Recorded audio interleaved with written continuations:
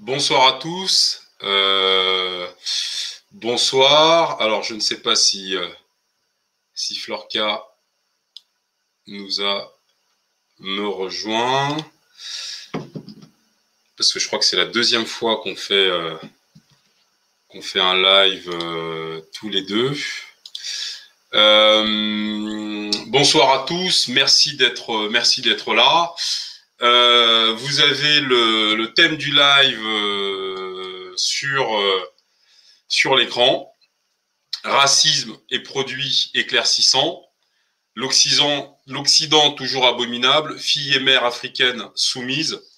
Donc nous allons essayer de comprendre un petit peu ce, d'une part, ben, un racisme évident, ce que vous avez sur la vignette, sur la vignette à gauche. Euh, et d'autre part, euh, bah, d'autre part une, réponse africaine qui est qui est pour le moins, euh, j'allais dire curieux, en tout cas qui, qui interroge. Euh, donc est-ce que est-ce qu'il n'y a pas un problème en fait en Afrique Est-ce qu'il n'y a pas un problème africain à la lumière de ce que bah, de ce que vous avez à l'écran. Euh, bah, c'est ce à quoi nous allons essayer de répondre euh, ce soir. Euh, et, donc, bah, j'espère qu'on sera, sera nombreux pour le faire. Alors, je voulais accueillir la sœur Fleurka avant de lancer, avant de lancer notre jingle, notre jingle habituel. Hum, hum, hum. Alors, excusez-moi quelques instants. Alors, je vais faire une petite pause, m'assurer que la sœur nous rejoint.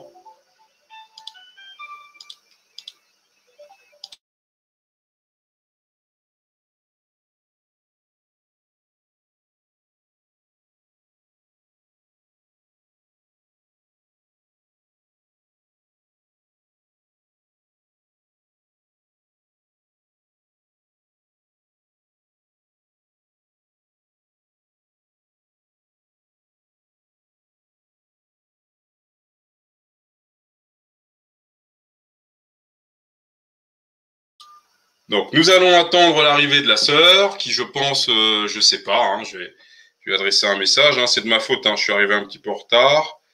Voilà, voilà. Donc, euh, elle va pas tarder à nous rejoindre. Donc, le vrai sujet du live ce soir, qui va être chaud bouillon, chaud bouillon, chaud bouillon. Je vous envoie le lien à l'instant pour que nous puissions nous connecter, euh, nous connecter sur. Euh, bah, je pense que la sœur attendait, attendait le lien. Bonsoir à tous. Euh, bonsoir Alain Steve. Euh, bonsoir Sanjaka, John Mansa. Euh, bonsoir Nana Nana. Zofu Isaac, bonsoir. un thème, un thème détonnant ce soir. Ça va être, ça va être assez, assez chaud. Moi, je vous préviens que je suis sans pitié hein, sur ces thèmes-là. il n'est pas question de, de, se passer la pommade. de toute façon, c'est pas mon genre. Excusez-moi, je recherche juste. Euh, comment ça se passe ce truc? Pourquoi j'arrive pas à trouver? Alors, excusez-moi deux secondes. Il me l'a enregistré où ça? 2021 intro. Ok. Alors 2021. Alors intro. Oui, c'est là. D'accord. Ok. C'est moi qui ne suis pas réveillé. C'est moi qui ne suis pas réveillé. Alors, tac. 2021. Intro. Voilà. Et donc là, on est sur. OK. Donc là, il faut que je supprime des choses. On va virer ça. On va virer. Euh... Florca, je t'attends, ma soeur, pour pouvoir démarrer. Tac. Voilà. On essaye. 4. Super. Donc, voilà. Au tep, au Bonsoir ma soeur, comment vas-tu? Bonsoir PK. C'est bon, ça va, tu m'entends? Ouais, je t'entends très bien. t'entends très bien. Ouais, un peu perturbé parce que je. Excusez-moi, attendez, je coupe. Parce que j'ai le retour là. Hmm. Euh, je ne sais pas si c'est bon pour vous. Ouais, ouais, ouais, c'est parfait. Pour moi, en tout cas, c'est parfait. Euh, je suis en train de, charger le jingle que j'ai mis à jour là, donc il est en train de s'uploader. Euh, donc euh, j'ai transmis un, fichier, un fichier PDF qui peut être intéressant. De, on va démarrer par un, par un fichier PDF. bon, c'est un texte d'un monsieur qui s'appelle Charles Josman, qui est fondateur de la thérapie sociale. Bon, voilà. Donc on va voir un petit peu ce qu'il dit. Euh, sur la haine de soi, sur le mépris de soi-même. Je pense que c'est intéressant. Euh, et ensuite, on va euh, rentrer dans le cœur du sujet de ces histoires de, comment on appelle ça, d'éclaircissement de, peau, qui d'ailleurs ne touchent pas que les sœurs, hein, parce que apparemment, il y a un paquet de feignants là du côté des gars qui commencent à s'y mettre. Donc voilà. Florca, si tu as quelque chose à, à rajouter avant qu'on envoie notre jingle habituel. Merci. Otep, Djambo, bonsoir à tous. Bonsoir Feka, j'espère que tu vas bien. je vous présente mes excuses déjà pour ce retard. Euh, je suis désolée, je n'arrivais pas à me connecter. Bonsoir à tous. Euh, merci d'être là. Hein. je ne sais pas si ça fait bizarre aux gens de voir qu'on fait live tous les deux, mais c'est super. Euh, surtout que le sujet est super intéressant. Mmh. On va parler justement racisme. Euh, produit éclaircissant, donc du, coup, les conséquences du racisme, euh, on va voir que ça remonte euh, à l'esclavage, les conséquences du colorisme, voilà. Et surtout, les conséquences de l'éclaircissement, voilà, sur notre santé et tout ça. Tout à fait. Donc, voilà. Merci à vous et je te laisse. Ouais, de toute façon, t'excuses pas pour être à la bourre, ils ont l'habitude. Moi, je suis souvent à la bourre. Il m'est même arrivé une fois, de faire ma sieste en oubliant que j'avais live. Hein. Donc c'est, il n'y a pas de règle ici, on est comme on est. Hein. J'envoie le jingle, à tout de suite. Merci, à tout de suite. Arua, Arua, Arua, Arua, Kuika mwana, akakorokisi, Kuika mwana, akakorokisi. Steady. Steady. Oh, we clap now. The second clap again now. Oh, we bend down. One, two, right, left, right. Love my head. One half a second over I a paper country One, two, three Four my head. Bila se fini que ta la bufi mufa dusile Four my head Mother no saba Tara Mother Bila se fini que ta la bufi mufa dusile kabafi mofato siele Besono na koma manyongo chepa siele Wala ga fikra kaju malang na gefa tuota laissez mon cœur me fait vivre au ciel. Apa no ka fa tu ciel, mais non la fait que quand tu l'as. Apa sa ka bo ta ga ko ta ga fait que quand tu l'as. Ma ma Apa sa ka bo ga nu ga wo la ga fait que quand tu l'as. Ma ma ta wa ga nu abano ka fatu sile wo labaga fi barkanjile malang nage fatu gole taga Melenage fatu gole mumaga Wologa pimar kanchule maya dakpan bogo taga Ma pasa kan bogo taga Wologa pimar kanchule Ma pasa kan bogo taga Wologa pimar kanchule Yeah, yeah, yeah. Palo na pamba manyongo che pasele wala ga ga fi par ka wata malam ne wage fa nung to kagan dengan damang ko madang iyo chiga gepa muma loka mti parin kaba nda madang na wan tufa malama ka madang na sifan sheche madang yu amma bala si fi ambi mfi na kaw mfi na ngu kama da waji babu fi wo fatu she o tun loka gan fi parin kaba madang na wa gepa tun wo taga Thank you. Laissez public, me film au contre ciel. Laissez public, me film au contre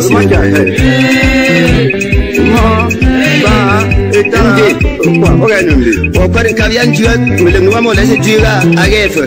Dafo nkabiya nemaga kun mo ndabe nyongo. Sini yo wakar ka juya songna ma milimne wa agefe ma po yo na milimne wa wa to ti eh? chu chu chu. Ma pa ah ah. Ma fa se ka mo wo ndem ga wo lo ga fe per ka ju le wa fa se ka mo wo ta ga wo lo ga fe per ka ju ma ba ta. na ge pa ge no ta ga wo lo ga fe per ka ju le ma ba ta. Ra pa ge no bi de mu ma ge che se le wo lo ga fe per ka ju le ta. Ra pa ge no one maka two three four maka one two three ma pa sa ka bo bo dim ga wa lo ga pe ka ju le ma pa sa ka bo bo mu ma wa lo ga pe ka ju le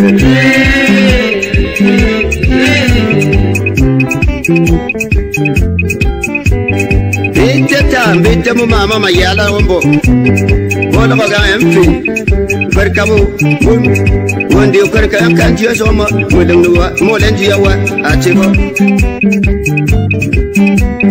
malama ka sun mun nan ke wacin da mu a jama dan jiya mu yan ka ya tudin mu yan fi ga dan kan ji ka wani mu dan wa ko.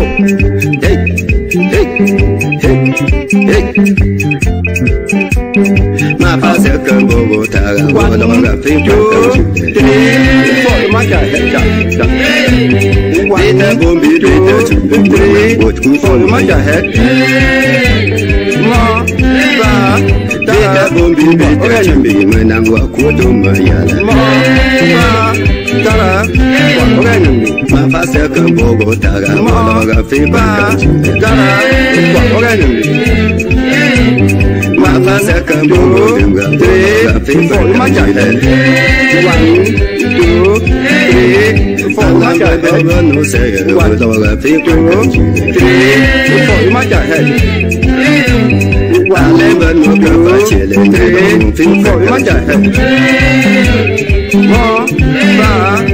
ba ta la wa o ga no ma ngula la na mo ba ngana ka wala ma ba ta la wa o ga no be te ban de bi mo ma ka bo si yo jang ga ban de ka lo ta bo ta lo an fi ka ka in ka ji mo wa ba be ti mo agra ka bo la mo ba ka wala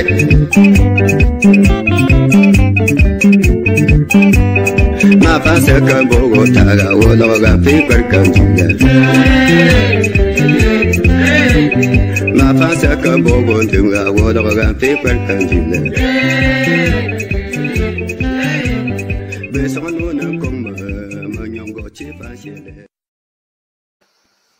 Bien, bien, bien, bien, bien, bien, bien. Donc, nous voilà revenus. Ça va chauffer ce soir, je vous préviens. Ça va chauffer ce soir. Donc, moi, de toute façon, vous savez qui je suis. Je suis con, c'est vrai, mais je suis présentable. Je sais être propre et me tenir. Donc, moi, je vais analyser les choses avec ma brutalité habituelle. Et vous avez, euh, vous avez, euh, un, vous avez ce soir droit non plus à un voleur de poule comme moi, mais il y a un véritable atout charme qui va nous permettre de présenter ce live correctement et enlever un peu de ma rugosité dans mes propos et dans mon analyse. C'est la sœur Fleurka, donc je vous ai mis le lien. Il faut absolument aller vous abonner à sa chaîne parce qu'en plus, elle aborde des sujets qui sont extrêmement intéressants, beaucoup moins rugueux que les miens euh, et intellectuellement raffinés. Donc, sincèrement, de temps en temps, Hey. vous en avez marre de voir la tête d'un voleur de poule comme moi. vous allez faire un tour chez la sœur parce que c'est hyper important ce qu'elle fait. Eh, merci. Peu de commentaires. Merci beaucoup. Là, t'as le coup est sincère, là. Franchement, merci. merci. Alors, donc, nous allons démarrer cette affaire.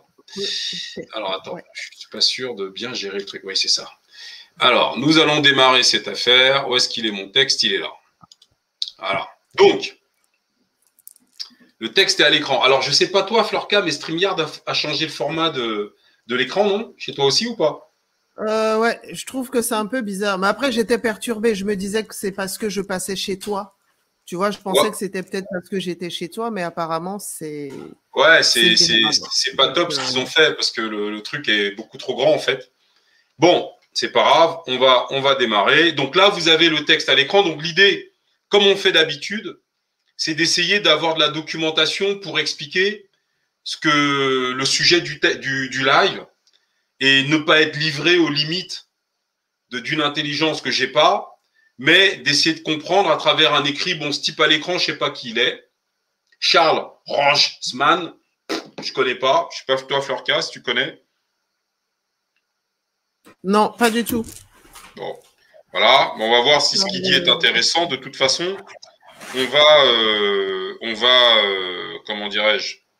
Bon, de toute façon, on aura un regard critique comme d'habitude. Hein. Donc, la, euh, repérer les signes de la haine de soi. Bon. On va saluer le frère Judoka qui vient d'arriver. Bonsoir Judoka. Bonsoir Judoka. Bonsoir Judoka.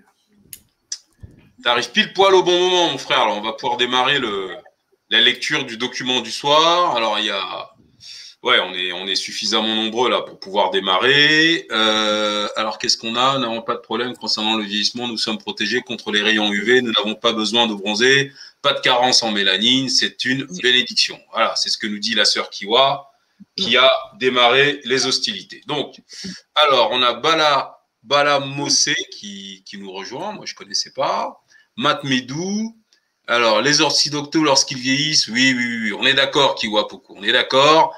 Phoenix nous dit au TEP les frères fétiches, bonsoir mon frère. Et il y a la sœur Coco Panaf qui vient d'arriver, ça va être chaud ce soir. Si Coco Panaf est là, c'est que ça va être chaud. Judoka, un petit mot avant qu'on démarre? Ben, C'est un sujet qu'on n'a pas l'habitude de traiter, ça, fétiche sur la chaîne. Hein.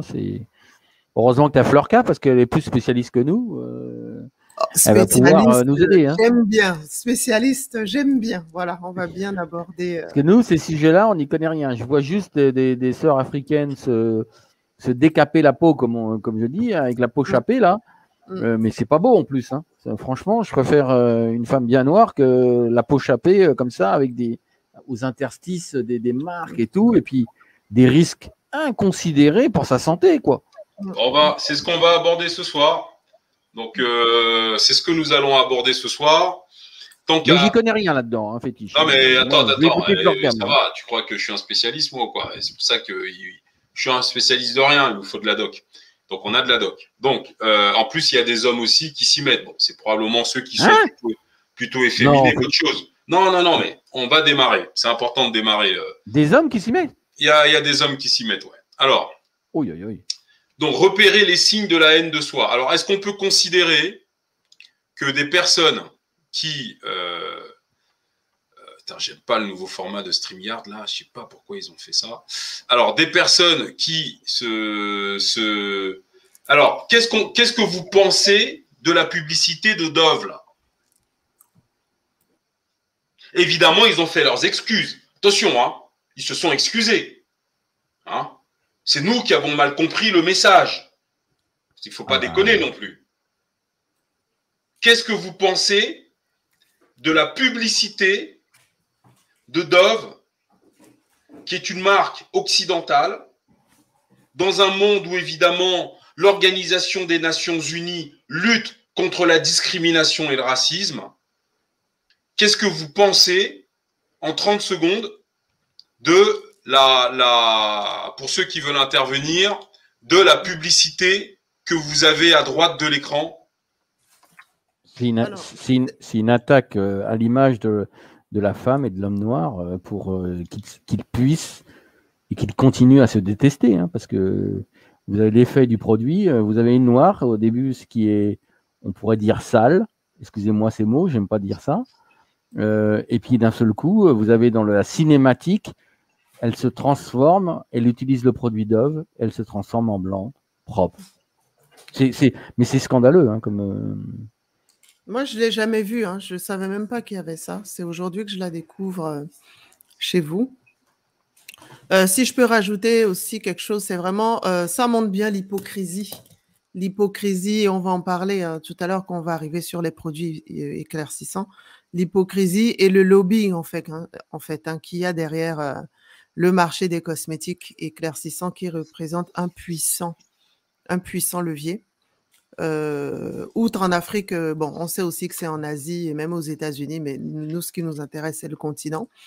Et l'hypocrisie de ces produits-là, de, de, ces fabricants-là, de ces commerçants. Et comme vous dites aussi, hein, avec euh, voilà des, des, des, des, gens qui parlent de SOS racisme et tout ça, mais qui en même temps véhiculent des images comme celle-ci. Je ne sais pas si vous vous rappelez de l'affaire L'Oréal. C'était la même chose. Si ça mmh. vous parle. L'affaire L'Oréal, voilà, c'était pareil, hein, qui euh, euh, disait retirer des produits blanchissants et tout, mais avait changé de nom et continuait à en vendre, mais retirait juste le nom blanchissant en les remplaçant par clarifiant et tout, mais les composants étaient les mêmes. Et en gros, voilà. Enfin, comme d'habitude, quoi. Hein. D'accord, mais, mais le, comment dire ça? Ça, c'est quand même une publicité. Ce que vous avez à gauche de l'écran, là, je vais aller vous la rechercher là sur Internet. Euh, ça a été validé. C'est passé au conseil de, parce que on est quand même dans un grand groupe international. Mm. Je veux dire, ce truc-là, avant d'être publié, a été validé par une trentaine de personnes. Mm. Ah oui. Par les managers marketing, à la, communication, au machin, au directeur du, de produits, au châtonnet, oh bah, donc ça, ça a passé et ça a passé tout le monde. Ça n'a pas été arrêté en interne dans la boîte. Mm. C'est-à-dire qu'avant que ça soit publié, vous imaginez pas. Et puis d'ailleurs, il a fallu réfléchir. Comment ils disent ça en anglais là? Comment ils disent ça? Ils ont fait un brainstorming. Vous comprenez? Parce que il fallait trouver un truc pour pour illustrer la femelle africaine qui, quand elle se lave, va devenir une femelle blanche, white. Donc il a fallu créer, penser, écrire l'idée, valider l'écriture de l'idée, valider la pensée, ensuite l'illustrer. Donc l'illustrer, c'est quoi? Bah, c'est des graphistes qui vont vous faire le truc, ou une boîte de pub qui va vous faire le machin. Donc, avant que ça n'arrive dans le public comme ça, ça a été validé par au moins une trentaine de personnes. Minimum. Donc, ça vous inspire quoi, ça?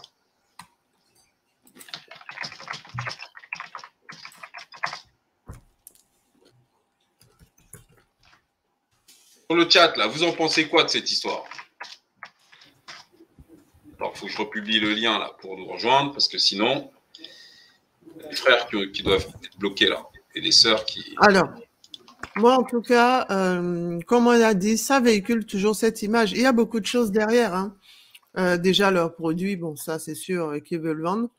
la supériorité, comme on dit d'habitude, hein, toujours de façon subliminale, faire intégrer aux femmes noires, justement, que leur peau n'est pas propre, parce qu'il faut quand même savoir que Dove, c'est bon, ils disent que c'est pas un savon, mais c'est un savon. Hein.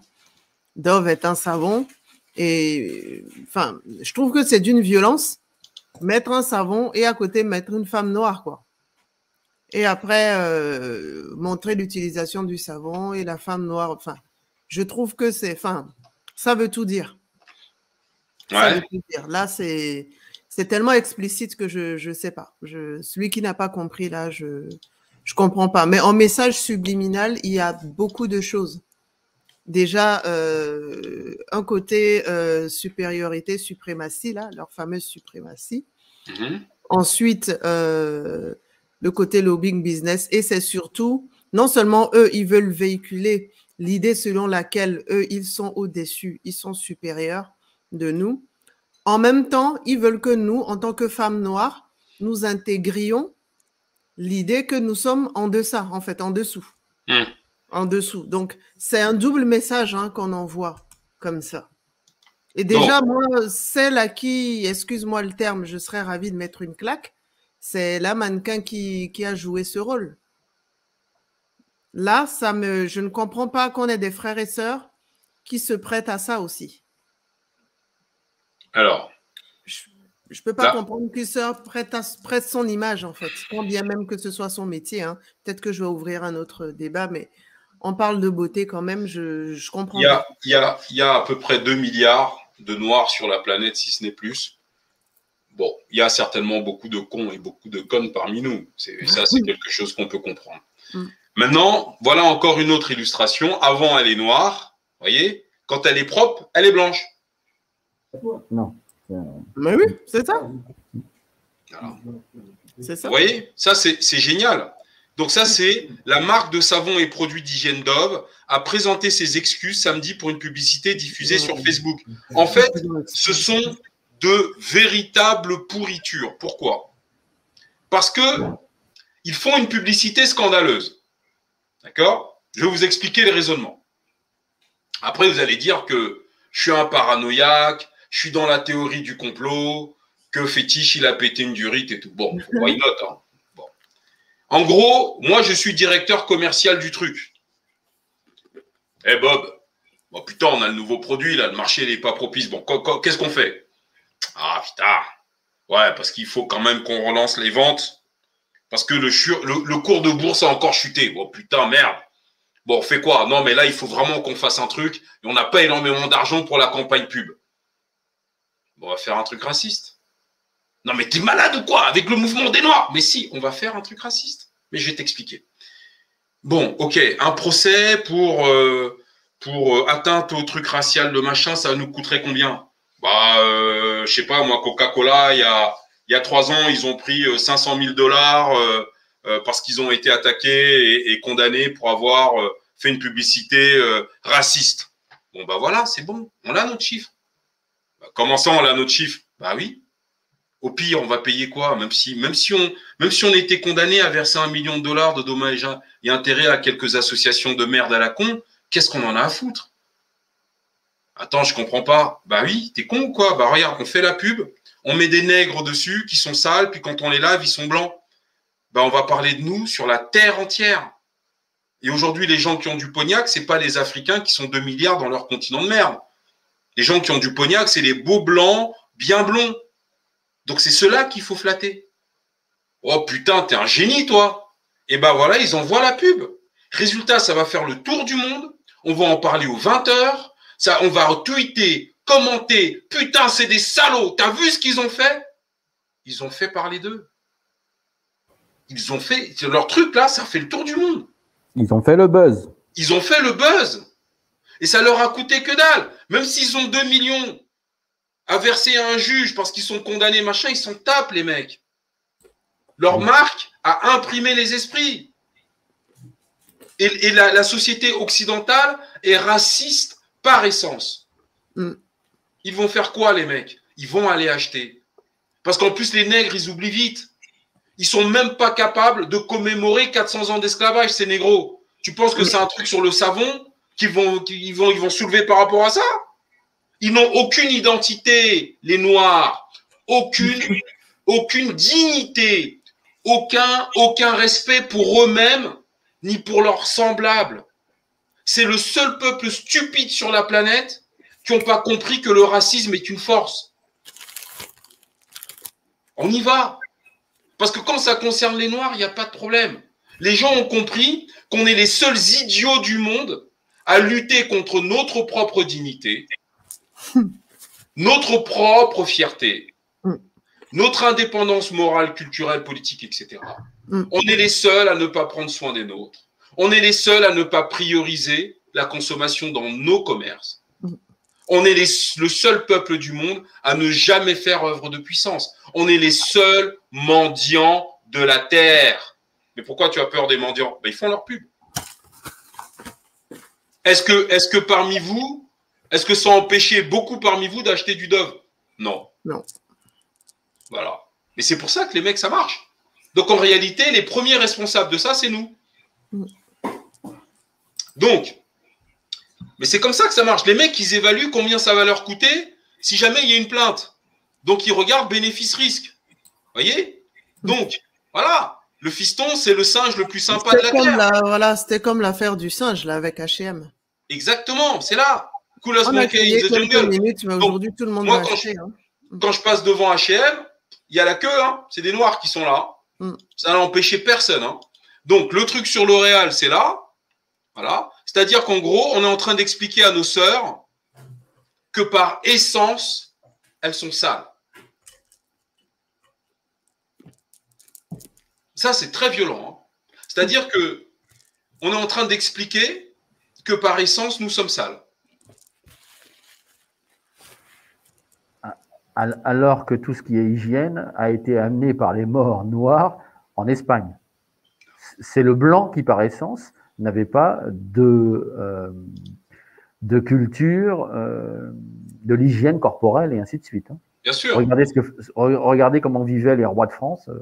Euh. Oui. C'est ça. Je l'avais pas. Même l'histoire des jupons, là, c'était lié aux odeurs, justement, des, des femmes. Alors, je vais en profiter pour saluer le frère Néban, Gérard Badeau, le frère qui nous a, qui nous a émerveillé par son intervention, il n'était pas le seul lors de la conférence avec Mélenchon euh, en, au Burkina Faso, qui nous suit à l'instant où nous parlons. Donc on peut avoir une pensée et le féliciter à nouveau. Euh, donc, j'ai adressé au frère le lien pour qu'il puisse nous rejoindre sur la chaîne euh, Telegram, le groupe Telegram des fétiches de guerre. Et je lui ai envoyé un lien qui lui permet d'inviter 100 personnes. Telegram, c'est comme WhatsApp. Il suffit de l'installer via Android, etc. Et ensuite, tu pourras nous rejoindre sur le groupe Les Fétiches de Guerre.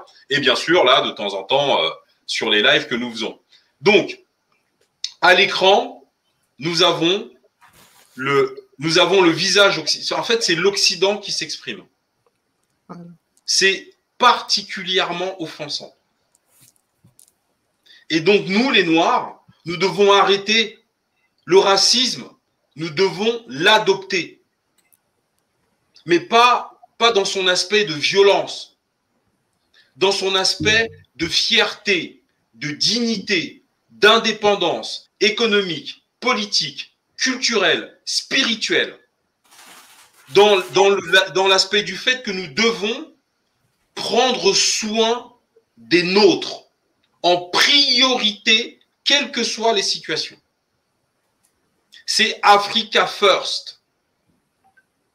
Parce que si nous faisons cela, je peux vous assurer que vous ne verrez jamais plus des choses comme ça. Je ne sais pas ce que vous en pensez, Fleurka. Je suis d'accord. C'est hyper offensant, ça. Et ça, vous voyez Oui je ne sais pas, fétiche dans l'ordre, euh, si cette pub est arrivée avant euh, celle qui était faite en Asie, où en fait tu avais euh, une Asiatique qui avait mis un, monsieur dans une machine à laver. Oui, qui le ressortait, ouais. je me souviens de ça. Voilà, au départ il est noir et il le ressorte il est délavé. Non, il, devient asiatique. Ouais, j'ai vu. et là, elle est, elle est amoureuse, là, tout de suite. Voilà. Donc, en fait, c'est ça le truc. C'est-à-dire que. Mais nous, le truc, c'est que tout ça, à, quel objectif? Il faut comprendre que nous, déjà, nous sommes la racine de l'humanité. Par essence, nous sommes plus forts. Parce que s'il n'y avait pas eu les Noirs, il n'y aurait pas de Chinois et personne sur cette terre. Nous sommes la racine du monde. Le premier être humain créé est noir. Il n'est pas blanc, il n'est pas chinois. Premier point. Deuxième point, ici, si nous, nous prenons conscience de ce que nous représentons, il n'y a aucun peuple sur Terre qui peut nous affronter sur quelque sujet que ce soit. Quelque sujet que ce soit. Science, sport, spiritualité, philosophie, ce que vous voulez. Et donc, pour éviter que notre puissance s'éveille, eh bien, on va inventer le mot racisme. On va euh, perturber notre lecture et notre éveil avec ce genre de publicité. on va nous rabaisser. Le monde entier veut que les Noirs quémandent. Nous devons mendier notre dignité, mendier notre fierté, mendier notre indépendance, mendier tout. Et c'est pour ça que l'image des Noirs qui est véhiculée dans le monde entier, c'est une image qui est volontairement misérable. Et quand les Noirs vont briller, si c'est aux États-Unis, eh bien, on va tout faire pour que ces Noirs-là se coupent du continent. Si les Noirs brillent dans le continent, on va aller les chercher, les extraire et leur donner des nationalités occidentales. Et exploiter leur talent, non plus au bénéfice de leur propre peuple, mais au bénéfice des Occidentaux. C'est comme ça que ça marche. Donc. pour illustrer ce que tu dis, euh, mon, père, euh, lui, dans les années 40, euh, il est, en Afrique, il repérait les enfants qui étaient plus intelligents que les autres et il les envoyait faire des études en France. Hein. C'est comme ça qu'ils ah. l'ont amené ici. Hein. Ah.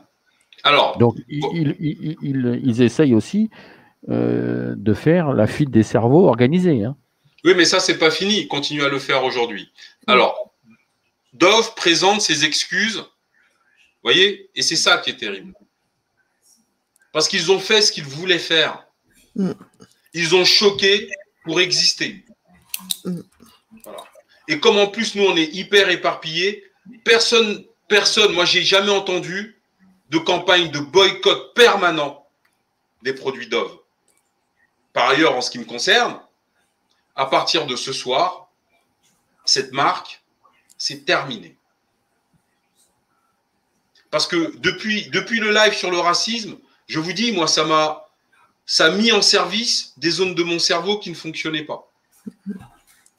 Je suis, comme Lily Inata, je suis euh, dans, mon, dans mon rapport avec les miens, je suis en mode chinois. J'ai atteint le niveau chinois. C'est Africa First dans ma tête maintenant. Donc Dove présente ses excuses après la diffusion d'une publicité jugée raciste. Ah bon?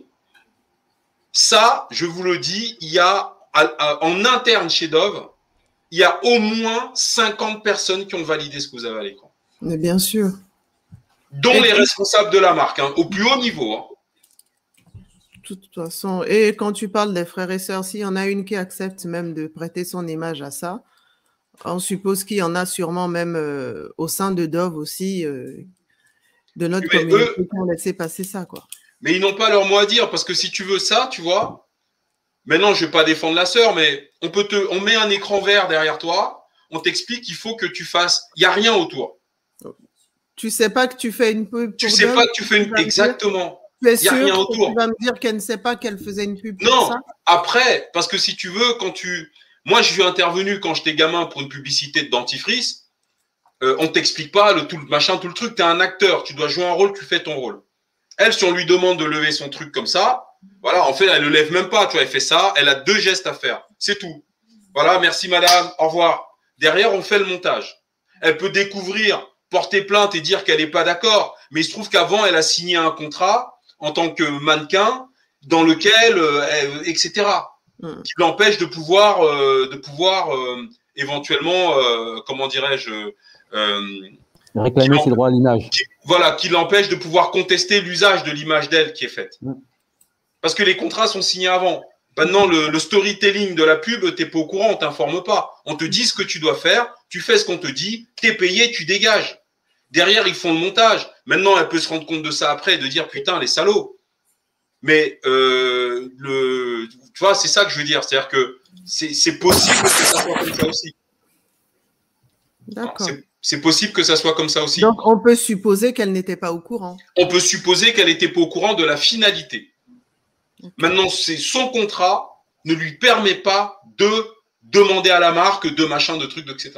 Parce qu'en plus, ces gens-là fonctionnent avec des agences de pub, avec des agents, avec des machins, etc. Donc, elle ne maîtrise pas le storyboard du, de la pub, quoi. Hein. Ok, donc, donc Dove a évidemment demandé ses excuses. Euh, le pays raciste, euh, la France via RTL, évidemment est outré de, de, ce que machin on peut faire ça, etc.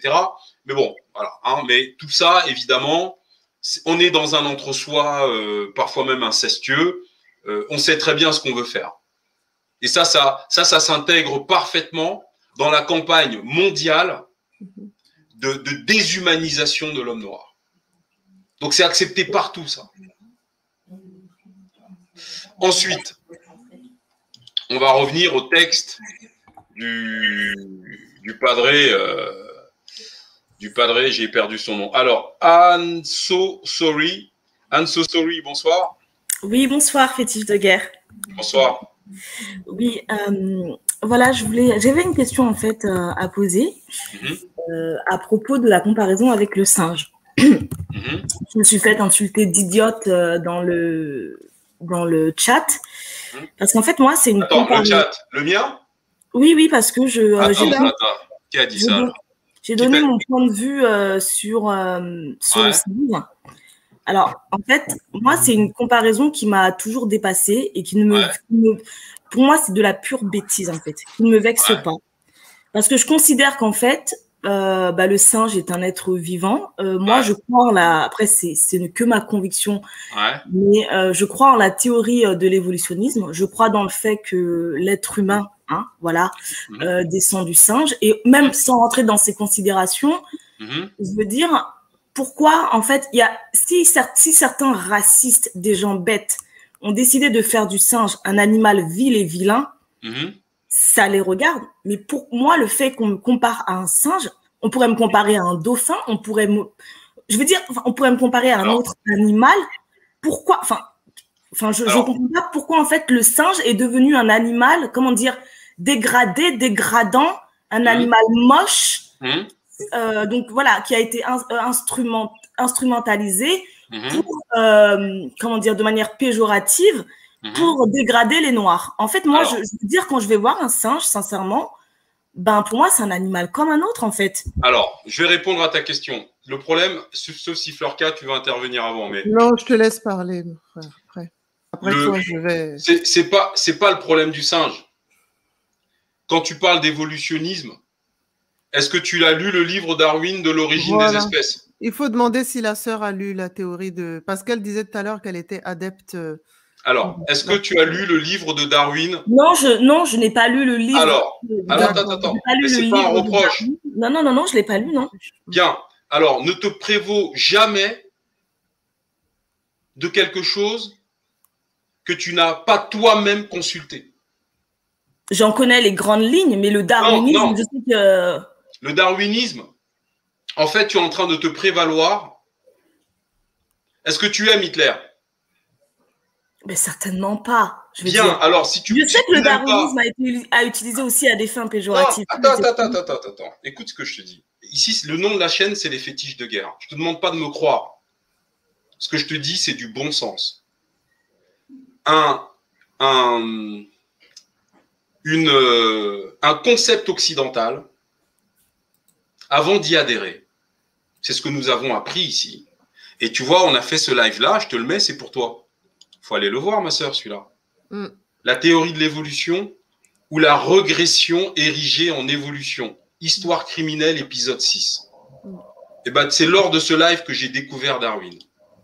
Donc moi, je conseille, et pas qu'à toi, à tous ceux qui sont en train de suivre ce live, un concept occidental, quel qu'il soit, ne vous y référez jamais si vous n'avez pas vous-même, pas que Brigitte vous a raconté que, non, vous-même, Non, non. lu le sujet en question. Parce que Moi, je peux t'assurer, Anne Sossori, on a eu la gerbe sur cette chaîne quand on a fait ce live. Je ne m'imaginais pas une seule seconde que Darwin était cet homme-là. Je veux dire, sans parler de. Moi, je veux même pas rentrer sur Darwin. C'est sa théorie, l'évolution, c'est lui, c'est pas, Oui, je sais très bien, je sais très bien, mais sauf qu'en fait, le, le- je veux dire, la théorie de l'évolutionnisme en, en opposé, euh, je veux dire, aux théories, on va dire, chrétiennes ou, ou de Non, création du, du cré- créationnisme. du oui, créationnisme. ça- Voilà, c'est juste ça. Moi, je ne rentre pas, si, je ne veux je- pas rentrer dans des considérations pas- Je dis juste que moi, je crois en la théorie scientifique. Oui, mais attention dans ce cas-là. Mais dans ce cas-là. La question n'est pas là. Excuse-moi. La question n'est pas là. Je me permets d'intervenir. La question n'est pas là. C'est que tu es en train de dire que tu ne comprends pas pourquoi les gens se sentent aussi offusqués. C'est pour ça qu'on te dit d'aller lire, pas que les grandes lignes de lire et de comprendre le darwinisme pour comprendre nos réactions. Après, tu es libre de, de, faire ce que tu veux. Nous, on n'est pas là pour te convaincre. Mais au moins comprendre, en fait, tu vois. Et quand tu comprends, à ce moment-là, tu vois pourquoi les gens ils réagissent comme ça. Alors, oui, mais alors peut-être par rapport, oui, mais peut-être par rapport, justement, je, très bien, je prendrais connaissance de la théorie du, du, du darwinisme en tant que tel. Mais moi, je, ce que je veux dire par là, quand je dis que je crois en la théorie de l'évolutionnisme, c'est pas forcément que parce que l'évolutionnisme, bien sûr, même si le précepte il est darwiniste, mais j'ai envie de dire pas que, pas que. moi, à un moment donné, comme référent? Mais non, mais c'est pas ça. C'est qu'à un moment donné, quand je quand je me suis positionnée par rapport au créationnisme, sur le fait que l'être humain descendait du singe au sens général, à un moment donné, c'est que je l'ai lu dans une brochure scientifique. C'est pas. Oui, mais ça veut rien dire. Mais attends, ma soeur, attends. Non, non, non, mais est-ce que je peux finir? Voilà. Oui, Ce que je veux dire, c'est qu'à un moment donné, moi, je, moi, mon, je ne rentre pas dans le darwinisme. Je ne veux pas parler de quelque chose que je ne connais pas euh, de manière, euh, voilà, de manière pointue. En faire référence. voilà, je parle juste d'une chose que, pour moi, je considère que l'être humain, au-delà du, au-delà même du fait que nous soyons noirs, blancs ou quoi que ce soit, l'être humain, voilà, pour moi, on descend du singe. Donc, je ne fais pas référence au darwinisme, mais effectivement, peut-être que c'est peut-être la raison qui explique ce que je ne savais pas, effectivement, qui explique pourquoi les noirs se sentent offusqués lorsqu'on les compare euh, à, à, un singe. Mais néanmoins, néanmoins, je veux dire, à un moment donné, même si ben, des, des racistes ont instrumentalisé ce point-là, enfin moi je suis désolée, le singe ça reste un animal comme un autre, donc je vois pas pourquoi je devrais rentrer dans, des dans ces considérations. En fait, c'est ça ma, ma, ma, vision de la chose. Oui, en fait, moi je comprends ce que tu dis. Je sais pas si j'arrive à me faire comprendre. Attends, attends, attends, attends, attends, deux secondes. Moi je te dis que j'ai bien compris ce que tu dis. Maintenant, je pense que tu, tu, comment dirais-je euh, je pense que tu, tu, déjà, je trouve que tu es émotif sur le sujet, alors qu'il n'y a pas lieu d'être émotif sur le sujet. Tu me diras qui t'a traité d'idiote sur le, sur le chat que je le vire. Ici, c'est particulièrement interdit. Je vous le dis, hein, moi, je suis sans pitié. Hein. J'ai essayé de, d'être un peu plus sympa parce qu'il y a quand même Fleurka ce soir, mais moi, je suis sans pitié là-dessus. On est là pour apprendre des trucs. Et quand tu évoques un sujet, euh, Anso Sorry, bon, manifestement, euh, enfin, nous, il n'y a pas d'émotion ici. Hein. Je, ça sert à rien. Moi, je comprends ce que tu as dit. J'ai parfaitement compris ce que tu as dit. Mais il se trouve que tu ne prends que des références occidentales dans ton raisonnement. Je regrette. L'Occident en fait. n'est pas l'alpha et l'oméga de l'existence humaine. J'ai pas dit que tu as dit ça. Je ne sais pas si c'est une référence occidentale. Attends, attends, attends. Oui, mais en fait, tes propos. Attends, s'il te plaît, on t'a laissé finir. Laisse-moi finir. Bien tes propos sont occidentales, que tu le veuilles ou non. Ta référence au singe, moi j'ai des clients, moi j'ai des clients qui viennent, au, cabinet avec leur chien. Quand tu regardes la gueule du mec et que tu regardes la gueule du chien, tu te dis merde, putain, ils se ressemblent. Mais alors dans ce cas-là, on pourrait dire que qu'on provient du chien. Ce que tu comprends pas dans la comparaison avec le singe, c'est que le singe n'a pas les mêmes qualités cognitives que l'homme, que l'être humain. C'est pas une question d'apparence physique. Hmm. C'est très subliminal. C'est hein. très subjectif. un singe n'a pas les capacités cognitives d'un être humain moderne. C'est une façon de dire qu'on eh est. Ben, elle est là la comparaison. C'est pas physique, c'est intellectuel.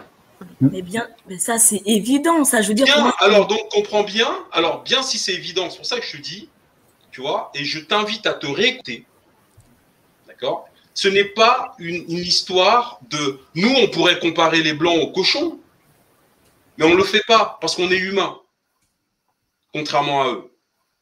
Et aujourd'hui, la théorie de savoir si l'homme descend du singe, écoute, moi, mon, c'est pas ma cam, c'est pas mon délire. Par contre, de venir assimiler les hommes noirs à un singe, c'est pas sur le plan physique, si tu regardes la bouche d'un singe, il ressemble plus à un blanc qu'à un noir.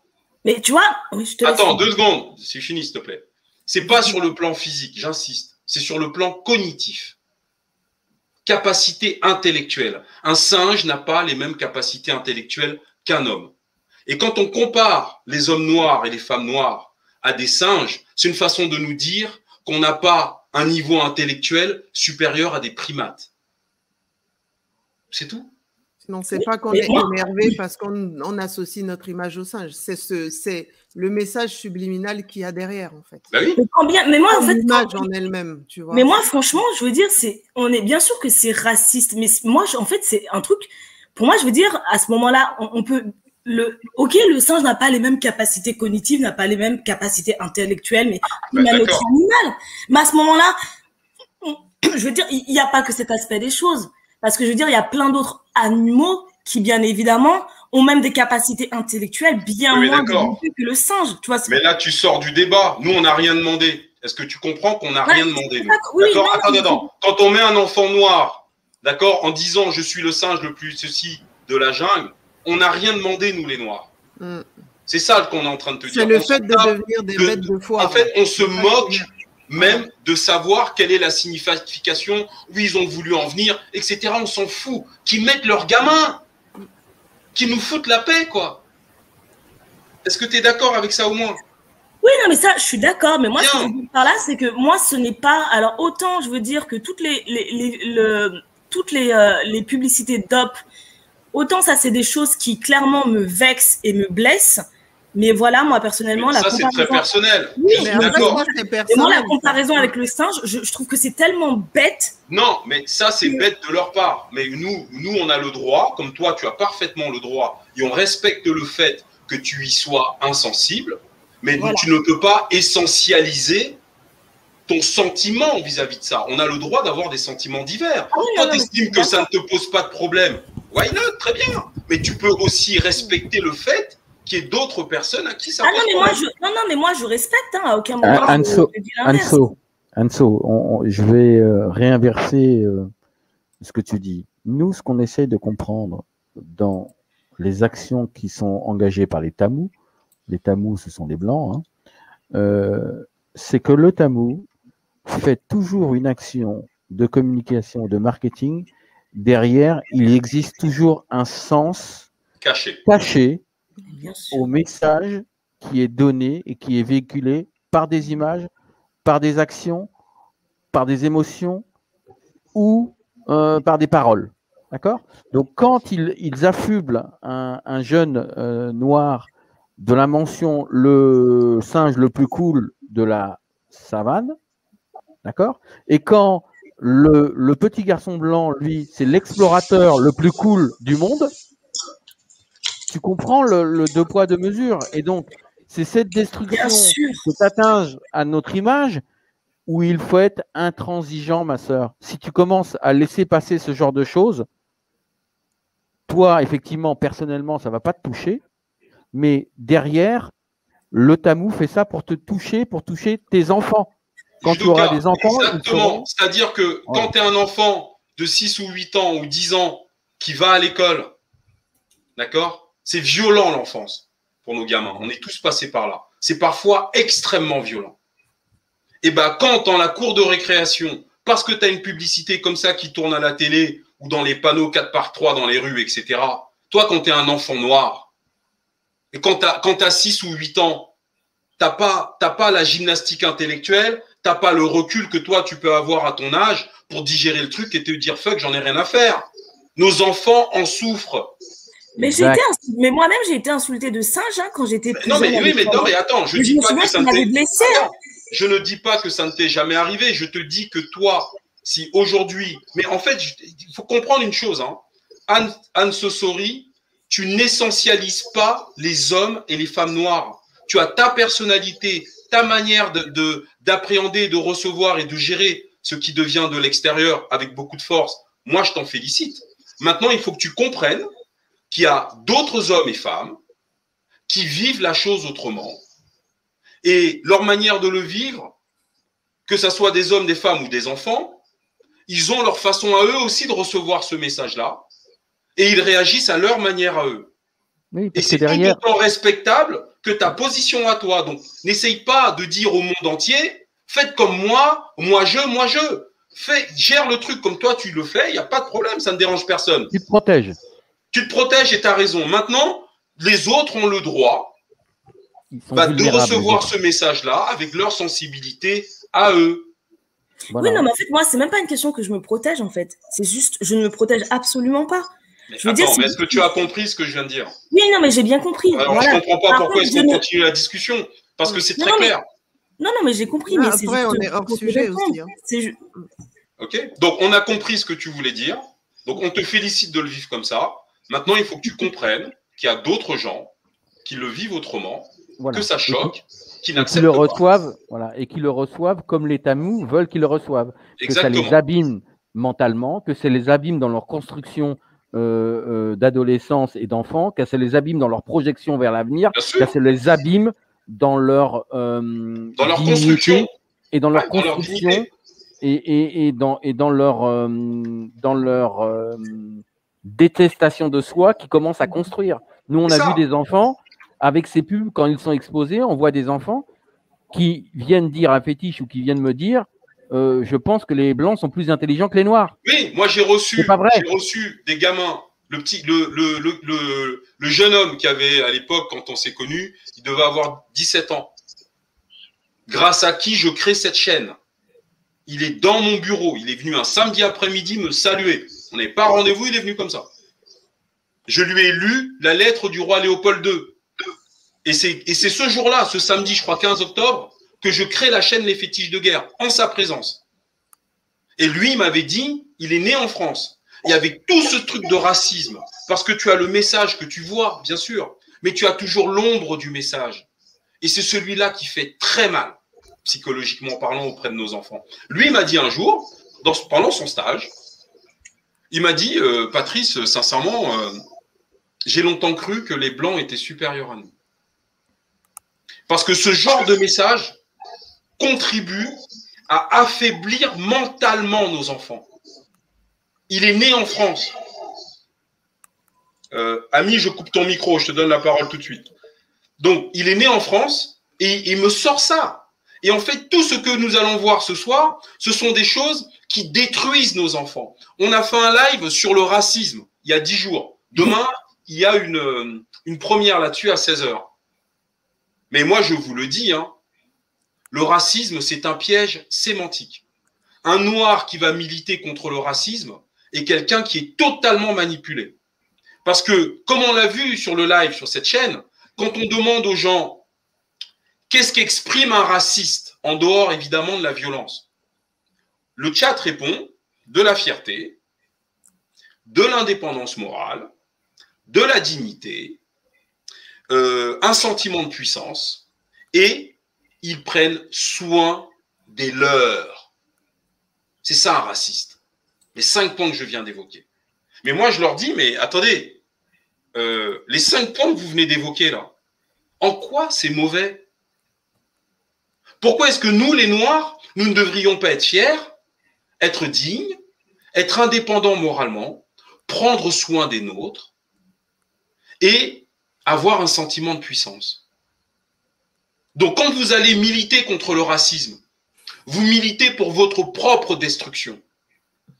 Donc nous, en tant que Noirs, nous n'allons pas être racistes au sens occidental, on va dire conscient.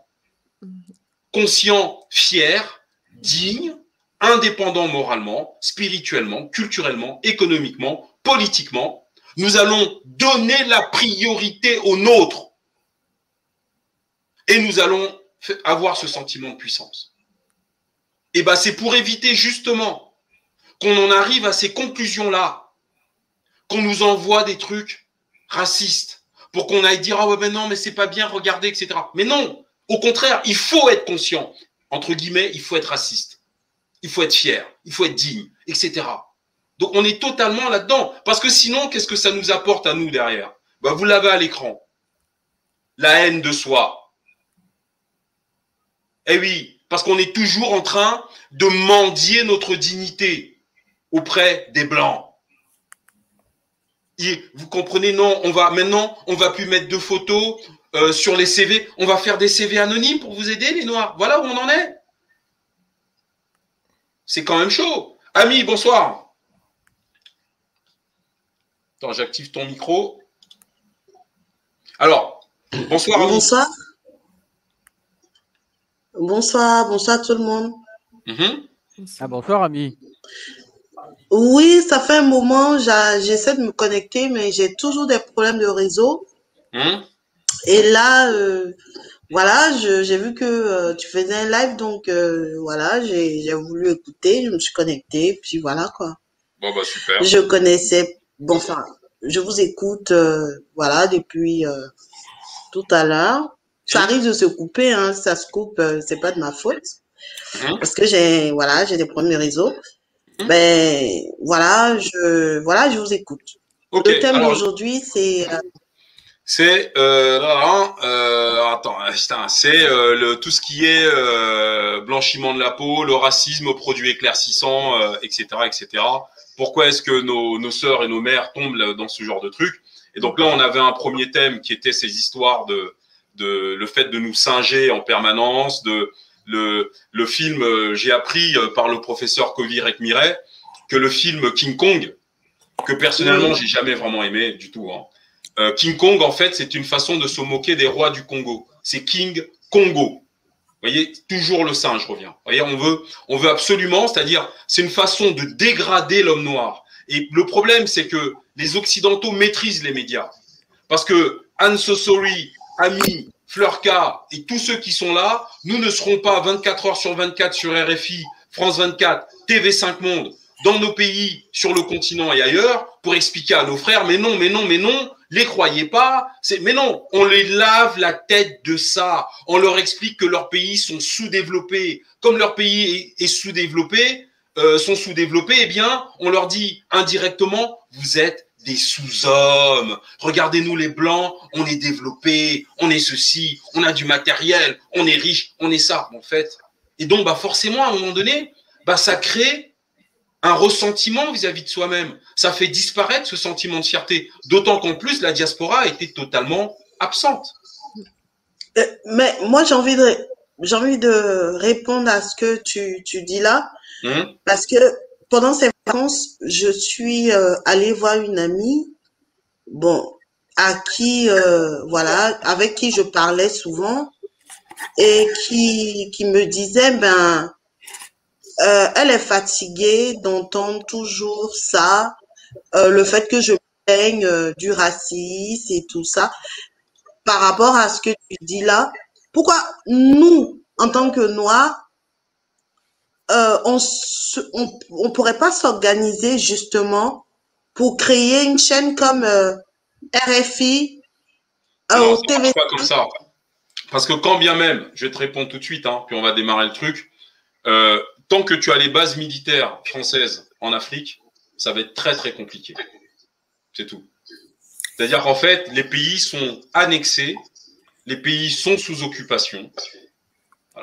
C'est-à-dire qu'aujourd'hui, et même Emmanuel Macron sur un live qu'on a fait il y a deux jours, nous rappelait qu'on est sous administration française.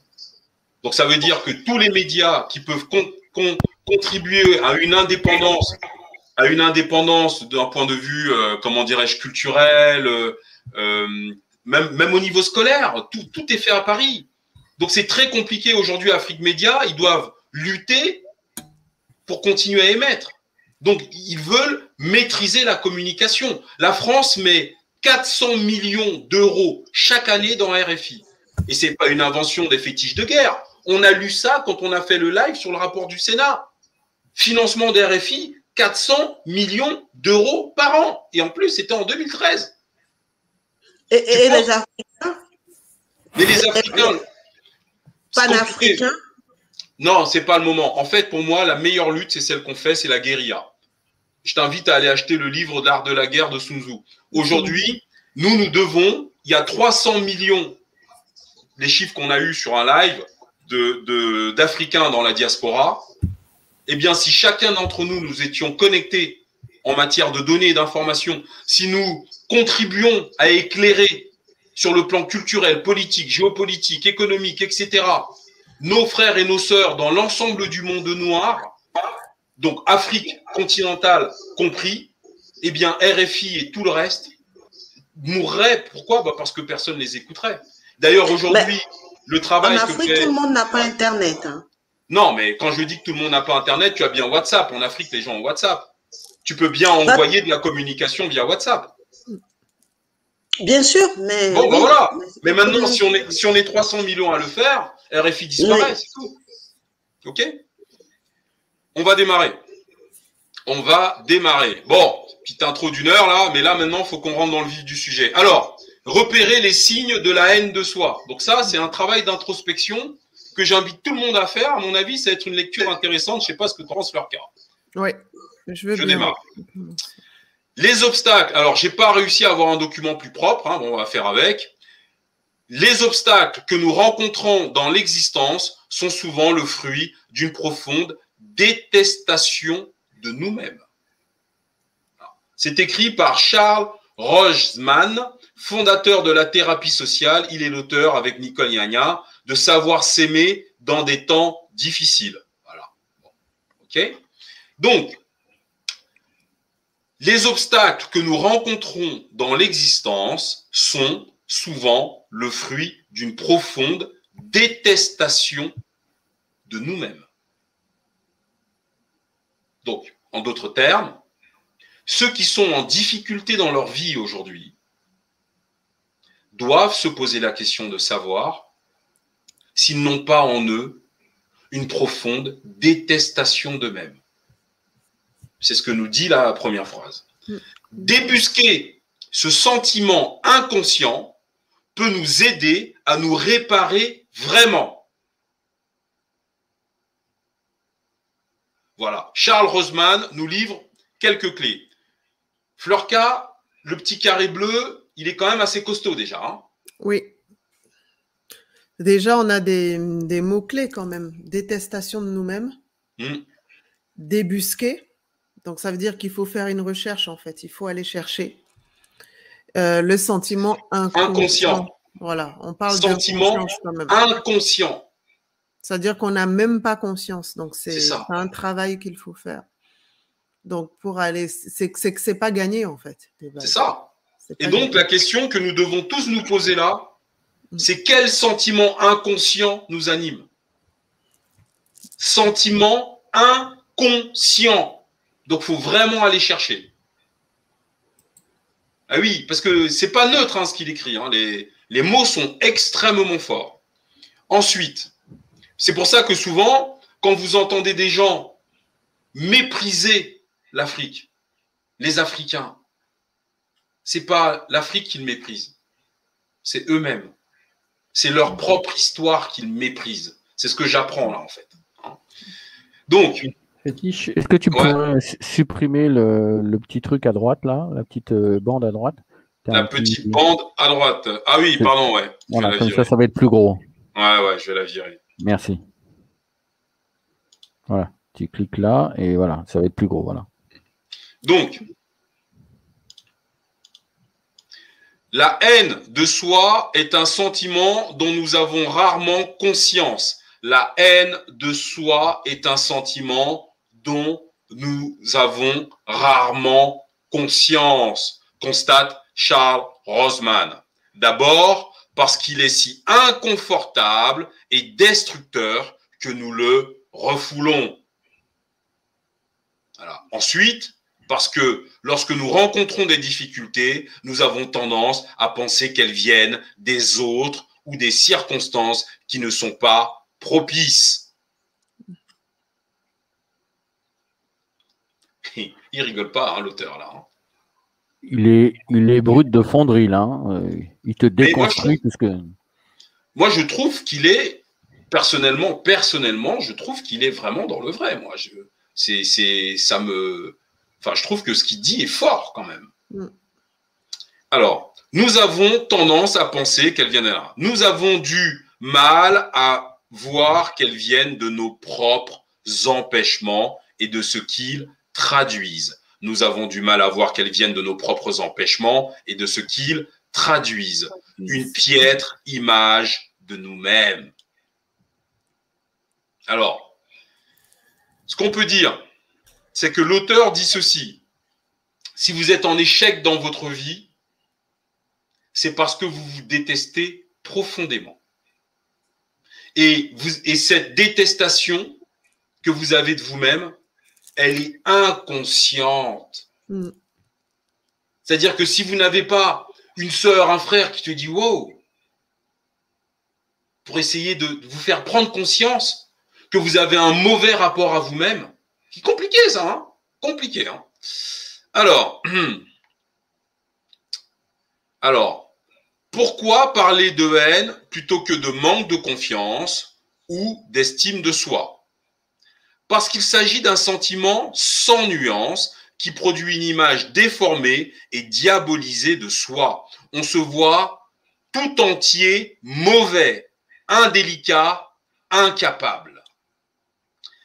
Alors, cet être monstrueux que nous voulons à tout prix dissimuler aux autres et à nous-mêmes est une créature blessée. Enfant, nous avons été meurtris dans notre famille ou dans notre vie sociale par des railleries, des culpabilisations répétées, des mises à l'écart, des abandons ou des maltraitances qui aujourd'hui encore alimentent notre honte de qui nous sommes. Ces violences. Oui. Ce qu'il dit là, euh, c'est malheureusement la vicissitude de notre vie. Et c'est pour ça que Anso, par exemple, quand, tu quand on va exposer nos enfants à des messages qui les abîment, qui les maltraitent émotionnellement et qui les meurtrissent, eux, ils s'en souviennent toute leur vie de manière inconsciente. C'est ça le travail des tamous. Ils savent que ça, ça va avoir un effet à long terme sur le psychisme terrible. C'est terrible. Terrible en plus parce que si tu veux, ce n'est plus des railleries quand tu étais à l'école maternelle de trucs, on voulait pas jouer avec toi parce que tu étais noir. Là, c'est pire parce que c'est mondial. C'est le monde. C'est, pas des petits cons à la récréation qui te prennent la tête, là. Là, c'est dans toutes les télévisions du monde. Où que tu ailles, quand tu es noir et un enfant, tu es exposé à ce type de message. Où que tu ailles. Où que tu, ailles. pas, tu ne peux pas y échapper sous des formes différentes. Hein. Sous des formes différentes. C'est-à-dire que là, c'est à la télévision, c'est dans le magazine, c'est sur Twitter, tu l'as vu sur Facebook, tu l'as vu sur Insta, machin. Mais merde, quand tu es un gamin, mais c'est très compliqué de grandir en Occident quand tu es face à ce genre d'image. En Afrique, on n'a pas ce genre de truc. Donc, donc on grandit. Moi, j'ai vu pris des stagiaires là. Mamadou, il a 18 ans. Ça fait deux ans qu'il est là. Il vient du Sénégal. Mais va voir le calme. Mais les, autres stagiaires me disent, mais Mamadou, euh, putain, mais euh, le mec ne parle jamais. Il a 18 ans, mais la maturité d'un homme qui en a 30. Et il vient du Sénégal. Par contre, ceux qui sont nés en France, là, mais ils sont mais, agités, mais un truc de dingue. Mais lui, il n'a pas vécu avec ça, quoi. Mm. Il est posé. Donc, on continue. Alors, où est-ce que j'en étais Je perds ma souris, elle est là. Alors, donc je reviens un peu en arrière. Cet être monstrueux que nous voulons à tout prix dissimuler aux autres et à nous-mêmes est une créature blessée. Enfant, nous avons été meurtris, etc., euh, meurtris dans notre famille ou dans notre vie sociale par des railleries, des culpabilisations répétées, des mises à l'écart, des abandons ou des maltraitances qui aujourd'hui encore alimentent notre honte de qui nous sommes. Mhm. Et je pense que sincèrement, si nous faisons un véritable, un véritable travail d'introspection de qui nous sommes, aujourd'hui en Occident, nous avons honte à des degrés différents de ce que nous sommes. Fétiche, nous avons, nous avons honte parce que nous, on nous a inculqué ça. Et regarde tous les mots qui sont, euh, qui sont euh, répétés ici des mm. mises à l'écart, des abandons, mm-hmm. des maltraitances. Mais tout mm. ça, nous les Noirs, nous subissons ça tous les jours. Depuis, oui. Depuis tout petit. Est-ce que on doit se construire là-dedans. Est-ce que je peux faire une, euh, un commentaire, s'il vous plaît? Ouais. Par rapport aux railleries et voilà, toute cette pression dont on subit hmm. euh, et, le, par exemple la dépigmentation euh, de la peau. Hmm.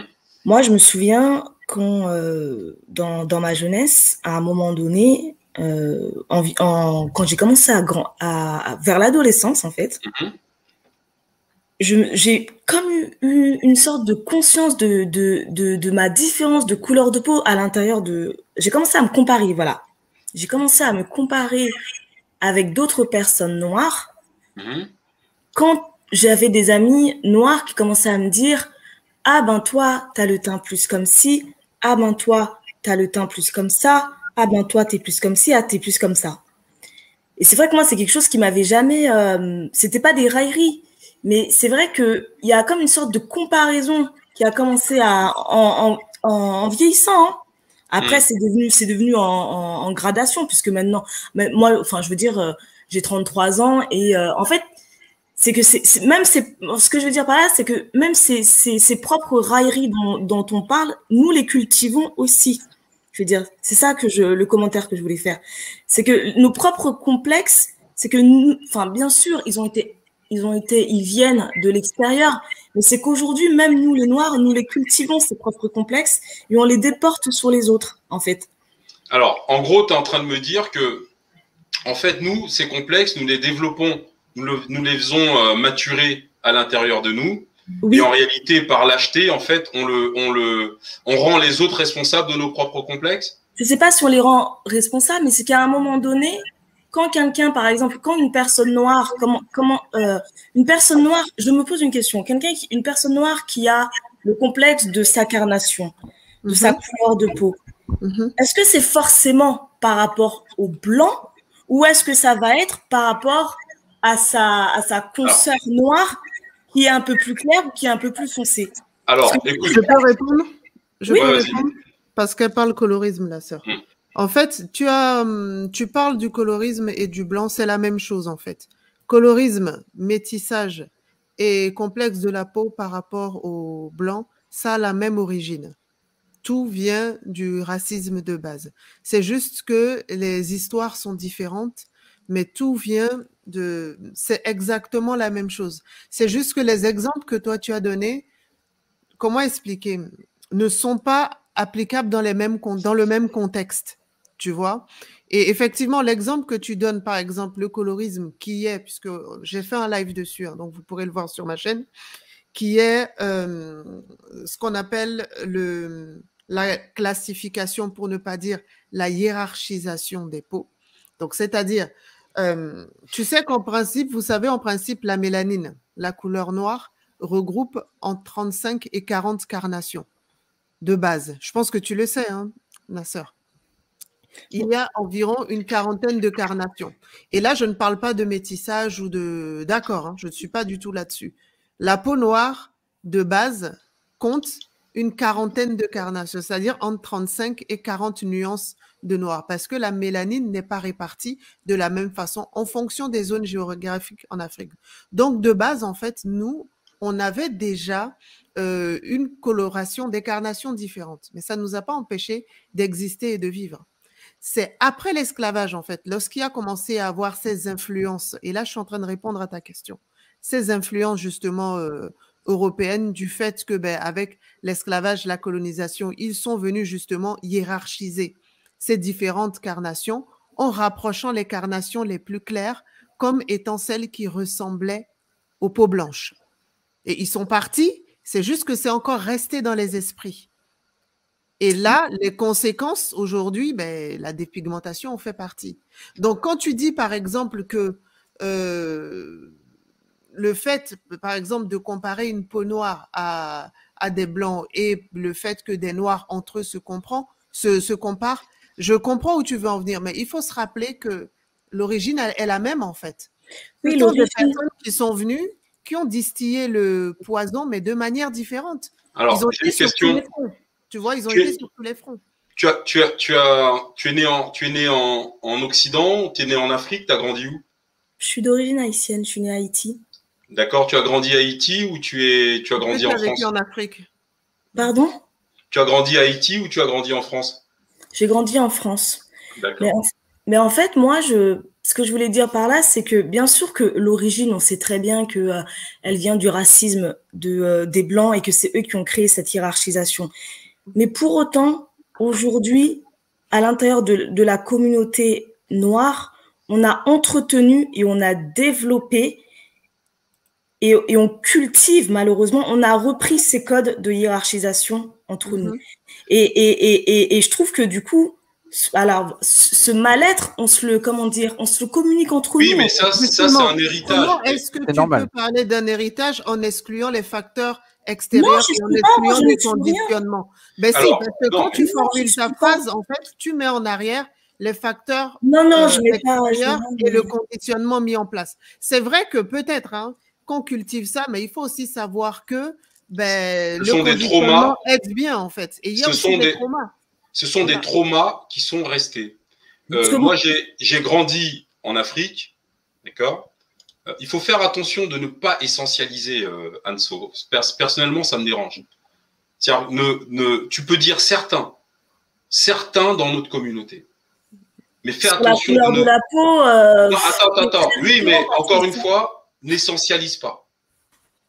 Parce que quand tu n'essentialises pas, tu respectes les gens. Quand tu essentialises, tu n'es plus respectueuse il faut faire attention à ne pas essentialiser et dire que tout le monde fait ça. C'est faux. Oui, c'est pas généralisé. Pas généralisé, mais beaucoup. Voilà, faut pas. Non, non, non, non, non, non, Attends, attends, attends. Moi, je te dis comment ça se marche. C'est les fétiches de guerre. On fait attention. Les mots sont importants. Et puis, excuse-moi, fétiche, je me permets de la communauté noire.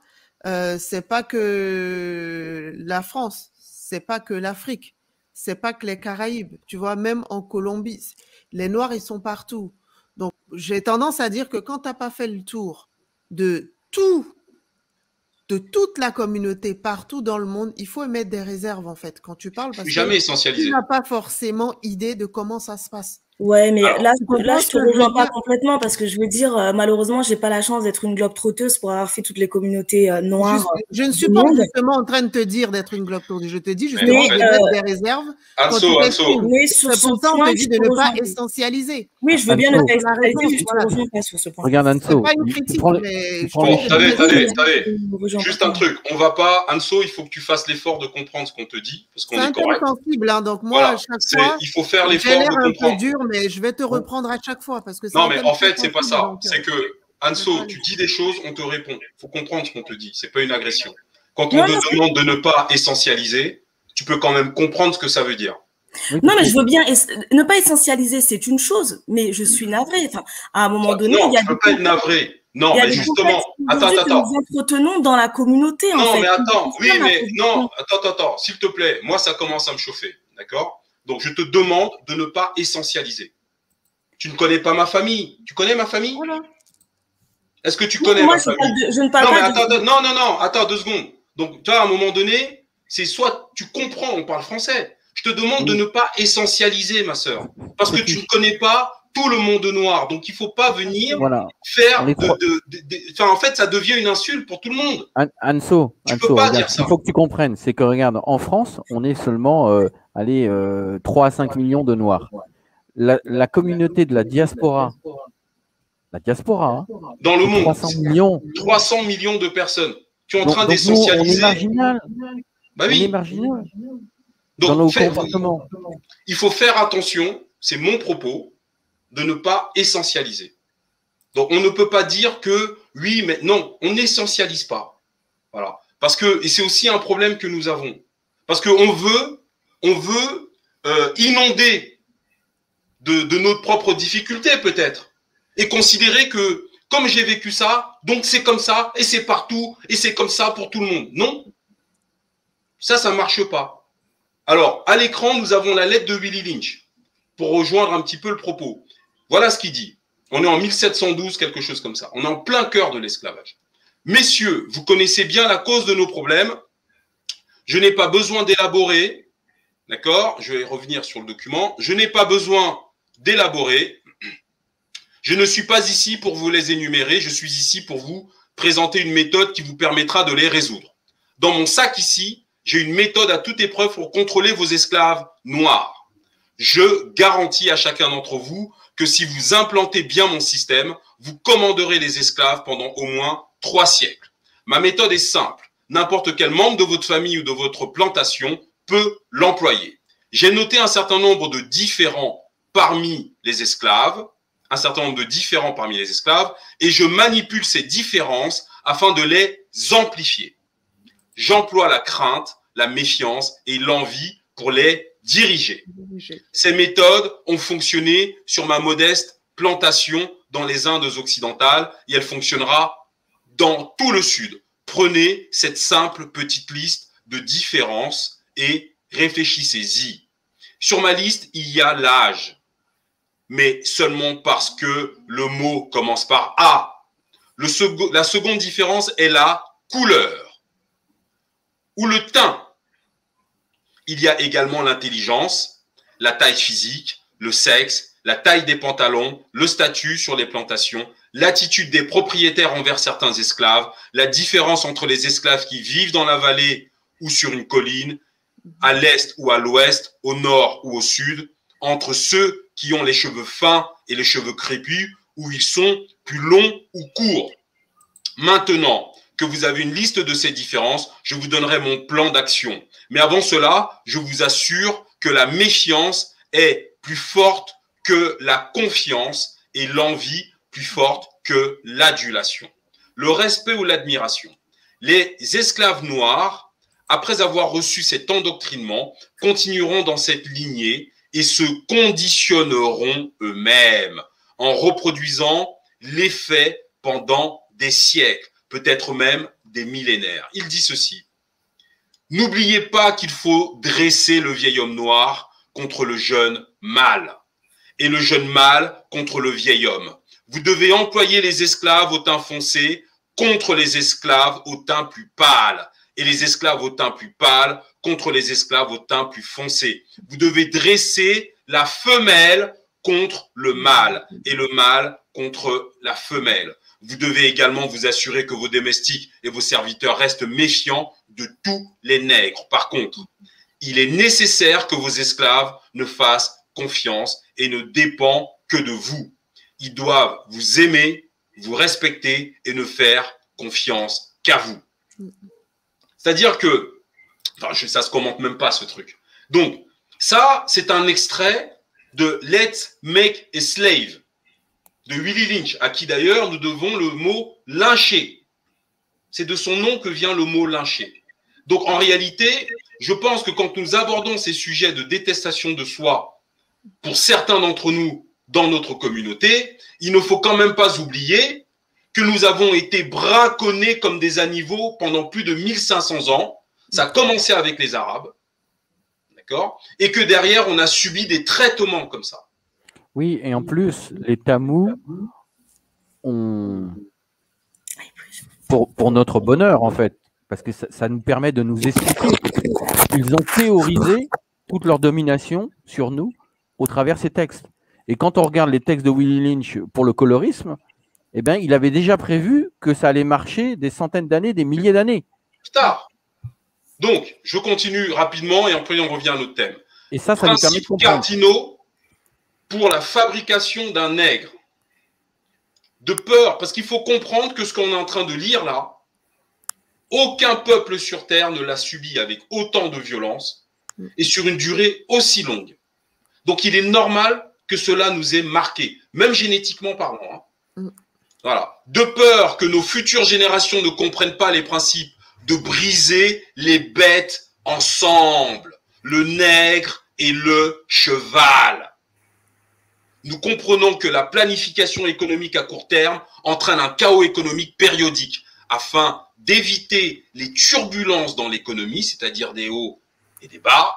Il nous faut la largeur et la profondeur dans la planification globale à long terme, articulant les deux perceptions de façon très pointue. Nous établissons les principes suivants pour la planification économique globale à long terme. Les chevaux et les nègres ne sont pas bons pour l'économie à l'état sauvage ou naturel. Les deux doivent être brisés et liés ensemble pour une production ordonnée, pour un avenir ordonné. Une attention spéciale et particulière doit être accordée à la femelle et la plus jeune progéniture. La femelle, ce sont nos mamans et nos filles. Hein.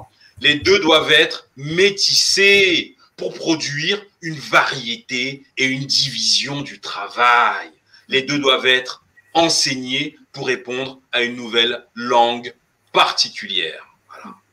Je vais arrêter de lire cette horreur. Donc, on nous, on sort de tout cela. D'accord? C'est intéressant de dire, de dire pour à la sœur, c'est que ces propos peuvent paraître très très violents et abjects, mais ils ont encore lieu et sont encore valables dans les sociétés modernes que nous avons maintenant. Et, et, et ça n'a pas disparu. Ça n'a pas disparu, voilà. C'est ça que je voulais dire à Anso. Alors, ça. Ça n'a pas disparu, pourquoi?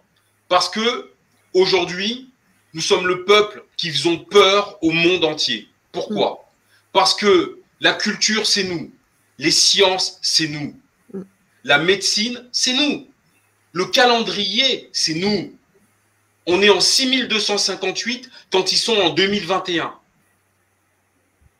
L'astronomie, c'est nous. L'économie, c'est nous. Et donc aujourd'hui, il faut continuer à briser les noirs. Pourquoi? Parce que si nous commençons, nous, à abandonner ces luttes antiracistes, en fait, on a combattu des moulins à vent comme Don Quichotte et je sais pas quoi. On, a lutté, on s'est battu contre le vent. C'est ça le racisme et l'antiracisme. L'antiracisme, c'est du vent. Pour éviter que les Noirs ne prennent la pleine mesure de leur puissance, eh ben, on a inventé ce mot racisme que nous avons vu sur le live et Soso 971 est là ce soir pour en parler. Sur ce live-là, c'est le live le plus important de cette chaîne. J'aurais pu même fermer cette chaîne après avoir fait ce live. Et je vous invite à aller le voir. Parce que nous avons appris que l'antiracisme est une stupidité. Et, le mot racisme n'a même pas 120 ans. Et c'est un piège sémantique. Avec un mot, on a enfermé 2 milliards d'êtres humains, nous, dans une espèce de guerre contre le vent. Alors qu'en réalité, au sens occidental du terme, ils ont peur que nous devenions racistes. Pas violents, on va pas aller tuer des gens, mais racistes au sens où nous donnions la priorité aux nôtres. Que la diaspora parle avec le continent, que la diaspora parle avec tout le monde noir, que nous, économiquement parlant, nous donnions la priorité aux nôtres. Et donc, on a créé l'antiracisme, qui est financé par des oligarques occidentaux pour justement continuer à nous perdre dans cette fausse bagarre. Donc, c'est pour ça qu'il faut sortir de ça. Mais pour autant, il ne faut pas essentialiser. Parce que pour avoir un peu voyagé, même un peu beaucoup, en Afrique, bah, quand tu es en Afrique du Sud, tu n'es pas au Mali, hein. ça je vous le garantis. Quand tu es en Zambie, euh, tu n'es pas au Cameroun. On est très divers et c'est une vraie richesse. Et donc, la question. On, est tellement divers, fétiche, qu'il y a cinq phénotypes humains sur la Terre, disséminés sur la Terre. En Afrique, il y en a 178. Oui. Donc, nous, ça, c'est une vraie force. On veut nous créoliser créoliser nos langues. On ne veut pas qu'on créolise nos langues, on veut garder nos langues. C'est-à-dire qu'en gros, le monde entier aujourd'hui veut soit avoir l'Afrique avec elle, parce qu'après la Chine, ça sera nous. Et ça ne sera pas nous pour 2000 ans. Hein. On a régné sur le monde pendant plus de 4000 ans. L'Égypte nourrissait tous les territoires méditerranéens. Ça a été la première puissance mondiale pendant des millénaires, l'Égypte pharaonique. Mais qui venait du Congo. Oui, et les êtres humains, euh, c'est le, sapiens sapiens. 300-400 000 ans, euh, ce sapiens sapiens, il n'est que noir. C'est ça. Que noir. Donc. Il n'y a pas d'être blanc sur Terre avant. Avant moins 6 000, moins 10 000 maximum. Ils sont arrivés 10 000 ans avant Jésus-Christ, ces gens-là, pour nous emmerder. Bref, on continue. Donc, on va saluer l'arrivée de euh, tac tac tac de Kashmi. Bonsoir Kashmi.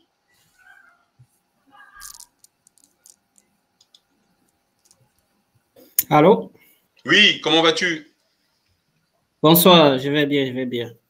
Bonsoir à Fleck euh, et tous les autres. Hein, euh, Bonsoir Kashmi. Ah ouais. Hmm. Ah, sujet intéressant. Euh, ça se voit, ça se voit. Euh, pour moi qui suis en Afrique, ben, c'est très, visible en tout cas. Euh, et ça prend de plus en plus de l'ampleur dans le sens. Alors, c'est très visible. Qu'est-ce qui est très visible? Mm Ce désir là pour pour nos pour nos jeunes sœurs de, de s'éclaircir en fait. Mhm. Mhm. Et je pense que quelque part pour elles, euh, c'est en s'éclaircissant qu'elles seront. Enfin, elles se disent qu'en le faisant, elles se donnent plus de valeur et seront plus visibles. Euh, cela veut dire que pour elles, en restant naturelles, elles ont moins de visibilité. C'est, ma compréhension de la chose. Oui, mais ça, ça provient. Par exemple, je vais te dire un truc. Si dans les télévisions africaines, il y avait des séries africaines, pas des séries euh, sud, sud-africaines ou turques, ou, occidentale, nos sœurs n'en seraient pas là. Parce qu'il y a un outil de conquête. La culture est, un véritable instrument de conquête. Et la culture est parfois pire que les armes. C'est-à-dire que tu viens auprès d'un peuple fragilisé pour un tas de trucs, un tas de raisons, et tu leur imposes un modèle de, de, perfection et tu leur imposes chaque jour, chaque année. C'est-à-dire que là, l'enfant de, de, de, 3 ans à 20 ans, elle ne voit que des blancs dans la télévision qui ont ceci, qui ont cela. Naturellement, ce sentiment va naître. Ce sentiment peut naître, bien sûr. Maintenant, c'est à nous, la diaspora, parce que nous avons été absents. Beaucoup d'entre vous vivent ici comme des réfugiés, comme des migrants. Beaucoup d'entre vous ici ont tourné le dos à l'Afrique. Sur le plan culturel, économique, politique, spirituel, on est, on n'a aucune indépendance morale. On est soumis total. Eh bien, si nous, la diaspora, nous commençons à parler avec nos sœurs, nos frères sur le continent, à créer des liens, tout ça va disparaître. Et justement, je, je suis plutôt confiant là-dessus. Oui, et justement, dans ce sens, je pense que euh, côté solution, c'est qu'il va, c'est ce qu'il faut, c'est ce qu'il faut faire. Je pense le faire. Euh, euh, il faut que ce soit, en fait, il faut qu'on ait des gens, par exemple, qui portent, qui portent les valeurs de l'Afrique sur, sur les réseaux sociaux, par exemple, que ce soit pas, que ce soit pas ces ces gens que l'on voit, en fait, la grande partie de ceux qui représentent l'Afrique actuellement sur mm. les, ces réseaux sociaux, ne, ils, ne, en fait, euh, ils ne vont pas forcément avec les valeurs, les valeurs, nos valeurs, tout simplement. oui, mais justement. Il faut vraiment, il faut vraiment que ce, ce, côté soit comblé, en fait. Mais ça va venir, parce que tu vois, bah regarde, il faut que tu ailles t'abonner à la chaîne de Fleurka, là, parce que elle, typiquement, c'est ce qu'elle fait. non, mais sincèrement, parce qu'aujourd'hui, le problème, c'est que dans, notre aliénation, on attend que le blanc parle de nous. Vraiment, les gars là vont parler de nous bien quand. On attend que c'est eux. Eux, ils attendent que aucun peuple sur terre n'attend qu'un autre peuple vante leur dignité. Les, peuples imposent leur dignité, sauf les Noirs. Ça bouge un peu quand même dans la nouvelle génération. Bah oui, bah j'espère.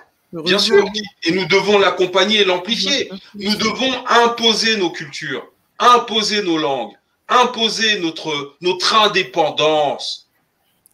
Et eh oui, nous devons consommer africain, comme, comme le font les Chinois. On a fait un live en comparant la diaspora africaine et la diaspora chinoise. Putain, on, on s'est marré, les mecs sont très forts. Ils vivent en vase clos quasiment. Ils n'embauchent que dans leur communauté. Et nous, nous devons commencer à le faire. Pourquoi? On va dire, ouais, c'est bizarre, les Noirs sont racistes, d'accord. Mais le reproche qu'on va faire aux Noirs, on ne le fait pas aux Chinois. On ne le fait pas aux Indiens. On ne le fait pas aux frères juifs, là. C'est-à-dire, toutes les autres communautés ont le droit. Pourquoi? Parce qu'ils ont la peau blanche? C'est quoi le délire? Pourquoi nous n'aurions pas, nous, les Noirs, le droit d'embaucher que les nôtres?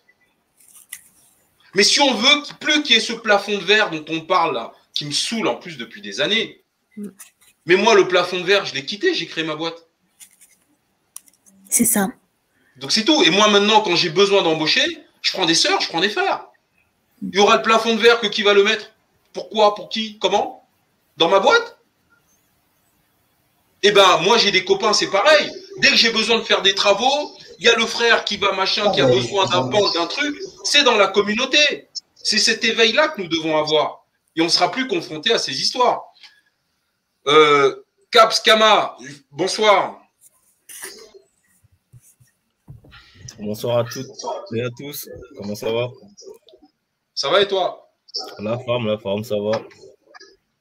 Bon, tu tiens le coup ou c'est comment? Ouais, ça va. J'ai rejoint le live euh, il y a seulement 39 minutes à peu près. D'accord. Donc, euh, bon, pour l'instant, ça va. Parfait. Donc, je continue la lecture. Florca, un dernier mot avant que je démarre? Non, c'est bon, mon frère, merci. Ok. C'est violent. par contre, c'était, je voulais rajouter quelque chose. Hein. Ouais, ouais. En fait, euh, moi, moi, je, moi, je sais juste aussi, bon, enfin, que nous, les Noirs, on n'est pas très unis. Quand on se voit dehors en France, déjà, souvent, ça c'est une réalité, on se regarde d'une drôle de manière, Mm. on se côtoie pas souvent, les séquelles de tout, euh, tout le passé, hein. Donc, euh, aujourd'hui, je veux dire, on est, on est très loin des Chinois, quoi. Oui, mais on avance. Je peux t'assurer qu'on avance. Et à grands pas. On avance à grands pas. Et surtout, euh, 10% de l'audience de cette chaîne, ce sont des jeunes qui ont entre 18 et 24 ans. Donc effectivement, les, vieux briscards comme nous, là, t'en as encore qui sont empêtrés dans l'ancien monde. Mais je peux t'assurer que Sanjaka est là ce soir, il a 17 ans. Et il y a un paquet de frères qui sont là. Moi, je me suis fait harpaguer dans le RER, là, par un frangin. Il devait au max avoir 23 ans. Il me regarde, il y a un type devant moi, il est assis en face de moi dans le RER qui me dévisage. Il dit, wow, ça se peut, je le connais. Et à un moment donné, il dit, fétiche. Je lui dis, oh putain, tu m'as reconnu. Il me dit, ouais, bah, bah, putain, c'est génial. Tout jeune. Donc, la relève est là. Moi, je suis hyper optimiste hein, pour l'Afrique. Hein. J'ai pas de problème, vous inquiétez pas. euh, on va tout. on va- Le fait que des fois, on se croise dans des magasins entre noirs et puis on n'ose même pas se regarder. Oui, mais ça, que- ma soeur, c'est, malheureusement, ça existe encore. Mais je peux t'assurer que la tendance s'inverse totalement. C'est en train de bouger. Ok Euh, Dina Noir, bonsoir.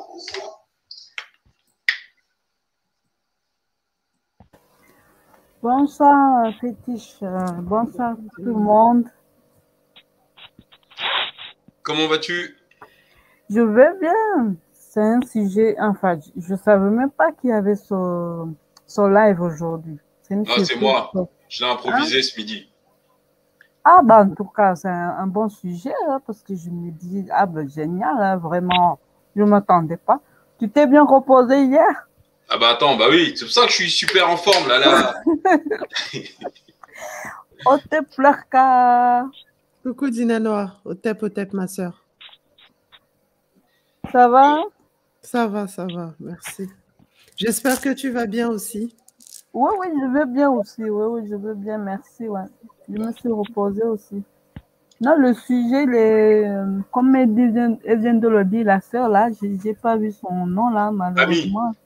Ah, voilà, merci. Mais en fait, je, je suis d'accord avec toi, euh, Fétiche. En fait, c'est le problème de, comment dire, de lavage du cerveau, en fait, que, qu'on nous a contaminé, que les Noirs, euh, enfin, il faut pas saluer l'autre ou quoi, quoi.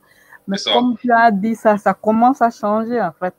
Hein? Donc, euh, il faut pas qu'on se, comme tu as dit aussi, Sanjaka, depuis que je l'écoute, vraiment, je, je n'ai plus, je n'ai plus le désespoir, moi, pour, pour- Écoutez, pour moi, la dernière fois, été au. Pâques. Je, je suis désolée, mais la dernière fois, j'étais au Pâques avec mon fils de 7 ans. Et j'arrive, je vois deux filles euh, noires comme moi au Pâques. Je suis contente. de- voilà, moi, j'habite euh, Amiens, hein, la ville de Macron. Hum Et, et, euh, voilà, c'est pas euh, Paris, la banlieue et tout ça. Hum. Donc, j'arrive au Pâques. Je suis contente de voir deux filles noires. Euh, je marche, j'arrive. Mon fils, il s'installe et tout. Et euh, je- dès que je dis bonjour, Il y a une qui tourne la tête de l'autre côté. Ouais, mais. On a l'impression qu'elle fait la gueule. Ami, ami, ami, honnêtement, je vais pas te couper, ma sœur. Mais ça, si tu veux, ces deux filles-là ne représentent pas les 2 milliards et demi de noirs qu'il y a sur Terre. Voilà. c'est des cas isolés, ça ne veut pas dire que c'est la règle. Donc, si tu veux, oui, moi aussi, je peux t'en citer des trucs, mais ça ne veut pas dire que toute la communauté est comme ça. Ami. C'est ce que je disais, il faut arrêter d'essentialiser. Tu as vu deux filles qui se sont mal comportées. D'accord, ça ne veut pas dire que toute la communauté se comporte comme ça. En tout cas, dans les magasins, dans les supermarchés, souvent c'est le cas. Hein. Oui, c'est vrai, mais comme je t'ai dit, encore une fois, c'est un éveil. On, nous, on n'a jamais dit que tout le monde était parfait. Mais il ne faut pas essentialiser. Aujourd'hui, là, tu as Kamao qui a 23 ans, il est en train de nous suivre. Tu as Sanjaka qui a 17 ans qui est en train de nous suivre. On est 155 sur nos deux chaînes là, avec Fleurka. Je peux t'assurer que là, tu as au moins une vingtaine ou 25 personnes qui ont entre 18 et 24 ans qui nous suivent. Éduquer, ce n'est pas changer les, les gens. L'éducation que tu vas donner à ton fils, c'est celui-là qui est important. Aujourd'hui, on fait un travail qui est global, donc il va falloir que les mentalités changent. Mais la règle ici, c'est que concernant l'Afrique, il est interdit d'être négatif. Il y a des gens qui le font très bien ailleurs. On est sur la chaîne des fétiches de guerre. Donc, si n'allez pas m'essentialiser des situations à la con dont on n'a en fait rien à faire. Les deux filles, malheureusement, elles se réveilleront. Mais on ne se lève pas tous le matin à la même heure. Chacun à son heure. Elles se réveilleront. Elles sont pour l'Afrique des forces à venir. Donc, on peut le voir comme ça aussi. Oui, mais j'en parle juste oui, tu peux en parler. En fait, tu peux en parler, ma sœur. Mais bien sûr, c'est juste qu'on est en train de t'expliquer que comme c'est une expérience personnelle, on ne dit pas que c'est faux. Mais il ne faut pas en faire une généralité, en fait. De la même façon où euh, nous, dans nos J'en fais pas une généralité. Quand on dit de ne pas essentialiser, c'est que ce n'est, il ne faut pas en faire un message parce que ce n'est pas. J'ai bien compris. voilà, ce n'est pas l'essentiel qu'il faut retenir. Tu vois, c'est ça qu'on veut dire. Ce n'est pas ce qu'il faut retenir, en fait, de ce qui se passe. Il faut rester positif, ami. Il faut rester, voilà, c'est ça. Ça bouge. Ok. Alors, Son, Kukuta, bonsoir. Bonsoir, bonsoir tout le monde, au tête. Bonsoir. Une, intervention là avant que je reprenne la lecture? Euh, Non, bah, juste, euh, c'était pour euh, pour un peu compléter ce que la sœur euh, avait dit tout à l'heure euh, concernant certains quand on se croise dans quand on croise certains de nos frères ou sœurs dans la rue.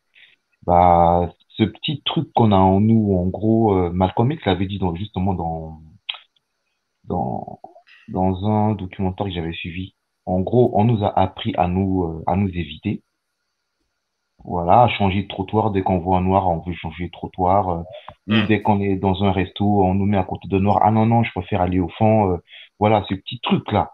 Mais ça, c'est un truc qui, qui vient de, comme tu as dit, quoi, de Willy Lynch et, et tout ce qui va avec, quoi. Et bah, hmm. nous, bah, on est tout simplement, bah, des dégâts collatéraux, quoi, si je peux dire. C'est ça. C'est-à-dire que, mais des dégâts collatéraux qui évoluent très vite. Parce que contrairement à ce que nous, nous pensons, euh, il a fallu survivre à plus de 1500 ans d'esclavage. Personne n'a affronté ça. Nos ancêtres ont vaincu cela.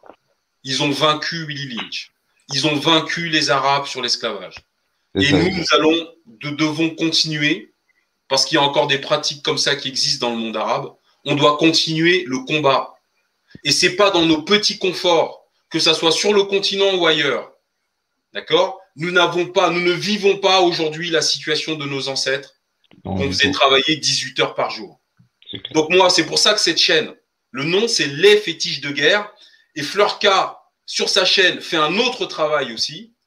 D'accord? On ne vient pas ici parce qu'on a fait dans son pantalon. On vient ici parce qu'on a envie d'être conscient et participer au combat. Essayer d'être digne des nôtres. Eh oui, nous, on n'a pas à affronter, on ne bosse pas 18 heures par jour, sans salaire, sans rien. Mais on peut quand même se montrer positif et digne du combat que nos anciens ont livré que de venir accuser le monde noir, les noirs, les trucs, les machins. Et oui, c'est vrai que c'est pas toujours facile, ok. Mais nous devons d'abord lutter contre notre propre ignorance et peut-être, comme le dit Charles Roseman, la détestation que peut-être, à l'insu de notre plein gré, nous avons de nous-mêmes. Posez-vous la question, est-ce que vous n'avez pas une haine de vous-même?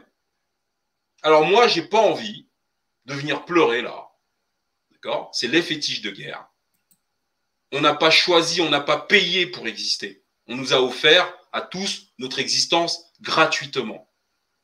La valeur d'une femme, d'une mère ou d'une fille, pardon, j'aime pas utiliser ce mot femme, et la valeur d'un homme, nous devons choisir comment nous allons mourir. Moi, j'ai envie de mourir en combattant pour les miens. Pas en allant, machin, ça m'intéresse pas. Donc, c'est qu'est-ce qu'on fait, nous, de notre vie, là? Il n'y aura pas de deuxième mi-temps. Est-ce qu'on va continuer à se montrer du doigt? Ou est-ce qu'on va étudier, comprendre et faire en sorte que nos enfants soient encore mieux armés que nous, nous l'avons été pour affronter ce monde de, sociopathes occidentaux C'est ça, c'est ça le truc.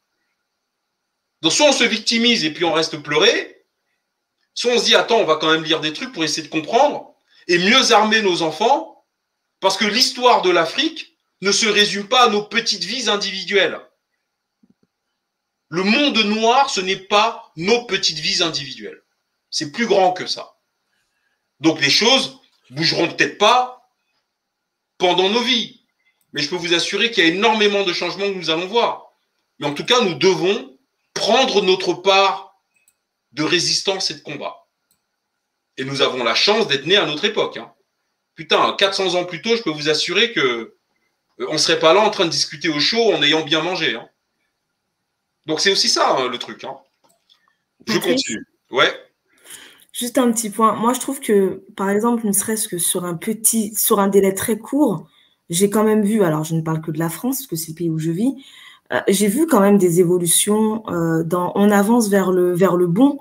C'est peut-être qu'un détail, et moi, il y a 15 ans, euh, il y a 10-15 ans, quand j'ai commencé à, regarder des chaînes de, de, femmes qui portaient leurs cheveux naturels, c'est juste un détail, combien de, jeunes femmes noires portaient leurs cheveux naturels? Très peu. Aujourd'hui, dans la rue, on est nombreuses à arborer nos cheveux naturels. C'est juste un exemple que je donne pour dire que si, en fait, même si sous une courte échelle, les choses, elles avancent, en fait. Mais après, on ne s'en rend pas compte dans notre quotidien, mais ça avance. Bah oui, bien sûr. Totalement. Alors, on poursuit la lecture de ce document. Je vais revenir sur le dernier paragraphe. Ces violences du passé nous font toujours redouter de mal faire, nous conduisent à nous effacer au profit des autres ou à nous soumettre à ceux qui nous effraient. Florca, c'est ça, non? Là, on est en plein dedans, fétiche. Hein? Parce que alors là, on est en plein dans notre situation, là. Oui, à ceux qui nous effraient. Oui. C'est vraiment le terme, nous font peur, nous C'est ça. Ils nous font peur, c'est pas, j'allais dire pas vraiment.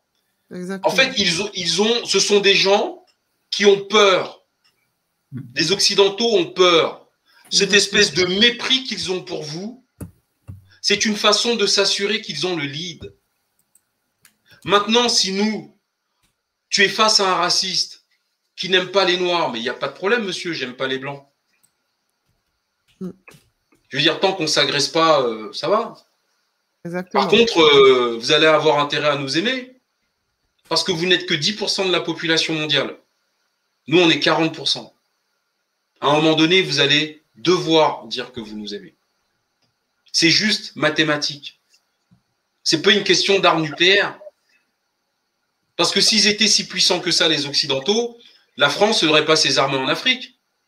Il n'y aurait pas 9000 suicides par an en France. Il n'y aurait pas 130 000 ou 140 000 suicides aux États-Unis chaque année, dont 80% des suicidés sont des Blancs.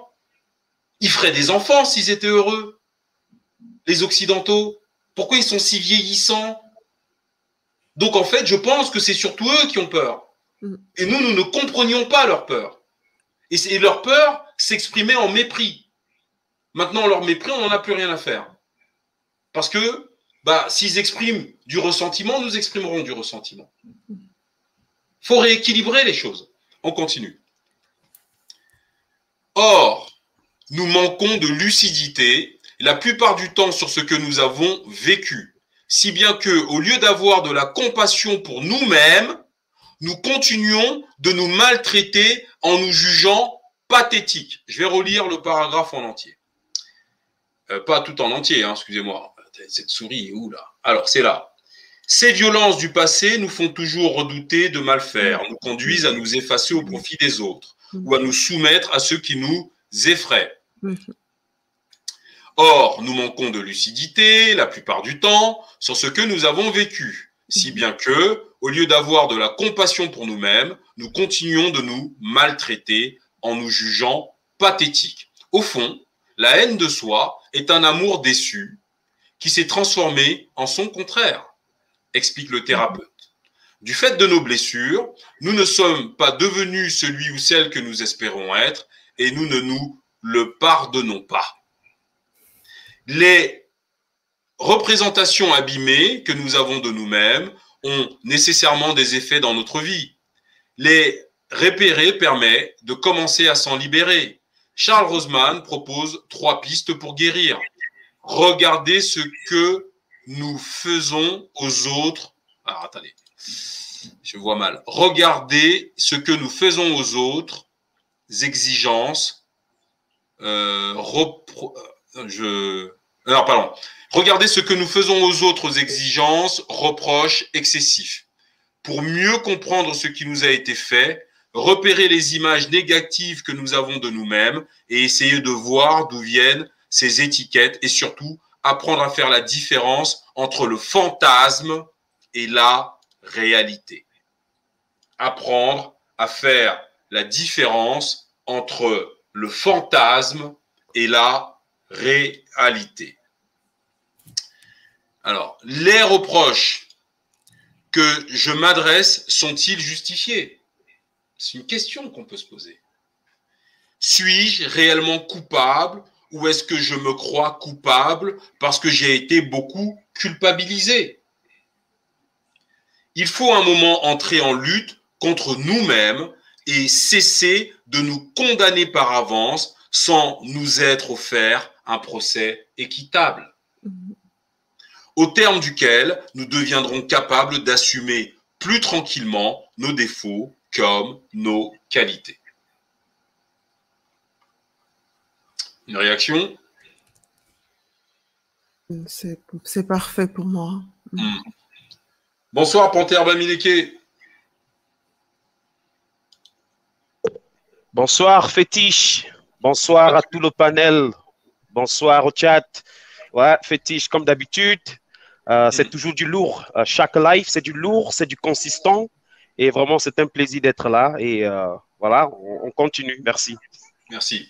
Alors, dans nos relations, la reproduction de la violence la difficulté à créer de l'intimité, tant que nous n'avons pas conscience de ce qui nous a été fait, nous risquons à notre tour, sans le voir, d'abandonner, de culpabiliser, de maltraiter ou d'humilier notre conjoint, nos enfants, nos collègues de travail, etc.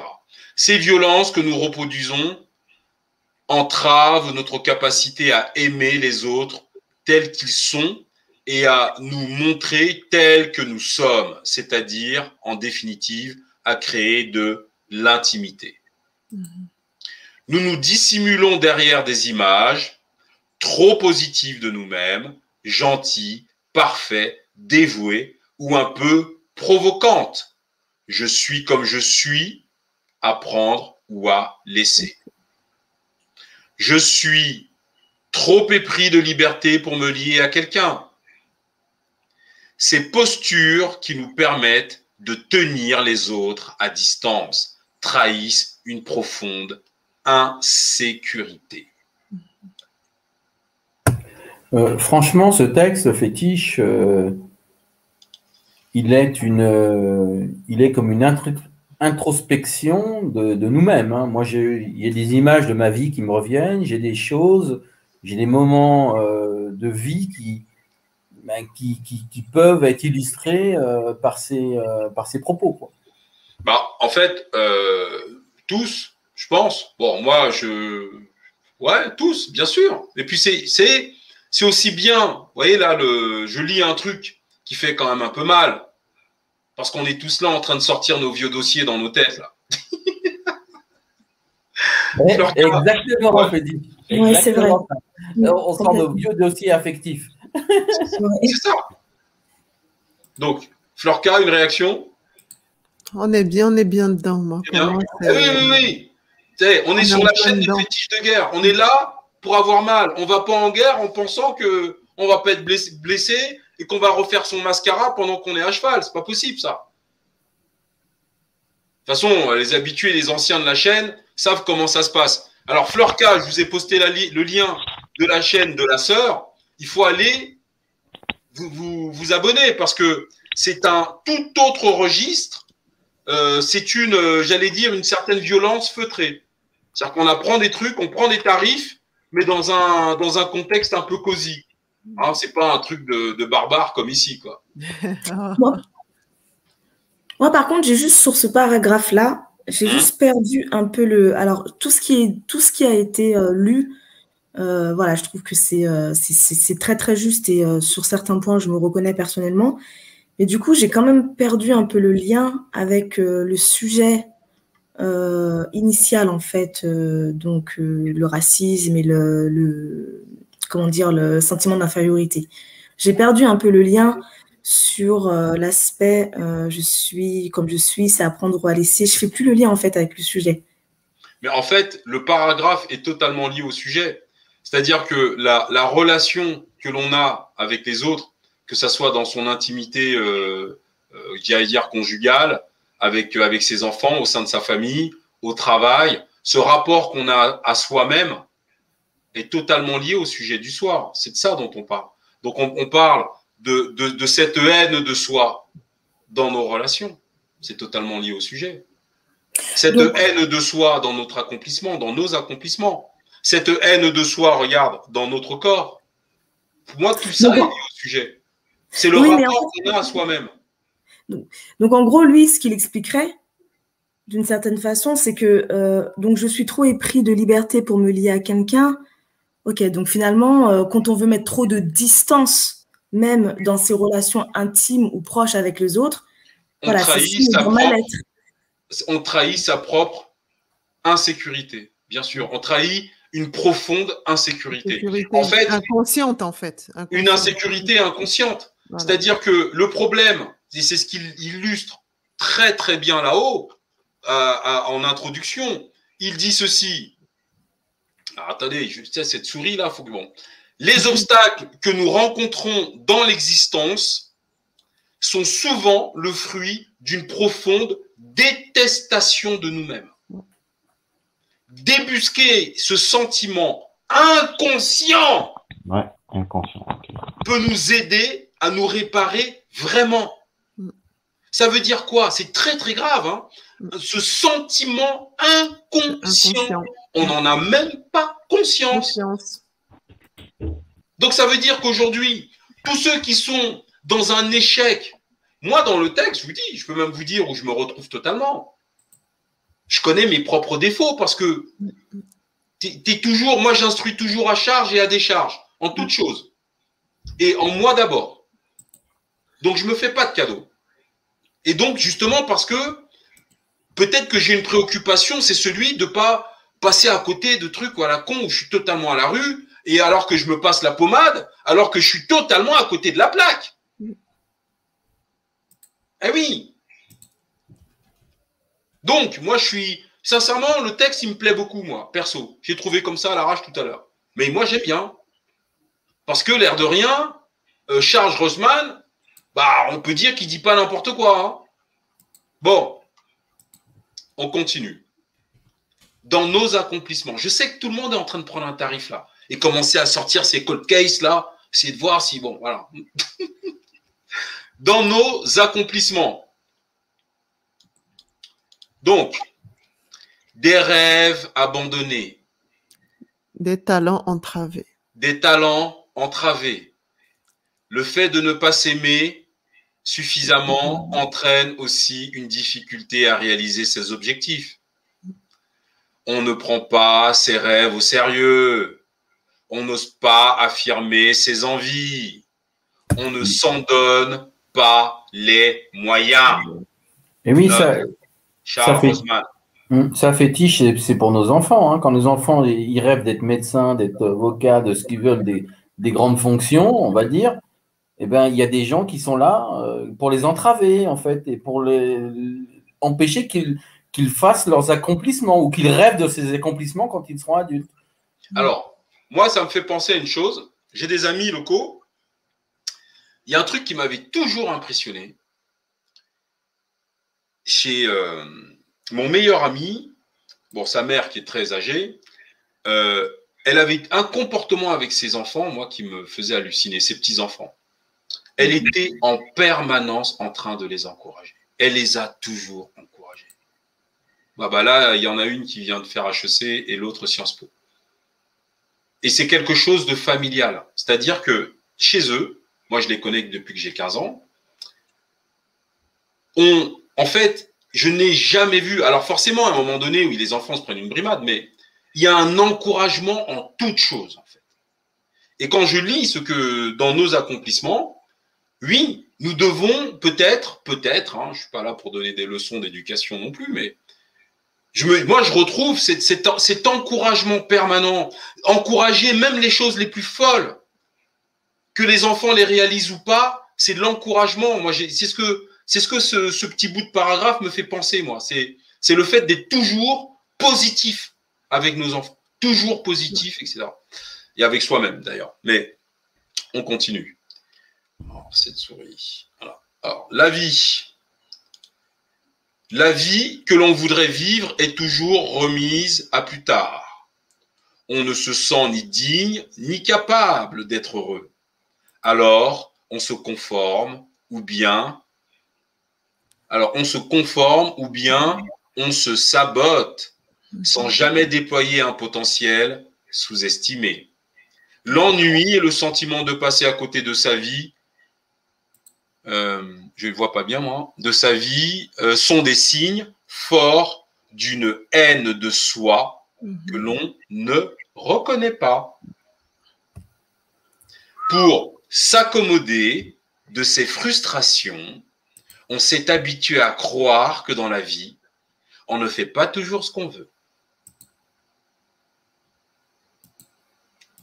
Pop, pop, pop, pop, pop, pop, pop. Panthère une intervention? Ouais, fétiche, je ne sais pas où commencer hein, parce que euh, quand tu m'as envoyé ce document sur le Telegram, je ne savais pas de quoi il s'agissait. Je l'ai lu et je me suis dit, mais attends un instant là, qu'est-ce que Fétiche essaye de me dire là? Parce que je me retrouvais à l'intérieur, quoi, des, choses que j'ai vécues, des mm. expériences que j'ai vécues. Et je mm. me suis dit, mais euh, qu'est-ce que Fétiche est en train de. J'ai même voulu t'appeler, hein, parce que tu étais déjà en live, quoi, pour te demander que, mais Fétiche, est-ce que j'ai fait quelque chose? Est-ce que j'ai un problème? Qu'est-ce que tu essayes de me dire là? Donc, euh, je me suis senti vraiment concerné. Et euh, je recommande à tout le monde de lire ce document. Il est très important. Et, là, ça va nous permettre d'avoir euh, une rétrospective euh, sur notre propre euh, personnalité. Mm. Donc, voilà, voilà, c'est ça un peu fétiche. Merci. Ok. Dina Noir. typiquement, ce, paragraphe, là, en deux secondes, me concernant, puisque je vais parler de, pour une fois de ma vie personnelle, ben, je peux te dire que ce paragraphe, il a été, il a été complètement valide pour moi jusqu'à temps que j'arrête de travailler. Et depuis que maintenant j'ai ma société euh, dans le monde du sport sans, sans j'allais dire, euh, entre guillemets, euh, objectifs démesurés ou quoi que ce soit, hmm. ben, je me sens plutôt maintenant dans un accomplissement réussi. Alors qu'avant, j'étais dans un accomplissement entravé. C'est ça. C'est ça. Donc, donc je pense que tout ça, ça va servir hein, pour nos frères et sœurs, là, Fétiche. Franchement, tu fais un, il est beau ce texte. Je sais pas où tu l'as dégoté, mais il est bien. Attends, on est sur la chaîne des fétiches de guerre. Je suis un voleur de poules. Mais attends, je veux dire, hein, c'est pas une activité donnée à tout le monde quand même. Alors, Dina Noire, grande sœur ou petite sœur, je sais plus. Non, tu es grande sœur d'un euh, grand frère, pardon. Voilà. Dans trois semaines, j'aurai 44. Toi, tu dis tout Ah ouais, donc je suis, je suis grand frère. Eh, Dina Noir, c'est une grande sœur. Hein. Donc, le grand Dina Noir. Donc, comme moi, j'en ai deux de plus. Alors, Dina Noir, petite sœur. Et grande sœur pour moi. Grande sœur pour moi.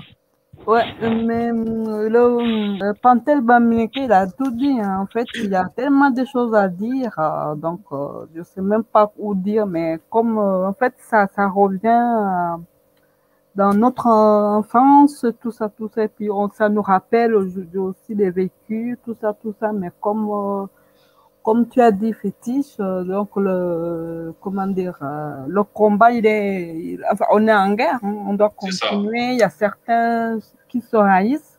Il y a la semaine passée, j'ai vu même une vidéo, j'ai pas envie qu'il y ait des problèmes sur YouTube, une fille qui disait que qu'elle détestait sa, sa peau noire. Donc, euh, enfin. Non, mais attends, moi, attends, attends. Ma soeur, tu peux citer tout ce que tu veux citer. Ici, il n'y a, aucun, a aucun problème. Bon, tu peux à la limite ne pas le faire par égard pour faire cas. C'est pas comme chez moi. Hein. Moi, c'est le contraire. Ici, tu peux. non, ici, tu peux y aller. Moi, je suis le fétiche de guerre. Donc, de toute façon, mon truc, c'est que s'ils ne sont pas contents, ils vont s'habituer. Ils s'habitueront. Justement. Ouais, ouais. C'est clair. Moi, j'en ai, mais alors, mais sincèrement. tu es un peu dur. Des... Ah non, attends, ma soeur. moi, je suis désolé. Je sais. Moi, je sais qui je suis. Je n'ai pas besoin ni d'amitié, ni d'amour, ni de considération, ni de leur détestation. J'en ai rien à carrer. Je suis ici pour soigner mes propres carences. Je n'aurais jamais autant appris Fleurka mm si on ne faisait pas les lives que nous faisons ensemble depuis neuf mois. Exactement. Ben oui, attends. Donc moi, je suis pas là pour qu'on me passe la pommade. Oh. Justement, la véritable, tu peux même vérifier un hein, fétiche sur YouTube. Donc, je déteste, je déteste, enfin, elle commence à prendre conscience, mais, euh, donc, oui, mais euh, enfin, il y a certains. Elle va, elle va bosser. Les, il y a beaucoup de frères sur YouTube et de sœurs mhm, mhm. qui ont qui devrait prendre rendez-vous avec Charles Rosman. Ah, je te jure. Hein. Sincèrement, c'est clair. tu vois, même le frère Chancho, là, il devrait y aller. Ça, c'est un excellent thérapeute pour lui. Oh. Ah, pardon, excuse-moi, Fleurka. non, mais voilà. Oh. Je vais, dire. Euh, non, non, non, non, la euh, fétiche. La hmm. chanchonite, ça ne se soigne pas. Hein.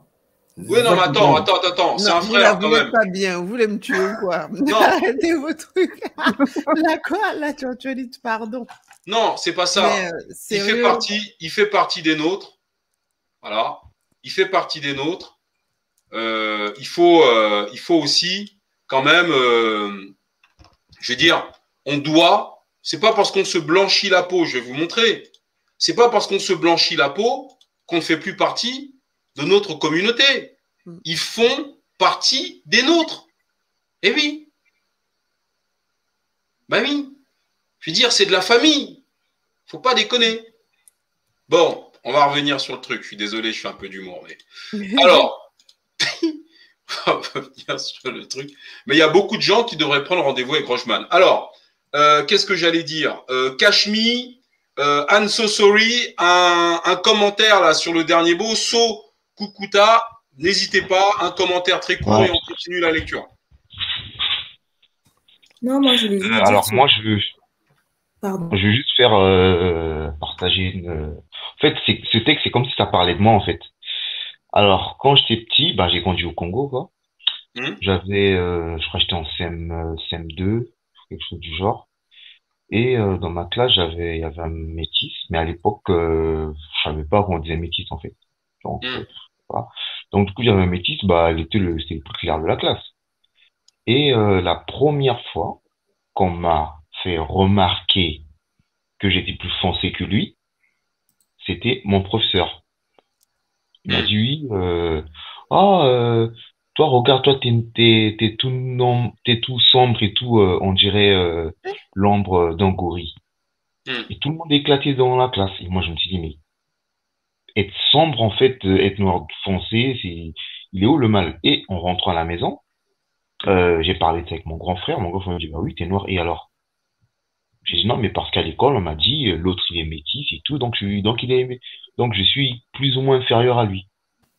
Et ce truc-là, ça m'a suivi, mais jusqu'à jusqu'à l'âge adulte, quoi. Ouais.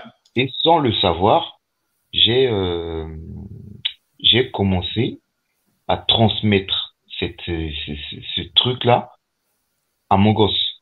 Mais Mhm. vraiment tout jeune. En fait, je poussais mon gosse à ne pas. Ça, c'est avant que bah, je me désaliène. Là, c'est quand j'étais encore totalement aliéné. hein. Donc, euh, Mhm. mon gosse avait quoi? Peut-être aller 5, 4, 5 ans. Donc, j'achetais des, mon gosse que des, que des poupées blancs, des trucs que, donc, en fait, je coupais mon gosse de, de, de mon côté euh, africain. Et euh, je crois que c'est en 2012 que j'ai eu le déclic Mhm. de me décliner, mais jusqu'à présent. Et mon gosse, bah, c'est comme si euh, il n'a, en fait, c'est comme s'il n'a rien su- euh, subi, quoi, en fait. En gros, bah, vu qu'il est petit, bah, ça l'a aussi lavé le cerveau et bah, tout est revenu à la normale, quoi. Mhm. C'est Ouais. violent, ça, la haine de soi. Bah, putain, c'est, bah, tu vois, on, on est, on est totalement dans le, dans le sujet, dans le sujet du soir. Donc ça, ça a quand même un impact sur nous, quoi. C'est pas, c'est pas neutre le truc. On est bien d'accord. Et dès l'enfance, tu euh, le, le truc, c'est que si dès l'enfance tu conditionnes, enfin, t'es conditionné comme ça, c'est que la petite graine qu'on te sème en fait. Oui, c'est ça. Et tu restes, tu restes comme ça. Et pour les femmes noires, c'est la même chose, hein, parce que quand tu remontes, surtout concernant les histoires de dépigmentation et tout ça, beaucoup parlent, il y a effectivement le, le colorisme, on parle aussi de, des hommes noirs, de certains hommes noirs, hein, comme on dit, il faut pas essentialiser, donc de catégories d'hommes noirs qui préfèrent des femmes plus claires. Ben, c'est aussi parce que eux ils sont malades, hein, puisque voilà, il faut, il faut y revenir. C'est que quelque part il y, a- il y a aussi ce problème là chez eux, parce que le problème, les complexes, euh, tout ça, ce n'est pas spécif- spécialement réservé aux femmes, les noirs aussi. Donc ce type de complexe se manifeste chez eux à travers leur goût, justement pour les femmes plus claires. Ce n'est pas le fait, attention, je précise, ce n'est pas le fait d'aimer une femme claire qui est un problème. Quand un, quand t'es un homme, selon moi, euh, tu as le droit d'aimer celle que tu veux, encore heureux, qu'elle soit jaune et tout, c'est pas ça le problème. Mais à partir qu'elle soit jaune, verte, blanche, enfin, ça, ça, on s'en fiche un petit peu. Mais à partir du moment où tu considères qu'une femme est plus belle parce que son teint est plus clair, Mhm. moi, c'est là que tu, tu me poses problème, en fait. Et c'est là qu'on parle justement de hiérarchisation et on parle de colorisme. Donc, ces hommes-là qui sont coloristes, justement, ben, courent plus vers les femmes plus claires et du coup, les femmes au teint plus foncé se sentent exclues. Et c'est ce qui emmène justement ce phénomène de dépigmentation. Outre ça, deuxième cas, certaines femmes noires parlent aussi de trauma euh, qui remontent à l'enfance. Il y a des blessures d'enfance. Euh, quand tu vois dans des familles, par exemple, où on fait des photos euh, et qu'on met la fille la plus foncée derrière et on met la fille, les filles les plus claires devant, parce qu'elles sont plus jolies à regarder, selon les photographes. Ou ce, ce sont des traumas, en fait. Donc, la fille foncée qui grandit, euh, elle grandit déjà avec une mauvaise image d'elle-même, parce que toute petite, euh, on la mettait derrière. Quand il y a des mariages ou des cérémonies ou des grands baptêmes, vous savez, comme ça se fait chez nous, là, euh, au pays, ce ne sont pas des filles qu'on met devant parce qu'elles sont foncées. C'est juste pour expliquer que c'est vraiment très, très, très profond. C'est pas une histoire de parce que je vois souvent dans les campagnes qu'on fait, euh, on dit oui, arrêtez d'utiliser les produits éclaircissants, vous allez mourir du cancer. Oui, mais et alors? C'est pas ce qui va régler le problème. C'est un peu comme si tu montres un, c'est comme ce qu'on fait avec les fumeurs. On monte le paquet de cigarettes, on dit bien fumez-tu, mais ça n'empêche que le fumeur il achète. C'est la même chose avec les produits éclaircissants en fait. Elles savent que c'est dangereux, mais c'est pas ça. C'est que c'est vraiment dans la tête, c'est très profond. Mais Fleur, si je peux me permettre, tout à l'heure, quand je, quand je me suis exprimée en disant que, que nous conservions ou que nous alimentions, je sais plus comment j'ai précisé, euh, justement, c'est ça que, j'ai- que je voulais expliquer tout J'ai à l'heure. compris que tu voulais en venir là. hein. C'est pour Voilà. ça que j'ai bien compris. C'est par rapport à ces petits comportements-là. Mais ce que moi, je, je voulais souligner, c'est que quand on donne des exemples comme ça, en fait, il faut les replacer dans les contextes. Tu vois. Je- Voilà, c'était pas une attaque, tu vois. C'est vraiment qu'il faut les replacer dans le contexte. Parce que le risque, avec le, le- le discours hein, qui était juste, hein, c'est juste que parfois, il ne s'appliquait pas au contexte donné. Le risque, en fait, avec ton discours, parfois, c'est que il peut être récupéré. Tu vois, il peut être récupéré ben, à des fins ben, qui ne sont pas celles que voilà. C'est pour ça qu'il faut faire très attention quand tu rentres dans ces discours-là, parce qu'on se doit d'être tranché. Et Fétiche le dit tout le temps, la guerre, elle est aussi médiatique. Donc, on ne peut pas, euh, sur certains cas, surtout relatifs au, colorisme ou à la dépigmentation, faire de la, Mais en fait, approximatif. Je comprends. Exactement, c'est ça. Moi, Alors, juste... ce pas approximatif, c'est qu'en plus de ça, si tu veux, quand la sœur te dit qu'il faut que tu fasses attention à, au terme et à, ta façon d'exprimer ce que tu as exprimé, fais attention que ça ne soit pas réutilisé contre nous-mêmes. Exactement. Premièrement. Deuxièmement, moi, tout le monde le sait ici, il n'y a pas plus con que moi. Donc, je n'ai pas tous les neurones qui connectent, moi. Hein. Mhm. Tu vois, je prends le truc de brut de béton. Donc, moi, ça passait pas du tout. Du tout, du tout. Donc, il faut vraiment faire attention à, à la sémantique. Il faut, faut que tu exprimes la chose, mais moi, je dois trouver de la compassion, pas du mépris pour l'Afrique et les Africains. Non, ben, je veux dire, je veux dire, euh, si j'avais dû, enfin. Non, mais je dis pas que c'était le cas, c'est-à-dire que, tu vois, je dis pas que c'était ce que tu as exprimé, mais il faut, parce que la manière dont tu as dit, moi, honnêtement, je l'ai pris au premier degré. Hein. J'ai pas la subtilité de la sœur Fleurka, moi. Moi, j'ai compris où elle voulait en venir, mais j'essayais de lui Mm. montrer que c'était dans l'expression, tu vois, que mm, mm. qu'elle ne percute pas, parce que c'est très vite récupéré, sorti du contexte, tu vois. sorti, du, contexte, ce que, tu as dit. Voilà, on est dans une guerre médiatique, hein, voilà, c'est une guerre de communication, donc il faut. C'est ça. ce que tu as dit tout à l'heure, sorti du. Ouais, voilà. Sorti du contexte, euh, ma petite sœur, ce que tu as dit tout à l'heure, il n'y a rien de plus horrible pour l'homme ou la femme noire.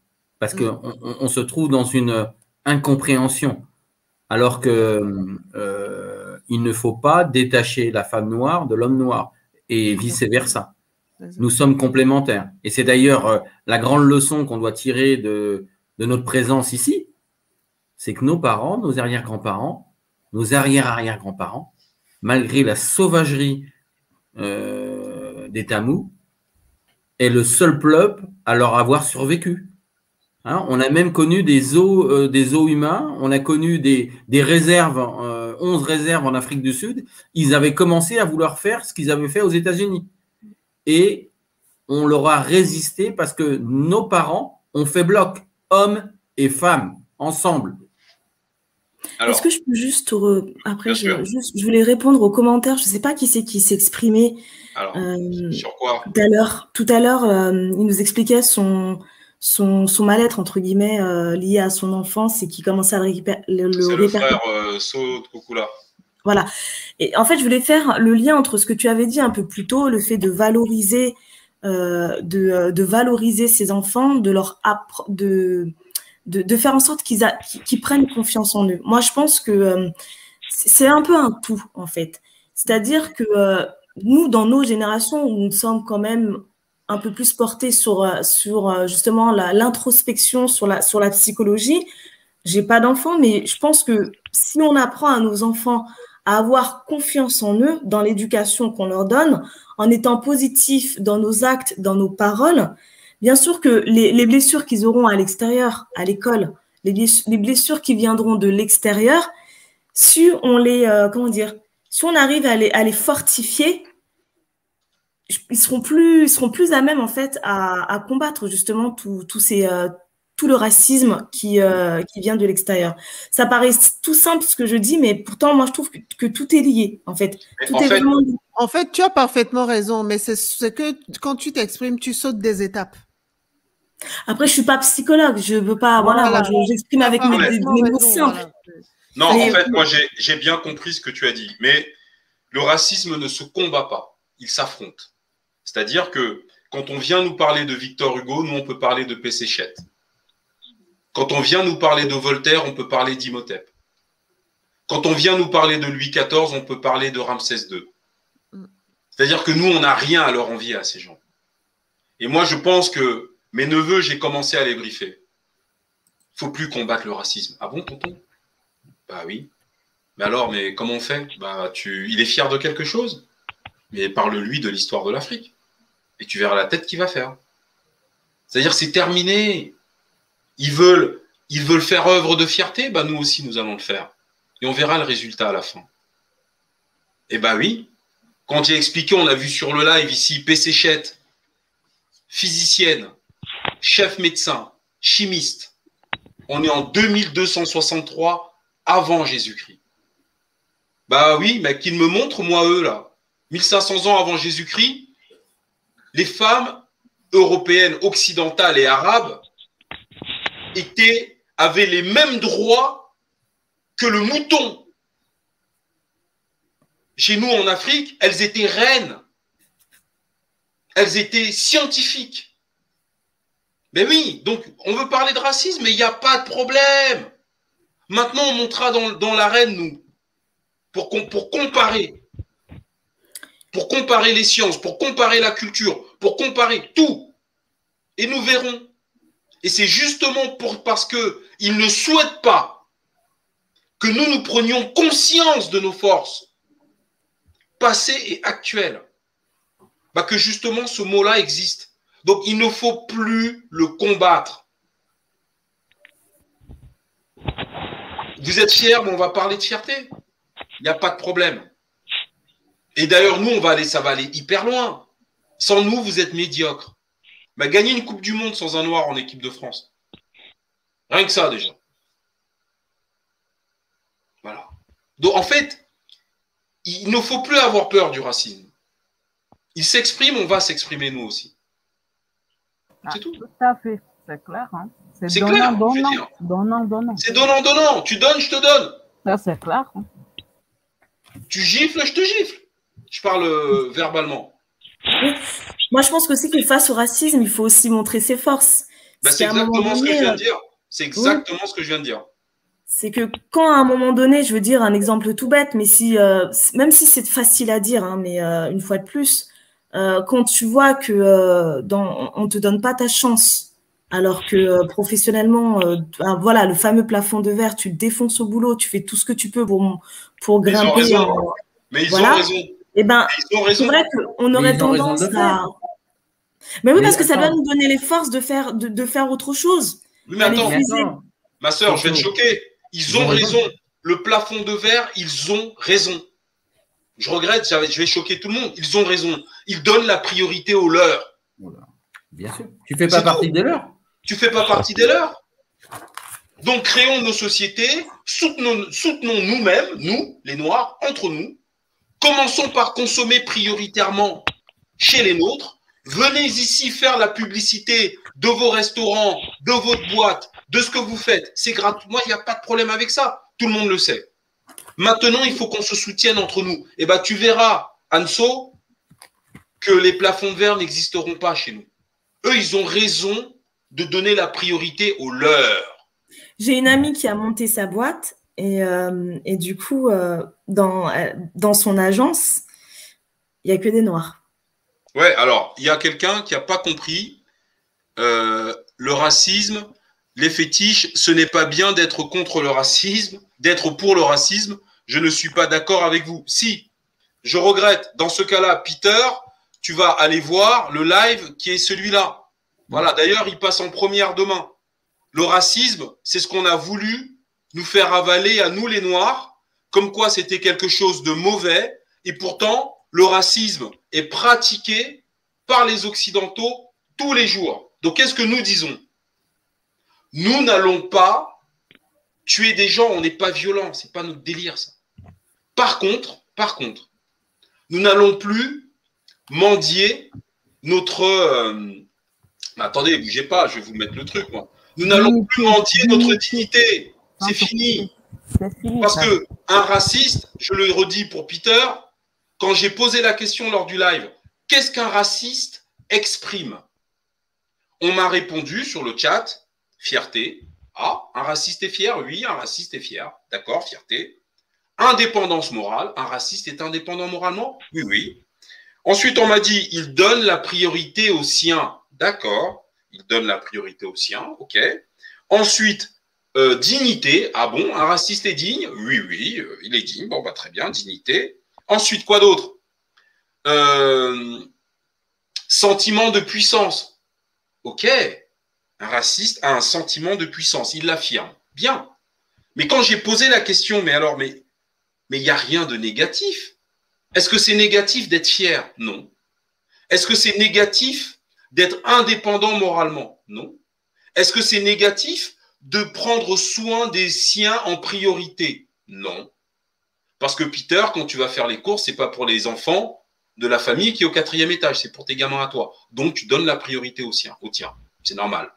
Ensuite, on m'a dit que les racistes font preuve de dignité. Bah, très bien. Moi, je respecte ça. Les racistes font œuvre de puissance. Chapeau, les gars. Mais alors, nous, les Noirs, on veut donc, par le racisme, nous empêcher d'être fiers de nous, de ce que nous sommes, d'être dignes de ce, que nous, de, ce que nous sommes au présent et de notre histoire. On nous empêche, par le racisme, par l'antiracisme, d'être indépendants moralement, donc d'être soumis moralement. Voilà. Et on nous empêche de donner la priorité aux nôtres.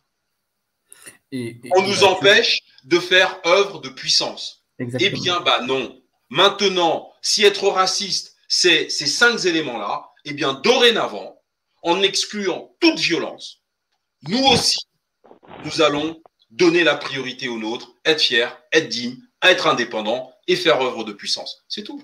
Voilà. Il a pas. Euh, on tombera plus dans ces pièges sémantiques là. C'est bon, on nous a roulé pendant 150 ans avec ça. Euh, on est le seul peuple du monde qui devant aller mendier notre fierté auprès des autres. C'est terminé. Oui, fétiche, il y a peut-être une chose à rajouter, c'est que cette stratégie de l'antiracisme et, et, du racisme, finalement, a permis à des gens qui ne représentent même pas 10% de la population mondiale de tétaniser, ben d'endormir, d'annihiler et de dominer spirituellement, économiquement, ainsi de suite. Les autres. 7 euh, milliards d'êtres humains. Alors, Peter, le lien pour intervenir sur le panel est là, tu, interviens. Mais la question, le problème du racisme, et j'en finirai là, on va revenir au texte.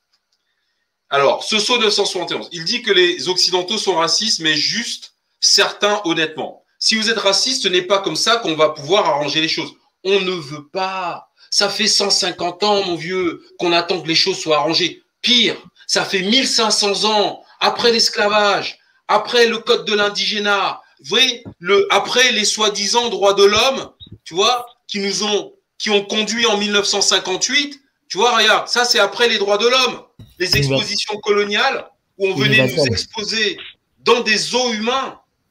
Déclaration en Afrique, ça. Comment? Déclaration, universelle, universelle. Déclaration universelle des droits de l'homme. Lequel? Probablement blanc. Parce que sinon, on ne nous aurait pas traités comme ça. Voilà. Voyez Et je vais enlever le, le, bandeau bleu, vous allez voir. voyez Ici, village sénégalais et dahoméen, Bénin, troupe de 160 indigènes. On allait nous chercher de force en Afrique pour qu'on vienne faire le cirque en Europe et les mecs se faisaient de l'argent sur l'exploitation de nos ancêtres. Hmm. C'est pas du racisme, ça? Peut-être que Peter s'inquiète du fait que la déclinaison du mot raciste a, quelque chose qui a engendré de la violence, du mépris, et, chez les Tamous. Mais chez nous, il n'y a rien de ça. Ça, ça n'engendrera jamais de violence, le, jamais de mépris. Voilà. C'est clair et net. cest le but pour nous, c'est d'être ni violent, ni méprisant. Par contre, notre fierté, on n'a pas à la quémander. Notre dignité, on n'a pas à la quémander. Notre indépendance, on n'a pas à la quémander non plus. D'accord? Et le, la puissance que nous représentons en tant que peuple, nous n'avons pas non plus à la quémander. Voilà, on est en 1958 à Bruxelles. C'est quoi ça? 1958. Donc, je veux dire, l'antiracisme, c'est bon.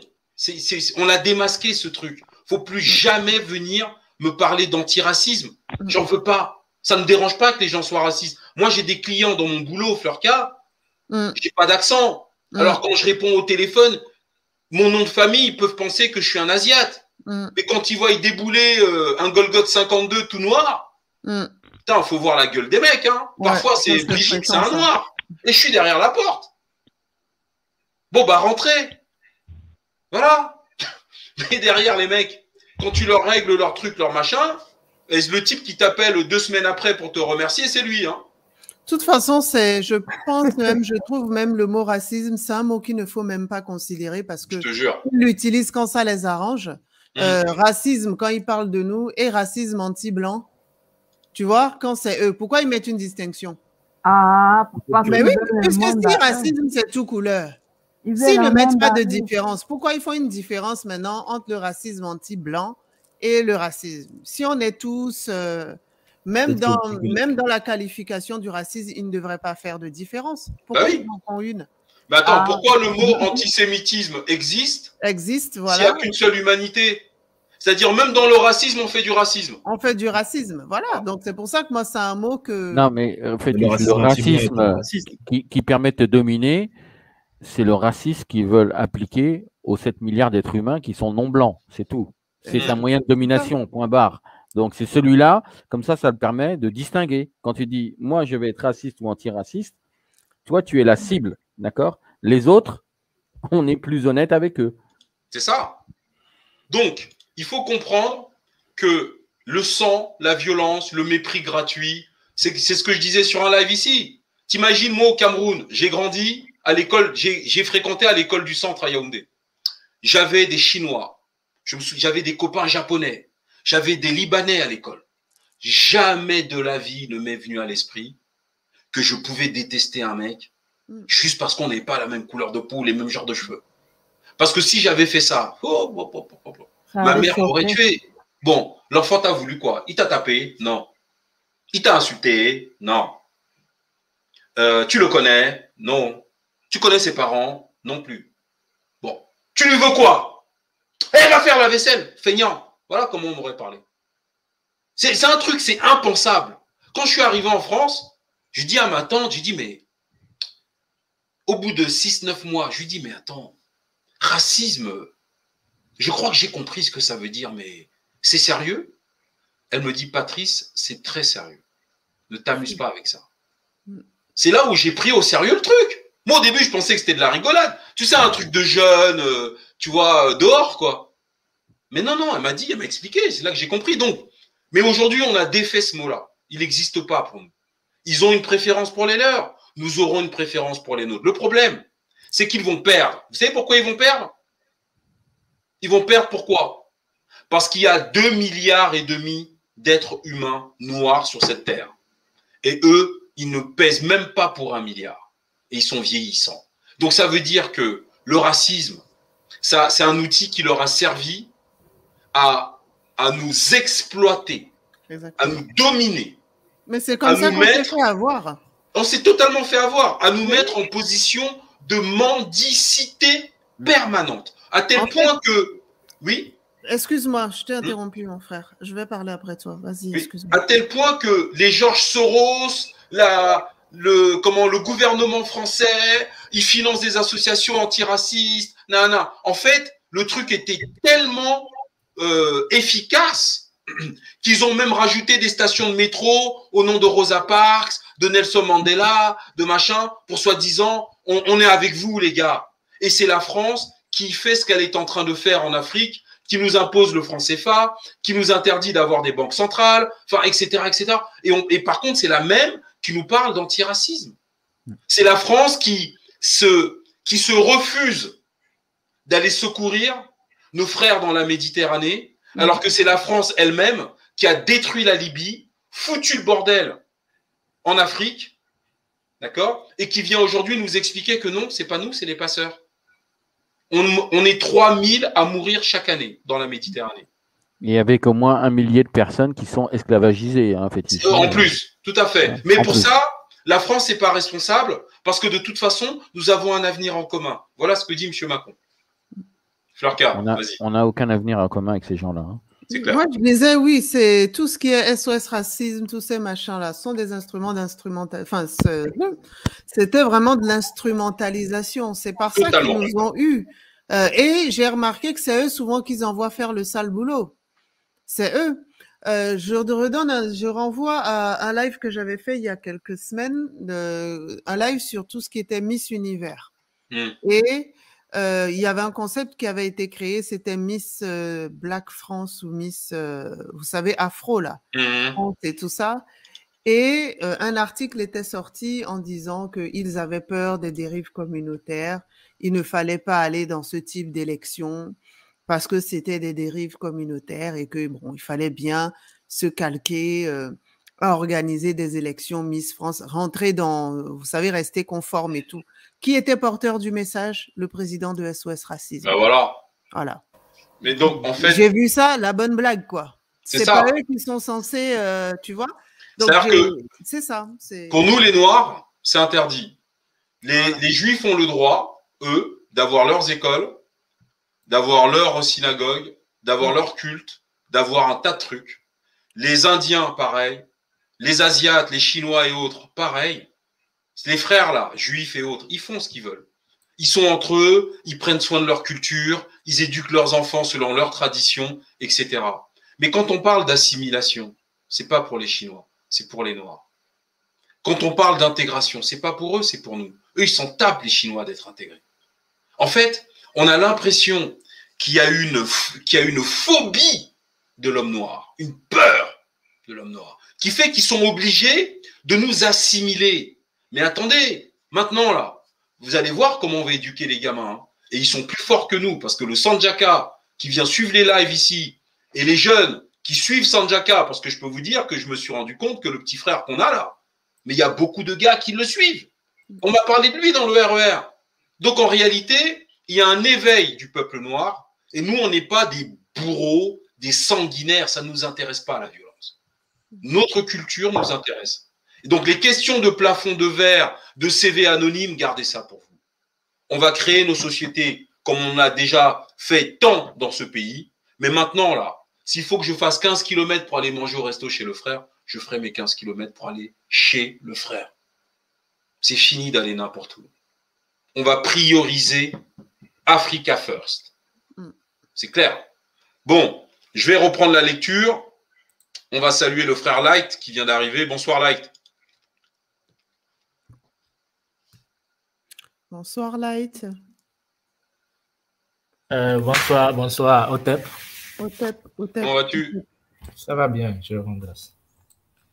bonsoir Light. Bonsoir à toute la famille. Bonsoir. Merci pour le débat. Ah, tu connais la chaîne Light? Ah, vraiment. du courage pour euh, avoir convaincu, euh, j'ai oublié le nom, celui qui vient de, de poster. Euh, Peter. Peter, là, voilà. Mais Peter, il fait son boulot. Il est stagiaire dans un truc euh, gouvernemental. Bon, il vient là, on lui demande de suivre les fétiches de guerre et de faire son rapport demain. il fait son boulot. Mais le ah. truc, c'est que le truc, c'est qu'on n'est plus dupe. Plus aucun noir n'ira lutter contre le racisme. Le frère Ponter va faire le boulot aux États-Unis, on va faire le boulot partout. On va sortir de ce piège de merde.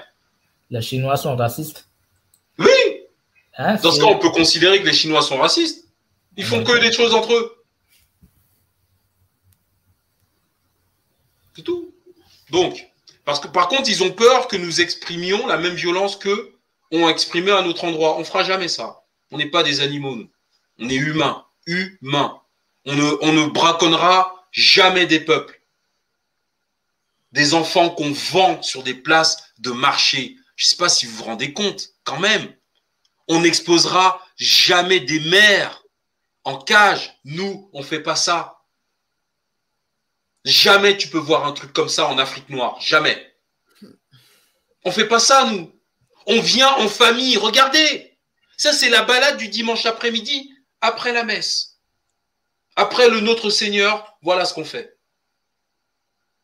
Et imaginez comment psychiquement ça détruit les personnes qui sont là. Toute l'Europe est psychiquement détruite à cause de ce genre de, comportement. Ça détruit ton humanité. Tu mets pas des êtres humains en cage. Et ensuite, tu viens, 40 euh, ans après, nous parler d'antiracisme. Ça n'a aucun sens. Franchement.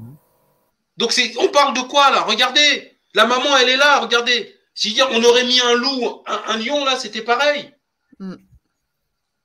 Donc, on parle de quoi? Enfin, je sais pas si, je sais pas si les, je sais pas si Merde, il devrait lire ce qu'on vient de lire, quoi.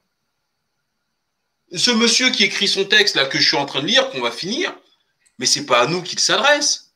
Regardez, l'enfant, imaginez aujourd'hui en 2021, vous volez un enfant blanc, vous l'emmenez dans un village, vous la mettez dans une cage comme ça, vous faites payer l'entrée.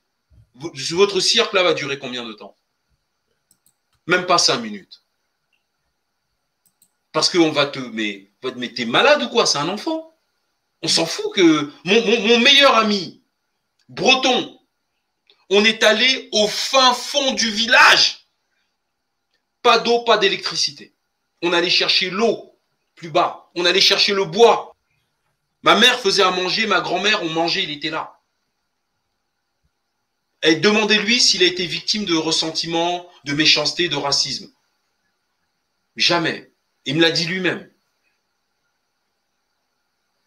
Jamais, parce qu'on est humain. C'est pas parce qu'un être humain a des cheveux différents, une couleur de peau plus claire ou plus sombre. Voilà. Donc ça n'a rien à voir. Mais nous, on ne fait pas ce genre de truc. Comment on vient donner des leçons au monde entier quand on a fait ça Florca Non, mais de toute façon, euh, ils sont à côté de la plaque depuis le début. Donc, euh, ça, c'est ce que je me dis. En fait, ils sont cohérents avec leur, leur bêtise, quoi. Ils continuent. Euh, ils ne font que changer l'enveloppe, en fait. regardez la petite fille. Qu'est-ce qu'elle a demandé, la pauvre? Qu'est-ce qu'elle a demandé? Et sa famille est derrière. Hein. Sa mère, c'est tout le monde est là. Là, on est au pavillon Congo de l'exposition universelle de Bruxelles. Ils ont fait la même chose pour l'inauguration de la Tour Eiffel. Il y avait 400 de nos pères et mères dans des cages à l'exposition universelle où la Tour Eiffel est présentée. 400 comme ça. Hein, qui ici est allé faire son selfie devant la Tour Eiffel? Voilà, c'est le monument d'un pays esclavagiste, construit avec l'argent des colonies, des Noirs. Voilà, voilà, voilà le truc. Après, on vient nous parler de vivre ensemble. Moi, je suis con, mais ça va. Oh, je suis quand même présentable. J'aime tenir, moi. Hein? Bon, continue. On continue. Tout fétiche, euh, c'était pas l'œuvre de, petits commerçants euh, isolés dans leur coin. Hein.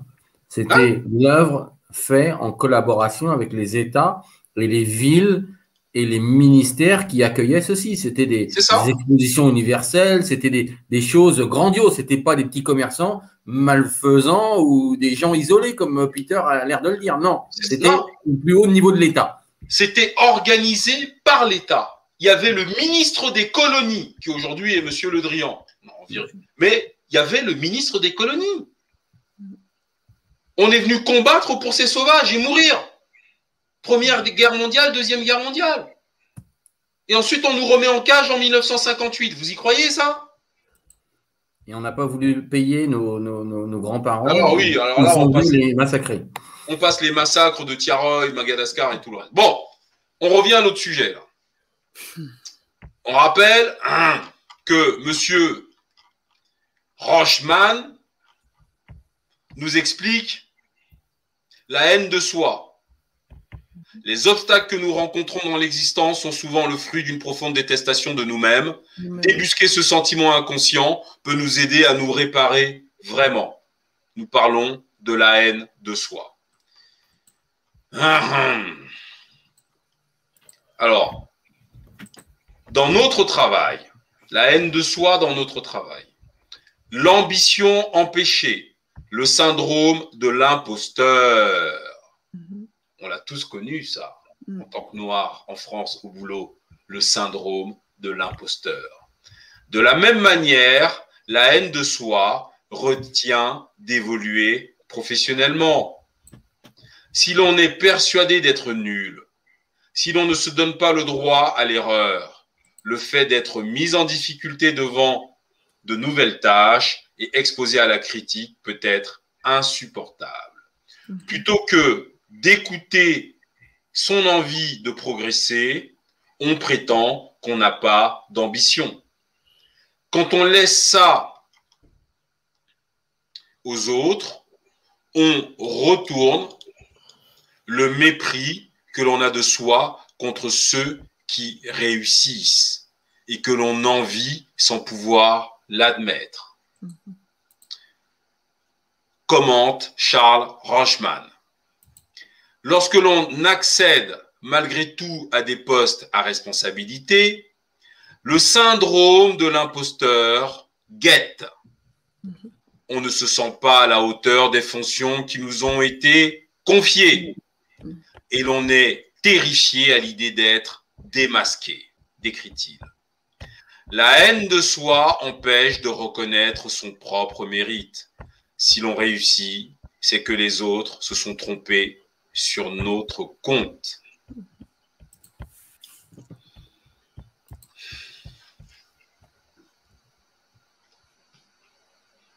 Ouais, Dina Noir euh, Vraiment, je, enfin, je, me calme parce que les mots là, en fait, ça, c'est la, c'est la plupart des, des personnes, des noirs, pas tous, hein, pas tous, mais certains, ils, continuent à le faire donc la jalousie, au lieu d'aider parce qu'il a réussi, il va l'enfoncer ou quoi, ou bien ils veulent même pas l'aider, ils s'en fichent, il faut que tu souffres aussi. Je suis passé par là. Enfin, il y a tellement de, choses. Enfin, il y a tellement de choses, mais c'est pas tout, sérieusement. C'est pas tout. Hmm. Bien, bien, bien. On continue. Alors peut-être s'il y a un autre commentaire, euh, Light, euh, si, n'hésitez pas, hein, c'est un, commentaire très euh, court et je reprends. oui, Panthère. peut-être il faut reprendre fétiche parce que je voulais faire un commentaire là. Non, vas-y, vas-y, fais ton commentaire et je reprends la lecture après. ouais, donc voilà, c'est très intéressant ce que nous sommes en train de lire et beaucoup de choses ont été dites et si je veux rester sur le sujet, en fait, nous semblons souffrir euh, de multiples traumatismes dont nous n'avons pas conscience. Ça. Parmi lesquels, je vais citer le traumatisme, le traumatisme, la haine de soi. Donc, euh, on a parlé dans ce document, euh, il semblerait que nous, nous avons des maladies internes dont nous avons l'ignorance. Nous ignorons que nous avons des maladies internes, tout simplement parce que elles sont masquées. Ces maladies sont masquées et ces maladies ne sont pas exposées, ne sont pas connues. Donc, les conséquences de ces traumatismes génèrent euh, un type de racisme internalisé. Tout à l'heure, la sœur a parlé. Euh,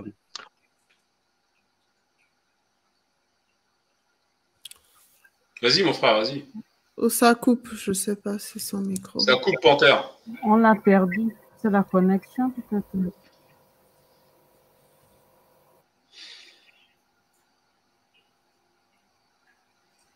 Bon, dès que j'ai mis le bandeau, là, je pense que.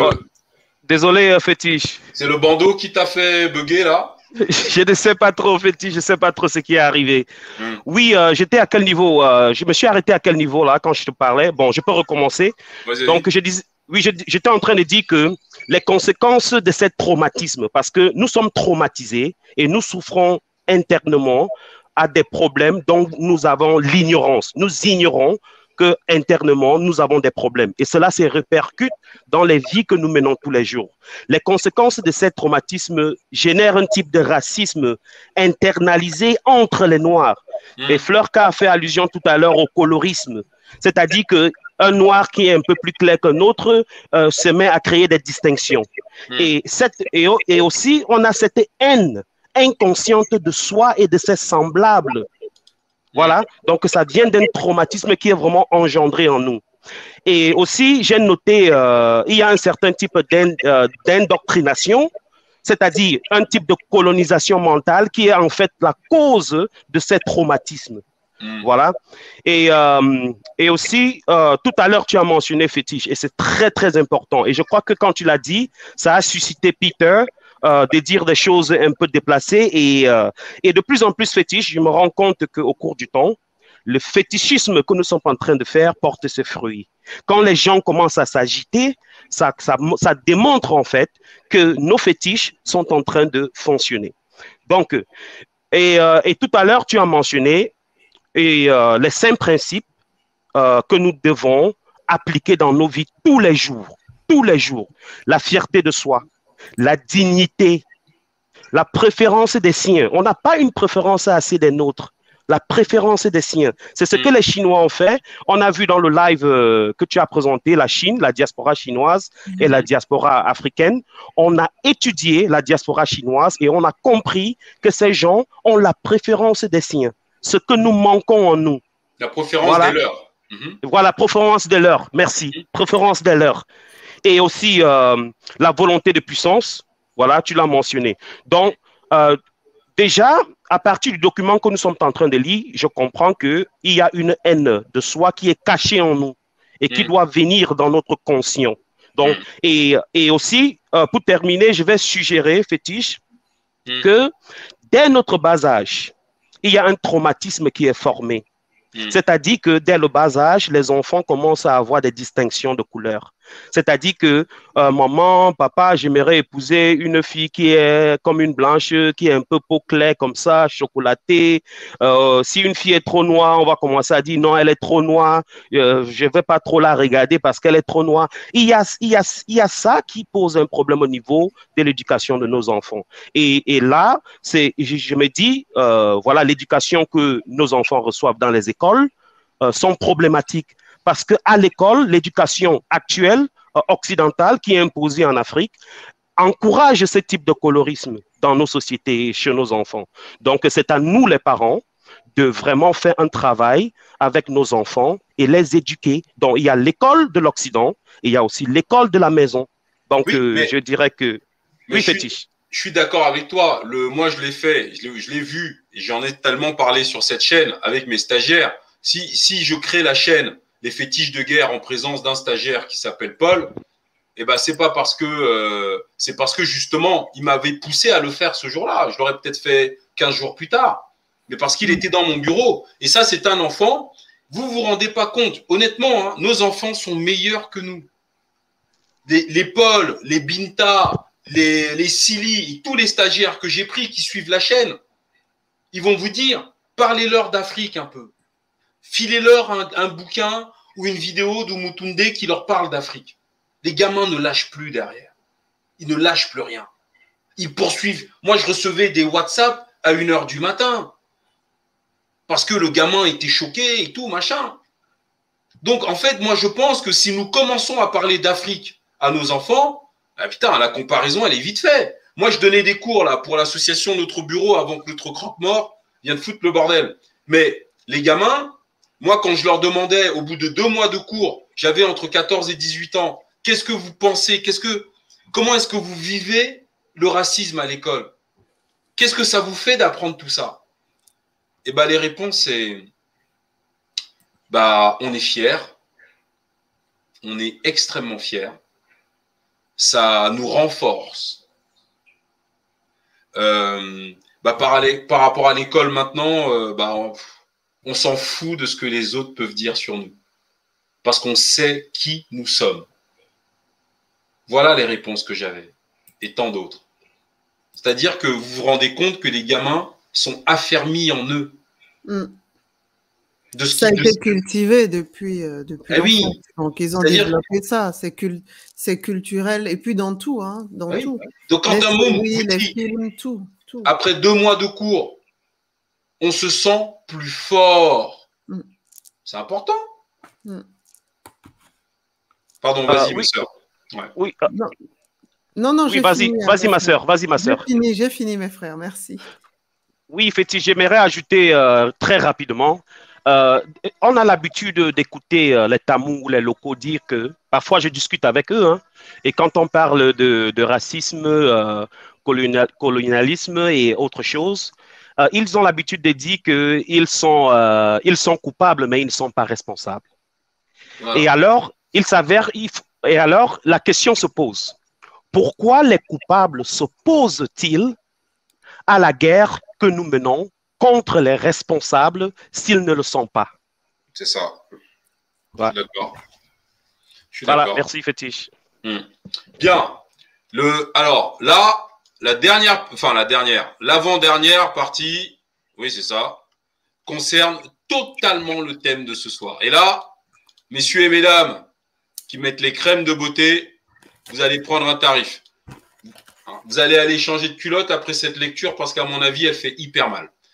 Donc, dans notre corps, une beauté méconnue, ah la haine de soi dans notre corps.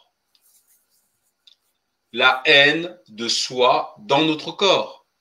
Une beauté méconnue, une santé négligée, la manière dont nous prenons soin de nous est évidemment liée à la valeur que nous nous accordons. Je reprends. D'ailleurs, vous savez ce que je vais faire? Je vais vous mettre la vignette parce que c'est chose que je suis en train de lire. Dans notre corps, la haine de soi dans notre corps, une beauté méconnue, une santé négligée, la manière dont nous prenons soin de nous est évidemment liée à la valeur que nous nous accordons. Je continue. Premier uppercut. Deuxième. Lorsque l'on a été abandonné, on s'abandonne à soi-même. Vêtements informes, chevelure en friche, produits éclaircissants, euh, perruque. Euh, je, je, rajoute, hein, il met pas ça, mais je rajoute. Le fait de ne pouvoir se montrer sans un maquillage chargé ou un look très étudié révèle aussi un manque d'assurance et une réticence à être vu au naturel. naturel. Plus difficile à repérer, la haine de soi transparaît également dans le fait de négliger sa santé. On ne va pas chez le dentiste, chez le gynécologue. On croit mériter les dégradations, la souffrance. On n'ose pas montrer des parties de son corps pour lesquelles on a été culpabilisé. Traduit le thérapeute. Fleurka Je confirme. Tu es d'accord avec ce que nous ah dit bah le thérapeute là? Oui, surtout du domaine de la santé euh, négligée, c'est vraiment ça, la beauté méconnue. On va avoir tendance euh, non seulement à obéir aux dictats euh, sociaux à la pression, justement, à répondre justement à cette fameuse pression. Mais bizarrement, on voit la beauté ailleurs, mais pas chez nous. Mmh. Mmh. C'est-à-dire, c'est pas que les locaux, quoi. Hein. On va, mmh. on va avoir tendance à trouver les filles indiennes plus belles. Les filles, euh, vous, voyez les filles euh, asiatiques plus belles. Elles le sont, elles sont magnifiques, mais on ne va pas avoir dans cet esprit-là à nous voir nous-mêmes, en fait, à, euh, le regard est toujours dirigé euh, vers l'automne. Mais c'est lié encore à la couleur de peau. Parce que je pense que graduellement, on a été vraiment listé à la dernière place, quoi. Quant au, quant au, tu sais, dans leur hiérarchisation là. Oui, dans leur hiérarchisation. Mmh, voilà. Mais, ça, c'est parce que nous aussi, nous leur avons laissé. Exactement. Ce sont des traumas qu'on développe. C'est ça. Mmh. C'est-à-dire qu'ils sont moins de 10% de la population moins de 10%. La France, un tout petit pays à la con, un petit territoire, rien du tout. Putain, on, nous, on est 30 millions de kilomètres carrés, on se fait emmerder par quoi là? Si demain nous décrétons, nous les Noirs, que on boycotte les produits français, il n'y a plus de France. Si en Afrique, dans nos pays, nous décidons qu'on ne va plus faire de plein chez Total, vous croyez qu'ils vont faire quoi les mecs? Ils vont fermer, hein faut pas rêver. Hein Parce que c'est l'économie, c'est l'argent. Donc ne, leur donnez plus votre argent. Vous allez voir. Eh oui. C'est ça le truc. Ils vont dire qu'il y a un sentiment anti-français. La blague, 400 ans d'esclavage. À cette époque-là, en effet, on n'avait pas de sentiment anti-français, selon eux. Exactement. Donc, la blague, on continue. Oui, euh, fétiche. Hum. Désolé s'il y a des bruits là, je suis avec mon petit féticheur là. Il n'a que trois mois. Il n'a que trois mois. Il a hâte à dire quelque chose. bon, euh, sur le, live qu'on a fait sur Mélenchon, mhm. il a employé euh, des termes et je crois que il, y a lieu de, le rappeler. Mhm. Euh, je pense qu'ils ont inculqué leur domination dans nos esprits, mhm. dans nos mœurs, dans nos goûts. Tu vois un peu. Donc, si je me réfère au mot que Mélenchon Ouais, je, vais, a, je tenu. vais- je vais remontrer la vidéo avec Mélenchon. Voilà. La domination est entrée dans nos esprits, nos mœurs, dans nos goûts. Donc, si je me réfère à ces mots et je la projette sur nous, en fait, ils nous ont, ils ont inculqué cette domination dans nos esprits, dans nos mœurs et dans nos goûts, si bien que on se sent plus en sécurité avec eux qu'avec les nôtres. C'est ça. C'est ça. Je suis totalement d'accord avec toi. Donc, on va écouter ce qu'a dit l'affreux. Je crois que c'était à deux heures, deux heures à peu près. On va regarder ça. Tac. Voilà. On va écouter ce qu'on nous dit. Ça, c'est ça, c'est une spéciale dédicace à Peter, hein, qui venait nous dire que ouais, non, c'est pas bien et tout. euh, vous devez pas être fier, euh, digne, indépendant moralement. et tout. Il est même parti, il a fui hein, sans te couper. Il est Non, mais puis- Peter, il- il- ça serait bien qu'il vienne, hein, d'ailleurs. hein. c'est un espion, c'est un espion. Il est là, il, il est là, il nous écoute, il est là. Bon, alors, Peter, tu vois, tu vois là, tu, tu, ça c'est une spéciale dédicace. Et je pense que nous devons entendre ce que le tribun Mélenchon est venu raconter à un pays et à une jeunesse que le pays de Mélenchon affame. Le Burkina Faso en 2019 de mémoire, c'était 60 tonnes d'or qui a 60, disparu du pays. hein. On y va, on écoute le tribun. Anso, c'est pour toi aussi. Il faut entendre ce que nous dit le, le monsieur là. Sûr, maintenant, on va poser la question à propos des assassins de Thomas Sankara. Nous avons déposé, nous venions d'arriver en octobre 2017, une proposition de résolution pour ouvrir toutes les archives sur les assassins de Sankara. Si je suis élu, on vous les livrera. Nous n'avons aucun intérêt à couvrir des crimes. Quel est l'intérêt pour la France? Quel est l'intérêt pour le peuple français? Qu'est-ce que ça lui donne? Qu'est-ce que ça lui rapporte? D'encourager d'autres voyous à dire de toute façon les Français vous tireront toujours d'affaire? Je ne veux pas qu'ils le croient. Je veux que tout le monde se tienne pour dit. Ces méthodes-là appartiennent à un passé non seulement détestable, mais grossier, inutile, qui ne nous mène nulle part. Bon, voilà, c'est dit. Alors voilà, voilà ma réponse sur ce sujet. Les assassins doivent être poursuivis et toutes les archives qui sont nécessaires à la justice burkinabé doivent lui être données. C'est la position des insoumis. Elle n'est pas de circonstance aujourd'hui, elle est depuis le premier jour où nous avons siégé à l'Assemblée nationale et voilà ce que nous avons fait. Après, je trouve pas juste de dire, mais ça vous regarde, hein, vous dites bien ce que vous voulez, la parodie d'indépendance, pardon. Mais vos aînés se sont battus pour l'indépendance. Certains en sont morts. Leur mort n'était pas une parodie, c'était une lutte réelle. Thomas Sankara a continué la lutte. Et la dernière conférence internationale à laquelle il va, il dit s'il n'y a que le Burkina qui refuse de payer la dette, vous ne me reverrez pas l'année prochaine. Il avait raison. Il s'est battu, ce n'était pas une parodie, sa lutte. La lutte est longue. Ne nous, ne nous dépressions pas. Souvent, vous savez, j'ai été dans ma folle jeunesse, je ne sais pas pourquoi on dit folle, j'étais un militant de ce qu'on appelle l'extrême gauche. Eh bien, il y avait une manière de toujours tout décrier, qui était destructrice, qui ne menait nulle part. Alors on dit, ah, François Mitterrand, il n'a pas fait ci, il n'a pas fait ça, etc. D'accord. Il a juste nationalisé le tiers de l'industrie, toutes les banques, supprimé la peine de mort, etc., etc. Mais ça ne compte pas. Alors ici aussi, pareil, on va dire, ça compte pas. La lutte d'indépendance. S'il n'y avait pas eu la lutte d'indépendance et l'indépendance, eh bien, les colons seraient toujours là. Ils ne seraient pas partis en disant, tiens, on a changé d'avis, c'est plus confortable pour nous de nous en aller. Ils seraient toujours là. Les possédants ne vous lâchent jamais. On a continué à faire payer à Haïti le prix des esclaves libérés jusqu'en 1982. C'est le gouvernement d'union de la gauche qui a annulé cette dette. Ils auraient pu y penser avant, en disant.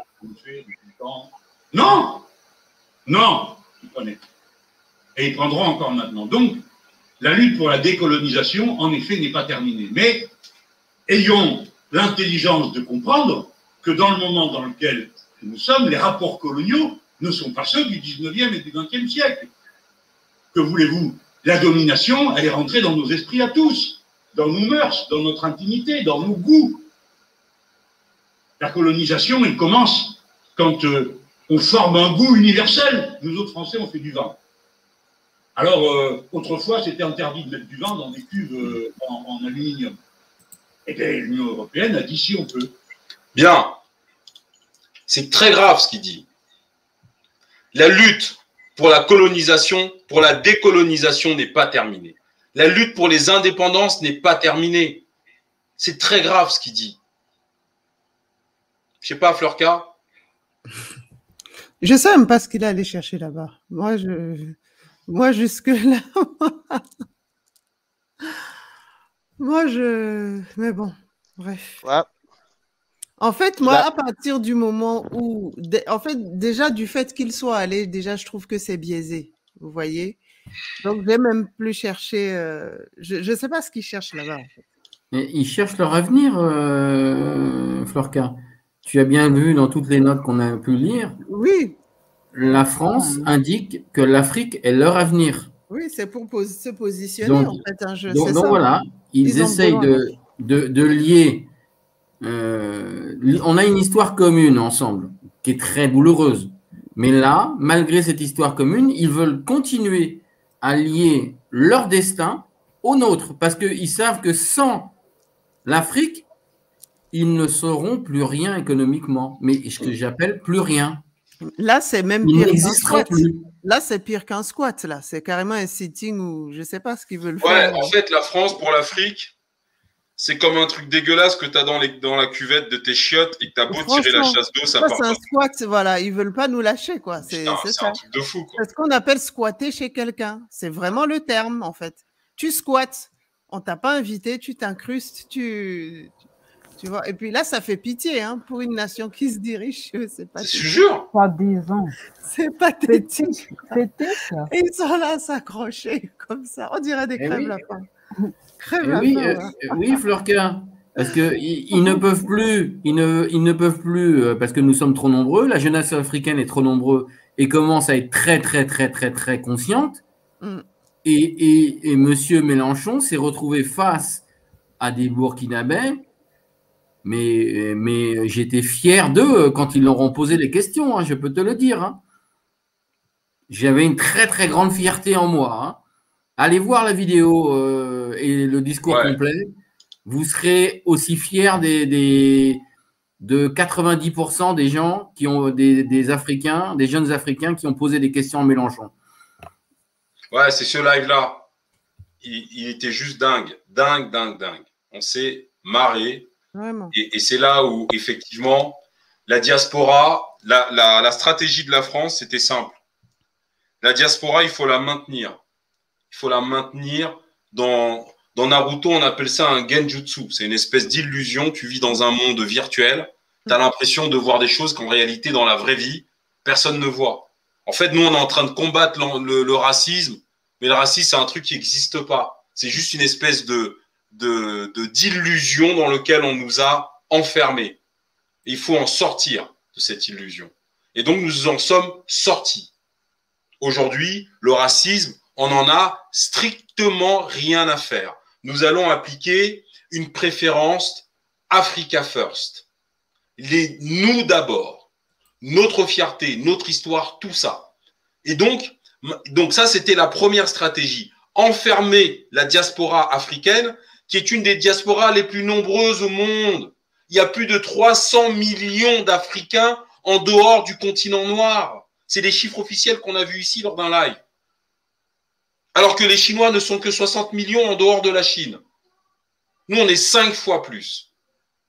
Donc ça veut dire que pendant qu'on occupe la diaspora avec des luttes bidons, bidons, pendant ce temps-là, on lave le cerveau des nôtres sur le continent avec France 24, RFI, TV5 Monde, euh, les programmes scolaires qui sont rédigés à Paris, les avenues du général de Gaulle, Kennedy et compagnie. Maintenant, le truc, c'est qu'il faut absolument faire en sorte que les Noirs ne se reconnectent pas entre eux. Pendant que nous, on tourne le dos à l'Afrique, et avec tout le potentiel que le continent a, bah, c'est les Blancs qui y vont. C'est Bolloré qui va. C'est mon client là qui m'explique un jour, il vient signer ou remettre des clés de je ne sais pas quoi, que lui, il connaît bien le Cameroun. Il connaît toute l'Afrique de l'Ouest, le mec. Sa spécialité à lui, c'est la vente des condiments. Le poivre de Penja, c'est lui qui m'en parle. Donc, pendant, pendant que nous, on a le dos tourné et qu'on ne regarde plus vers les nôtres, voilà. Et eux, ils continuent à expliquer à la télévision en Afrique que l'Occident, c'est l'Eldorado, les bikinis, les grosses voitures et tout. Et en plus, cette, espèce de campagne de dénigrement, en tout cas de désinformation, est amplifiée par un paquet de cons des nôtres qui font des clips de musique dans des grosses villas en Europe, qui jettent de l'argent en l'air, qui continuent à entretenir, sans le savoir, cette espèce de fantasme de l'Occident, de la richesse, de l'opulence, etc. Fétiche, ce que, je peux, te, ce que je peux dire euh, aux personnes qui écoutent ce chat et aux, gens aussi en Afrique, aux jeunes Africains, c'est que moi, je travaille dans le luxe. Hein. Donc, je, je, suis dans une niche sur un marché de luxe. Eh bien, j'ai vu les plus grands clubs parisiens, donc les Parisiens, c'est ceux qui sont en contact avec les esclavagistes et ceux qui maîtrisent le, système du franc CFA, sont les plus riches du monde. Hein, c'est pas moi qui le dis, c'est juste un constat des classements Forbes. Ben, L'ensemble de ces gens qui profitent de l'argent de l'Afrique, eh ben, je peux te dire qu'ils sont de moins en moins nombreux et des clubs où il y avait 1400, euh, 1300 personnes, euh, familles qui étaient installées dans ces clubs privés, maintenant on a des clubs qui se meurent avec 300, 400 vieillards et peut-être 50 jeunes dans, ce, dans les clubs, dans les plus grands clubs de sport euh, parisiens. Donc moi, ce que je te dis, c'est qu'ils sont en train de mourir. et moi, je, je l'ai constaté ça les cinq dernières années, les six dernières années, là. C'est une accélération complètement dingue. Hmm. Moi, je, ça ne me surprend pas. Alors, on va accueillir la sœur Coco Panaf et le frère Bala. Bonsoir, Coco Panaf. Ouais, euh, bonsoir, Otep, euh, Otep la famille, Otep le chat. Oui, euh, je vous écoute là. Très intéressant. C'est toujours les débats de fétiche, c'est fétiché là à chaque fois de guerre. Attends, ce soir, je suis renforcé avec la sœur Fleurka parce qu'elle est venue euh, diluer un petit peu mon agressivité naturelle. avec, avec, la douceur qui la, qui la caractérise. Parce que sinon, euh, vous me connaissez. Fleurka, c'est comment? Otep, Otep, maman, Copanaf. Otep, dada. Otep, maman, j'espère que ça va. Merci d'être là. Ouais, merci. Au plaisir. Hein.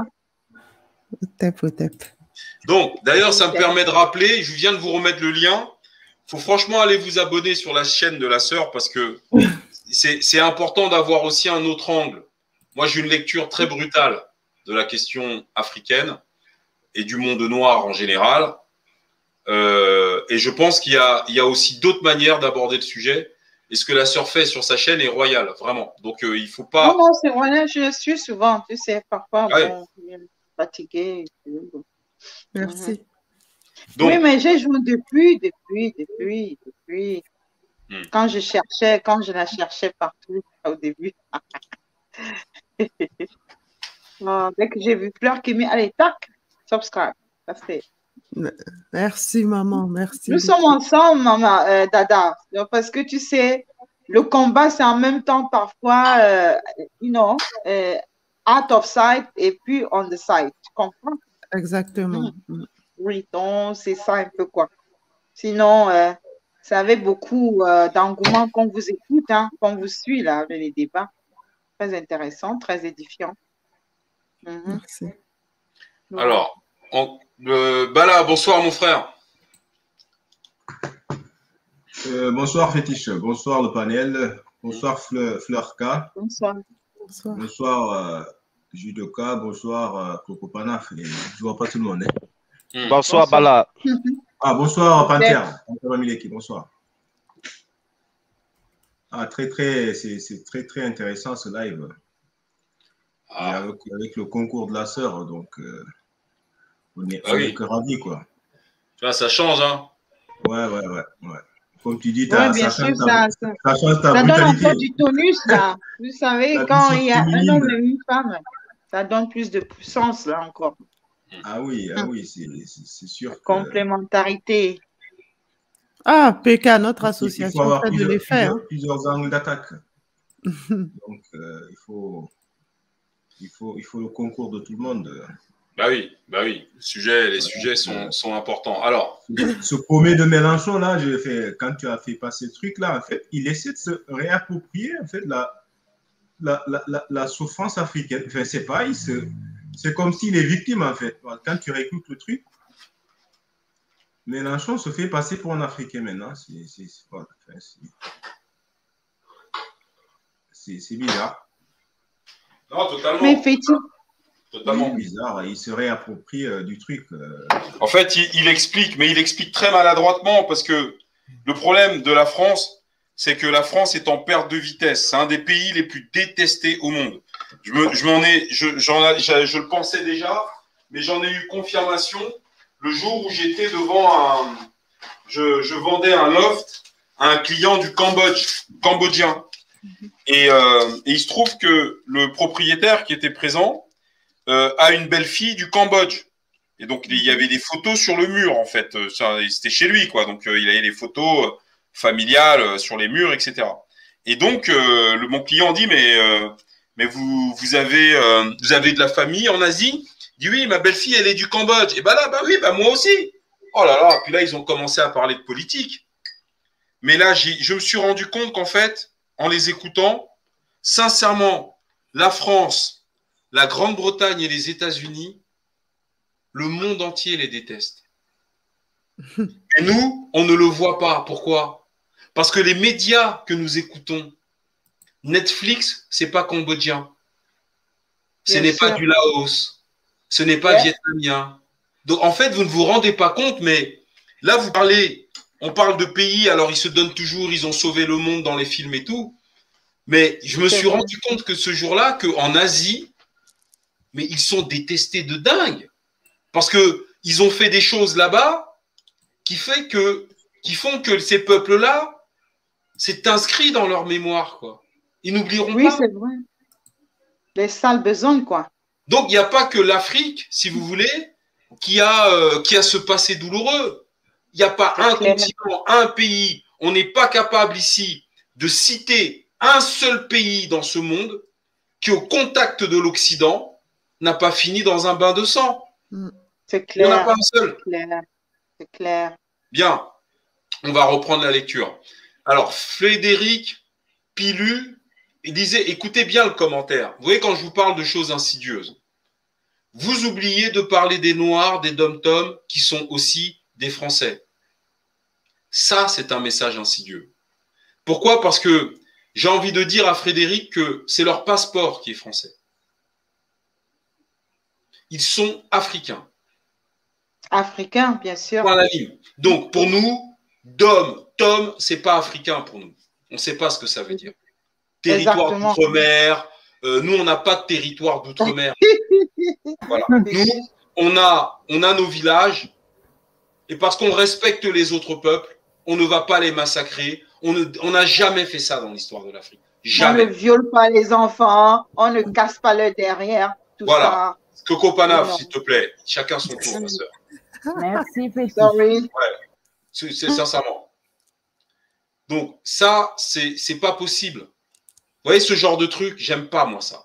Vous voyez, on est dans la division de l'Afrique. Vous avez l'illustration à l'écran. C'est-à-dire qu'il faut qu'on vienne nous expliquer à nous, en pensant qu'on est des ignares finis, d'accord? Qu'on vienne considérer, nous, dans nos esprits, que nos frères qui sont en Martinique, en Guadeloupe, à Haïti et partout ne sont pas des nôtres.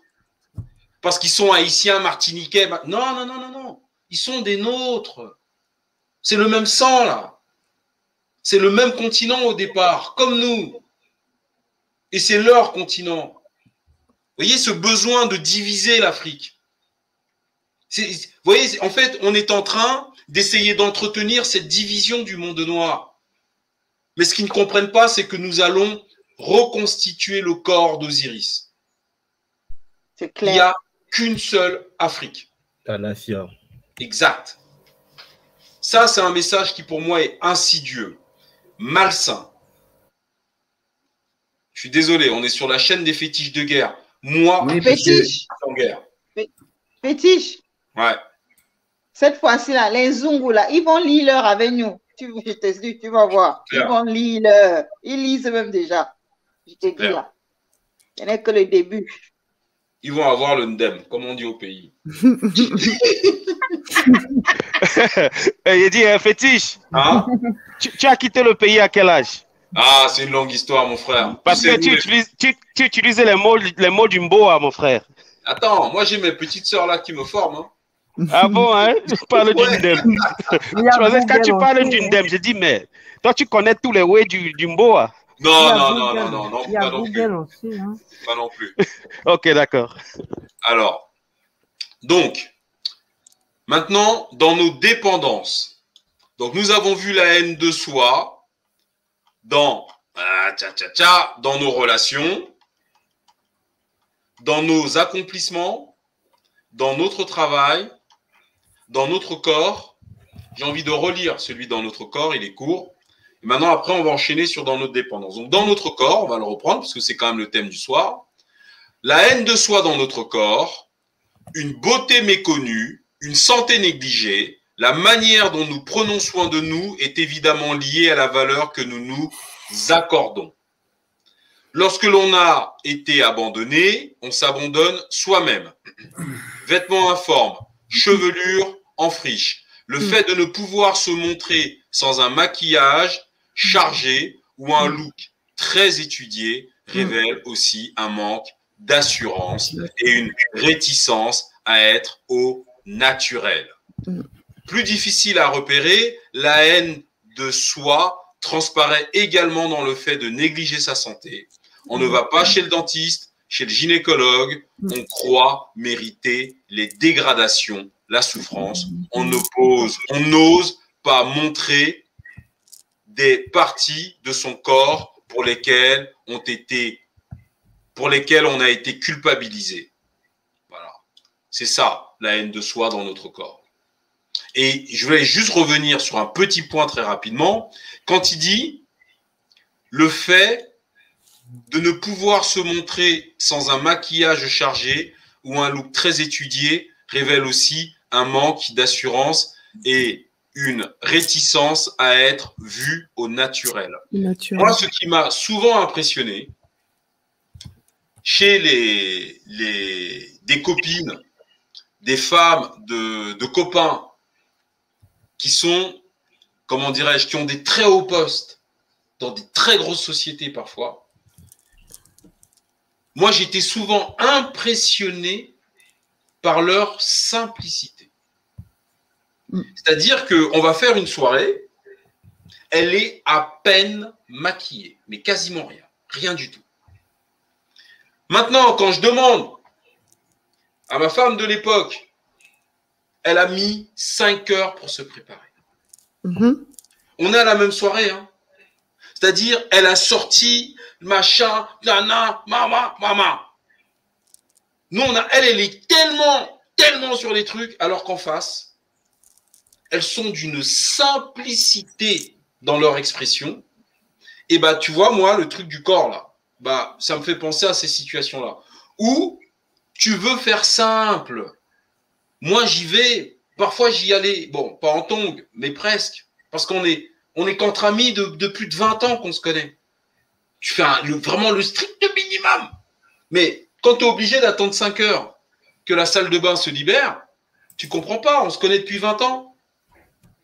Alors qu'en face, les, les- les autres femmes, là, elles sont habillées simplement et 80% d'entre elles sont même pas maquillées à 10%. Alors, est-ce qu'on n'est pas dans ce schéma de détestation de soi alors? Moi, je, si tu permets, je vais, euh, je vais répondre aussi. Mhm. Pour le maquillage, je vais nuancer un peu parce que Mhm. je ne mets pas le maquillage dans la même catégorie que la dépigmentation. Mhm. Euh, pour moi, c'est vraiment parce que le maquillage, euh, déjà même nous du temps de nos ancêtres, hein, du, au temps de l'Égypte, même Mhm. les femmes noires, elles se maquillaient déjà. Tu vois, quand tu vois autant des reines et tout ça. Donc, pour moi, le maquillage, c'est vraiment plus psychologique dans le sens où il faut savoir pourquoi tu te maquilles, en fait. Mhm. Voilà. C'est pour ça, ce que tu dis n'est pas faux, mais je ne dirais pas que ça s'applique à tous les cas. Certaines personnes se maquillent justement pour cacher certains défauts, mais quand ce sont des défauts, ce ne sont pas forcément des défauts liés à la couleur de la peau. Tu vois, ça peut être des taches et tout ça. Euh, d'autres pour se donner bonne mine, d'autres pour harmoniser euh, les choses. Maintenant, il y en a d'autres où c'est vraiment pour cacher les traits. Là, tu as raison. Oui, mais là, quand, tu lis le texte, moi, quand je lis le texte, je regrette. Moi, c'est ce à quoi ça me renvoie. C'est-à-dire que parfois, on se retrouve à être en décalage total. Enfin, pas moi, hein. Oui, oui. Mais comme on est ensemble, c'est nous, forcément. Mais Oui, là, on parle du maquillage chargé. là, c'est du maquillage chargé que je parle. Exactement. C'est-à-dire Ah, qu'on ne peut pas sortir. Voilà. Le maquillage, un maquillage. euh, complètement. Voilà, quand je dis Exactement. 5 heures dans la salle de bain, c'est pas pour un maquillage léger.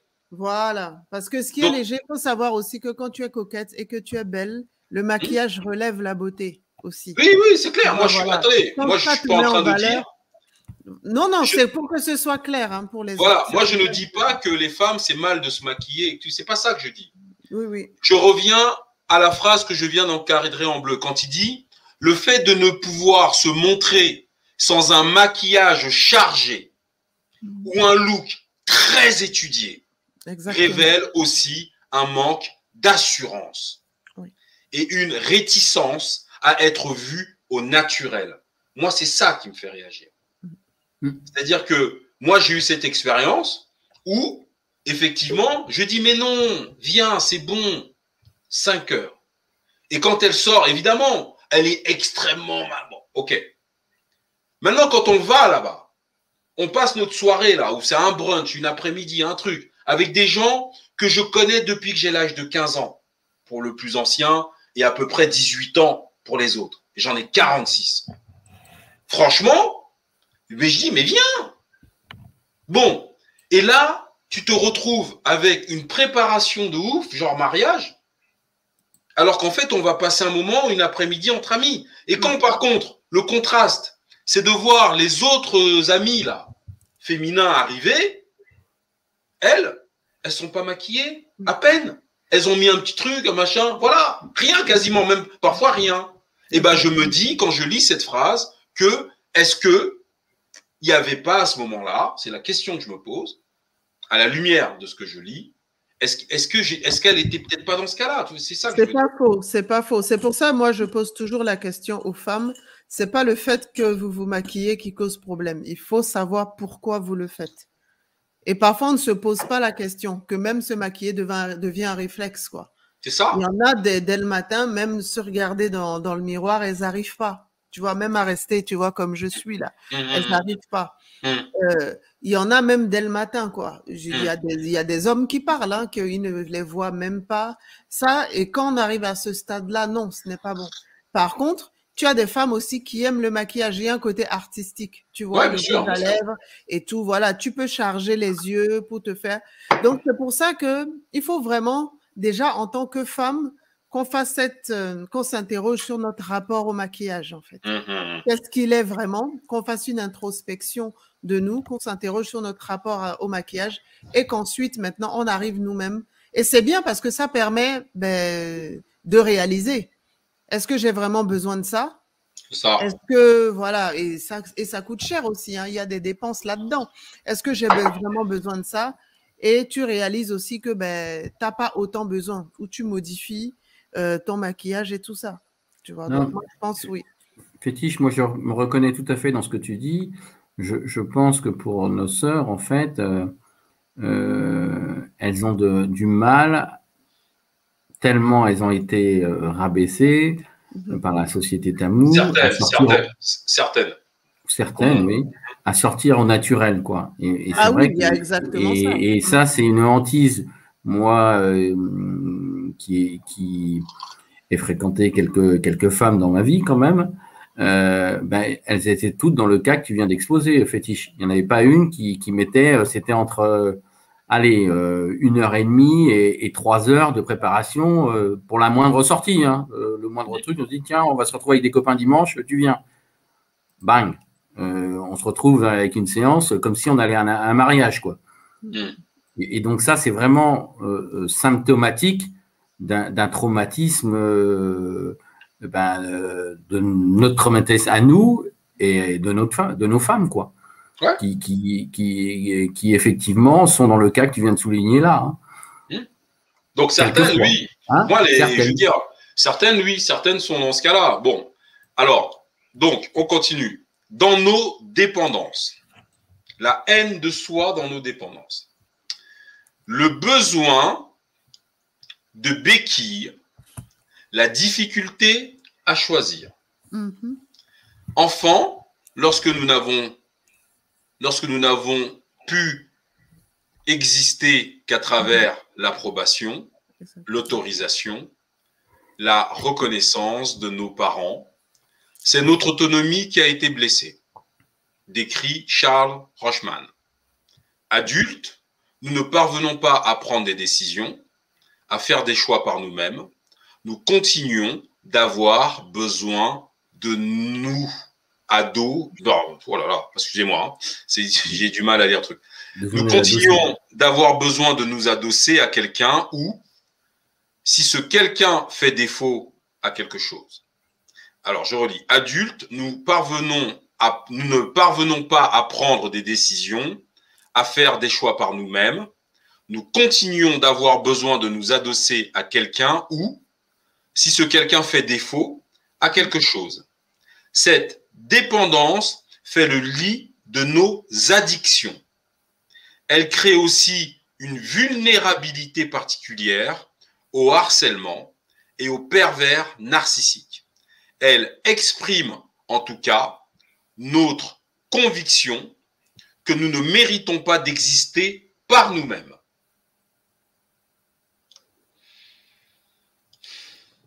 Il est grave. Ce passage-là est très grave, euh, fétiche, parce que euh, euh, la première partie de ce passage évoque en fait euh, notre manque d'indépendance morale. Ouais. Et, et, et, il souligne que, que l'indépendance morale, on attend toujours quelqu'un d'autre, un sauveur, Mm. un homme providentiel ou des choses comme ça qui vont venir euh, nous apporter des solutions ou leur validation. Mm. Mais, mais, mais, mais où est notre indépendance et notre fierté morale là-dedans? Exactement. On n'a pas. Une question d'Adama. je suis désolé, Adama. Moi, je vois pas du tout de quoi tu parles. Je vais laisser les spécialistes là. Il y a Panther Bamileke, il y a Bala, euh, il y a Judoka, il y a Kashmi. Je vais laisser les spécialistes répondre, mon frère. Je savais même pas que ça existait, moi.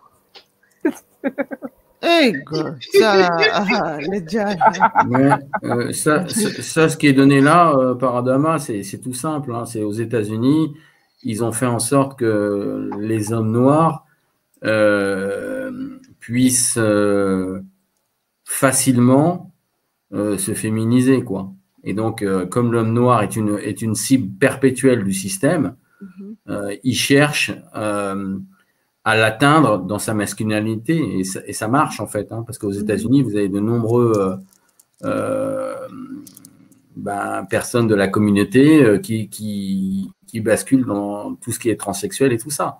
Donc en fait, c'est une façon de détruire la famille noire en fait. C'est vrai, c'est true. Voilà, donc c'est, c'est, mais ça, c'est, c'est- là, je vous incite à aller voir de nombreux reportages qu'il y a sur YouTube sur ce sujet-là. C'est la manipulation est, est- est- est très très connue. Et ce qu'il faut savoir, c'est que tous les médias vont reprendre les uns après les autres des images et des notions qui vont amener l'homme noir à se féminiser. Ouais, ouais, ouais, ouais, bah justement, putain. Donc, euh, c'est une manipulation qui existe depuis une vingtaine, une trentaine d'années aux Non, mais ça États-Unis. existe depuis des siècles. C'est la perversion de l'homme noir. Ça nous remonte même à avant les, euh, Willy Lynch, ça. C'était pour casser la masculinité de l'homme noir, en fait. C'est ça. Exactement. Pour casser le, le mythe et la, il tente de casser ça parce que bah, depuis le temps de l'esclavage, on les voyait, c'était des hommes baraques, vous savez, imposants. Même du temps où ils étaient esclaves, ils dégageaient, en fait, en Mm. masculinité, en, en force, en présence physique. Donc, il y a toujours eu cette crainte déjà. Et ça continue, hein, ils font vraiment une chasse à, à la masculinité de l'homme noir. Là, jusque maintenant, ça se vérifie, les contrôles, là. Euh, tous les contrôles incessants de police, tout ça, c'est souvent des contrôles où c'est lié à la vir- virilité. Hein. C'est plus des Exact. combats de coq. C'est plus des combats de coq qu'autre chose. Hein. Mais c'est ça, c'est plus des combats de coq. Hein. Des hommes noirs qui, vous savez, qui marchent Et- seuls et puis Exactement. vous les voyez, c'est- vous- souvent c'est du et comme au corps à corps ils n'arrivent pas, ben ça sort des matraques, ça c'est vous vous posez la question, qu'est-ce qu'ils ont fait? Mais il y a ça aussi. Et ça ce sont des choses qu'on ne- qu'on n'explique pas. C'est- Donc ça se passe plus au niveau des énergies, des vibrations. C'est parce que naturellement l'homme noir dégage. Mm. L'homme noir dégage des choses quoi. Et c'est fou hein. c'est clair. Toutes les communautés le savent sauf lui-même. Tu vois, c'est Alors, ce qui est et- dommage parce que Alors. il- il dégage énormément et c'est une chasse qui, qui lui est faite. Vas-y. Alors, hein. Kekassam, si jamais ça se reproduit, mon pote, quand tu sors avec elle, prends un rouleau de scotch. Fais quelque Oh, mon chose. frère, tu souffres des. Ah, sois fort, mon frère. Fétiche. Bah, Euh, Rouleau de scotch, ça veut dire quoi? Hmm, bon. Pour recoller, non? Il y a des youtubeurs là, qui, qui font ça. Ouais, ouais. Bon, euh, un petit commentaire que je voulais faire, Fétiche, par rapport euh, aux hommes qui se maquillent, euh, tu vois. Euh, en fait, nous avons perdu euh, nos doctrines traditionnelles ancestrales. Nos codes traditionnels sont, sont perdus. Euh, c'est pas pour autant pour dire qu'il n'y a pas des gens qui naissent efféminés. Il y a des hommes qui naissent efféminés. Et là, chez nous, en Afrique, il y a des doctrines traditionnelles, il y a des, il y a, il y a des rituels, il y a des procédures qui se passent afin que voilà, euh, cette personne soit récupérée et soit dirigée et positionnée dans sa trajectoire. Mais par contre, en Occident, dès que ça se passe, euh, on sait tout ce qui se passe. Un enfant qui naît homme, et parce qu'il est un peu efféminé, euh, dit à ses parents, il préfère être femme. Et là, on va lui rapidement, on va lui faire une chirurgie.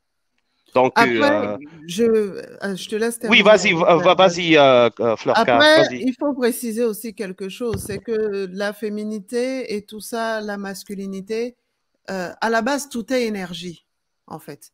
Donc, tout est une histoire d'éner- d'énergie.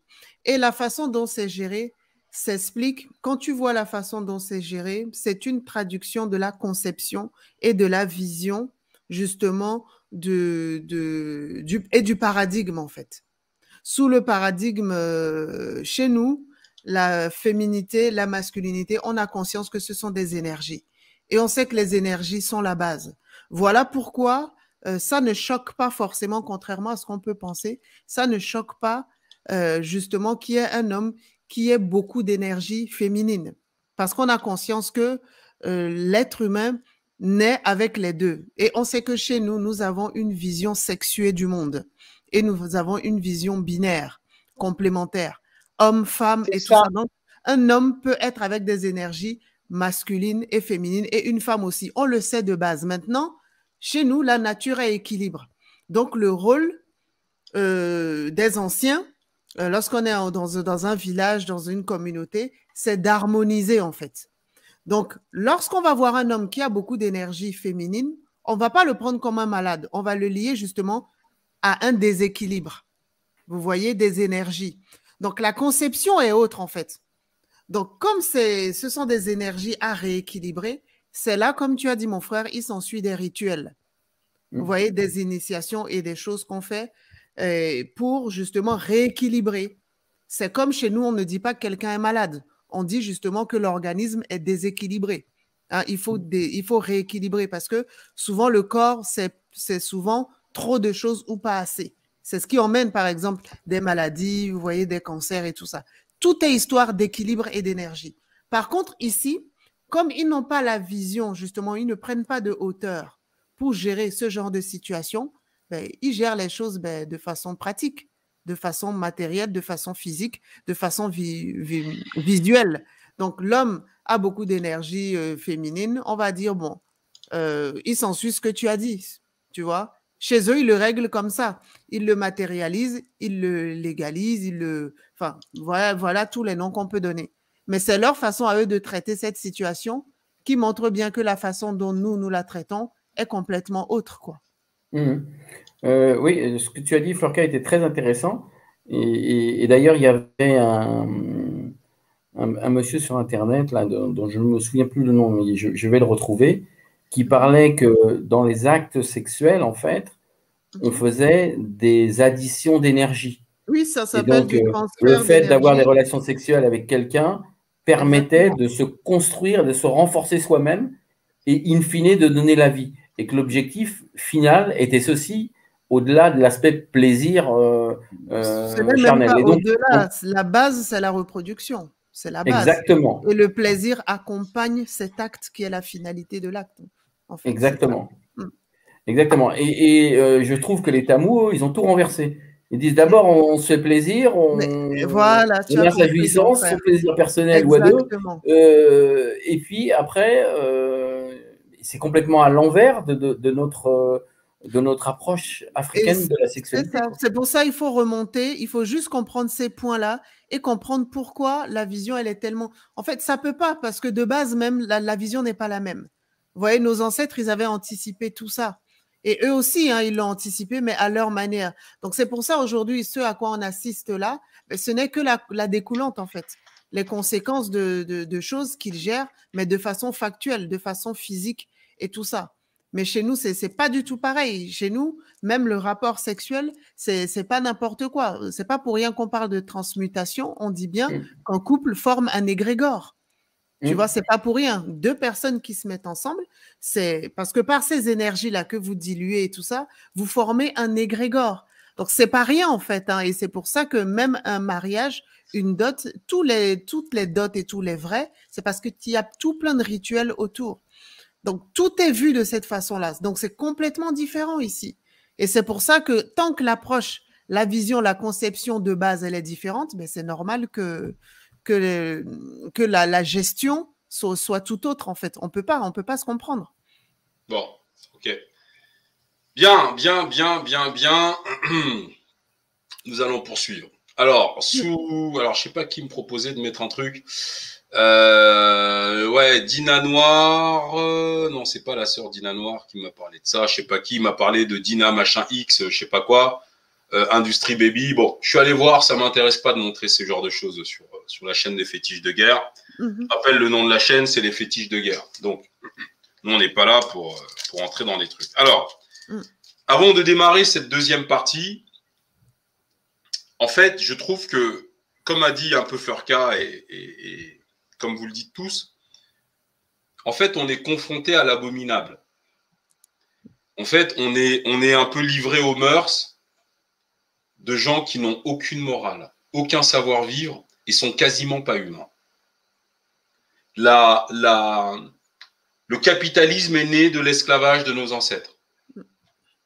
Et quand aujourd'hui on fait faire à des hommes noirs ce qu'on a vu, Industrie Baby, je sais pas quoi, ce que je viens de voir à l'instant, c'est toujours dans le même but. L'argent. C'est tout. Ces gens n'ont aucune morale. Donc, alors, avant d'attaquer la deuxième partie du live, euh, je pense euh, que c'est important que l'on rappelle quand même qu'est-ce que c'est que la spiritualité africaine. Donc, qu'est-ce que c'est que la pensée philosophique et spirituelle africaine? Elle s'appelle l'ancestralisme. C'est un monothéisme. Voilà ce qu'il en est dit. L'ancestralisme est une religion. En fait, religion, c'est occidental. Chez nous, c'est une spiritualité. Fondée sur la croyance en l'existence des ancêtres, en la communion avec les ancêtres d'une vie après la mort, des rapports entre les vivants et les morts, en la vie après la mort. L'ancestralisme africain est un monothéisme. Elle est fondée sur la croyance en un seul Dieu, l'ancêtre des ancêtres, celui qu'on appelle le proto-ancêtre. Le vivant reçoit la vie de ses ancêtres biologiques connus et ces derniers le marquent d'une empreinte indélébile par la transmission de l'héritage génétique pour toute sa vie. C'est cet héritage qui pousse l'homme à rester lié à son origine et à ses ancêtres. C'est en suivant la voie de la transmission de la vie qu'on arrive à Dieu, l'ancêtre des ancêtres, le proto-ancêtre, celui qui est à l'origine de l'être. Les ancêtres deviennent ainsi des intermédiaires entre les vivants et Dieu. L'ancêtre des ancêtres, le proto-ancêtre. Les vivants lui rendent un culte à travers les ancêtres. Comme chaque famille a ses ancêtres, le culte des ancêtres est un culte familial, célébré par le ou la chef de famille. Le sacerdoce est une des fonctions patriarcales pour les Blancs, mais en Afrique, elle est tant patriarcale que matriarcale. L'ancestralisme est une spiritualité essentiellement domestique, familiale, clanique pour clan, en toute sa composition. Elle n'est donc pas de nature à s'exporter. Elle n'est pas d'essence missionnaire. Voilà, c'est ça l'ancestralisme. Et c'est pour ça que les Africains ne sont jamais allés porter leur spiritualité, convertir des peuples. Ben non, parce que nous sommes 186 sur ce live. Mais on a chacun nos ancêtres. Les miens ne sont pas les mêmes que ceux de Panthère Bamileke, ceux de Dina Noir. Si nous voulons retrouver le chemin vers Dieu, nos ancêtres nous ont livré cet héritage que nous avons chacun en nous, ce patrimoine génétique. En Afrique, c'est la science qui prévaut. Même en spiritualité, c'est la science. C'est pas un type à qui on aurait parlé dans une grotte chez nous. On hérite du patrimoine génétique de nos ancêtres. Et si nous sommes vivants, c'est bien qu'ils ont été là, eux aussi. Et Dieu est le plus ancien de nos ancêtres. Et donc, pour parvenir à celui-ci, eh bien, nous devons demander à nos ancêtres d'intercéder pour nous auprès de Dieu. C'est comme ça l'Afrique. Je ne sais pas ce que vous en pensez. Euh, c'est très puissant, fétiche. Comme d'habitude, euh, c'est vraiment très puissant. Et, euh, et j'ajouterais tout simplement que l'ancestralisme, c'est comme un arbre, voilà, où Dieu est la racine et les ancêtres sont des branches et nous ah. représentons les feuilles. Les fruits. Voilà. Donc, voilà les fruits, les fruits. Et pour se ramener à Dieu, il va falloir se connecter aux branches et ensuite, c'est comme ça qu'on arrive à la racine. C'est ça. Merci. Bah oui. Voyez, il n'y a pas de truc miraculeux, de gars qui a changé le truc en vain. Non, on vous parle d'héritage génétique. Eh oui, c'est ça l'Afrique. Donc c'est pour ça que nous, on n'exporte pas. C'est familial. Eh oui. Voilà, c'est marqué. Le vivant reçoit la vie de ses ancêtres biologiques connus et ces derniers le marquent d'une empreinte indélébile par la transmission de l'héritage génétique pour toute sa vie. Vous croyez que moi, je vais aller euh, prier Jésus-Christ? C'est qui Il est qui, lui, pour moi? Quand bien même il apparaîtrait demain, j'en ai rien à carrer. C'est mes ancêtres d'abord. Parce que c'est mes ancêtres, c'est tout. Oui, en plus, euh, ça a une logique hein, de Bah oui. vénérer ses ancêtres. Parce que c'est ceux à qui tu dois la vie. Donc, eux sont passés au travers d'épreuves, et c'est eux qui peuvent te conseiller même après leur mort. Bah oui. Parce qu'ils connaissent le chemin de la vie. Et toi, tu ne le connais pas encore. Et puis, c'est même logique, quoi. Tu vas aller prier les ancêtres de quelqu'un d'autre. Je sais. Vous voyez, et puis c'est une histoire d'égrégore. On le dit tout le temps. Hmm, C'est aller renforcer les, des égrégores, en fait. c'est clair. Voilà. Hum, PK a inspiré ce soir. hein. Non, attends, ma soeur. Parents. Alors, Euh, PK, c'est un, c'est un seigneur Bamileke, hein. Donc il a ce titre. Il l'a pas, il a mérité le titre, hein. C'est un seigneur. Ouais. Non, c'est que Fleurcar, on a souffert ces Mhm. dernières semaines sur cette chaîne, ma soeur. C'est là, c'est là où on a appris. Tu vois. Bon.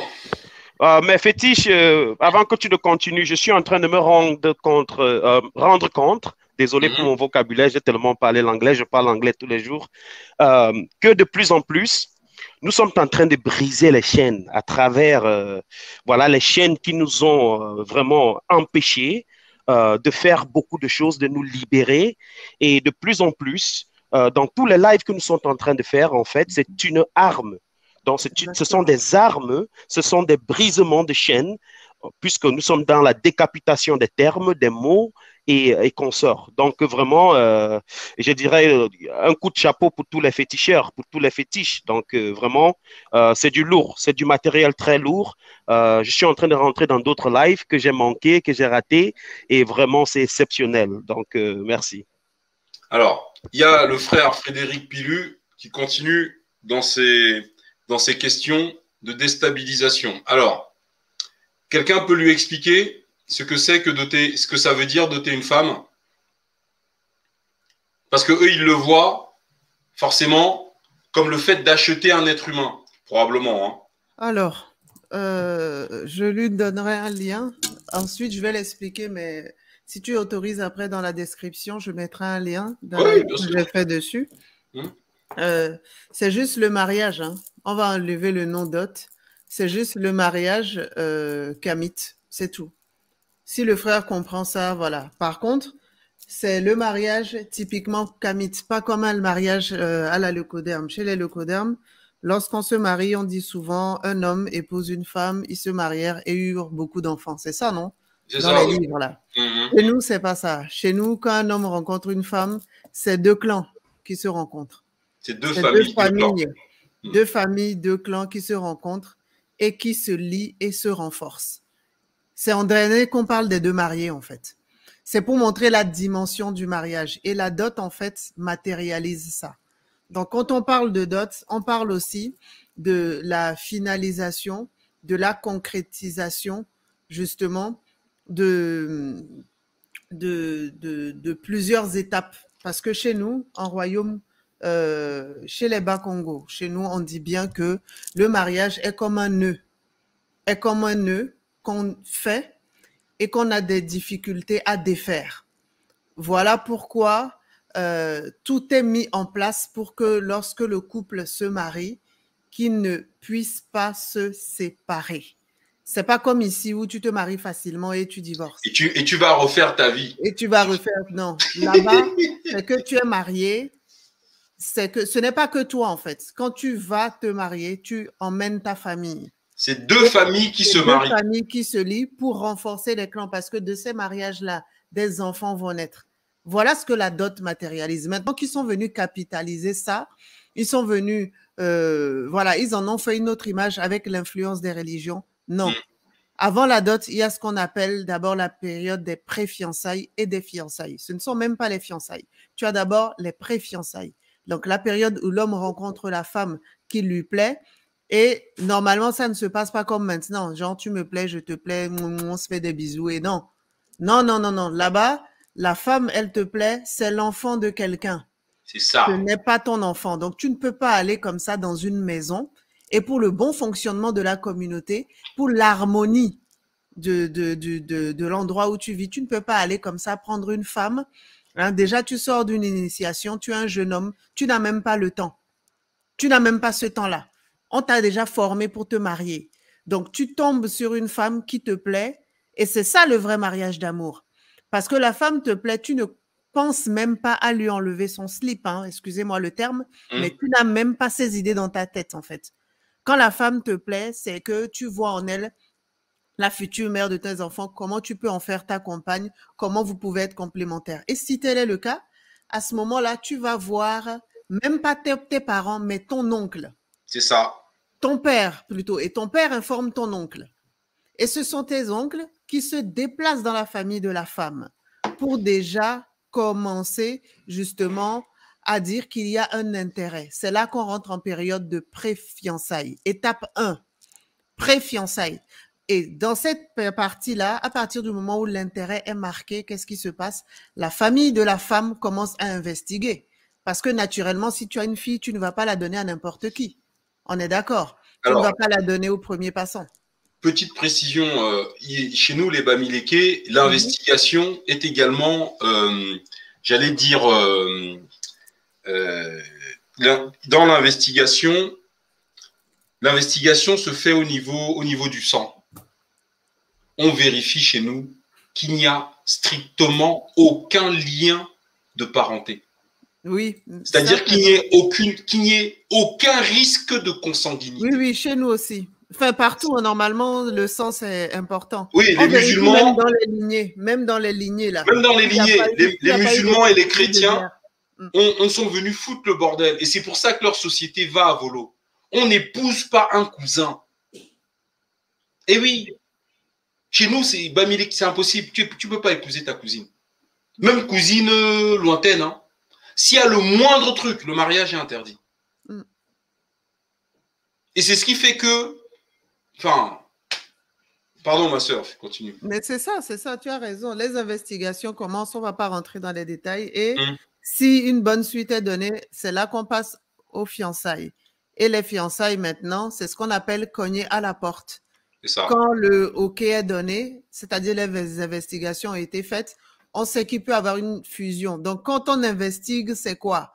C'est comme ce que PK a dit, c'est comme ce que Fétiche vient de dire. Mais on cherche aussi, on fouille dans les lignées ancestrales des Ah deux oui. familles, qu'il n'y a pas eu de guerre entre-temps, parce que tout de sang en sang. Vous savez, tout descend. Donc, s'il n'y a pas eu de guerre, si les deux lignées se sont fait la guerre, ou bien s'il y a eu des, apparemment des, je vais pas dire des combats, mais des, Oui, conflits liés au terrain, euh, des conflits liés aux femmes, certains conflits ou du sang qui a été versé entre, c'est très important, si du sang a été versé entre les deux familles. Parce que peut-être que les ancêtres se sont fait la guerre, ou l'un a tué l'autre et tout, dans les lignées, on ne sait pas. C'est ça les vraies investigations, s'assurer qu'il n'y a pas de rancune ancestrale aussi. Alors- Parce qu'on sait que s'il n'y en a pas, les ancêtres peuvent bénir. Alors, pour, pour rejoindre Homo Wale, on n'épouse pas sa cousine. Parce que Il il y, a, dit il y a un problème de consanguinité. Parce que même les animaux ne font pas ça entre cousins et cousines. Il y a un problème de consanguinité. Donc ça vient, ça vient poser un problème. Oui, le- le- le- les cousins et la cousine qui se sont mariés vont pas avoir de problème. Les problèmes peuvent commencer avec leurs enfants de santé, leurs petits-enfants, trois, quatre générations plus tard. Eh oui.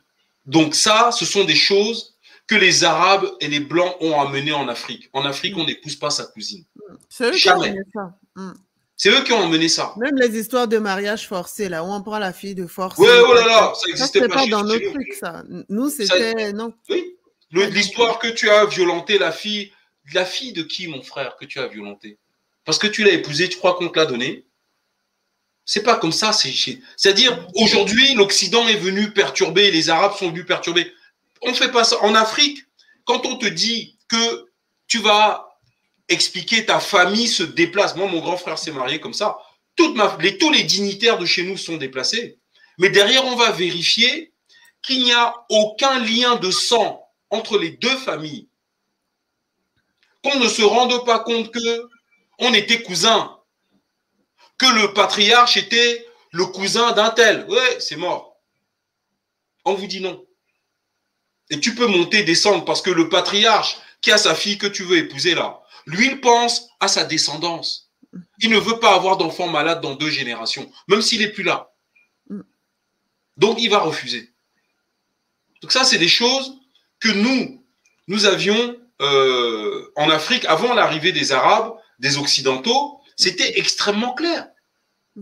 Ça a été perturbé. Bon, aujourd'hui. Alors, concernant la dot, l'argent n'est pas là pour acheter la, fille.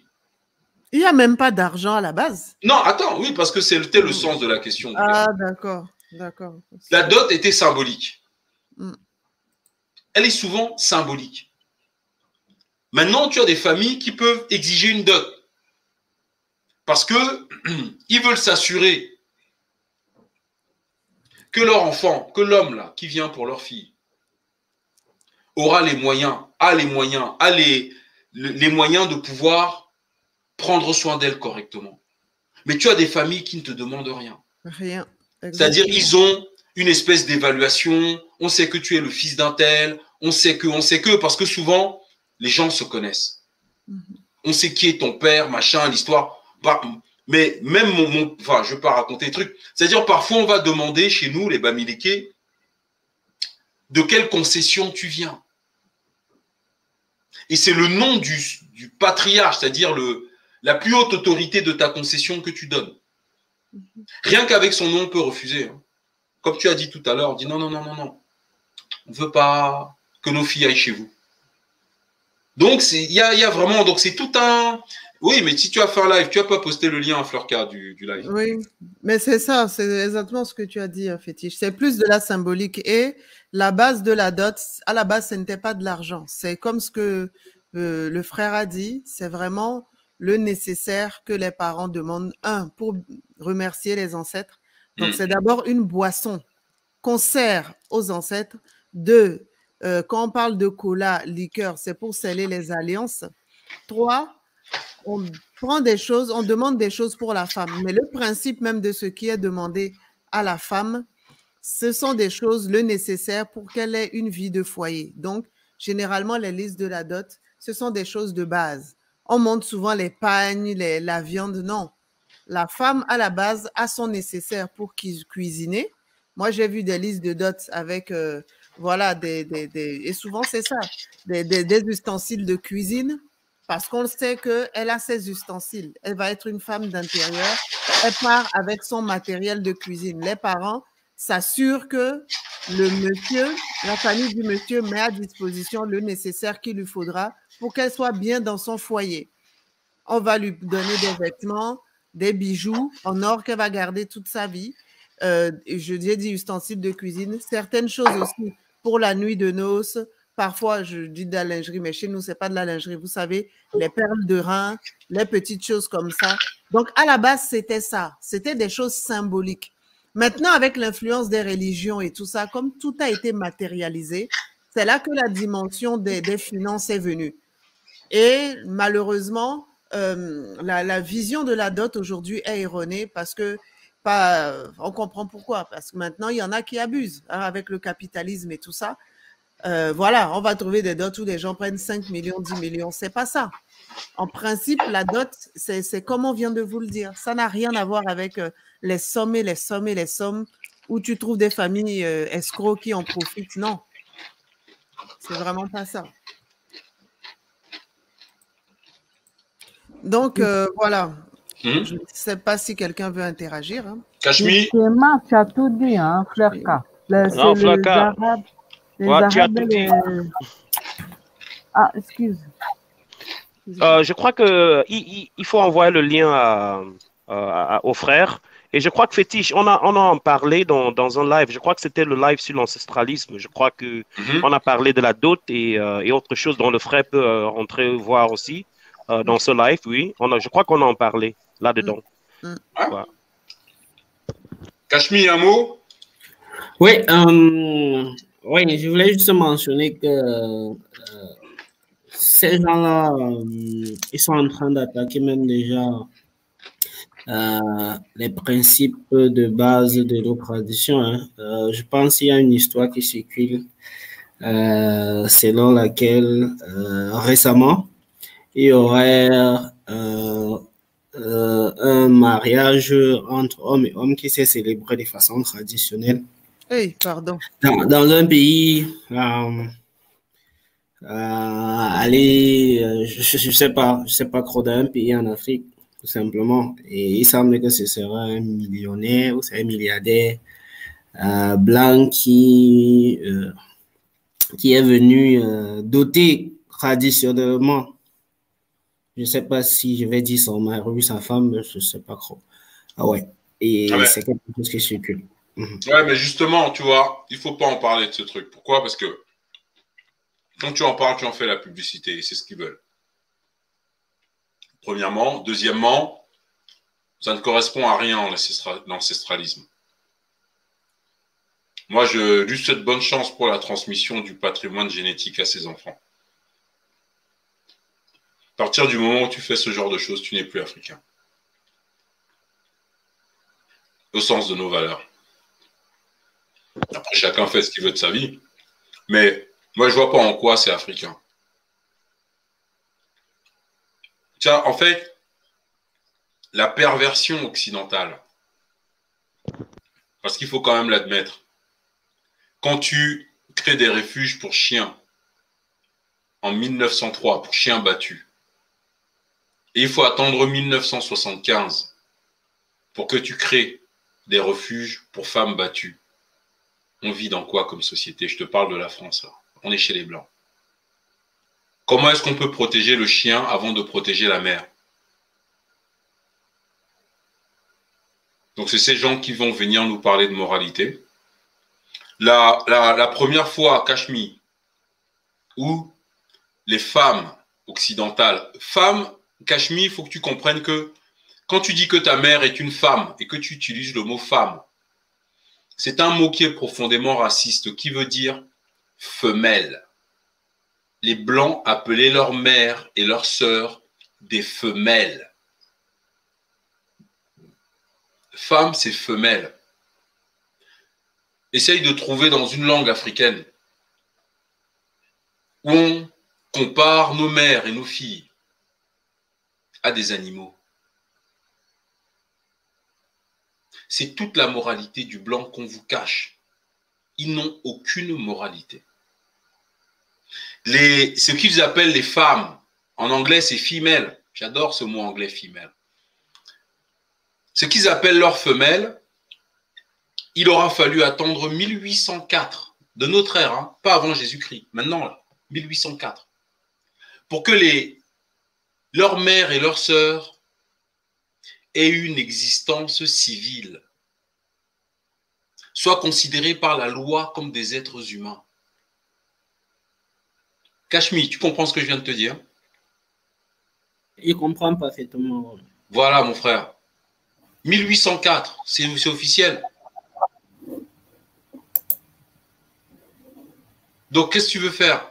Moi, quand des gens vont prendre leur malédiction, mon frère, quand ils sont noirs ou blancs, faut les laisser prendre leur malédiction. Tranquillement. Les noirs veulent se comparer aux blancs. On n'a rien à faire avec eux. Rien il y a une opposition de valeurs, de vision, d'humanité totale. Et là, tu as parfaitement raison. Hein. Je, je voulais là aussi, dans cette lutte, je voulais aussi attirer l'attention de, nos soeurs sur euh, des, thématiques sémantiques. Euh, bon, j'allais parler simplement d'une idéologie parlant de féminisme. Moi, je pense que il est de bon temps de dire véritablement que les sœurs ont véritablement besoin de se valoriser. Mais en parlant de féminisme, je pense que c'est un thème qui a trait un peu à l'égalité. on ne peut pas se mettre au même rang que nos mères. Nos mères ont de la valeur en Afrique. Et dans, dans l'ancestralité africaine, on peut fouiller il a assez de reines. Et donc, moi, je parlerai simplement de complémentarité parce qu'on n'est pas, quand on rentre dans la sémantique du genre, moi, je pense qu'on est totalement à côté de la plaque. Bon, c'est juste euh, un complément par rapport à, à, leur, sociologie, à leur, civilisation. Tu as totalement raison. Le truc, c'est que maintenant, il faut qu'on arrête de prendre en exemple les, euh, j'allais dire, euh, tu as déjà vu les vidéos où un blanc balade son chien. Il attend que le chien fait caca. Il ramasse avec sa main et il met dans la poubelle. Tu as déjà vu ça, non? Moi, fétiche, euh, euh, il y a de cela quelques jours, euh, j'étais en train de vouloir prendre la photo d'un de mes voisins qui était en train de le faire. Hein. Bah oui. Voilà. Et, vraiment, c'est terrible. C'est-à-dire que la compassion, c'est-à-dire la, la, soumission qu'il a vis-à-vis de son chien et le soin qu'il lui porte, mais ils ont du mal à faire ça avec l'humanité. Ça, c'est vrai. Ça, c'est vrai. Ici, il y a beaucoup d'hommes qui dorment à la belle étoile. Vous imaginez dans le froid. Oui. Et, moi, je vois la compassion, l'attention que les gens ont, par exemple, vis-à-vis, par exemple, des chiens, qui, par exemple, qui parcourent les roues, sont en train de déambuler. Et avec attention, on peut s'arrêter et prendre tout le soin nécessaire par rapport à ce chien-là, qui n'a même peut-être pas de propriétaire. Et je pense que c'est quand même bien, c'est un bon comportement. Mais dans le même temps, il y a des gens qui dorment dans la, dans la même rue. Ils sont à la belle étoile, mais il n'a aucune attention vis-à-vis de ces personnes. On peut voir. Donc, euh, moi, je pense que toutes ces bestialités-là, il se dit qu'on a des enfants qui sont des chiens. Quand on parle de la fête des mères, il faut donner un cadeau à celle qui, à celle qui a un chien. Je pense que ça fait partie de leur, euh, de leur civilisation. Non, ils n'ont pas de civilisation. Ce mot, existe depuis 1530. C'est une invention. C'est une invention suprémaciste. Voilà. C'est-à-dire qu'ils croient avec la lumière du. Ils sont la lumière du chaos, ces gens-là. Il n'y a pas autre chose. Je suis désolé de le dire comme ça. Alors, nous aussi, quand on se marie, c'est deux familles, c'est faux. Voilà. En Afrique, une femme ne meurt pas tous les jours sous les coups de son mari.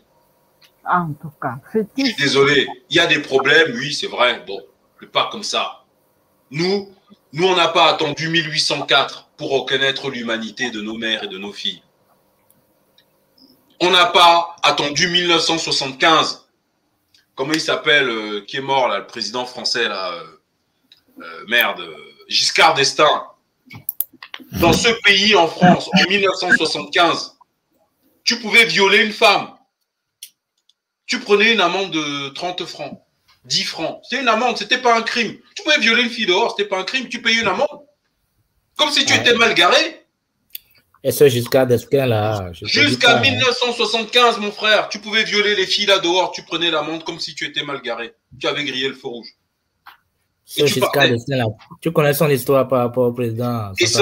Non, non, non, je vais juste revenir au truc. et son truc, c'est que il aura fallu attendre 1975 pour qu'on considère dans ce pays que le viol d'une mère, d'une fille, est un crime.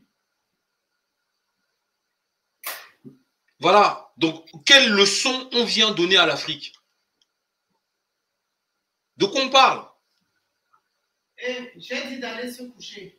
Donc, c'est ça le truc. Quelle leçon ils viennent donner à l'Afrique? Alors, on vient nous expliquer que le développement, c'est se marier entre hommes. Bah, c'est cool. C'est super. Ou de changer de sexe. Ou de changer de sexe. C'est bien. C'est qu'il faut être civilisé pour faire ça. Voilà, parce qu'en plus, ils sont civilisés, c'est leur civilisation. C'est l'avancement même, c'est la modernité. Oui, c'est le progrès, c'est le progrès. C'est bien, mais écoutez, c'est leur progrès à eux. Nous, nous avons un patrimoine à transmettre. Et il est génétique. Et c'est pas avec un arbre, un chien ou un gars que je vais faire ça. voilà. Donc chacun son délire. Il faut leur laisser. En fait, il faut les laisser dans leur délire soi-disant civilisationnel. C'est tout. Que chacun, chacun son chemin, non? Qu'est-ce qui nous emmerde? Donc, faut arrêter d'ériger ces, malades mentaux comme des, trucs de la lumière de quoi? Du monde? On se moque de qui? Qu'ils aillent expliquer ça aux Amérindiens. Euh, fétiche? Ouais.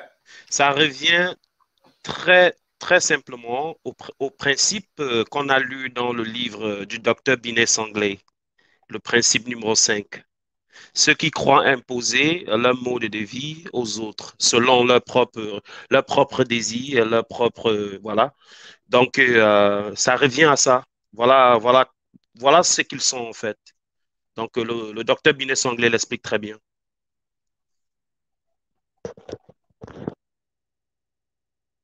Merci mon frère, je vais le lire tout de suite. Hmm.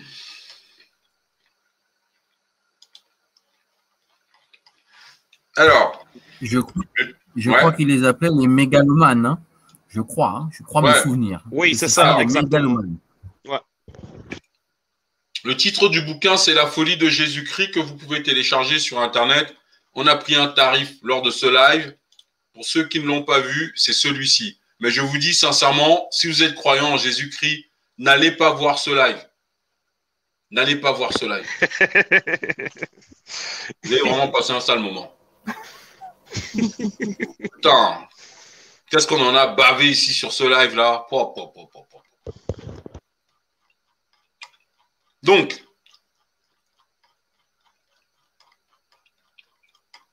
et pourquoi c'est long comme ça euh, je crois que c'est à la page euh, en haut, il y a le 4, je crois. 4. Je crois que tu as on y est, on y est. Voilà, c'est là, c'est là. Voilà. Donc ça, c'est pas nous. Binet anglais, c'est pas un Congolais. Hein ni un Sénégalais, c'est un Français. Et c'est un psychologue. Il dit, au point de vue de la moralité, il y a cinq espèces d'hommes. Ceux qui acceptent sans examen et appliquent sans hésitation les règles qui leur ont été inculquées par les moralistes, ce sont les suggestifs, les moutons de panurge les troupeaux d'insta, en gros, sont des moutons. Ceux qui, tout en paraissant accepter ces règles, ne les appliquent que dans la mesure où l'opinion publique, c'est-à-dire l'intérêt, les y oblige, ce sont les hypocrites. Voilà. Je vous passe le reste, les malandrins, tout ça. Il dit, c'est la faune bourdonnante, sifflante, glapissante, puante et venimeuse qui se tapit dans les ruines. Je répète, ceux qui, tout en paraissant accepter les règles, ne les appliquent que dans la mesure où l'opinion publique, c'est-à-dire l'intérêt général, les y oblige. Il dit que ce sont des hypocrites. Ensuite, il rajoute, c'est pour, attendez, c'est là, voilà, c'est pour tout dire en un mot, la foule immense des imbéciles qui s'imaginent que tous les chemins mènent à Rome. Voilà. Ensuite, en trois, il dit, troisième espèce d'homme, ceux qui, ceux qui agissent dans la vie en se basant sur l'observation et le raisonnement. Ce sont les rationalistes les féticheurs, ça c'est nous, numéro 3. Ouais, moi je trouve qu'on retrouve plutôt la chaîne, euh, nos chaînes, la Florca et moi, sur ce truc-là. On est rationnel. On va pas croire ce que les gens racontaient, que j'ai vu, j'ai entendu. On veut les documents, nous. Et on fera, sur la base des documents, notre propre opinion. Exactement. On est des rationalistes. Nous, on ne croit pas. L'histoire de messianistes, là, c'est bon. On veut les textes. Bien. Ensuite, en 4, ce dont ceux qui obéissent à leurs besoins et à leurs désirs sans se soucier de la morale, ce sont les amoraux, les immoraux, les gens qui sont sans morale. Et cinquième définition, et ça c'est une spéciale dédicace à la sœur Anne Sosori, ceux qui prétendent imposer au monde les règles de vie que leurs besoins leur inspirent. Ce sont les mégalomanes. Je répète, ceux qui prétendent imposer au monde les règles de vie que leurs propres besoins leur inspirent. Ce sont les mégalomanes. Et là, dans la cinquième description, nous avons l'Occident. Imposer au monde des règles de vie que leurs propres besoins leur inspirent. Ça, c'est l'Occident. Mais c'est pas que l'Occident, parce que l'auteur continue et dit Yeshua,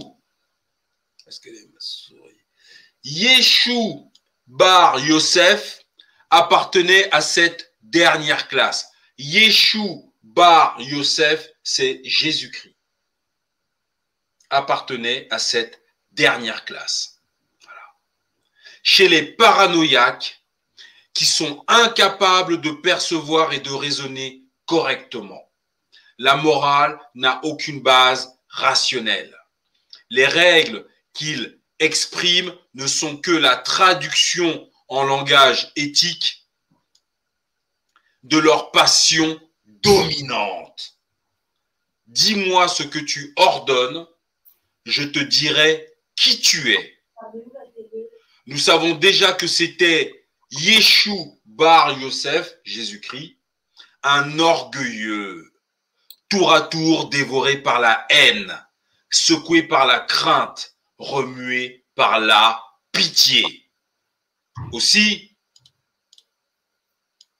les règles de sa morale, de cette morale chrétienne que les apologistes ont si prodigieusement défigurée, peuvent-elles être rangées dans les catégories suivantes. Les règles inspiré par l'orgueil. Ça, c'est celui que nous avons vu pendant le live que vous avez là. Je peux vous dire qu'on a souffert. Putain, c'était chaud ce live. Tout ce que je suis en train de lire là, c'est ce qu'on a vu pendant le live que vous avez à l'écran. Hein. Ensuite, la prochaine épisode du live que vous avez à l'écran, ça sera les règles inspirées par la haine. Puis ensuite, plus tard, les règles inspirées par la crainte les règles inspirées par la pitié et une cinquième catégorie comprenant les règles suggérées. Et je peux vous assurer que sur notre chaîne, nous ferons les cinq catégories. On apprend des choses sur cette chaîne et je peux vous dire que sur ce live-là, on a souffert, mais qu'est-ce qu'on s'est régalé, putain. Qu'est-ce que c'était bon. Et c'est le petit frère de 17 ans, Sanjaka, qui exceptionnellement n'est pas là ce soir, qui nous a offert la lecture de ce livre. Magnifique. Alors, on va revenir au sujet du soir. Anne Sosori, une réaction à, l'analyse du docteur Binet Anglais? Non, excuse-moi, parce que je, je souffre un peu du dos. Donc, je ah. suis allongée, je, je m'étais déconnectée en fait. Mon ordi m'avait lâché, c'est pour ça que j'étais partie. Mais mhm. je suis, je suis. D'accord. Tu as, tu as entendu la lecture que je viens de faire là ou pas? Oui, je l'écoutais, mais un peu assommée quand même. D'accord. Désolée. Bon, la sœur était sous tranquillisant. Light ouais,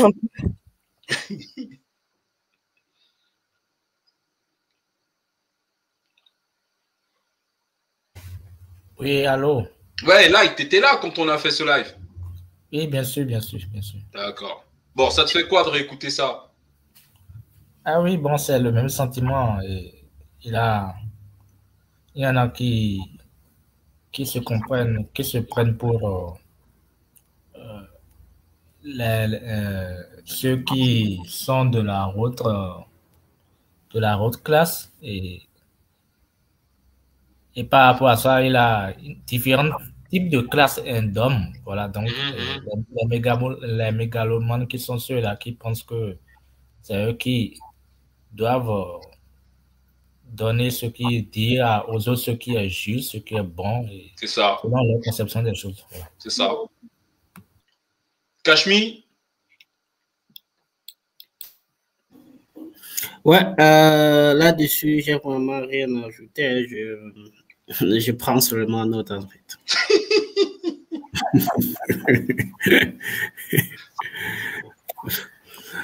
tu, comprends Ça, c'est la description, c'est la lecture que fait un, psychologue dans un livre qu'il écrit en 1915 euh, sur les espèces d'êtres humains qui existent.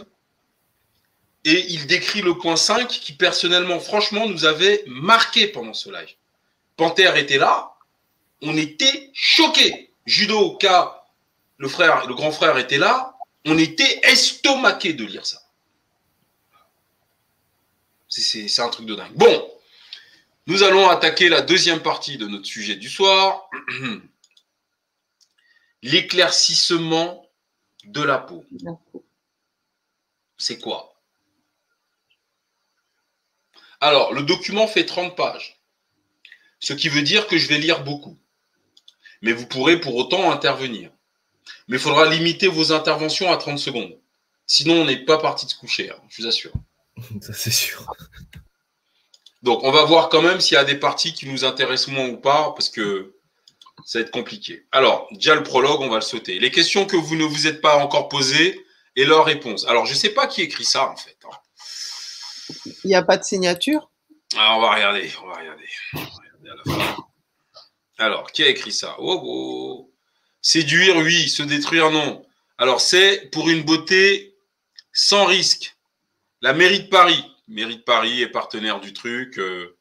alors, qui a écrit ça? C'est euh, Crédit Photo, gna gna, c'est pas là. Remerciements. Voilà. Ah, attendez, bougez pas. apparemment, c'est un truc d'État. Hein. Alors, nous tenons particulièrement à remercier le docteur Petit, dermatologue, euh, à l'hôpital Saint-Louis pour son immense implication dans cette campagne. Merci à Jean-Marie Le Gouen, adjoint au maire de Paris. Ouais, bon, c'est un truc un truc qui a été, euh, disons, euh, soutenu fortement par la mairie de Paris. Hein Écrit association URACA, là, je sais pas. Peut-être, je sais pas. Bon. En tout cas, on va attaquer va attaquer. Ça peut être sympa la lecture. Hein. J'ai pas lu moi, hein. je sais pas du tout ce qu'il y a dedans. Hein. Je vous préviens. Ici c'est la chaîne des fétiches de guerre. je n'ai pas préparé des trucs pendant trois heures pour faire les lives. Vous savez ça. Alors prologue, l'éclaircissement. Qui est concerné? L'éclaircissement. Pourquoi faire? L'éclaircissement. Comment et avec quoi La BD, beauté ébène, la peau et ses problèmes, les produits éclaircissants et la santé s'éclaircir, une nouvelle drogue, s'en sortir, c'est possible. Carnet d'adresse, remerciements. OK, on y va. Alors, produit éclaircissant. Un teint, oui. Euh, je crois qu'Uraka, c'est l'unité de réflexion et d'action des communautés africaines. Ah, voilà. Là, vite fait. Euh, bon, après, il faudrait voir un peu plus, mais bon. Bah, j'espère que dans le, dans, le, dans le document, on va trouver un peu plus d'infos sur, euh, sur cette initiative. Euh, ils ont même une adresse dans le 18e. Ok, bref. C'est bien ça. Hein. C'est bien. Alors, un teint uni, clair et sans tache, une beauté éclatante et lumineuse qui provoque des regards d'envie et des sifflements d'admiration. Le plaisir de la mode, celui de la séduction, ou celui simplement d'être bien soi-même. Trouver ou retrouver la couleur de peau avec laquelle on se sent en harmonie. Euh, en un mot, si vous deviez, pardon, si vous devriez exprimer en un seul mot ce que je viens de lire, je vais le relire. Et, il faudra trouver chacun un mot pour qualifier ce que je viens de lire. C'est-à-dire que si c'est une personne qui, qui, enfin, Regardez, je relis. Qu'est-ce qui vous vient à l'esprit? Un teint uni, clair et sans tache, une beauté éclatante et lumineuse, qui provoque des regards d'envie et des sifflements d'admiration. Le plaisir de la mode, celui de la séduction, ou celui simplement d'être bien soi-même. Trouver ou retrouver la couleur de peau avec laquelle on se sent en harmonie. Un mot pour qualifier cette, première partie texte dans le chat. Chacun a droit à un seul mot. Un seul mot. Florca, tu dirais quoi en un mot? J'aurais pensé à suprématie blanche. C'est deux mots. Bon. Euh, colorisme. Colorisme, ok. Judoka gaulliste.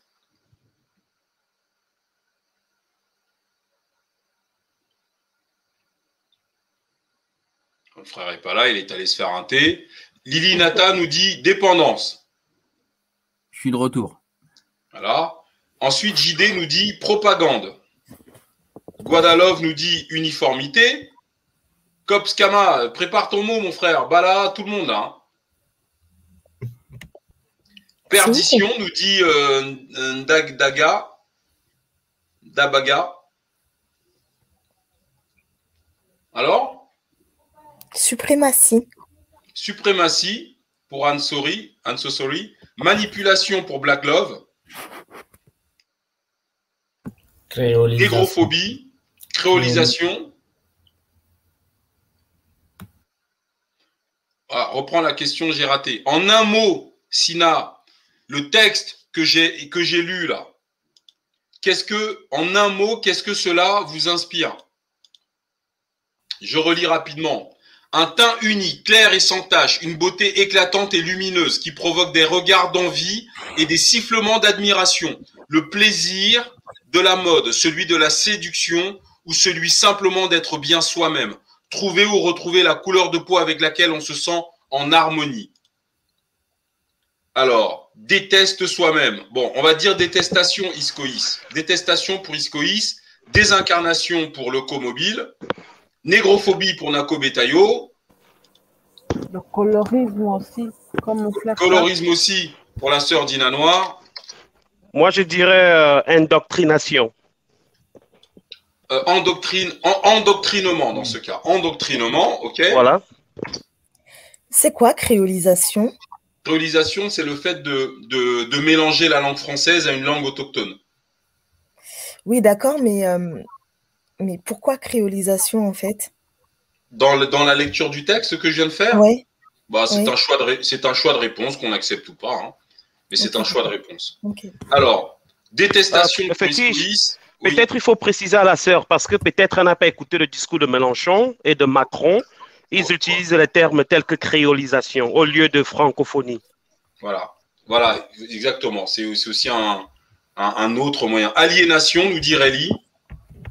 Voilà, universaliste, etc. Bon, moi, le mot qui me venait quand je lisais ce texte, et on est tous hein, dans le même truc, hein, totalement, c'est maladie, malade. Moi, si j'en ai, franchement, si ma fille demain me dit, papa, euh, elle m'exprime ce qu'elle vient, ce que je viens de lire là, je vais me sentir mal pour elle. Parce que là, on est juste en train de décrire le fait d'être mal. Enfin, je trouve, hein, personnellement. Parce que parce qu'on est censé être, être solide, être, euh, être fort, avoir une identité, avoir une culture, ne pas être en recherche. Pardon? Il y a un seul mot qui me vient, moi, c'est désincarnation. Oui, ou désincarnation. C'est-à-dire que là, oui, la personne a envie de changer de corps. Enfin, je ne sais pas. Donc, ça dénote quand même. Moi, je, enfin, c'est très bizarre. Bon, on continue. Que de promesses dans tous ces tubes de crème, ces pots de lait, ces flacons d'huile, ces magasins, ces publicités, ces conseils d'amis qui nous inondent.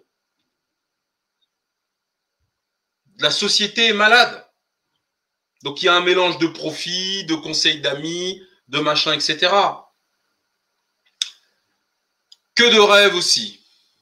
Car tôt ou tard, les promesses s'écroulent et la désillusion est grande. Alors, sur cette peau qu'on a éclaircie à outrance, on a beau multiplier les mélanges, tenter de dénicher les meilleurs produits, commander des crèmes et des savons en Amérique ou dans les pays les plus lointains, les tâches se multiplient et ne s'effacent plus. D'énormes vergetures zèbrent les jambes, les seins ou les bras. Les boutons pullulent avec les poils disgracieux. Oui, parce que les poils continuent à pousser. La peau réduite par endroits à une minceur papier à cigarette laisse voir les veines en transparence et ne cicatrise plus. Les mauvaises odeurs s'installent. Oh mon Dieu. Parfois même, les yeux s'abîment. L'hypertension et le diabète s'aggravent à cause des substances qui passent à travers la peau pour aller dans le sang. Ce sont là des dégâts courants dus aux produits éclaircissants que les dermatologues ont appris à connaître en France comme en Amérique ou en Afrique depuis bien des années.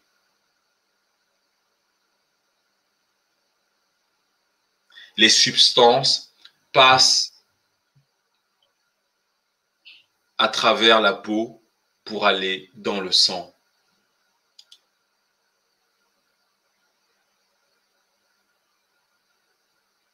Voilà.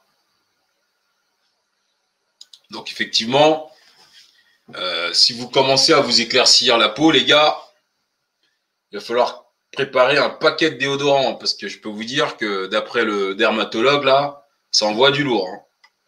Et je confirme, hein, les femmes et les hommes qui ont ce problème-là, beaucoup parlent de problèmes d'odeur particulière parce que chimiquement, la peau se.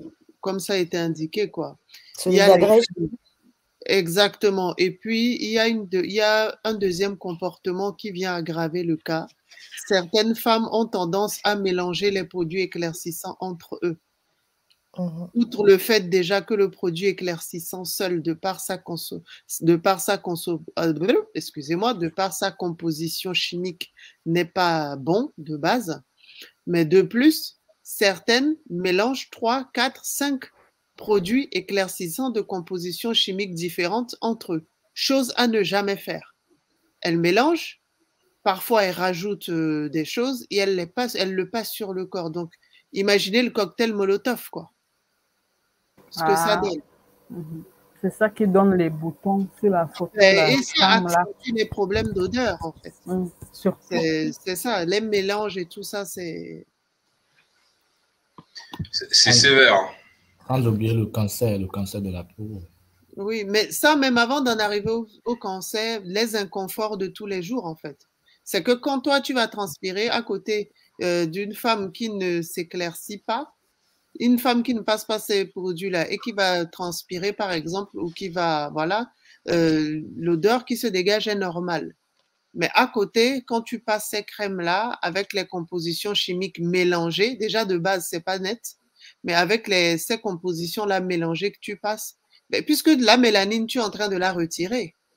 Donc, euh, les pores, là, le- la peau est à l'air, en fait, tu vois. Donc, euh, au final, quand tu transpires, euh, l'odeur est autre. Ce n'est pas ton odeur naturelle, c'est le chimique qui se dégage et tout ça, là.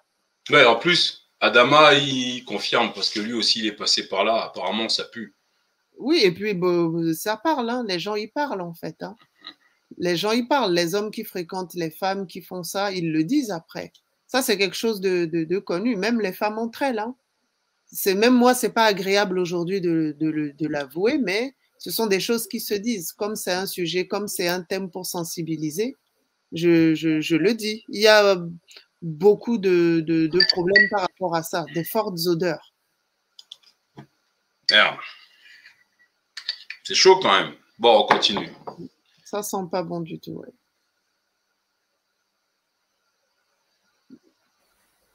Bon, voilà. Donc, hmm, Je suis désolée, hein, j'ai gâté l'ambiance. de- non, non, mais attends. Non, c'est à dire la vérité. Il faut se Voilà. se sensibiliser. Enfin, ceux qui aiment faire ou pas. hein. Je sais pas. Alors, on continue. Je sais pas, je règle juste ma petite, euh, ma petite vision du truc. Voilà. S'éclaircir le teint, quelle qu'en soit la raison, c'est une affaire personnelle. Ouais, c'est sûr.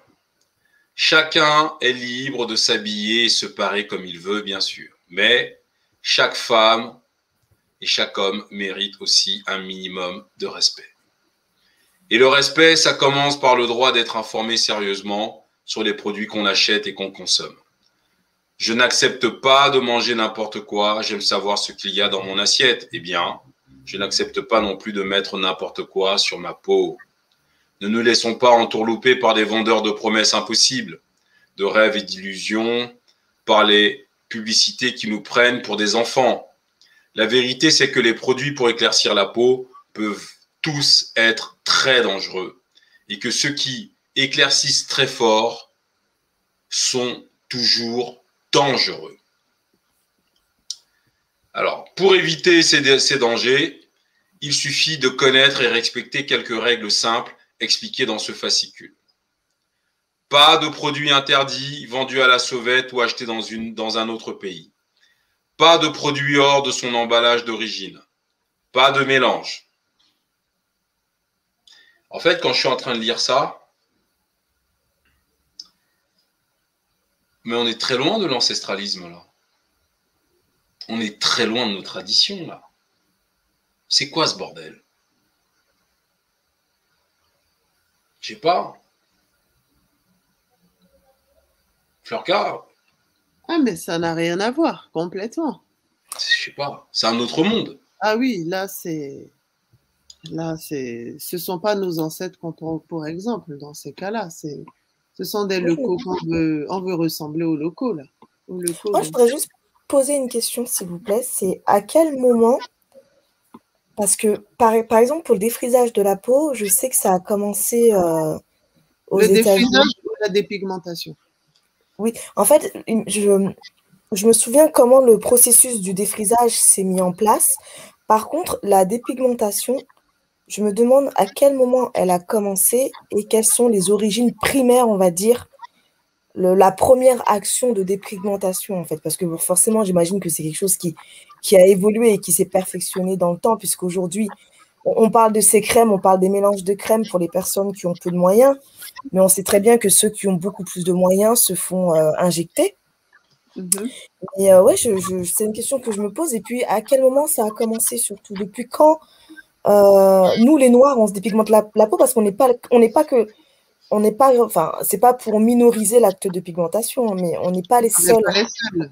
à se dépigmenter. Pour le coup, euh, c'est un, c'est un complexe pour le coup qui est, qui concerne toutes les personnes, enfin toutes les personnes, peut-être pas toutes les personnes, mais certaines personnes non noires, puisque il y a des Indiens qui se dépigmentent la Il y a peau. des il y a Indiens et il y a des Asiatiques aussi. des Asiatiques et des gens du Moyen-Orient aussi Exactement. se décolorent la peau. Donc, visiblement, c'est c'est un complexe de, de personnes euh, avec la, avec, qui ont trop de mélanine, entre guillemets. Mais je me demande ouais, quand est-ce que ça a commencé pour, euh, pour, les, pour les Noirs. Ouais. Mais ça en revient au même, tu viens de le dire, pour ceux qui ont trop de mélanine. Donc tu as posé la question et tu as la réponse dans ta question. Donc si c'est justement un complexe pour retirer la mélanine, on en revient au même point, le racisme et le fait de ne pas de ressembler le moins possible au noir. Et si on fait un rapprochement avec le noir, on en revient à l'esclavage. Là, c'est que si on retraite le cas de l'esclavage ensuite et qu'on reparle du colorisme, on va être parti pour quatre heures. hein. C'est pour ça que je, je préfère envoyer sur le, le live que j'ai fait sur ma chaîne. Si après. Non, mais en fait, c'est pas- ce que je voulais dire, c'était juste dans le sens où, euh, en fait, ce que je voulais dire, c'était pas vra- vraiment avoir une date précise, mais euh, bien sûr que c'est lié au à l'esclavage, mais à quel moment Mais en fait, hein, c'est pas quelque chose que tu peux. C'est pour ça que j'ai que c'est la façon dont tu poses la. Voilà. Ça, c'est pour ça qu'on parle des étapes. Et comme ça parle, et comme on parle des étapes, les propositions cosmétiques, parce que la cosmétique suit le, le temps, suit la mode du moment. Donc, les propositions, les offres se sont adaptées. Maintenant, il faut savoir qu'effectivement, nous ne sommes pas la seule communauté à nous dépigmenter, mais nous le faisons pour des raisons différentes. Donc, comme on traite du cas de la communauté noire, ben forcément, on ne va pas parler de l'Asie. Tu es d'accord? Et on ne va pas parler de, de, l'Inde. On va parler de nous, on va parler de notre histoire. Chacun ses problèmes, en fait. Le jour où les Asiatiques ils voudront traiter de leur cas, ben, ça les regarde, ils, le feront. Mais ta, ta, question, elle est pertinente. Effectivement, il est bon de rappeler que nous ne sommes pas les seuls, mais il est aussi bon de savoir que euh, quand tu prends les Asiatiques, par exemple, qui, ceux qui, parce que surtout dans les marques coréennes, hein, les Coréens qui sont très forts en cosmétiques, de très bons produits et tout ça, euh, ils sont très adeptes. Bon, le, layering, ça c'est une technique de démaquillage, ça marche, mais ils sont très adeptes aussi de crèmes blanchissantes, euh, éclaircissantes, parce que chez eux, mais ça faisait aussi partie dans leur histoire de, ça, c'était en fait un signe de beauté même dans le temps. Quand tu vois les geishas, je ne sais pas si vous vous rappelez dans l'histoire. Ouais, le teint très blanc. Et tout ça, voilà. Donc, on se met de la poudre de riz. Se mettait même de la poudre. Vous comprenez ce que je veux dire? Donc, eux, esthétiquement parlant, dans leur histoire, plus tu es blanc, plus tu es clair, plus tu es beau. Ça, c'est leur histoire, ça. Vous voyez? Chez les Indiens, par exemple, eux, ils font actuellement ce qu'on appelle le bleaching ou le bleach. C'est-à-dire, c'est te rendre dans certains centres. A priori, c'est pas cher payé. Tu payes, euh, je ne sais pas combien. On te met euh, des espèces de produits bizarres sur le visage, un peu comme un gommage, je pense, ou euh, un peu comme des peelings bizarres. Et tu sors, ça t'enlève deux ou trois teintes hein, de la peau. Et beaucoup d'actrices et tout ça de cinéma, de Bollywood et tout ça font ça. Tu vois? Ça, eux, chez eux, c'est que la caste chez les Indiens, vous savez qu'eux, ils ont un système de classement par caste. Vous êtes d'accord? Mmh. Et il y a ce qu'on appelle les Dalits, justement, la classe la plus basse, où généralement les peaux sont foncées. Donc chez eux, plus tu es clair, c'est lié à la caste en fait. Mais en fait, de richesse. Voilà. Moi, j'explique en fait que la, la, vision est différente. Chez nous, les Noirs, il faut savoir qu'avant qu'on ne s'éclaircisse, en fait, la différence chez nous, c'est que la peau noire, la couleur noire n'a jamais été un problème. Parce que les Égyptiens, étaient noirs. Et à la base, la couleur noire était la couleur la plus recherchée. Les femmes noires. On nous appelait le peuple solaire. Exactement. Et, les, en fait, c'est ça la différence. C'est pour ça que je vous ai fait toutes ces explications-là pour terminer avec notre communauté. C'est que la femme noire, les critères de beauté de la femme noire étaient les critères les plus euh, convoité. Raffiné. Raffiné. Quand tu prends la Bible, toutes les histoires, quand on parle de la reine de Saba, euh, toutes les femmes égyptiennes, même euh, Agar, celle qui, qui, qui a fait l'enfant à Abraham et tout ça, c'était toutes des femmes noires. Et quand elles sont décrites, c'était des femmes belles. Aucune référence négative n'était faite à leur peau. Oui, d'ailleurs, Homer. voilà, leur beauté était, était réclamée. Donc aujourd'hui, si ça a basculé, je termine juste à mon frère. Mhm. Aujourd'hui, si ça a basculé, c'est parce qu'il y a eu cette influence de tout ce qui est euh, esclavage, colonisation et tout ça. Ils sont venus renverser en fait cette vapeur-là. C'est pour ça que chez nous, le, le, tout ce qui est dépigmentation, la connotation, elle est différente. Elle est tout autre. C'est qu'à la base, nous, la peau noire n'a jamais été un problème pour nous. Elle était même recherchée. C'est pour ça que mmh souvent, quand on pose des questions, souvent je dis que ce n'est pas la même histoire. Tu vois, tu ouais, c'est pas, c'est pas culturel, je veux dire. Voilà, tu vois, mais quand tu vois, tu vois quand même qu'il y a des différences. Le comportement, tu vas voir qu'il est le même, mais ce n'est pas euh, pour les mêmes raisons. Voilà. Enfin, j'espère avoir répondu. Hein. Mais le truc, c'est que euh, en 850 avant Jésus-Christ, dans les écrits d'Homère, aucun homme blanc ne pouvait avoir la prétention de prendre une femme noire pour épouse. Tellement il se sentait très très loin intellectuellement des Noirs en fait. Homère écrit que les hommes et les femmes noires étaient les hommes et les femmes les plus respectés de la terre. Parce que nous étions et nous sommes les hommes les plus anciens de la terre. Et que personne sur terre ne vivait aussi vieux que les Noirs. Ramsès II est mort à 92 ans. 92 ans. Et en Afrique, c'était pas rare, même aujourd'hui. On vit très vieux, contrairement à ce que les abrutis la racontent. Bien sûr, quand ils viennent pas massacrer les gens dans les villages. Le problème maintenant en Asie, les Noirs, nous avons peuplé la terre en Chine aujourd'hui, il y a des Noirs. Il y a des Noirs partout sur Terre.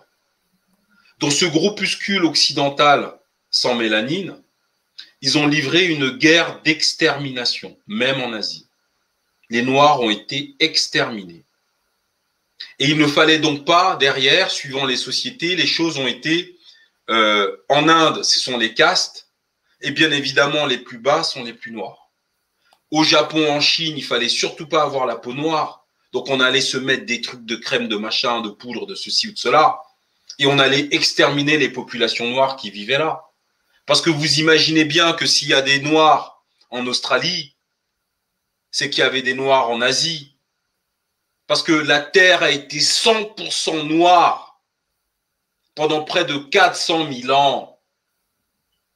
Et les Asiatiques, ça fait pas 50 000 ans qu'ils sont là. Donc ces gens-là ont fait la guerre au peuple noir. Et pour éviter de ressembler à ceux qu'ils ont génocidés, ils s'interdisaient que leur peau devienne foncée. Les geishas, les histoires de caste en Inde, etc. Parce que l'Occident, là, les Blancs, là, en Europe, là, ce sont des peuples qui ne sont pas autochtones de l'Europe. Ici en Europe, on était noirs, 100% noirs comme nous, comme ailleurs. Ce sont des envahisseurs, ce sont des Mongoliens. Ils viennent de, la Mongolie, des steppes mongoliennes, les Occidentaux actuels. Parce que l'Occident n'existe pas vraiment. C'est juste l'Asie de l'Ouest. On est toujours sur le continent asiatique ici, hein. en Europe. Hein. C'est le continent asiatique. L'Europe n'est pas un continent. Regardez, rejetez un œil sur votre carte. C'est l'Asie de l'Ouest. Et ces populations-là ont quitté la Mongolie, les steppes vides en Mongolie, sont passées par la Russie pour venir. Et c'est pour ça qu'on les appelle les Caucasiens. Parce qu'ils sont passés par le Caucase pour venir génocider les populations noires qui vivaient ici. Donc, il a fallu, ces peuples-là ont dû le noir, c'est-à-dire que la, la, le mépris pour notre teint de peau, ça ne date pas de Willy Lynch. C'est beaucoup plus ancien que ça. Beaucoup plus ancien que ça. Donc le racisme euh, couleur de peau, là, c'est pas une histoire qui a 2000 ans. C'est une histoire qui a 8, 10 000 ans. En tout cas, à la lumière de ce que j'ai appris chez le professeur Rek Miret et chez Jean-Philippe Omotunde, même euh, Nation d'agriculture euh, du professeur Tchekanta Diop. C'est pour ça qu'on les appelle les caucasiens. Eh oui. Il n'existe que quatre continents, l'Afrique, l'Amérique, l'Asie et l'Océanie. C'est vrai, l'Europe, ça n'existe pas. L'Europe, c'est quoi? C'est juste un bout du territoire asiatique, c'est l'Asie de l'Ouest. On devrait d'ailleurs, et ça c'est un truc que l'on devrait noter euh, dans notre abécédaire, c'est pas l'Europe, c'est l'Asie de l'Ouest. C'est tout. Je continue. Tu veux rajouter quelque chose, Lorca, avant que je redémarre? Non, c'est bon pour moi. Merci hmm. beaucoup. Alors, j'ai un moustique qui est en train de. Ah, je te jure, dans ce pays-là. Alors, il faut remercier la mairie de Paris. Bon, pas hein. Donc, je souhaite que cette initiative se pérennise et s'étende à d'autres villes et dans le monde entier. Partout, les consommateurs continuent de se faire berner par les mensonges de ceux qui fabriquent, vendent ou vantent des produits éclaircissants interdits et dangereux. Moi, j'ai une question. La mairie de Paris, ça m'énerve de le citer, la mairie de Paris. Est-ce qu'en France, il existe des entreprises, d'après vous, qui vendent des produits éclaircissants pour la peau, donc qui sont hautement cancérigènes, pathogènes, etc., qui sont interdits de vente en Europe et en France, bien évidemment. Et ces mêmes entreprises vont les vendre en Afrique. Est-ce que vous pensez que des entreprises françaises trempent dans ce commerce morbide? Oui. Alors pourquoi est-ce que nous devrions remercier la mairie de Paris?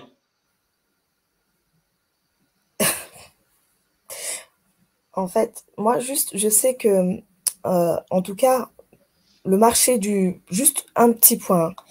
Euh, ça répond pas tout à fait à ta question, mais le marché du luxe euh, qu'on connaît là, les, euh, les Dior, les machins, ils, fabriquent des produits éclaircissants, c'est vrai, de, luxe pour le marché notamment asiat- asiatique et maghrébin. Je sais que je ne sais pas s'ils proposent ce type de produit sur le marché africain, mais en tout cas, je sais qu'ils font des produits éclaircissants de luxe pour le reste du marché qui ne nous concerne Alors, pas. Bien. Oui, Alors, pourquoi est-ce que tu penserais. Pardon, excuse-moi. Non, non, vas-y, vas-y, euh, je vais répondre après toi. Parce que je, connais pour- un peu le. Pourquoi est-ce que tu penserais que qu'il ne le ferait pas pour le marché africain noir Euh, non, je sais, je, non, non, je ne dis pas que. Du coup, non, non, au contraire, je pense, je me dis que je sais qu'ils le font pour le marché du luxe. Alors, je me pose une, la question est-ce que justement, ils ne seraient pas derrière euh, Est-ce qu'ils ne, est-ce qu'ils seraient pas non plus derrière euh, ben, le, les autres produits euh, éclaircissants entre guillemets euh, plus communs? Est-ce, en- est-ce qu'ils les financent pas non plus? Probablement. Je ne sais pas par contre. Ça, je sais pas.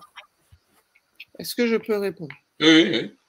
Alors, c'est là, on va rentrer dans ce qu'on appelle le lobbying, en fait, hein, le puissant lobbying de tout ce qui est produit éclaircissant. Effectivement, euh, Chanel fait euh, leur gamme, c'est le blanc. Je ne vais pas leur faire de la pub, je ne vais pas les nommer. Chanel fait une gamme effectivement éclaircissante, adaptée pour, comme tu as dit, pour tout ce qui est asiatique. Euh, je n'aime pas trop les nommer, mais voilà, Dior, Clarins et tout ça, ils le font. Et certaines femmes sur le continent noir qui veulent justement avoir ces produits éclaircissants-là euh, font le voyage, viennent parfois aux États-Unis ou achètent sur Dubaï. Moi, je sais que beaucoup euh, achètent sur Dubaï ou dans les aéroports. Vous savez, en free shop, là. Parce que Mm. comme ce sont des zones internationales, euh, ils ne se prennent pas la tête avec les contrôles, vous voyez, en achetant en France. Mm. Un réseau. Mais ça, pour les produits de luxe. Maintenant, pour les produits accessibles, il faut savoir que L'Oréal euh, est un des plus grands distributeurs de produits cosmétiques en Afrique. Et L'Oréal travaille énormément, fait beaucoup de produits éclaircissants. Maintenant, pour les produits dangereux, il y a dangereux, dangereux et dangereux. Il y a dangereux, dangereux, très dangereux, les produits avec des substances interdites. Des substances interdites en France, par exemple. On va parler de l'hydroquinone, on va parler de l'arbutine, mais fortement dosée. Même l'hydroquinone, elle est autorisée, mais uniquement sur prescription médicale par un dermatologue. Euh, là, on va parler de, voilà, de substances telles que les cortisones, enfin, vous les connaissez, vous allez trouver la liste. Ces produits-là qui sont dangereux et refusés en France se retrouvent quand même dans, certains, euh, dans certaines crèmes euh, voilà, qu'on vend et tout ça. En fait, certains fabricants, comment vous expliquer, vont dribbler le, la loi. Vous voyez? Ils Mm. vont mettre les composants dans les produits et ils vont mettre autre chose en étiquette. Ils vont mettre autre chose sur l'étiquette. Ce qui fait que toi, tu achètes le produit, tu penses qu'il est clean, alors qu'en fait, pas, il n'est pas, en fait, il n'est pas clean. Et tu as des laboratoires comme ça, dont je ne citerai pas le nom, qui se font tester chaque année et qui se font prendre parce que justement, les composants ne sont pas clean. Ça, c'est ce que j'appelle dangereux, dangereux, très dangereux. Maintenant, tu vas avoir les produits euh, dangereux, pas très clean, mais ici, ils appellent ça safe, dans le sens où les composants sont, euh, sont autorisés. Là, dans ce cas-là, c'est tous les produits éclaircissants que tu peux acheter en France sur Internet et tout ça. Et là, tu trouves souvent de l'arbutine, pas trop dosé. Tu trouves souvent du mûrier blanc. Le mûrier blanc, euh, tu trouves ça aussi dans les, dans les crèmes de luxe. C'est quelque chose de très, très cher. Donc, généralement, les crèmes faites avec du mûrier blanc sont très chères. Et tu as aussi d'autres, la busserole, par exemple, c'est très bien. Et quand je dis dangereux et pas, c'est parce que la busserole en elle-même euh, euh, produit de l'arbutine qui euh, peut être un dérivé de l'hydroquinone, qui à la base, lui, est dangereux. Tu vois l'hypocrisie du truc. L'hydroquinone est classé comme étant dangereux, mais l'arbutine est autorisée. Tu vois? C'est pour ça qu'il faut faire gaffe. Donc, l'hydroquinone bien dosée peut avoir le même effet que, euh, excuse-moi, l'arbutine fortement dosée peut avoir le même effet que l'hydroquinone, en fait.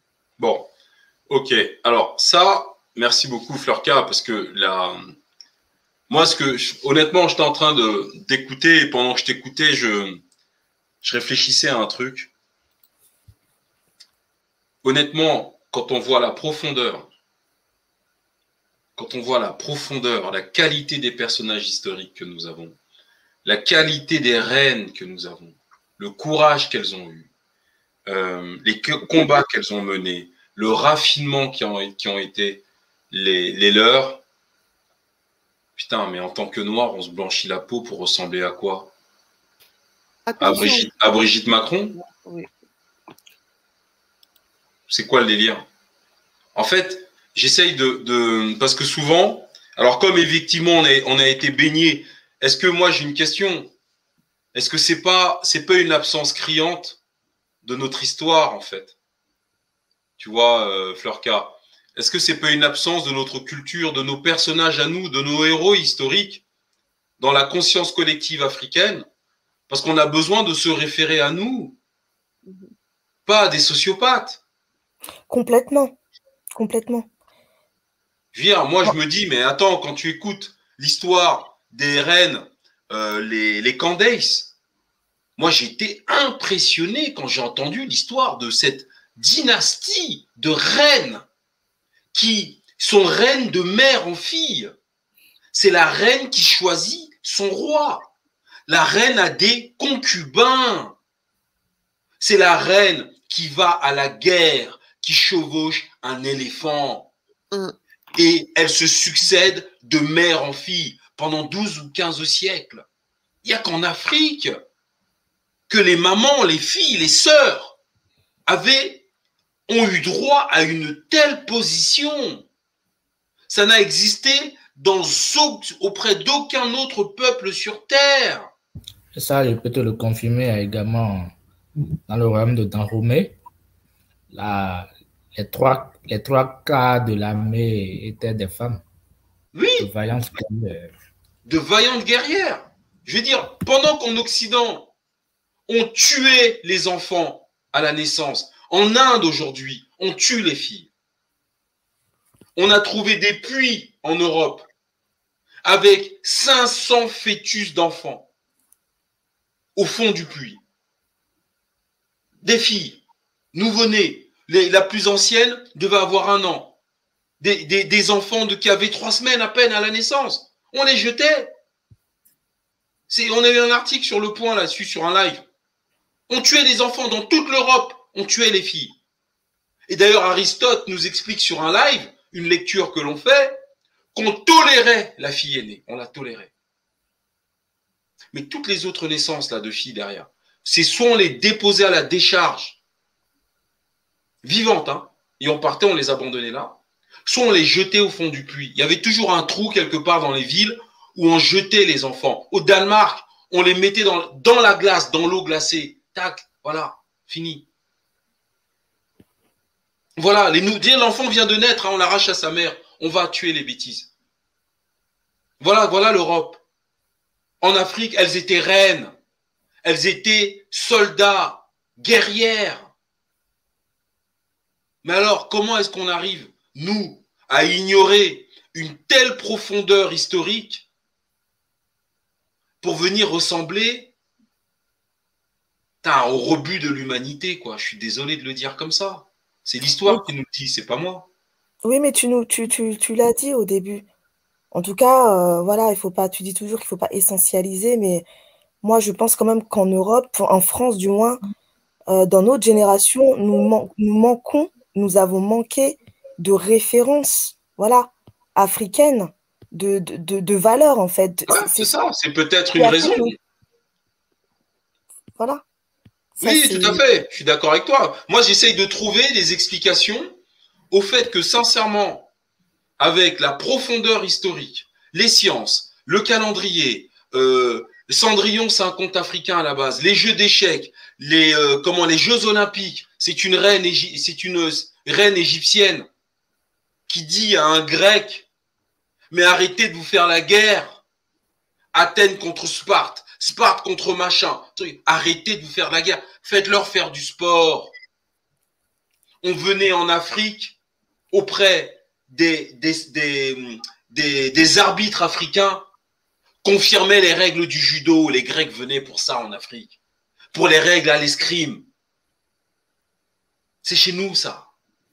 Oui, parce que il y a la dépossession matérielle, je veux dire, de, de nos richesses, mais il y a aussi la, la dépossession euh, culturelle et le fait de. euh, Enfin, comment dire C'est d'avoir euh, mis, comment dire, omis notre passé, en fait. C'est ça, tout à fait. Mais En fait, ils ont sauté l'histoire où nous étions dominants et l'histoire où eux, ils sont revenus nous récupérer. Et il fallait casser cette histoire-là pour nous maintenir. Pour nous maintenir. mentale. Donc la guerre, elle est à tous les niveaux, aussi euh, du côté médiatique et de la beauté. C'est pas pour rien. C'est pas pour rien quand tu, tu croises. euh, il faut bien voir, même jusque dans les dessins animés, la sorcière, elle est représentée comme tu en noir. avec des Ah, cheveux. Et la fée, souvent la fée est blonde aux yeux bleus. Voilà. Avec très.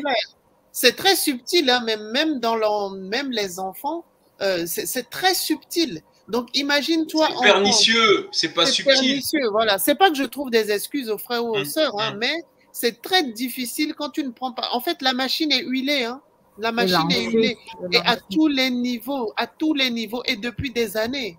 Donc la pression, Ouais, elle est constante, la guerre, elle est constante et elle est à tous les niveaux. C'est subtil, c'est très subtil. Donc c'est pour ça que je dis que ce, ce type de combat-là, on peut pas le mener simplement en disant aux femmes, si vous utilisez les crèmes, vous allez mourir. Elle, elle s'en fiche. Elle Ça. dit juste qu'on va tous mourir un jour. Mais en attendant, je vais me faire belle. Voilà. Donc, Les il faut- feuilletons, quand on montre les feuilletons euh, lors de la pub, c'est cette publicité-là qu'on montre.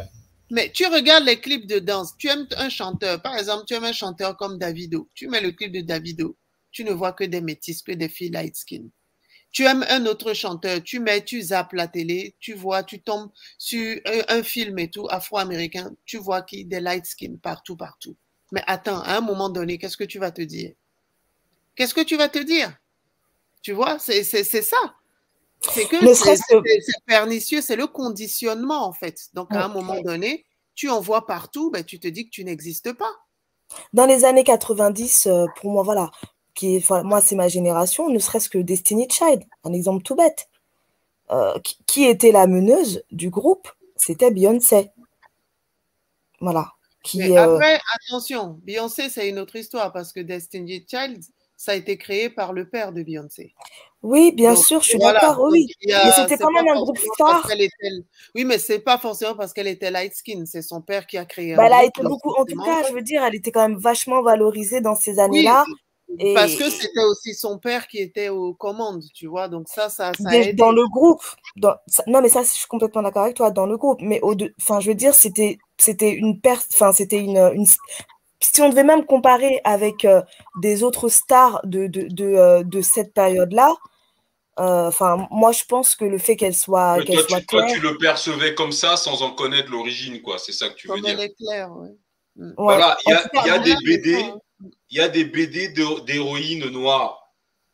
Il va falloir inonder nos enfants avec. Il va falloir qu'elles aient d'autres référents que les, les sociopathes, là. Je suis désolé. Non, mais pourquoi désolé? C'est la vérité. C'est Il pas la faut, il faut, parce que là, ça. là c'est chaud, c'est important. Il y a des BD, il y a de la production de nos frères. Et les poupées noires, là, aux Voilà, et donc, le- S'assurer que l'auteur est un noir. Je suis désolé. Maintenant, on a dit que dorénavant, nous allons prendre soin les uns des autres. Africa First. C'est fini d'aller acheter chez Fernand Nathan. hein. Maintenant, on va chercher euh, Jean Atangana. Voilà. C'est- C'est c'est comme ça. Donc, nous, on a des, des héroïnes, là. Il faut livrer ces héroïnes à nos filles. Elle, elle n'est pas blanchie, elle n'est pas machin. On doit travailler leur conscient, mais aussi leur, euh, leur subconscient ou leur inconscient. On doit s'occuper des nôtres. En face, c'est la mort. Il n'y a que la mort. La domination et la mort. Et c'est déjà écrit ce texte dans le tombeau de Ramsès II. Voilà. Le cartouche de la représentation des peuples. Fétiche. Ouais. Sans te couper, maintenant, je crois que c'est deux ans, trois ans, ils ont fait même une Barbie noire, en fait. Je sais Hmm. pas si tu as fait le, si tu as, si tu as vu. Oui, oui, j'ai vu qu'ils ont fait une Barbie. Alors, Guada Love, Medina Love, c'est quoi ça? C'est un spam ou je vire ce truc ou c'est comment?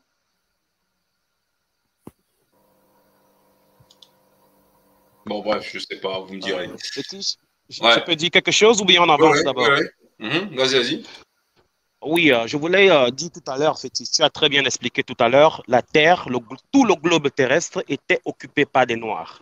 Et euh, quand on regarde aujourd'hui géographiquement, on observe une forte concentration des gens à peau foncée un peu au-dessus et en dessous de l'équateur. Et là, ça nous montre à quel point le génocide a été atroce contre les Noirs, parce qu'on était partout. Et aujourd'hui, on retrouve les aborigènes on retrouve des aborigènes en Australie, on retrouve des Noirs euh, dans, euh, en Asie, jusqu'en Asie, jusqu'aujourd'hui, il y a des Noirs qui sont euh, en train d'être tués. Donc, il y a un génocide qui se passe contre eux. En Amérique du Sud aussi, il y a eu des Noirs. Maintenant, la forte concentration se retrouve au-dessus, un peu au-dessus et en dessous de l'équateur.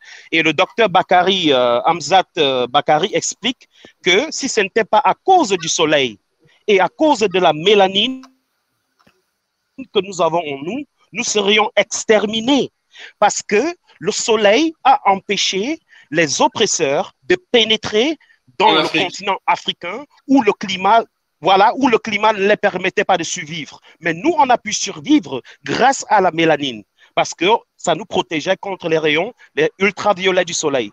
Donc, il est important que nos frères et sœurs comprennent la richesse euh, qu'ils ont en eux. Donc, cette mélanine, c'est une protection. C'est un don de Dieu pour, pour qu'on puisse survivre au cours du temps. Et le deuxième volet de mon intervention, c'est par rapport euh, aux capteurs. Donc, euh, je travaille un peu tous les jours euh, avec les capteurs météorologiques, parmi lesquels il y a un capteur qui s'appelle le pyranomètre. Le pyranomètre est un capteur qui permet la mesure de la radiation solaire. Et dans ce capteur, voilà, l'élément le plus important dans un pyranomètre, c'est le thermopile. C'est une surface noire. Cette surface est toujours noire parce qu'elle est idéale pour la mesure de la, du rayonnement solaire. Voilà. Hmm. Et pourquoi le noir et pourquoi pas le blanc? Pourquoi cette surface du, de ce détecteur dans le pyranomètre doit être noire? Parce que la couleur noire est idéale pour l'absorption des rayons ultraviolets. Et quand ce capteur euh, emmagasine le rayonnement ultraviolet, elle convertit ce rayonnement en voltage. Donc le capteur s'auto-alimente. Donc quand je reviens maintenant, quand je projette ça sur les personnes et les humains noirs, comprenez que notre peau à la couleur noire foncée, la mélanine, nous permet d'absorber les ultraviolets et en fait empêcher la pénétration de ces ultraviolets jusqu'au niveau de nos os et jusqu'au niveau de nos tissus intérieurs. Et là, ça nous protège contre le, contre le vieillissement, ça nous protège contre les problèmes de peau, les maladies de peau, le cancer, ça nous protège aussi contre le, euh, voilà, le vieillissement. Donc, il est important de noter ça. Voilà, je vais m'arrêter un peu là. Je pouvais développer en plus, mais je vais m'arrêter là. Merci. Ça, c'est vrai. Et je pense que cette mélanine fait, fait objet de convoitise. Hein, et les autres, euh, ils nous envient ça fait partie de la, ça fait partie, euh, partie intégrante de tout ce qui explique cette jalousie. moi, je prends ça comme une jalousie qui ne dit pas son nom. Et, c'est en fait ça, quoi. Alors, Parce que quand, quand on compare mais les personnes âgées de la race noire avec les leucodennes, la beauté, la personne noire africaine demeure toujours. Et moi, je ne vois pas vous, n'avez qu'à faire le constat vous-même. Non, mais notre peau, elle vieillit bien parce que justement, euh, il a très bien expliqué. Et, euh, et en plus, elle, est plus résistante. Enfin, non, non, c'est pour ça que nous, les Noirs, nous vieillissons physiquement, enfin, en termes d'apparence, mieux que les personnes non noires. Hein. Ça, il n'y a pas de photo. Hein. On, on, vieillit mieux que les personnes non noires, c'est clair. Parce que majoritairement, chez les Noirs, il n'y a pas eu aussi de consanguinité. Ça, faut pas l'oublier. Voilà, les mariages entre hein. cousins, là, chez nous, il n'y en a pas beaucoup. Mhm. Eh oui, faut pas se tromper. Moi, j'ai des clients, franchement, j'ai des clientes même. J'en ai, bon, je vais pas dire, mais j'en ai des, de, des clientes de confession juive. Ça fait 13 ans que j'ai mon cabinet.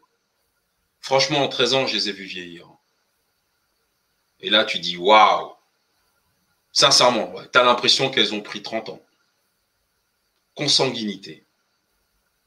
Dans vos histoires entre cousins, là, il faut bien réfléchir du sort de vos enfants derrière. Parce qu'il y a ça aussi. Eux, non seulement ils ont une peau qui n'a qui, a pas les, a comment dirais-je, les, caractéristiques de la nôtre, c'est vrai, mais ils ont en plus cette histoire de sang bizarre. Moi, j'avais des collègues de travail, là, ils, ils quasiment tous les deux mois, il était chez le médecin. Sur l'agenda, absent, médecin, machin. Mais je dis, mais attends, tous les deux mois, tu es chez le médecin, c'est quoi ton truc? Il me dit, j'ai des problèmes osseux. Ça, c'est vrai. Les thématologues, ça, ça ne coupe pas les rues. En Afrique, on n'a pas, on pas de thématologues. consanguinité. Voilà. Consanguinité. Donc, il faut bien réfléchir. Oui, on a nos qualités aujourd'hui parce qu'on a nos parents la majorité de nos parents, la grande majorité, Mamadou qui venait du Sénégal, il m'avait parlé un midi de ça, je ne sais plus de quoi on parlait, puis il me parlait de mariage entre cousins et tout. Je lui dis, mais t'es malade ou quoi? Il me dit, non, non, c'est nous, ça se fait et tout. Je dis, mais t'es fou, on fait pas ça. Et il insistait. Mon petit qui venait du Sénégal, là. Donc on allait sur Google, tac, tu lui dis, regarde, vas-y, tape consanguinité. Il était comme ça, les deux mains sur la tête ce qu'il était en train de lire, les conséquences. Il m'a dit, eh, avec l'accent, il a dit, non, maintenant j'ai compris. Je dis, voilà, c'est là. Val maintenant lui parler de, mariage entre cousins. En fait, j'étais surpris qu'il insiste autant, en fait. Je lui dis, mais attends, mais viens, viens, viens. Hop, je t'ai mis devant le PC, là, tac. Vas-y, tape, consanguinité. Là, quand il a lu l'explication, donc il faut aussi comprendre que on est majoritairement constitué de façon correcte. Il n'y a pas de mélange de sang au sein de nos familles. Il n'y a pas de consanguinité. Et oui, évidemment, ça aussi, ça nous aide à bien vieillir. En plus, évidemment, de, notre peau, etc. Mais j'insiste sur ce point. Alors, c'est qu'on mange, en fait. Oui, bien sûr, mais honnêtement, la consanguinité, c'est le pire des trucs pour moi. C'est vraiment, c'est pas la même chose. Allez voir les femmes arabes là quand elles vieillissent. C'est franchement pas la même chose. Donc faut faire attention. Oui, oui, regardez bien les maghrébins. Quand ils prennent ou quand elles prennent de l'âge, elles vieillissent pas comme nous. Donc, ici, pour répondre, je suis tombé sur un site par hasard. Hein. Euh, ici, vous avez un, un artiste, je ne sais pas comment il s'appelle, voilà, il est là. Il fait des bouquins avec des héros noirs. C'est important pour nos enfants. C'est important. Voilà. Le premier pharaon, c'est le titre du bouquin. C'est important. Ça, ce sont des lectures pour nos enfants. Ils ont besoin de se construire. Oui. Excuse-moi de te couper. Étudiant malin? Vers le lien. Il est dans Ah. le chat. Il veut le lien, s'il te plaît. Excuse-moi de te couper. Pas de problème. Donc c'est important. Vous voyez que la sœur Florca tout à l'heure, quand elle dit que c'est un combat tout azimut, c'est un combat tout azimut. Qu'est-ce qu'il y a dans la tête de vos enfants? Tiens, à propos, je- demain, je fais un live hein, sur Mhm. ça. Beauté, identité et éducation de nos enfants. À 22h. Demain, Soyez nombreux. Soyez nombreux. Merci, Dina. Noir. Je suis ta secrétaire. Hein. Tu as retenu l'heure. Quel est le canal? Le canal, c'est secrétaire. À 22h. Le canal, c'est c'est le lien de ma chaîne euh, euh, PK. Oui, je hein. vais, je vais la publier tout de suite. À 22h. On Mais vous demain à attend nombreux, 22h, nombreuses. hein. ce sera un live nocturne où on traite de ça. Beauté, éducation et identité de nos enfants. Ah, Attends, je J'ai remplacé les idées à Africa. Excuse.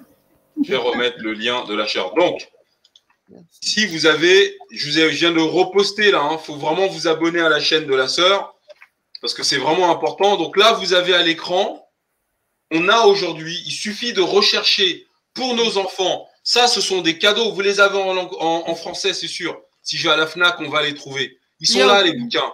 Il y a aussi The Last Commit, là, qui est pas mal du tout. A- oui, The Last Camit, euh, voilà, il, il y a, voilà, et les frères sont là. ils produisent pour nos enfants. Et comme de, de, beauté, de dépigmentation, bon, demain on va le dire, mais je le dis aussi, ne pas hésiter à offrir des poupées, des poupées noires à vos filles. Hein, il y a une sœur dans la communauté qui le fait, Princesse Cadol, Hmm. qui fait des poupées magnifiques. Hmm. Euh, il y en a pas mal, quoi. Pensez quand vous avez des enfants, on n'y pense pas parfois, mais c'est une erreur monumentale pour l'identité et la construction du mental de l'enfant. Quelles est des poupées auxquelles elle peut s'identifier de belles poupées, de belles poupées pour enfants. Tu as Euh, ça, le lien du site de Princesse Cadol ou pas? C'est sur. Insta. Je n'arrive pas à trouver le lien. J'ai tenté, mais c'est sur Insta. Mais ju- jusqu'à demain, je suis en train de travailler à récupérer tous les liens. Elle a Euh, sa chaîne sur. YouTube, hein, Fétiche. Si tu Ah, elle a une chaîne euh, YouTube. Ah, Elle a ben, une chaîne sur YouTube. Tu tapes Princesse alors. Ouais. ça va s'afficher tout de suite. Je vais aller voir tout de suite. Bonsoir, étudiant malin. Bonsoir, étudiant malin. Allô, allô. Oui, comment vas-tu? Oui, je vais bien, je vais bien, je vais bien. Je vous ai pris un peu en, en différé là. Je suis allé regarder un peu, suivre rapidement le, le début du live. Euh, oui, par rapport à votre dernier échange, la fétiche, j'ai mis un- j'ai rajouté un lien là dans le chat privé qui explique un peu comment la, la dépigmentation s'est implantée sur le, un peu son, son historique quoi. Ah, yes. Oh, bah, parfait. Tu... Merci. Voilà. merci beaucoup. Donc là, je viens de vous poster. Donc là, c'est Ouais. poupée africaine. Voilà. Donc vous avez la- la- le lien YouTube de la chaîne Princess Caddles. Donc euh, faut aller quoi, il faut aller voir, faut aller voir ce qu'elle fait. Aujourd'hui, on n'a pas d'excuses, on n'a pas d'excuses. Nous pouvons servir à nos enfants un univers noir, valorisant sur tous les aspects. On est, on est combattu tout azimut, mais on a des réponses tout azimut aussi. Et on a cette profondeur culturelle, spirituelle, historique, scientifique qui fait qu'on est imbattable. Imbattable. Ils veulent jouer au raciste, mais il n'y a pas de souci. Il n'y a pas de problème. On a de quoi répondre. Donc il faut répondre avec la culture, avec notre histoire. Donc ça, c'est l'origine du, de la dépigmentation. Voilà. Je viens de vous poster le lien. Donc, on va revenir à notre lecture. Donc, vous voyez quand même, euh, il y a des trucs de, de dingue. Alors, la lecture. Étudiant malin, comment vas-tu? Oui, je vais bien, je vais bien, fétiche. Ah, je sors du, du boulot là, il y a quelques, il y a peut-être une heure là. D'accord. Alors, moi, je suis en train de me faire dévorer par un moustique raciste là. Putain. Tu dis qu'il n'arrive plus à décoller après, donc ça va. Il faut pas le tuer. hein. C'est peut-être un ancêtre là-bas. là. Ah ouais, c'est ça, ouais. Les ancêtres, ils viennent pas me pomper le sang, ma soeur, je te le dis. Un sang corsé. Surtout qu'après, ils arrivent même plus à décoller. Mais j'ai une astuce si tu veux prochainement. C'est quoi? Le, le vaporible, là. Enfin, je sais pas si tu aimes ça. hein. Non, non, non, non, non, non, non. Hein? Non, non.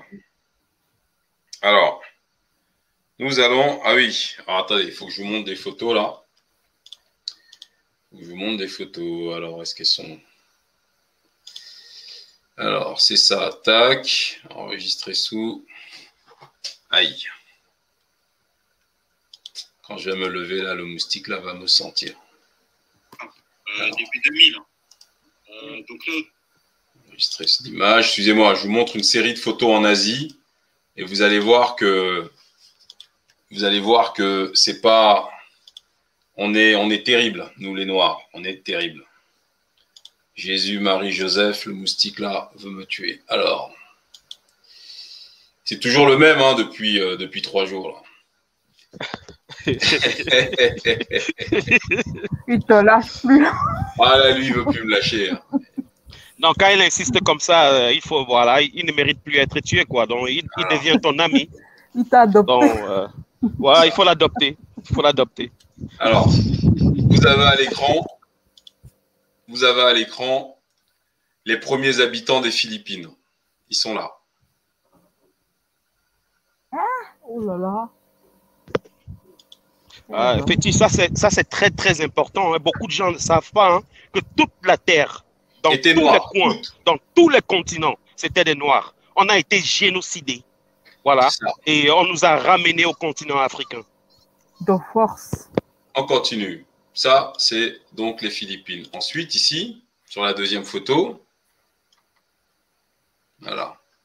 Ici vous avez un noir. Et on est en Chine. Monsieur Un Naki, un des derniers noirs de Chine. Il est là. Voilà. Et vous voyez bien sur sa peau là, c'est mélaniné. Et c'est National Geographic qui publie la photo. Ensuite, tac, Ici à gauche, voilà, vous avez les négritos de Malaisie. Ils sont là, les gars. À droite, Sizowat du Cambodge. Il est là, il est noir. Voilà. Un métis de noir et de mongol. Voyez? Là, on est en Asie, hein, on n'est pas en Afrique, là. Hein.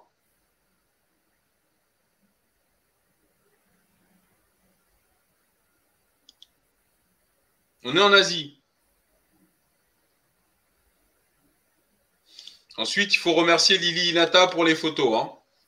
Ici, voilà. Actuellement aux Philippines, aujourd'hui, aux Philippines, voilà les noirs que vous pouvez trouver.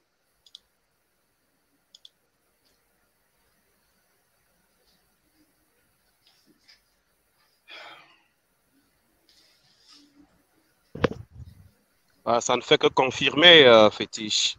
Ça ne fait que confirmer que euh, voilà, il y a un génocide euh, pas possible, hein, à, grande envergure, hein, qui s'est passé contre les Noirs. Alors aujourd'hui aux Philippines, voilà les Noirs. Aujourd'hui. Alors moi je sais pas, Florca, un commentaire, ma soeur Non, ça, enfin, moi je suis, mais non, là pour l'instant, je ne vais pas t'interrompre. Merci. Donc, on va reprendre notre lecture. Mm. Quelqu'un d'autre, un commentaire avant que je reprenne? Euh, Moi, je voulais simplement vous féliciter pour la qualité de ces recherches-là, parce que c'est plus que de l'anthropologie. L'anthropologie africaine, pas, pas occidentale, bien sûr. Non, c'est important de savoir que ne sous-estimons pas nos forces. À eux, on viendra leur parler des Candace, des Ramsès, des Nefertiti, de la Renti, de Akhenaton, de Nefertari, etc. Et ils se régaleront. Et c'est pour que nous ne parlions pas au monde noir de la planète que l'on nous a pris dans le piège du racisme, pour éviter que nous prenions soin les uns des autres. Parce qu'on est encore aujourd'hui le peuple le plus puissant de la planète. Il va falloir qu'on passe sur euh, média, en fait, média. Voilà. Euh, fétiche.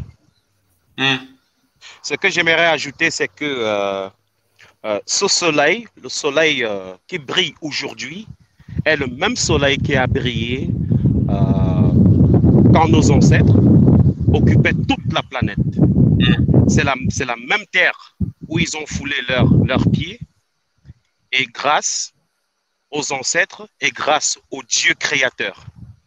Et tout ce qui a été fait contre le peuple de Dieu, le peuple originel, sera retrouvé et sera reconstruit sous le même soleil. Alors, Vous voyez les cheveux là? La, la, deuxième là, elle a vraiment les cheveux comme nous. Vous voyez le mélange, les cheveux sont pas les mêmes là, vous voyez? La première a pas les mêmes cheveux que la deuxième. Vous voyez? Donc c'est, je sais pas quoi dire. Donc il faut qu'on arrête de se laisser, euh, de se laisser embobiner la tête par des sociopathes qui viennent nous vendre l'homosexualité en Afrique.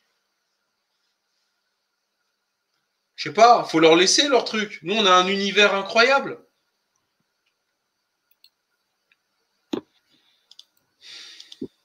Alors, on revient donc à notre lecture, parce que l'air de rien, je disais qu'il fallait des interventions courtes, mais merci Patrice. Hein. Alors, bon, ok, ça on a vu.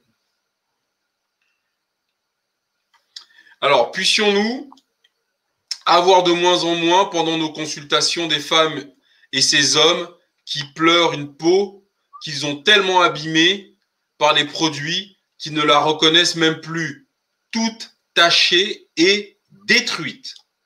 Docteur Antoine Petit, dermatologue.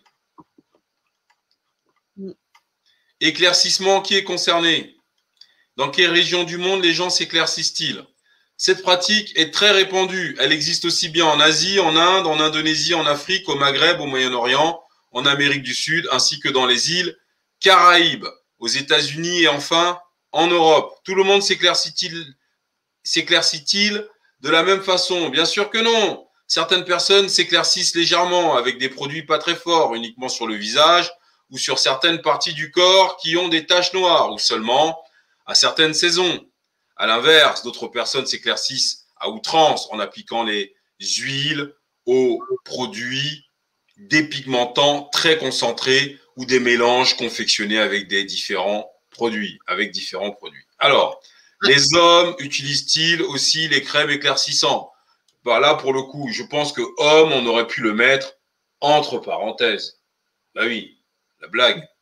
Alors, oui, beaucoup d'hommes utilisent les crèmes éclaircissantes, notamment au Congo RDC, au Congo Brazzaville, en Afrique du Sud, au Nigeria, au Pakistan. Oh, putain. Si tu permets, je vais rajouter une précision sur le mmh. paragraphe que tu as lu, mmh. euh, notamment concernant les différentes façons de s'éclaircir. Donc, je vais apporter des précisions. Euh, il y a effectivement certaines confusions qui sont faites. Il y a le fait de se clarifier le teint, le fait de s'éclaircir le teint et le fait de blanchir la, peau, le teint. Ce n'est pas la même chose en fait. Mmh. Euh, clarifier le teint, euh, une fille même dark skin très foncée peut se clarifier le teint. Parce qu'on entend par clarifier le teint, enlever les taches en fait. Mmh. C'est faire des gommages, euh, faire en sorte que le teint ait de l'éclat, ne soit pas terne. Mmh Donc, c'est enlever les taches noires, les boutons, vous voyez, euh, les zones fondes. C'est ce qu'on appelle clarifier le teint. Donc, ça se fait avec des gommages mécaniques, comme ça peut se faire avec d'autres types de gommages ou euh, certaines font des peelings qui ne sont pas conseillés chez les peaux noires, mais c'est toujours dans ce processus-là pour mmh. clarifier le teint. Donc là, jusque-là, moi, je ne considère pas ça comme étant dangereux parce que le but étant de travailler l'éclat de la peau. Tu ne mmh. touches pas à ta carnation, tu vois. Tu mmh. restes dans ta carnation, mais ce sont les taches et les zones, zones sombres de ton visage que tu vas retirer pour harmoniser, en fait, hein, le teint et donner de l'éclat. Maintenant, le deuxième palier, il y a éclaircir. Là, éclaircir, là, effectivement, tu vas partir d'une teinte pour aller à une autre teinte. Donc, mmh. éclaircir d'une ou deux teintes. Là, effectivement, même si tu restes dans ta carnation, tu triches. Tu triches parce que ben, tu, tu, vas éclaircir. quoi. Si tu es brown, tu vas plus te rapprocher d'un teint clair. Euh, si tu es dark, tu vas plus te rapprocher d'un teint brown. Tu es déjà en train de tricher avec ta carnation. Mmh. Et le dernier palier, il y a le fait de blanchir. Donc là, c'est vraiment, euh, tu ne restes même plus dans ta carnation, tu quittes complètement ta carnation. Donc là, on parle de blanchir le teint. C'est mmh. comme si euh, moi, tu vois comme je suis avec le, temps, le teint que j'ai, c'est comme si demain je disais que j'étais métisse ou euh, j'étais comme Beyoncé, quoi. Mmh. Là, je fais du blanchiment, tu vois, totalement. Donc, je voulais apporter cette précision-là parce que je vois aussi que parfois on a tendance à mélanger.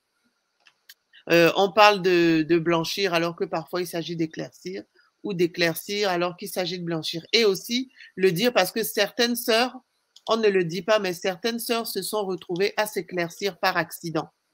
On ne le dit pas beaucoup, mais certaines sœurs n'avaient pas forcément envie d'éclaircir le teint, elles voulaient peut-être clarifier. Vous Mm. voyez, enlever des boutons. Et quand elles sont mal conseillées, elles achètent des produits avec des composants qui ben, leur éclaircissent le teint, quoi.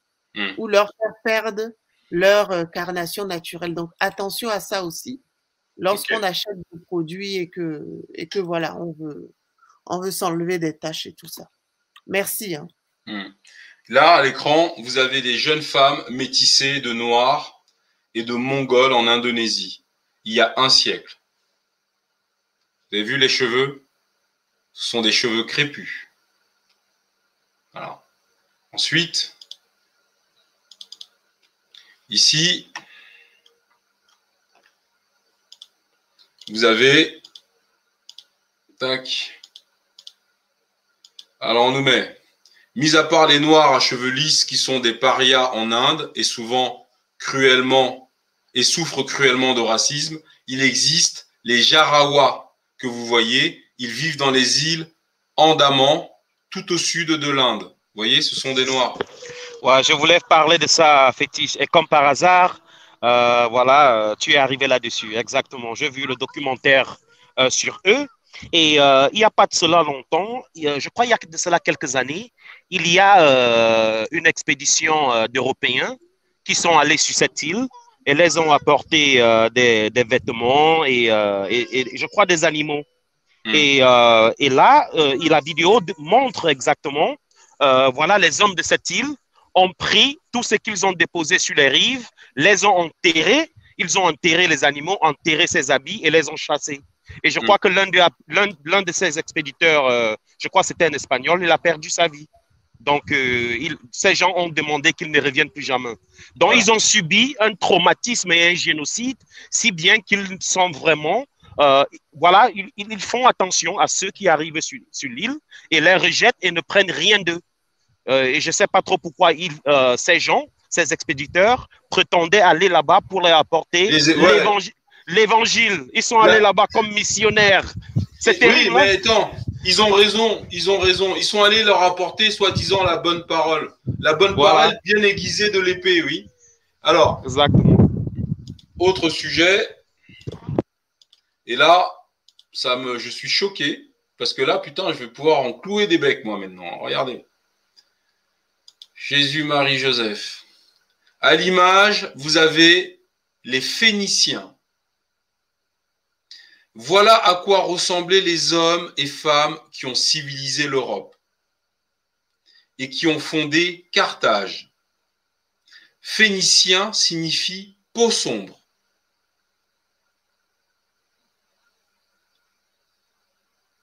Vous comprenez?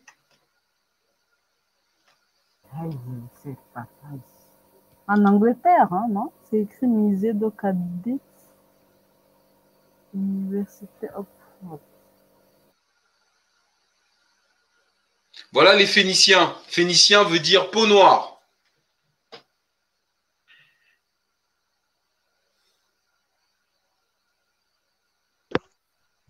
Ça, ça démontre beaucoup de choses encore, fétiche. Ça démontre plein de choses qu'on a déjà dit, on a discuté. Et, euh, et voilà, voilà les faits. Voilà. Bien, bien, bien, bien. Alors, voyez comme quoi finalement,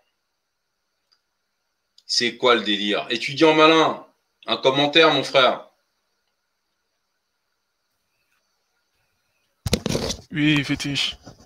Non, tout, en fait, les, les documents que tu montres prouvent simplement que euh, les Noirs se sont, se sont baladés sur la planète. Donc, ça veut dire qu'ils ont voyagé. Ils avaient forcément des moyens de locomotion. Euh, ils ont développé une science pour pouvoir se déplacer, vivre et même apporter leur aide aux différents peuples qu'ils ont croisés dans leur déplacement. En plus de cela, on le dit, très bien, ils ont aidé à fonder l'Europe. Donc, quand des idiots viennent se placer euh, euh, devant notre peuple pour dire qu'on n'a jamais rien apporté et qu'on ne, on ne vit qu'au gré des saisons, et les gens viennent rire et je ne sais pas quoi, et certains aussi de la communauté viennent euh, recracher des idioties pareils, on comprend bien que le monde marche sur la tête. Et même quand on parle de vivre, rapidement, même quand on dit vivre au rythme des saisons, ça veut dire, ça, veut dire qu'on respecte la nature. Hein. C'est ça. Eux, comme ils ne respectent plus la nature, c'est le langage de Sarkozy. Ce qu'ils veulent. Donc, c'est un peu ça. C'est des, des, grosses conneries, en fait. Maintenant, il faut qu'on fasse nos recherches, mais merci pour le pour l'info. Moi, je veux remercier la sœur Lily Nathan. Merci à la sœur. Ah, merci Lily. Ça, c'est le langage de Sarkozy, ça. Vive au gré des saisons. Donc, donc, donc, et puis je suis tombé sur la, la, chaîne du frère Serge Anango. faut lui demander de venir regarder les lives du, des fétiches de guerre. Parce qu'il changerait peut-être un petit peu de, de, point de vue. Parce que, en fait, ça, c'est valable pour nous, comme c'est valable pour, pour, beaucoup de gens. Il faut combattre notre ignorance. C'est clair, il faut combattre notre ignorance. Et moi, mon intérêt de faire des lives comme euh, ce qu'on fait là, c'est que je suis en train de combattre mon ignorance. Jusqu'à cet instant, je ne savais pas que les Phéniciens, les Phéniciens étaient des Noirs. Je ne savais pas que Phénicien signifie peau sombre. Je ne savais pas. Vous voyez, comme quoi, nous devons combattre notre ignorance. Et moins nous sommes ignorants, moins nous sommes stupides de fait. C'est normal. Donc, on va continuer notre lecture. Ah, le, lien du le lien du document, c'est dans le chat? Non, je vais, je vais les envoyer, je vais les partager sur, euh, sur Telegram. Ok, d'accord. Merci. C'est un truc de dingue quand même. C'est fou quand même. Voyez Les pasteurs Simo, là, il faut leur, faut, faut leur demander de venir regarder ce live. Qu'on arrête d'être stupide. Ah là là là là là. Alors, on continue.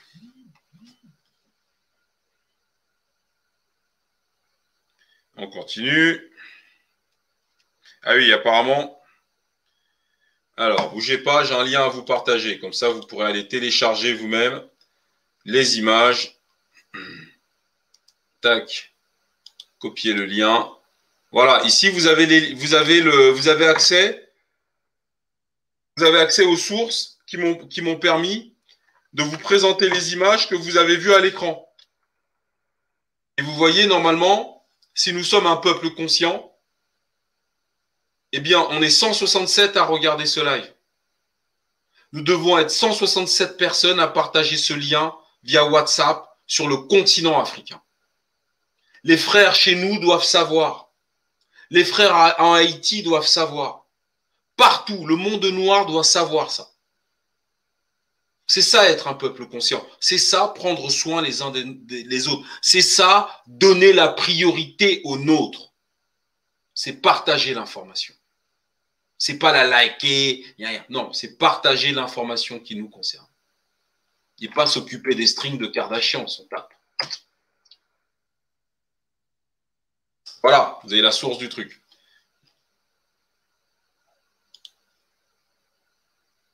Ah, nous sommes en guerre, hein, je suis désolé, on ne peut plus passer notre temps à raconter des salades.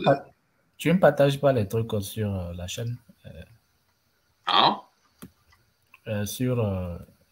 Dans le chat Si, c'est fait. Je viens de partager le lien sur le chat, là. Ah, sur le chat privé, oui, pardon, excuse-moi. Le stream, oui. Sur le chat privé, voilà, ça y est, c'est fait.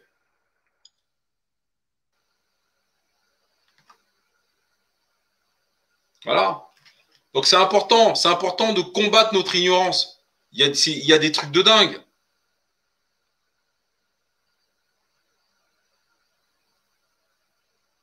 Il y a des trucs de dingue.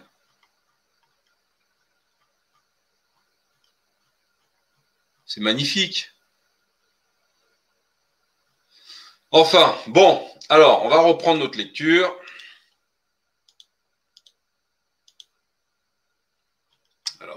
c'est pas celui-là. Je me suis trompé de truc. Alors, il est où mon PDF là? Bah, Non, c'est pas celui-là, c'est celui-là. J'ai l'impression que tout le monde est sous le choc là. Alors, les blancs se font bien bronzer. Alors, pourquoi nous embête-t-on avec ces histoires d'éclaircissement Cela nous regarde. Je ne comprends pas du tout ce bruit. Bon, je vous le refais avec l'accent. Les blancs se font bien bronzer. Alors pourquoi on nous embête avec toutes ces histoires d'éclaircissement Cela nous regarde. Je ne comprends rien à tout ce bruit. C'est mieux là. Donc, effectivement, l'apparence des personnes ne devrait concerner qu'elles-mêmes. Par exemple, que vous teigniez vos cheveux en bleu ou en rouge n'est pas une question de santé publique, cela reste une question de goût et de mode. Bien. Mais parfois, des traitements dits de beauté se révèlent dangereux pour la santé.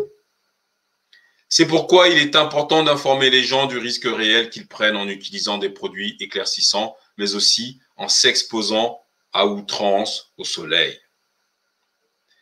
En effet, si les noirs veulent souvent avoir la peau plus claire, les blancs, eux, aiment avoir la peau dorée, quitte à rester des heures au soleil ou à payer des séances de bronzage par ultraviolet. Or, les ultraviolets entraînent beaucoup de cancers de la peau sur les peaux blanches, dont certains sont mortels. C'est pourquoi il existe des campagnes d'information sur les dangers de l'exposition solaire. Alors, les Blancs auraient créé les pyramides d'Égypte. Mais ils ne peuvent pas rester quelques heures au soleil, sinon ils développent des cancers de la peau. Alors, comment ils ont fait? Ils avaient des parasols? Ok, ils avaient des parasols. On continue. Il est aussi important d'expliquer aux personnes qui s'éclaircissent la peau ou qui seraient tentées de le faire des risques euh, réels qu'elles encourent pour leur santé. C'est un enjeu de santé publique. Comment sont perçues les personnes qui s'éclaircissent la peau? Souvent assez mal. Comme les gaz sur la peau sont très visibles, ceux qui s'éclaircissent sont facilement reconnaissables. Dans les différents pays pratiquant l'éclaircissement, on leur donne d'ailleurs souvent des surnoms comme peau grattée en Côte d'Ivoire, caméléon damé au Niger et en Guinée, tchatcho au Mali, cessal au Sénégal. Mais il faut se rappeler que les personnes qui s'éclaircissent sont avant tout les victimes d'un trafic juteux. C'est par manque d'informations, de prévention et de conseils adaptés, par les différents, par, des référents identifiables, médecins, dermatologues, associations, qu'elles commencent à s'éclaircir la peau. Oui, parce que chez les Occidentaux, tout est toujours question d'argent, donc de victimes. C'est comme ça chez eux. C'est-à-dire, la moralité, le respect de l'être humain, ils en ont strictement rien à faire. Seul compte l'argent. C'est comme ça. Et c'est comme ça qu'on se maudit de, génération en génération. Très vite alors, elles se retrouvent piégées et se rendent compte trop tard des dégâts causés. C'est donc main dans la main que nous devons affronter cette question. Ces personnes sont des victimes involontaires qui se retrouvent abîmées, malades et souvent jugées. Il est important de les aider à sortir de ce piège sans les stigmatiser. Alors moi, je vais les stigmatiser. Victimes involontaires? Bon, c'est sûr que sur 100 personnes malades, il y en a probablement 5 ou 6 ou 10 qui l'ont fait à l'insu de leur plein gré. Quand tu décides de t'éclaircir la peau, en quoi c'est involontaire? Ben, Fétiche hmm? ben, C'est involontaire parce que ben, il y a déjà une, il y a une manipulation euh, inconsciente. Et euh, moi, Mais quand il y a marqué sur le pot produit éclaircissant Ça, c'est. Moi, je pense que moi, je suis con, je comprends. Moi, je veux dire, moi, j'avais envie de fumer quand j'étais gamin. Tu sais pourquoi? Parce qu'à la télévision, dans les magazines, il y avait le gars Malboro avec son cheval et tout, machin, la clope sur le bec. D'ailleurs, il est mort du cancer, celui-là, j'ai appris plus tard. Et quand j'étais gamin, je voulais fumer, je trouvais ça classe. Je trouvais ça hyper classe. Franchement, ah, moi, j'adorais. Je me disais plus tard, quand, quand je serai grand, cigarette. Direct, clair et net. un jour, dans un, journal, j'ai lu, j'avais 11 ans, que fumer tue, est très nocif pour la santé. Et bah à 11 ans, tu vois, j'ai dit je ne fumerai pas. Et j'ai jamais fumé de ma vie. Alors comment à 20 ans, à 25 ans, quand il y a marqué produit éclaircissant Moi déjà, je pense qu'il y a comme une sorte de prédisposition dans le sens où il y a des personnes qui en elles-mêmes ont des fragilités mentales, entre guillemets. C'est-à-dire que pour de multiples raisons qu'on a évoquées tout le long du live. Un problème d'enfance, tout ça? Voilà, qui en elles-mêmes ont peut-être un certain mal-être. Moi, je pense que ces personnes-là auront plus tendance à succomber euh, à la dépigmentation. Ça peut être, ça peut commencer par une dépigmentation euh, involontaire, dans le sens quelqu'un qui a quelques taches, parce que c'est souvent comme ça que ça commence d'ailleurs. Hein. Sur, euh, il y a certaines certaines femmes, elles ont quelques taches de quelques taches voilà de d'hyperpigmentation qu'elles veulent qu'elles veulent résorber. Ça commence par un petit produit pas trop nocif. Et puis, bon, moi, c'est quelques témoignages que j'ai entendus. On leur fait des compliments. Ah, ta peau, elle s'est améliorée. Il y a quelque chose qui a changé chez toi. Et puis, c'est comme ça que ça, ça, arrive, en fait. Et puis, ben, après, ça, le, souci de, de, la dépigmentation, c'est que c'est une drogue et que c'est une addiction, au même titre que la, la cigarette, l'alcool. Et, et c'est très compliqué de se, mmh. de, euh, de se détacher d'une addiction. C'est mmh. ça le problème. Et, du, et comme autour de nous, comme autour de, de, la personne qui se dépigmente, au début, c'est on lui fait des compliments parce que c'est pour ça que ça devient une addiction, c'est qu'on on complimente. Ah, il y a quelque chose qui a changé chez toi. Ah, bah, t'as bonne mine. Ah, mais tu fais quoi sur ton teint? Ben, forcément, c'est tout ça qui fait que c'est un engrenage et que, ben, elle tombe là-dedans. Mais est-ce que je peux juste faire une petite remarque? Tout à l'heure, euh, en fait, moi, quelque chose qui m'a toujours choqué sur les produits éclaircissants, c'est le packaging des produits éclaircissants. Et c'était une. Enfin, à la base, je m'estime heureuse de ne pas être. Euh, j'ai de la chance de ne, voilà, de ne pas être attirée par euh, les produits éclaircissants. Moi, je ne stigmatise pas les personnes qui s'éclaircissent la peau parce que pour moi, c'est une souffrance. Voilà. Et, et j'estime que n'importe quelle personne qui est dans la souffrance euh, mérite d'être accompagné pour, euh, pour pouvoir justement sortir de cette souffrance. Mais euh, quelque chose qui m'a toujours choqué, pour moi, c'est le packaging des produits éclaircissants. Et je me souviens qu'il y avait un produit qui m'avait choqué, c'est les titres. Et un produit qui m'avait choqué, c'était la marque Fair and White. Fair en anglais, ça veut dire juste. Voilà. Et, et, tout le packaging, toute, toute la partie commerciale des produits éclaircissant, elle, euh, tourne autour de, ces, de ces termes euh, phares, en fait, de, de justice, euh, de, c'est tout dans l'emphase, dans le, comment dire, dans le, c'est tout dans le positif, en fait. Et ça, ça m'avait toujours choqué. Il y a toujours le mot white, le mot, en fait, rien que ça, rien que ça, pour moi, ça me rebutait, en fait. Oui, mais, oui, mais en fait, ça, c'est une appréciation, le marketing tu as, posé un problème. Mais à la limite, eux, ils en ont rien à cirer. Bah, c'est que, je, que je Cette industrie est mortifère. Eux, ce qui compte, c'est l'argent. Oui, oui, mais c'est que oui, mais le racisme dont on parle, il était déjà, il est déjà sur le produit en lui-même. Fair and white, il n'y a pas plus de race. Y a pas plus tout à fait. Et rien que ça, en fait, et enfin, moi-même, moi-même, enfin, je veux dire, sur ma peau, en ce moment, j'ai des petites taches qui sont liées, euh, voilà, des taches hormonales. Quand on a nos, règles, les femmes, on peut avoir des boutons qu'on gratte, ça laisse des taches euh, noires. Et la peau noire aussi se, se tache facilement. Je recherchais une crème, justement, euh, Fleur l'a expliqué tout à l'heure, pour clarifier, non pas pour m'éclaircir. Et ça, c'est un truc, je ne peux pas m'appliquer une crème si euh, même, même une crème pour, euh, pour clarifier, s'il y a une connotation de justice, de valorisation, s'il y a le mot white dessus, je ne peux pas acheter. Je ne peux pas acheter.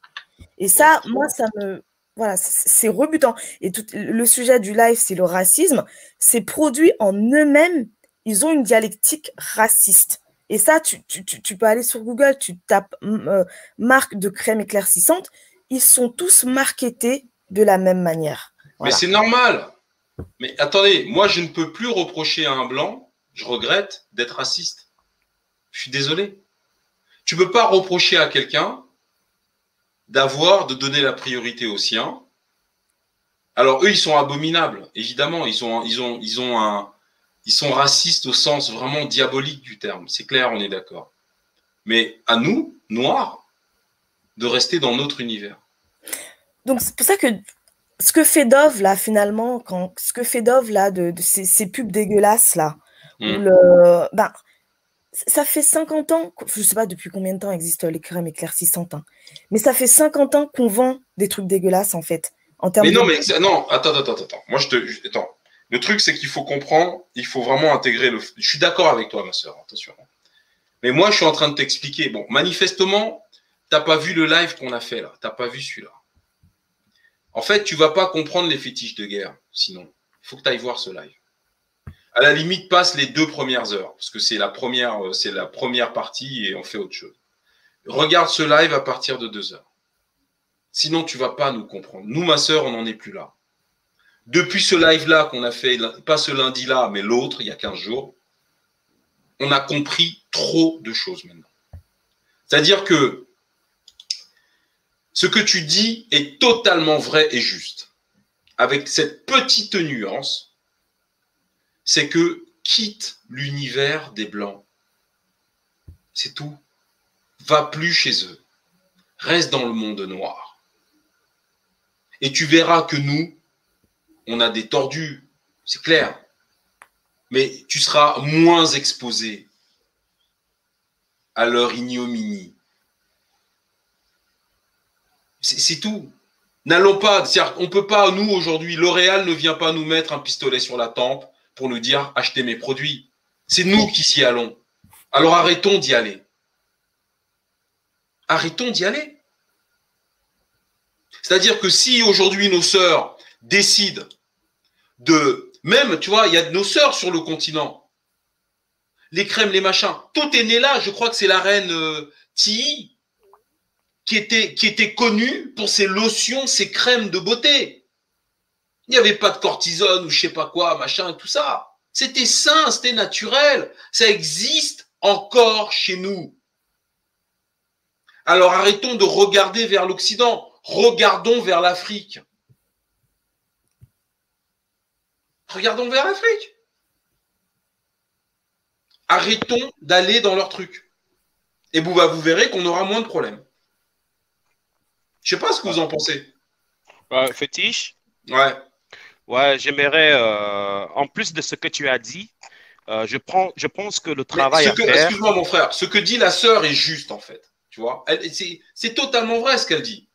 Mais moi, je, lui dis qu'on diminue le risque. Non, si on reste chez nous, si on reste avec nous-mêmes. Tu vois ce que je veux dire? Vas-y, Moi, je suis d'accord, je suis parfaitement d'accord. Donc, euh, il faut qu'on apprenne à se aimer et qu'on arrête de, de se haïr. Donc tout à l'heure, tu as lu le document, la reine de soi dans le document, et euh, c'est un problème. Donc euh, parfois, nous, nous, souffrons des problèmes euh, internes dont nous n'avons pas conscience. Et une manière de lutter contre ça, comme la sœur l'a bien dit et comme tu l'as précisé, il faut qu'on rentre au naturel et qu'on utilise des produits comme la reine Tihi l'a fait et qu'on sort. Et le plus important que j'aimerais préciser ici, c'est euh, j'ai interrogé euh, quelques, quelques sœurs euh, qui auparavant étaient noires foncées et au cours du temps sont devenues peau claire, teint clair. Et je leur ai demandé, sincèrement, je leur ai demandé quelle est la raison, pourquoi ce changement, pourquoi tu as décidé de te changer de couleur de peau. Et elle m'a dit hein, ouvertement, voilà, c'est parce que vous, les hommes, vous regardez seulement les femmes aujourd'hui, rien que les femmes qui sont claires de peau. Vous, vous êtes intéressé plus aux femmes qui sont claires de peau. Elle dit que, hein. elle, m'a dit, euh, bon, c'est ce qu'elle m'a dit. Ça, je ne suis pas en train de généraliser. Ça, c'est mm. un cas bien précis. Et elle m'a dit que euh, quand elle passe dans la rue, euh, voilà, auparavant, les gens n'étaient pas, ne prêtaient pas attention à elle.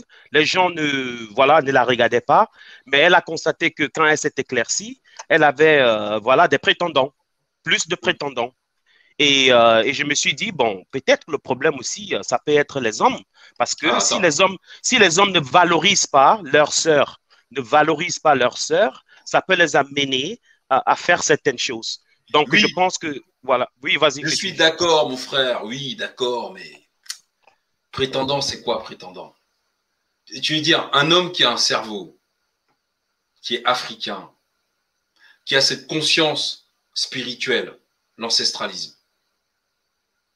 C'est-à-dire qui est bien installé dans sa culture. Tu veux aller faire quoi avec une femme si elle se déteste déjà Tu penses qu'elle est capable de t'aimer? Elle n'arrive pas à s'aimer elle-même. Tu penses qu'elle est capable de s'aimer? Oh, Pardon, tu penses qu'elle est capable de t'aimer toi alors qu'elle ne s'aime même pas elle-même? Tu penses qu'elle est capable de te respecter? Elle ne respecte même pas ce que ses parents, ses ancêtres lui ont légué. Et ça vaut dans l'autre sens aussi. Hein. Ça peut être des gars qui se blanchissent. C'est le même discours. Moi, je rejoins un petit peu ce que, euh, je ne sais pas comment tu t'appelles, ce que tu as dit. C'est-à-dire que c'est pas parce que des hommes, mais quelle qualité d'homme Quel genre d'homme On t'a sifflé, on te drague plus, d'accord Qui t'a marié? Tes enfants sont où? Donc, faut aussi, faut aussi tu vois, c'est cette espèce de, folie. La, question, c'est ce que disait le, professeur euh, euh, au début du live sur la première partie. Les gens, moi, à titre personnel, hein, une femme qui ne s'aime pas, qui ne s'aime qu'à travers les selfies qu'elle peut se faire, euh, les trois heures de maquillage, de trucs de machin. Je suis désolé, tu vas déjà essayer de régler le problème que tu as avec toi-même. Parce que je ne serai qu'un autre problème. Il n'y aura jamais d'équilibre. Donc moi, je ne vois pas, franchement, tu t'es éclairci la peau, d'accord, c'est cool, et tu penses que c'est un acte intellectuel brillant, ah, d'accord. Donc il y a un paquet de gars qui te draguent en plus, ok. Euh, bon, et tu penses que cette affaire-là va être sérieuse? Je comprends ce que tu dis, euh, fétiche de guerre, mais il y a quand même beaucoup de femmes, et ça, faut pas essentialiser, mais il faut pas minorer non plus. Y a, on est beaucoup entre femmes noires, hein. et euh, moi, je trouve que entre femmes noires, on se compare plus. Alors, ce n'est que mon point de vue. Voilà, je ne généralise pas, mais j'ai l'impression que nous, les femmes, j'ai pas l'impression qu'on se compare tant que ça aux femmes blanches. Voilà. Mais par contre, on se compare beaucoup entre nous. Et, justement, ce poids du colorisme entre nous, il pèse énormément. Et il y a beaucoup de femmes qui en souffrent. Et c'est vrai que c'est. D'accord. Mais elles en souffrent comment? Sincèrement, elles en souffrent comment? Regarde, tu, moi, je vais te dire un truc. Moi, j'aime ma mère. Dans ma famille, en moyenne, la taille moyenne des hommes dans ma famille, c'est 1m92. Mais il se trouve que du côté de ma mère à moi, mon père était très grand, eux, ils avaient une taille moyenne, 1m80, 83. Bah, moi et mon grand frère, on fait 1m83. Mais c'est mon héritage génétique. C'est-à-dire que j'aimerais pas, personnellement, je suis né et j'ai grandi en, Afrique, j'ai pas passé euh, plus que, enfin, je veux dire, ça fait 30 ans que je vis en France. J'ai pas perçu une oreille, pas une seule. J'ai pas un tatouage, pas un seul. Pourquoi? Bah Parce que je suis fidèle à ma mère. Je suis fidèle à mon père. Je suis pas tombé d'un arbre, moi. Je veux dire, je suis désolé, on l'a lu tout à l'heure, l'ancestralisme, c'est ça. On représente des gens. On représente une lignée. Ils nous ont transmis quelque chose. Tout ce qu'on essaye de justifier ce soir est folie pour moi. Parce qu'on on est tous fous d'une certaine manière. Je ne suis pas parfait non plus. Mais ça, c'est difficile parce que si on s'inscrit dans, un, dans, un, dans une lecture africaine, je dis bien africaine, de ce qu'on est en train d'étudier ce soir, waouh! Il n'y a pas de justification, mais en revanche, enfin, il n'y a pas de justification, mais il y a des explications et il y a des souffrances. C'est clair, je suis d'accord avec ça. Je suis, moi, je ne renie pas les souffrances. C'est juste que moi, je, de villageois que je suis, euh, en fait, j'appartiens d'abord à une famille avant d'appartenir à une société. J'appartiens d'abord à une culture, à une histoire, parce que c'est pas toujours facile dans les familles, c'est vrai. Mais il y a ma culture, il y a mon histoire, il y a mes aïeux, il y a, a l'histoire de l'Afrique. C'est à ça que j'appartiens.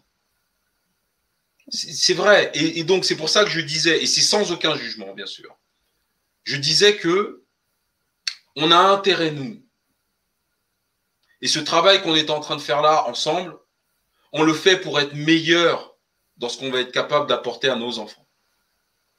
Et on a intérêt, nous, des choses qui nous ont peut-être manqué, à des degrés différents aux uns et aux autres, on a intérêt, nous, à plonger nos enfants dans un univers noir, dans un univers de mort.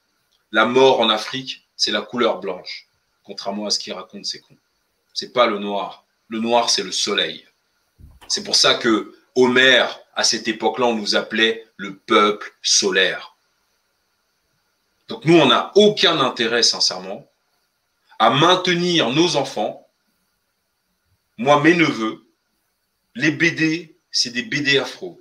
Je veux qu'ils s'identifient. Je veux qu'ils apprécient. Si je dois offrir des poupées, j'irai chez la sœur Cadol. Je vais acheter des poupées noires. Je veux que nos enfants, et c'est pour éviter tout ce qu'on est en train de voir ce soir. Parce que sincèrement, d'un point de vue strictement africain, moi, je ne peux pas expliquer ça à ma mère. Hein. Elle va me dire comment Ils font comment Voilà. je ne peux pas lui dire. Moi, elle n'a jamais mis les pieds en Europe, elle ne veut pas, mais je ne peux pas lui expliquer ça, moi. Vas-y, euh, euh, Anne, so sorry, excuse-moi. Non, moi, je, je pense que. Euh, enfin, je comprends ta, ta, ta vision. De, enfin, je comprends ce que tu veux dire dans le sens où tu te dis, mais comment les gens, à un moment donné, ont pu se détacher de, de leur culture, de leurs références et se, enfin, dans ton étonnement, j'ai l'impression que c'est ce que tu te dis, non? Ouais, c'est ça. Moi, c'est ce que je me dis. je me dis, mais attends, moi, j'ai vécu 30 ans en France, ma soeur. J'ai fait toutes les cités les plus pourries d'Île-de-France, je te jure. Et honnêtement, moi, j'avais des copains tatoués, percés, machin, truc. Mais attends, PK, tu. Non, non, les gars, euh, ouais, mais tu sais, en ce moment, ouais, peut-être. Mais jamais de la vie, j'aurais fait ça. Jamais. Je suis pas en recherche d'identité. Ma mère est là. L'histoire, mon père, je la connais, son histoire. Je veux dire, mon grand-père, mon arrière-grand-père, je sais comment mon vieux s'est cassé le cul pour demander la main à ma mère. Je connais tout. Mais c'est important pour moi. Mais moi, je me vois pas arriver dans un truc. En réalité, je veux te dire, moi, je disais à mes copains, tout ce qui vient de la société ne m'intéresse pas. Moi, il n'y a que ce qui vient de mes parents qui m'intéresse. Bah, une fois de plus, je pense que c'est vraiment la cellule familiale qui fait la différence. C'est-à-dire, c'est l'éducation, c'est euh, l'ouverture, c'est euh, le, le, rappel aux racines. Est-ce que, voilà, c'est euh, c'est peut-être tout ça qui va faire la différence euh, d'une personne à une autre euh? Bien sûr. Mais c'est ça, c'est-à-dire qu'en fait, maintenant, nous, on n'est pas en train de se faire un procès. Simplement, on est en train de dire, OK, à la lumière de ce que nous apprenons, qu'est-ce qui sera bon pour nous de faire auprès de nos enfants? C'est ça qu'on est en train de faire ce soir. C'est pas en train de. Non, non, moi je respecte, je dis, j'ai, je, moi j'essentialise pas, j'essaye pas de machin. Non, pas du tout. Je dis juste que. Je mettrai Mamadou ici. bon, il vient du Sénégal, il a vu des trucs, etc. C'est normal. Bon, il y en a partout en Afrique, d'accord. Le truc, c'est qu'à un moment donné, il va falloir qu'on revienne vers notre culture à nous. Qu'on arrête de regarder chez le blanc. Parce que de toute façon, il n'a rien de bon à nous offrir. Et on essaye depuis neuf mois qu'on fait des lives sur cette chaîne. Je ne pensais pas qu'en faisant des lives sur l'Afrique, je parlerais autant de l'Europe. Je suis choqué. Je ne savais pas que je pourrais faire neuf mois de live sans jamais pouvoir dire un seul mot positif de la France, de l'Europe en général. En fait, j'en suis écœuré. Et, 80% de mes amis, en tout cas ceux qui sont les plus intimes, d'ailleurs, en fait, mes amis les plus intimes, ils sont majoritairement occidentaux. C'est-à-dire ceux à qui je peux parler de mon avenir, de, mes problèmes, ceux à qui je peux aller demander conseil. Ils sont blancs. Donc, je ne veux pas être raciste, moi. Ce n'est pas un truc que je comprends. Mais, quand tu fais, tu crées une chaîne, tu fais des lives, tu t'intéresses à l'Afrique, ils sont abominables, abominables, abominables, abominables. Tout ce qu'on voit ici, du côté de l'Occident, n'est qu'abomination. Et ce qu'on voit, c'est que du côté de l'Afrique, on a été pris au piège du racisme. On a oublié. C'est les Sri Lankais. Moi, j'ai un copain, enfin, un, oui, un copain, il s'appelait Tarsan. Il a fait un CDD chez moi de six mois. Je partais en vacances, j'ai pris quelqu'un. Bon. Tarsan, un midi, on déjeune, il est Sri Lankais, lui. Il a jamais mis les pieds au Sri Lanka, il est né en France. Et en fait, quand on discute, ma collègue, je sais plus ce qu'il y avait, machin, là, ma collègue qui est française, blanche, lui dit, mais, euh, mais, euh, français? Elle lui dit, oui, oui, euh, il lui dit, je suis français. Moi, j'étais là aussi, je déjeunais. Et elle lui dit, mais alors, par rapport au débat politique qu'il y avait en France d'identité nationale ou je sais pas quoi, elle lui dit, mais, mais tu te sens plutôt français ou, ou sri lankais bah, il lui répond ah, Non, non, moi je suis, sri lankais. Hein. Il dit, il dit D'accord, mais t'es français. Il lui dit Oui, je suis né en France, mais je suis sri lankais. T'es déjà allé au Sri Lanka ah, Non, non, pas du tout. Mais je veux dire, mais alors tu connais pas, t'es français. Tu, veux dire, les valeurs de la France, il dit Mais non, il n'y a pas de valeur en France. Il a 25 ans ou 24 ans. Il n'y a pas de valeur en France. Moi, je me marie selon les traditions sri-lankaises.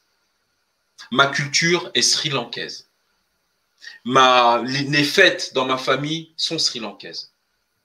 La manière, les mariages sont sri-lankais. Il est né en France, il n'a jamais mis les pieds là-bas. Nous, à l'inverse, nous les Noirs, on est né en France, mais on a notre tête vers les Occidentaux. On a tout vers eux. Les autres peuples, c'est vers leurs racines qu'ils regardent. Nous, on regarde vers eux. C'est ça que je veux dire, euh, Anso. Je ne comprends pas. Je, moi, je comprends pas ça. Tu vois ce que je veux dire? Moi, je. Ouais, je. Moi, enfin, je sais pas. Moi, je.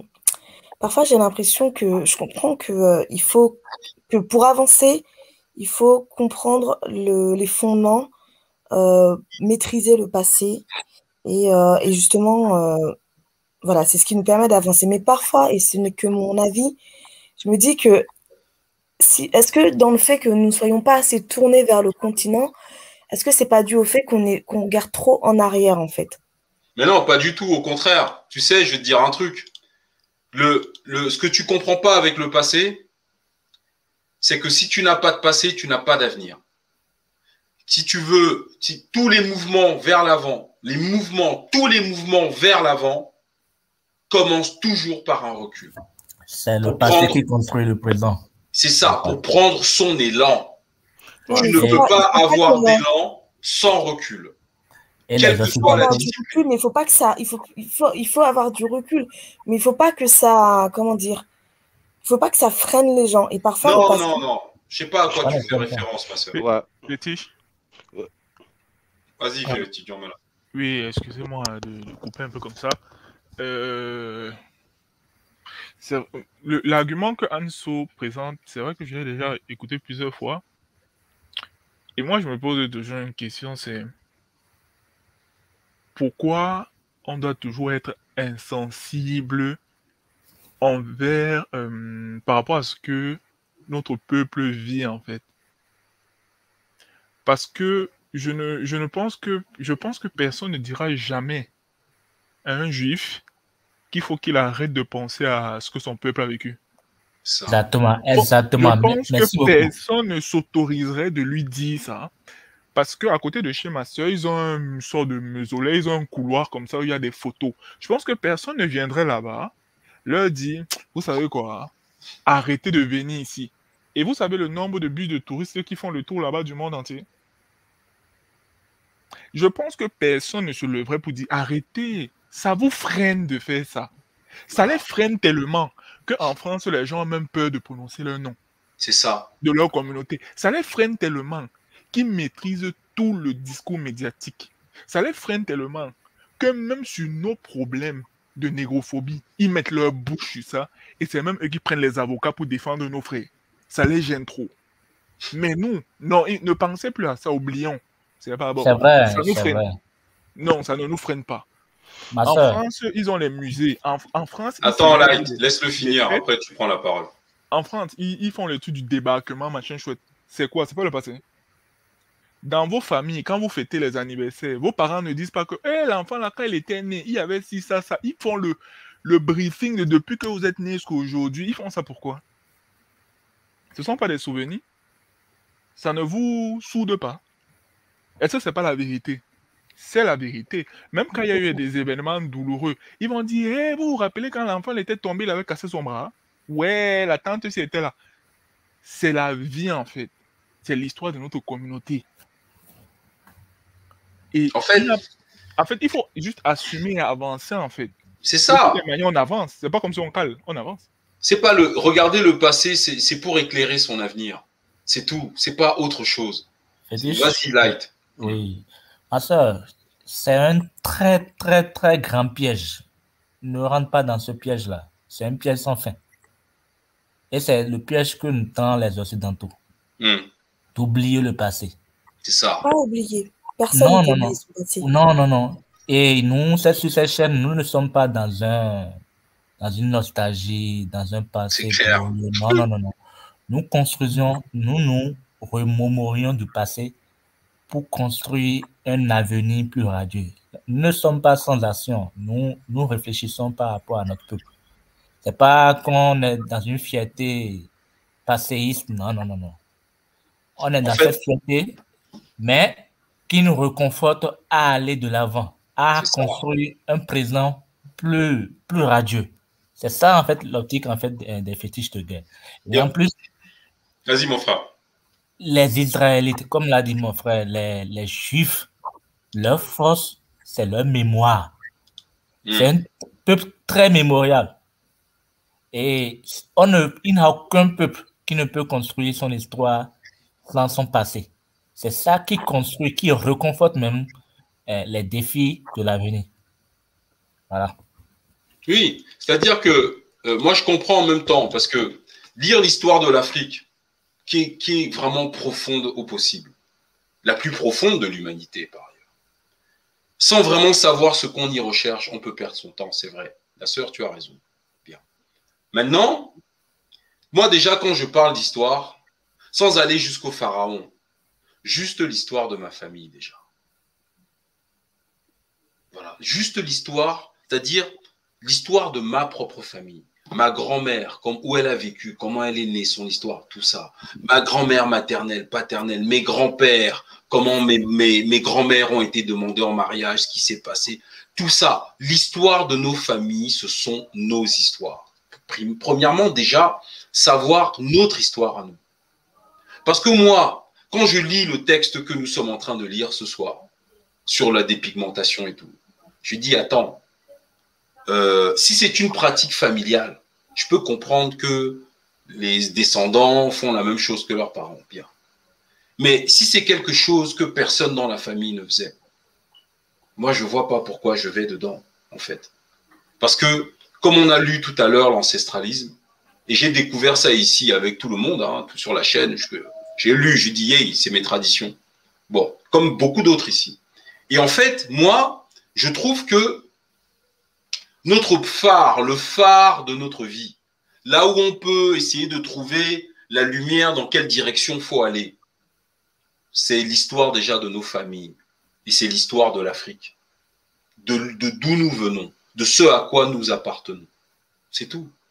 Moi, c'est tout ce que je dis. Maintenant, je ne vois pas moi. Et nous, les Noirs, on est le seul peuple sur cette terre à regarder chez les autres et se créer des problèmes incommensurables. Des trucs où des gens vont se pigmenter la peau jusqu'à sentir mauvais.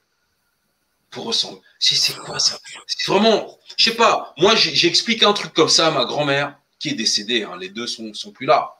Mais des fois, j'imagine des dialogues avec des éléments récents avec mes grands-mères. Et je sais pas, elles vont me dire, mais c'est pas possible, c'est la malédiction. Donc les gens là font comme ça. Mais ils mettent même quel produit, papa? Ah bon? Mais. Et après, alors. Dis bon. Et donc, après, ils vont à l'hôpital, alors pourquoi? Voilà comment, voilà ce que mes grands-mères me diraient. Parce que nous, on veut, comme on a cette détestation de nous, pourquoi est-ce que tu vas regarder l'histoire de ton peuple? En te disant, il faut pas trop la regarder Donc c'est que tu t'aimes pas. Si tu t'aimes, tu la regardes, tu te rassasies jamais. C'est clair. Je suis désolé. Moi, je vois pas, moi, quand on me parle des, des reines, des rois, du Dahomey, du Congo, etc. Mais je suis extrêmement passionné. C'est mon sang. Donc si on est là à se dire que notre histoire, faut pas non plus, faut pas non plus. Les frères juifs, là, ils font quoi? Ils n'ont même pas d'histoire, eux, contrairement à nous. Ils ont inventé un truc. Salomon, on n'a aucun temple de Salomon. Il n'a jamais existé. Il paraît qu'ils se sont inspirés d'Akhenaton. Que la reine de Saba est allée, Israël était noir. Il n'y avait pas de juifs blancs en Israël. Israël, là, tout ça, c'était noir. Toute la Méditerranée, la France, la Grande-Bretagne, tous les territoires, là, étaient noirs. Donc, il est, euh, euh, comment ils appellent Salomon est sorti d'où? David, ah bon? On n'a aucune trace de David. Tu vas au musée du Louvre. Tu demandes à, visiter le département hébreu. Il n'y en a pas. Parce qu'il n'y a aucune trace archéologique sur ces gens. Rien. Et ils sont accrochés à une histoire comme des maladies. Pourquoi? C'est ce qui leur permet, même si elle est fictive, d'éclairer leur avenir, d'éduquer leurs enfants. Ils se sont inventés une antériorité. Parce que la Bible, même la Torah, on n'a aucune trace. Aucun personnage de la Torah, on a, on a de traces. On n'a rien. Nous, en Afrique, on est capable de te montrer le tombeau d'une maman qui a vécu 4000 ans avant Jésus-Christ. On te donne son nom, ses sandalettes et tout. Et vous êtes là en train de dire que notre histoire n'est pas passionnante. Mais euh, moi, le voyage qui m'a le plus bluffé de ma vie, c'est celui que j'ai fait en Égypte, à la vallée des rois. Je vous invite tous à y aller. Vous allez voir ce qu'on appelle un tombeau. Un tombeau de roi. Eh bien, je peux vous assurer sincèrement que ce n'est pas les, trucs machin qu'on regarde sur Arte là. Parce que en vrai, c'est pas du tout la même chose. Et moi, je vous invite hein, à le faire. Parce que nous, on a l'histoire la plus passionnante de l'humanité. Et on ne peut pas se refuser de la regarder. C'est que on est dans ce que le professeur nous expliquait en début du live. On est dans de la détestation. Faut pas chercher, il n'y a pas autre chose. C'est de la détestation. C'est le professeur Charles Rochman qu'on a lu en début du live. Repérer les signes de la haine de soi. Pour moi, c'est de la haine de soi. Moi, je comprends pas qu'on puisse, euh, comment dirais-je, euh, putain, merde, c'est nous, quoi. on a l'histoire la plus brillante de l'humanité, on explique qu'on va pas la regarder, pourquoi? Bah sinon, sinon bah, on fait ce que font les Occidentaux. Voilà, on va leur donner de l'argent au prix de notre santé. Je continue la lecture euh, Oui, Fétiche, euh, je crois que tu as tout dit. Hein. Euh, et j'aimerais demander à la sœur si elle peut vivre sa vie actuelle, sa vie courante, sans s'inspirer de la journée passée hier. Donc, je sais que c'est très court, c'est très proche, mais tu ne peux pas vivre, tu ne peux pas mener une vie sans t'inspirer de ce que, de tes erreurs, les erreurs que tu as commises hier, et les, succès, euh, que tu as eu. les succès que tu as eus, les choses que tu n'as pas pu faire. Tu t'inspires de ça pour être le meilleur de toi le jour suivant. Donc, maintenant, le fétiche a, a ramené ça dans l'ancestralisme. C'est-à-dire que dans l'ancestralisme, les ancêtres ne meurent, les morts ne sont pas morts. On ne meurt pas chez nous. On ne meurt pas chez nous. Nos ancêtres ne sont pas morts. On ne meurt pas chez nous. Dans les traditions bamiléké, on ne meurt Exactement. La mort n'existe pas. Le père a disparu. Comme il a choisi un fils pour sa succession, quand on va introniser l'enfant, on dit on a retrouvé le père. La mère ne meurt pas parce qu'elle a choisi une de ses filles qui va lui succéder dans les traditions bamileke, c'est comme ça. Donc, et nous, nous avons de, des traditions passionnantes. Voilà. Chez la sœur Fleurka, c'est légèrement autrement, etc., etc. Mais c'est passionnant. Donc nous, il va falloir qu'on fasse l'effort. En tout cas, si on n'est pas capable de le faire, qu'on éduque nos enfants pour qu'ils orientent leur regard vers leur propre histoire.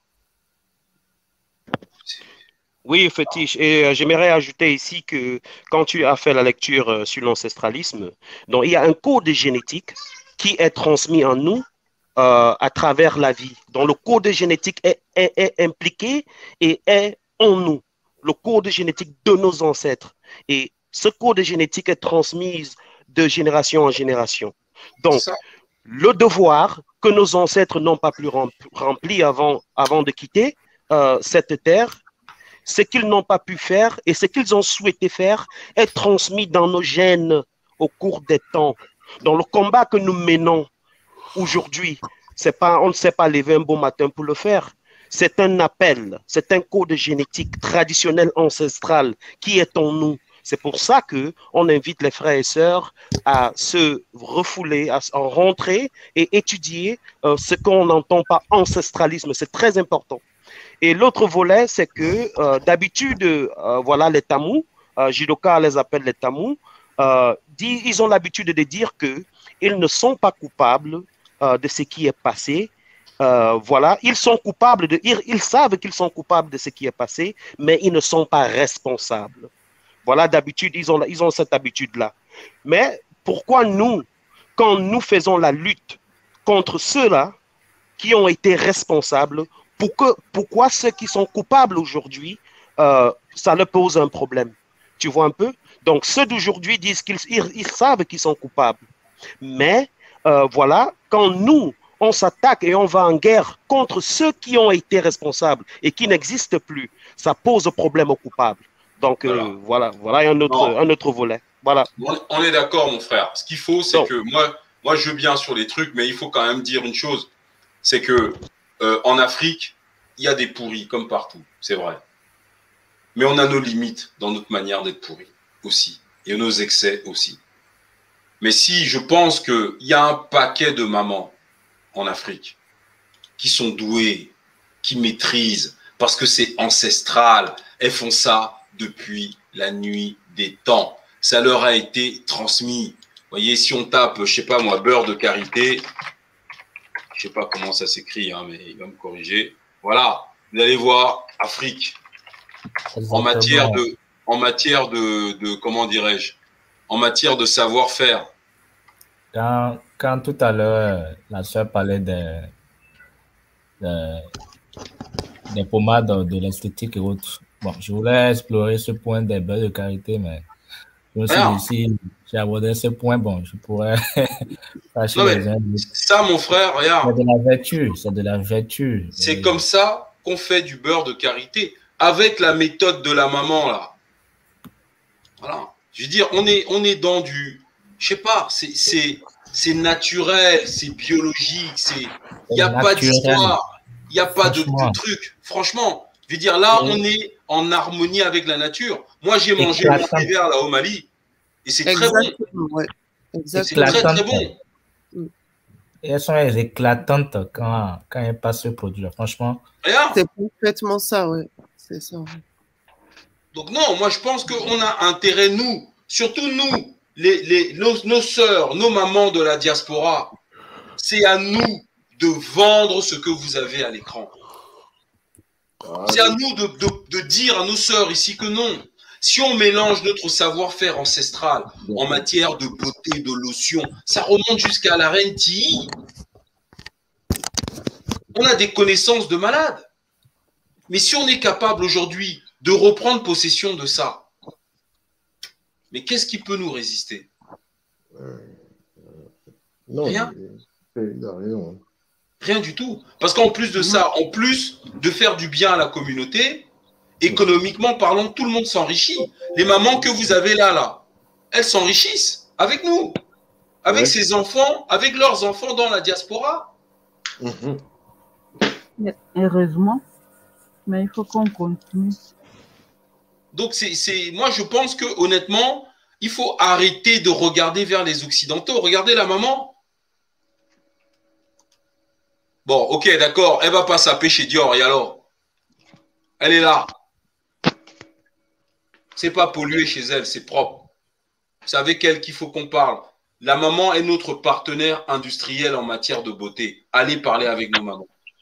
Mhm.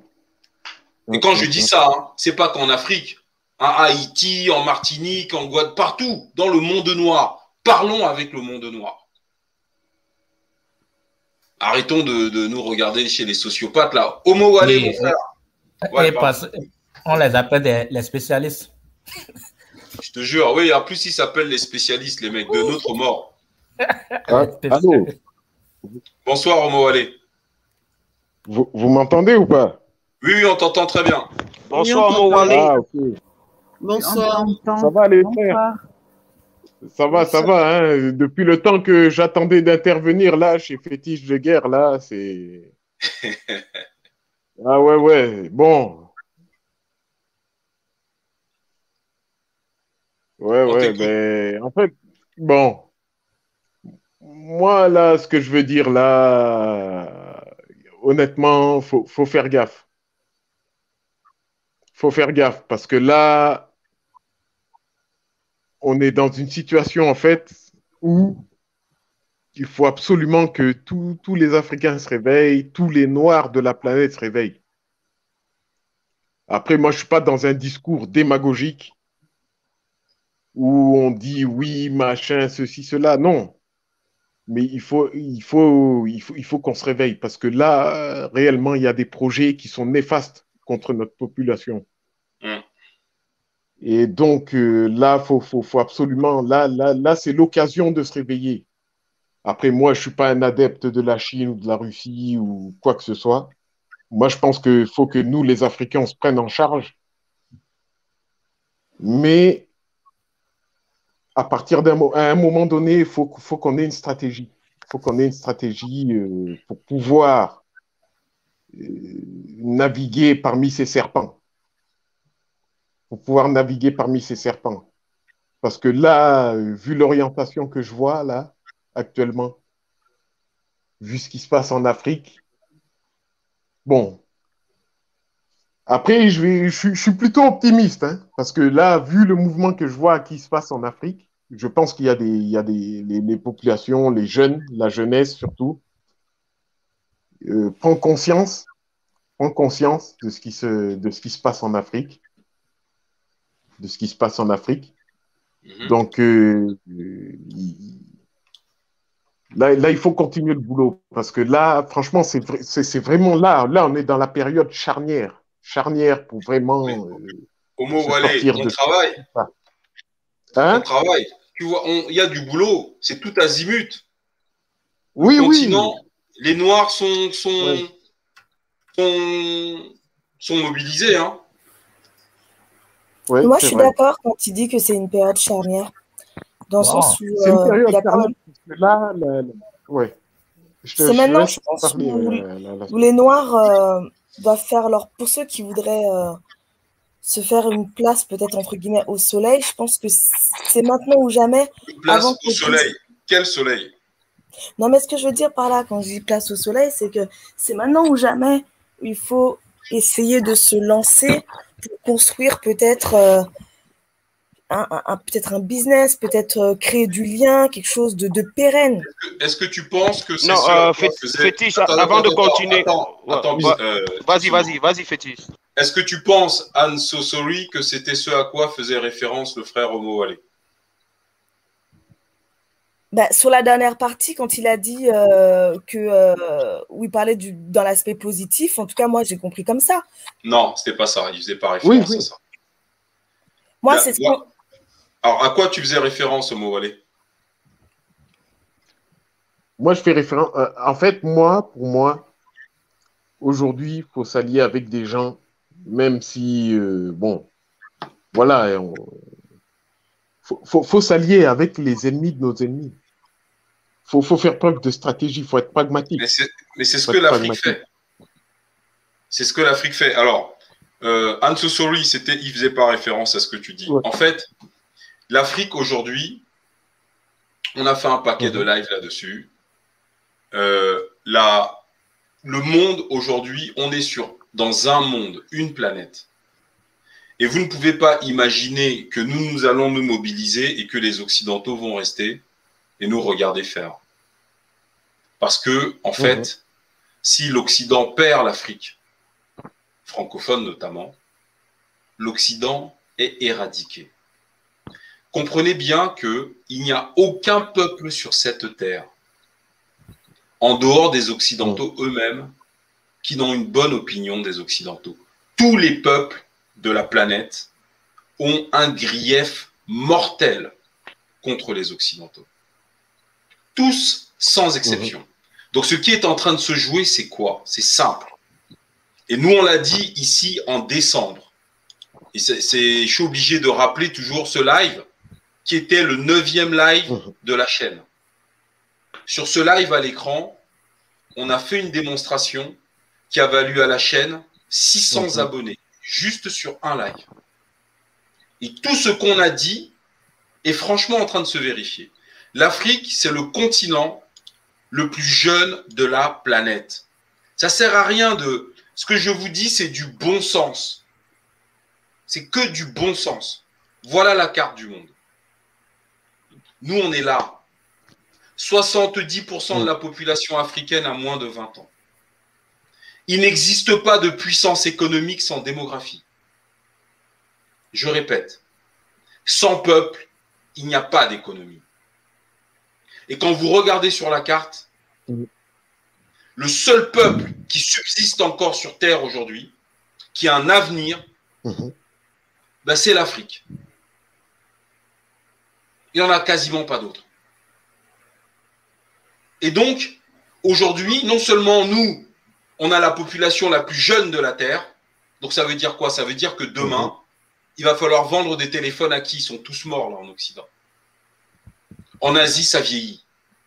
Il n'y a qu'en Afrique qui a ça fleurit en Afrique. Donc ça veut dire que demain, nous, le monde entier va venir. Ils sont déjà en train de venir. Emmanuel Macron, on a fait un live il y a deux jours sur Emmanuel Macron. C'était, c'était franchement minable avec en plus le président du Ghana qui a été formidable. Aujourd'hui, quand la Russie vient en Afrique, la Russie est là-haut, en orange là. La Russie vient en Afrique, pourquoi? Parce qu'elle est en guerre, c'est un combat à mort contre l'Ouest. Donc l'ennemi de notre ennemi est notre ami. C'est ce qui est en train de se passer en Afrique. Nous, nous avons besoin d'armement pour nous débarrasser de la France. On ne change pas un colon contre un autre. Les Russes n'ont pas de velléité impérialiste. Ils ne l'ont jamais eu, c'est pas dans leur culture. Les Russes n'ont pas réduit des Noirs en esclavage. Jamais. Ni même. Il n'y a jamais eu de zoo humain en Russie. Jamais. Donc, quand ils viennent en Afrique aujourd'hui, c'est pour faire deux choses. Disons même trois choses. Premièrement, ils viennent couper l'approvisionnement en ressources et en matières premières et en devises de la France. La France ne peut plus se servir dans les États africains. C'est pour ça que la Russie est là. C'est pour sauver sa propre tête. Parce que si le bloc de l'Ouest garde l'Afrique, la Chine et la Russie vont être en danger. Parce que le pôle de croissance pour les 150 ou 200 ans à venir, c'est l'Afrique. S'ils ne nous génocident pas avant les, guerres de l'Ouest. Exact.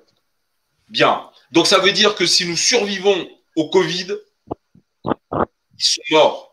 Donc, en venant, en venant virer la France de l'Afrique francophone, on affaiblit l'Europe. En Europe, c'est le couple franco-allemand. C'est simple. Donc s'il n'y a plus la France, parce qu'il n'y a plus l'Afrique derrière la France, bah, l'Europe s'effondre. L'Allemagne ne peut pas gérer toute seule, financièrement. Donc, si l'Europe s'effondre, les États-Unis s'effondrent. Et en plus sont profondément isolés. en fait, il n'y a pas besoin d'avoir fait Sciences Po ou machin. C'est du bon sens. Oui, oui. Exact. C'est tout. Donc, c'est, le, problème maintenant, c'est quoi? C'est que les Russes ne vont pas venir faire l'erreur qu'ont fait les Occidentaux. Vouloir coloniser un peuple. Excuse-moi, Fétiche de guerre. Ouais, j'aimerais poser une question. Hmm. Moi, moi c'est une question, une, question naïve.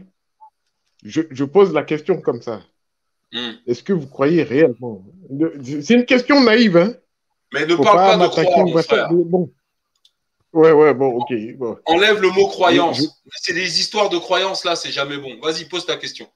Oui, euh, d'accord. Non, moi, je suis d'accord avec toi, hein, même moi. Hein. C'est du bon sens. Il n'y a pas besoin de croire dans ce que je viens de te dire.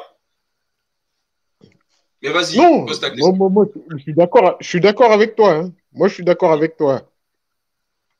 Mais si tu crois sérieusement qu'il y a des soldats russes qui vont venir mourir ici pour nous, les pauvres nègres, qui sont, qui sont Alors, en Afrique c'est pas comme ça que ça marche. C'est pas comme ça que ça marche. Excusez-moi hein, pour le terme. Hein. Non, mais je vais, te, je, vais te, je vais, te, répondre. Merci, parce que j'ai été choqué. J'ai entendu nègre. Non, non, non. Excuse-moi, ma soeur. J'ai dit le S'il te, plaît, mon, s'il te plaît, mon frère, il faut éviter d'utiliser le terme pareil, s'il te plaît. Bon, S'il te plaît. Moi-même, d'accord, Oui, mais c'est quand même utilisé dans la... c'est utilisé la littérature quand même. Non, mais en tout cas, quand le frère dit nègre, c'est du point de vue des Russes, pas du exactement, point de vue du frère. Exactement. Soyez sérieux. Non, en fait, en fait, là pour faire une illustration, t'as vu non, mais on a pas là pour choquer. Non, non, non, on a compris, les gars. Il est 2h du matin, tu as le droit aussi. Franchement, si, Alors. si je vous ai. Non, Donc, je suis français, euh... si je vous ai offensé. Non, non, non, t'as offensé personne. Non, il n'y a, pas d'offense. Il n'y a pas d'offense. du tout. Donc, ta question, les, les, Russes, comme je l'ai dit tout à l'heure, mais j'ai pas envie de trop partir là-dessus, c'est pas le thème du soir, mais les Russes, à l'ouest, il y a ouais. à peu près 30 ou 40 bases militaires occidentales, d'accord? Ah, Et dont certaines sont à moins de 600 km de Moscou, à moins de, de 1000 km de Moscou.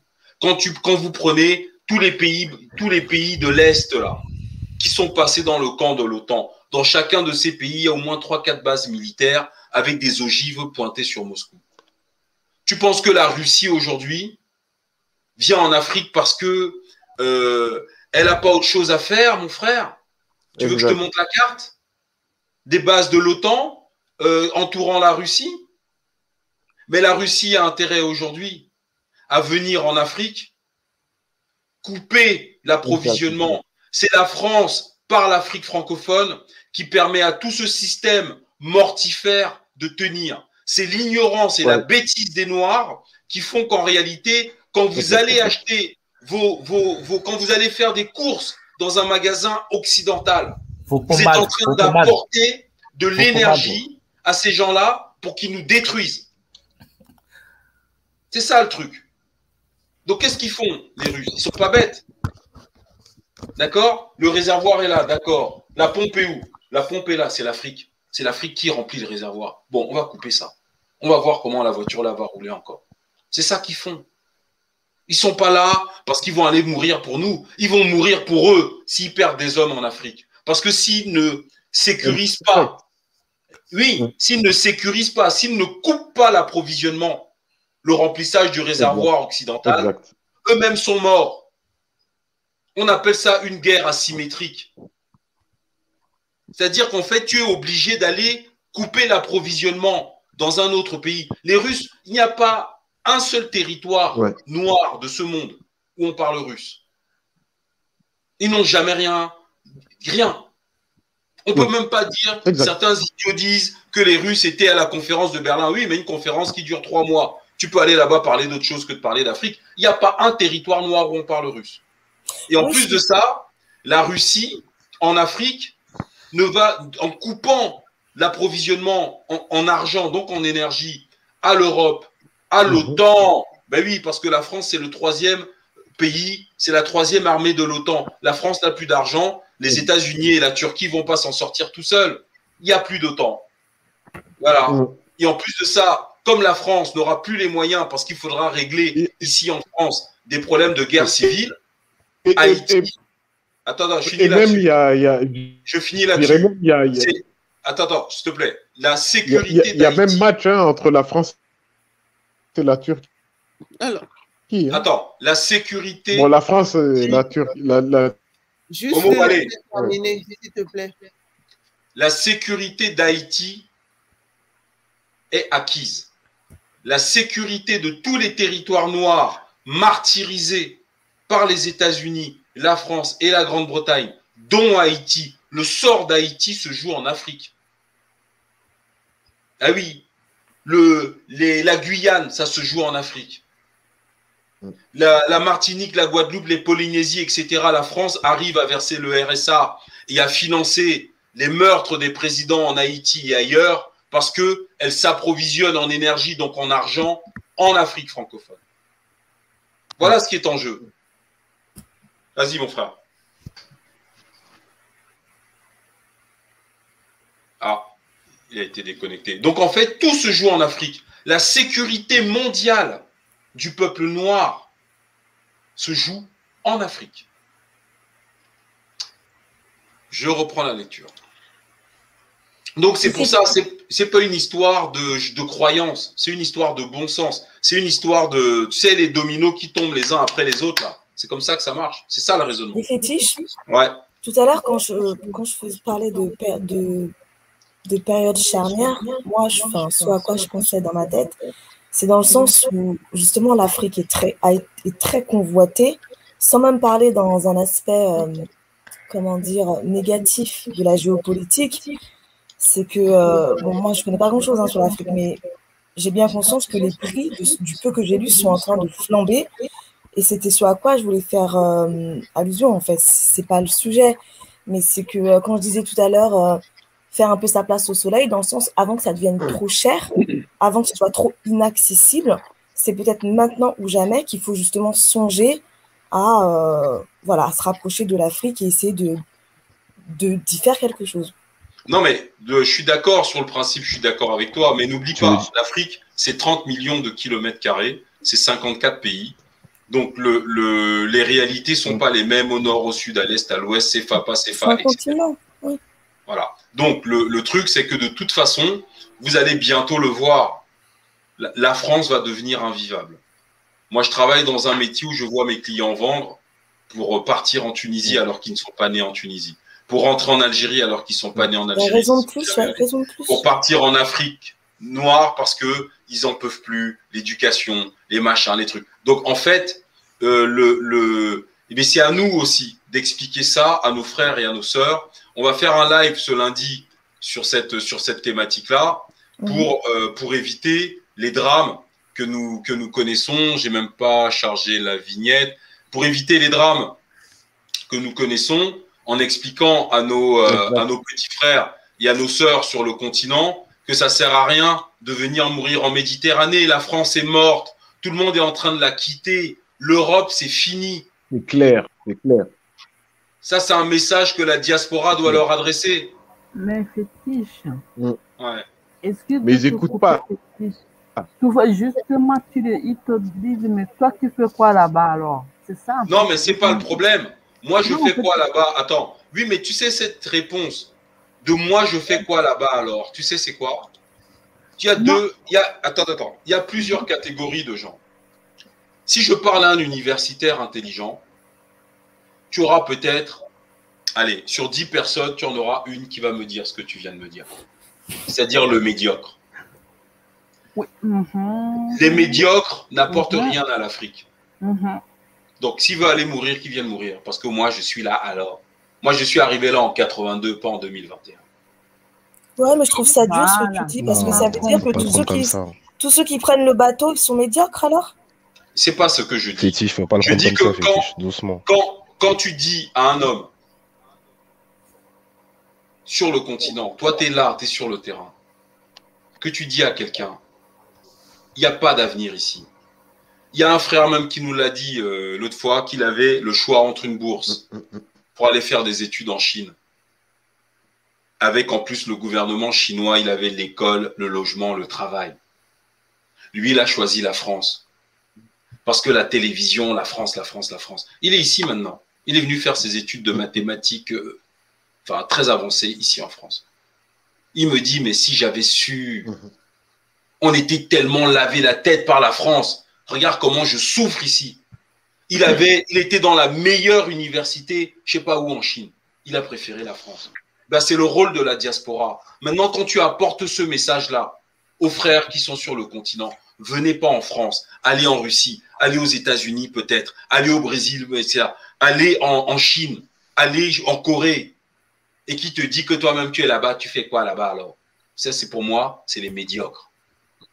Ceux qui sont sur le bateau n'ont pas reçu le message. Donc, je ne parle pas de ceux qui sont là. Je te parle de ceux qui te répondent. Toi-même, tu fais quoi là-bas? Donc, moi, je ne parle pas avec des cerveaux de ce niveau-là. Ça ne m'intéresse pas. Oui, euh, Fétiche, merci d'avoir clarifié euh, euh, les propos que tu as, tu as, tu as émis tout à l'heure, parce que je crois que certaines personnes n'ont pas très bien compris. Ah bah, je suis désolé. et je crois, que, je crois que tu as très bien clarifié. Et euh, on a fait un live sur la diaspora chinoise contre la diaspora africaine. On a beaucoup plus parlé de la diaspora chinoise. Et, euh, je crois qu'il y aura une deuxième vague où on va parler, voilà, on va parler plus de la diaspora africaine parce que euh, pour le problème, le problème quand, quand il s'agit du problème d'immigration, il est vraiment important qu'on se pose la question de savoir pourquoi les Africaines, les Africains viennent-ils en Europe ou bien en Occident, ou bien aux États-Unis. Pourquoi il y a cette, euh, cette envie de quitter le continent? Et dans plusieurs lives que le fétiche, dans plusieurs lives que le, le fétiche a fait, il y a, des, il y a des explications à cette question. Parce que je ne veux pas me mettre à rentrer euh, une à une, parce qu'on peut commencer d'abord par euh, la, la, monnaie, on peut parler, on peut commencer d'abord par nos matières premières et nos ressources, on peut parler de beaucoup d'autres choses dans le fétiche à développer. la propagande médiatique. Non, non, non, c'est pas la propagande. Et là, tu vas comprendre la source du problème. La source du problème, vraiment, c'est dans nos échanges économiques et c'est dans la monnaie. C'est dans la monnaie. Et le fétiche a très bien développé ces choses. Donc, euh, oui, non, je vais m'arrêter à ce niveau. Et quand on va faire le live, euh, on va continuer la deuxième partie du live euh, sur la diaspora chinoise euh, contre la diaspora africaine. Et je vais apporter plus d'arguments et je vais apporter de la documentation. Parce que j'ai trouvé plusieurs documents, des gens qui ont fait des études en France, qui ont fait des interviews aux gens qui ont migré en France et qui vivent dans des conditions vraiment très, très différentes. Et là, ils ont fait des témoignages. Là, ce sont des témoignages des gens qui ont fait ce voyage tu vois un peu, on leur a posé la question de savoir pourquoi venez-vous en Europe et pourquoi, euh, pourquoi mettez-vous vos vies à risque pour venir en Europe. Et là, ils ont expliqué et ils ont donné les raisons. Et dans les raisons qu'ils ont expliquées, j'ai pu voir les, j'ai pu voir la source de ces problèmes, la source de cette immigration. Voilà le fétiche à tout ça dans les lives qu'il a fait. Mais c'est les lives que nous avons fait. En fait, il faut faire attention au truc. Moi, je vous parle pas parce que j'ai j'ai pas envie d'être un prêtre ou d'un dogmatique. Il faut écouter la parole de fétiche, machin. Ça m'intéresse pas du tout. En fait, j'ai même pas envie que vous soyez d'accord avec moi. Je m'en fous. Le truc, c'est que on a fait des lives et à chaque fois il y a des documents et les documents sont en français, donc on lit, on comprend. C'est marqué là. C'est pas mon petit frère ou moi. Non, c'est des trucs comme ce soir. Donc les trucs sont clairs et ça sert à rien d'avoir fait bac plus 15. C'est du bon sens. C'est tout. Les réfugiés syriens, ils arrivaient en France on voulait leur donner les papiers, ils refusaient les mecs. Vous savez où ils voulaient aller? Vous savez où voulaient les, les réfugiés syriens là voulaient aller? Ils refusaient les titres en France. En Angleterre, non? Voilà, en Grande-Bretagne. Sur TF1, il y a eu un au journal de 20 heures. Le réfugié explique devant la caméra que la France ne les intéresse pas. C'est un pays sans avenir. C'est la Grande-Bretagne qui veulent. Mais par contre, ils viendront visiter la tour Eiffel. Voilà ce qu'il a dit.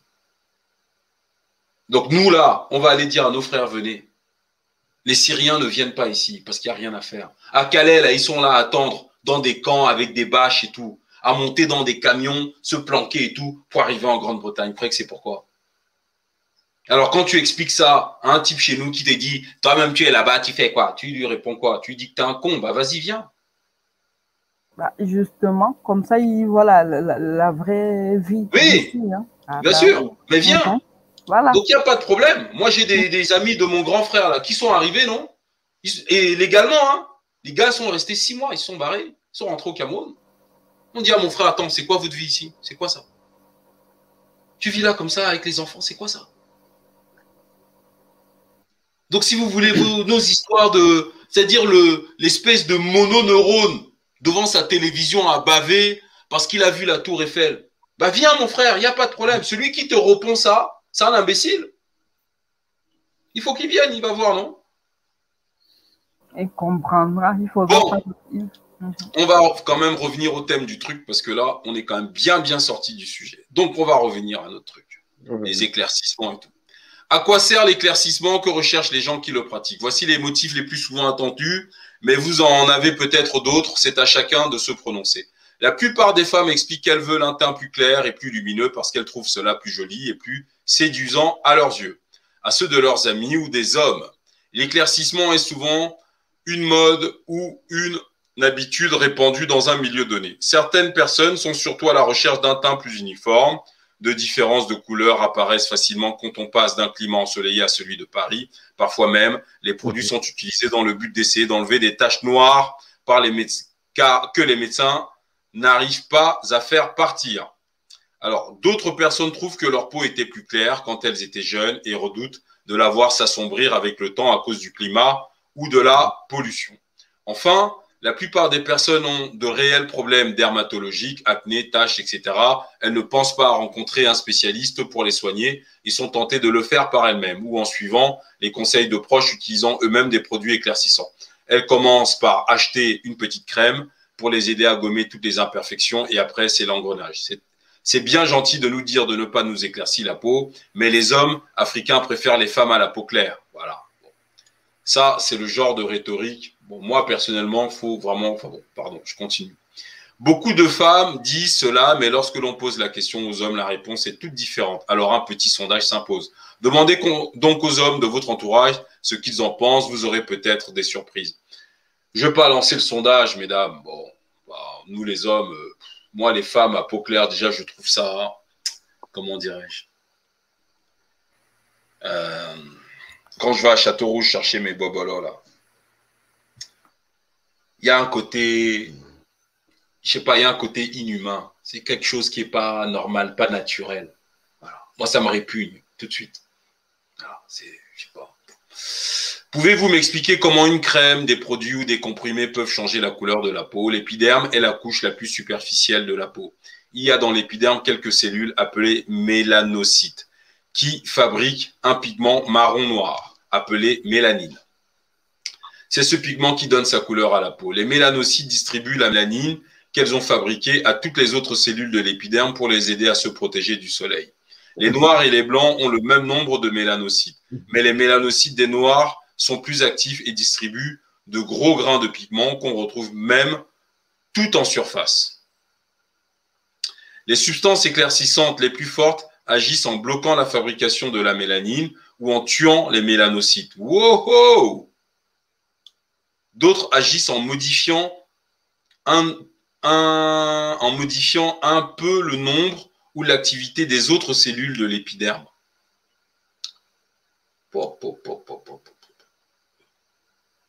Tu tues les mélanocytes. Et fétiche, euh, c'est en fait la mélanine qui nous permet de, de repulser euh, et de bloquer les ultraviolets. Voilà, et, ça, les empêche de pénétrer dans les tissus et atteindre les os. Donc, c'est une protection naturelle. Et, là, quand tu lis, et on nous dit que ces produits détruisent les mélanocytes, c'est très grave. C'est très grave. C'est clair. Quand on vous explique que ça tue les mélanocytes. Mhm.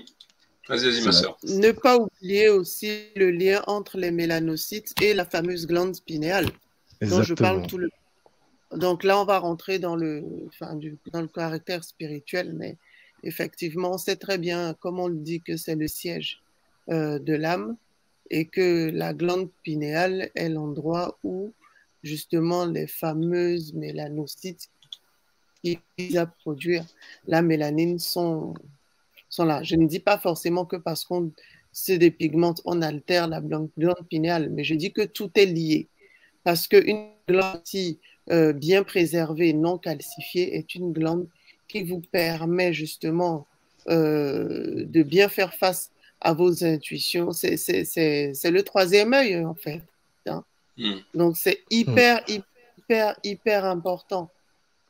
Et on ne peut pas parler de mélanine sans évoquer justement la glande pinéale. C'est lié. Vos rêves, vos intuitions. Ce n'est pas pour rien qu'on dit que le peuple noir est le peuple le plus spirituel au monde.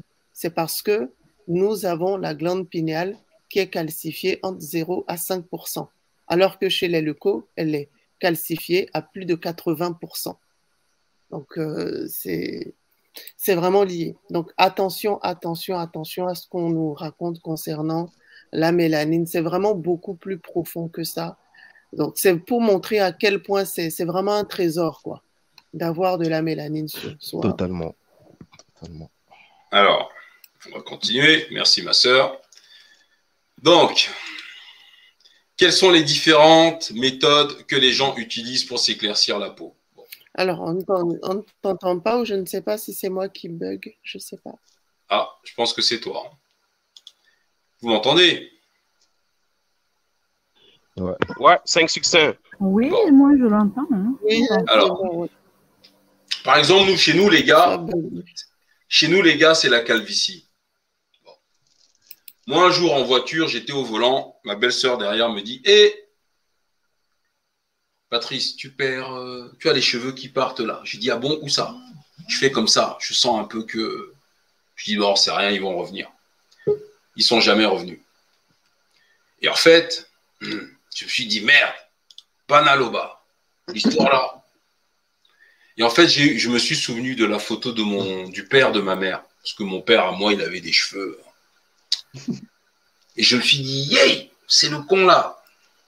C'est comme ça que j'ai J'en ai voulu à mon père, à mon grand-père maternel, parce que c'est lui qui était chaud. Putain. Bon, je ne vais pas aller combattre ça, c'était mon grand-père. C'est ce qui m'a légué. Je sais pas. On continue. Quelles sont les différentes méthodes que les gens utilisent pour éclaircir la peau?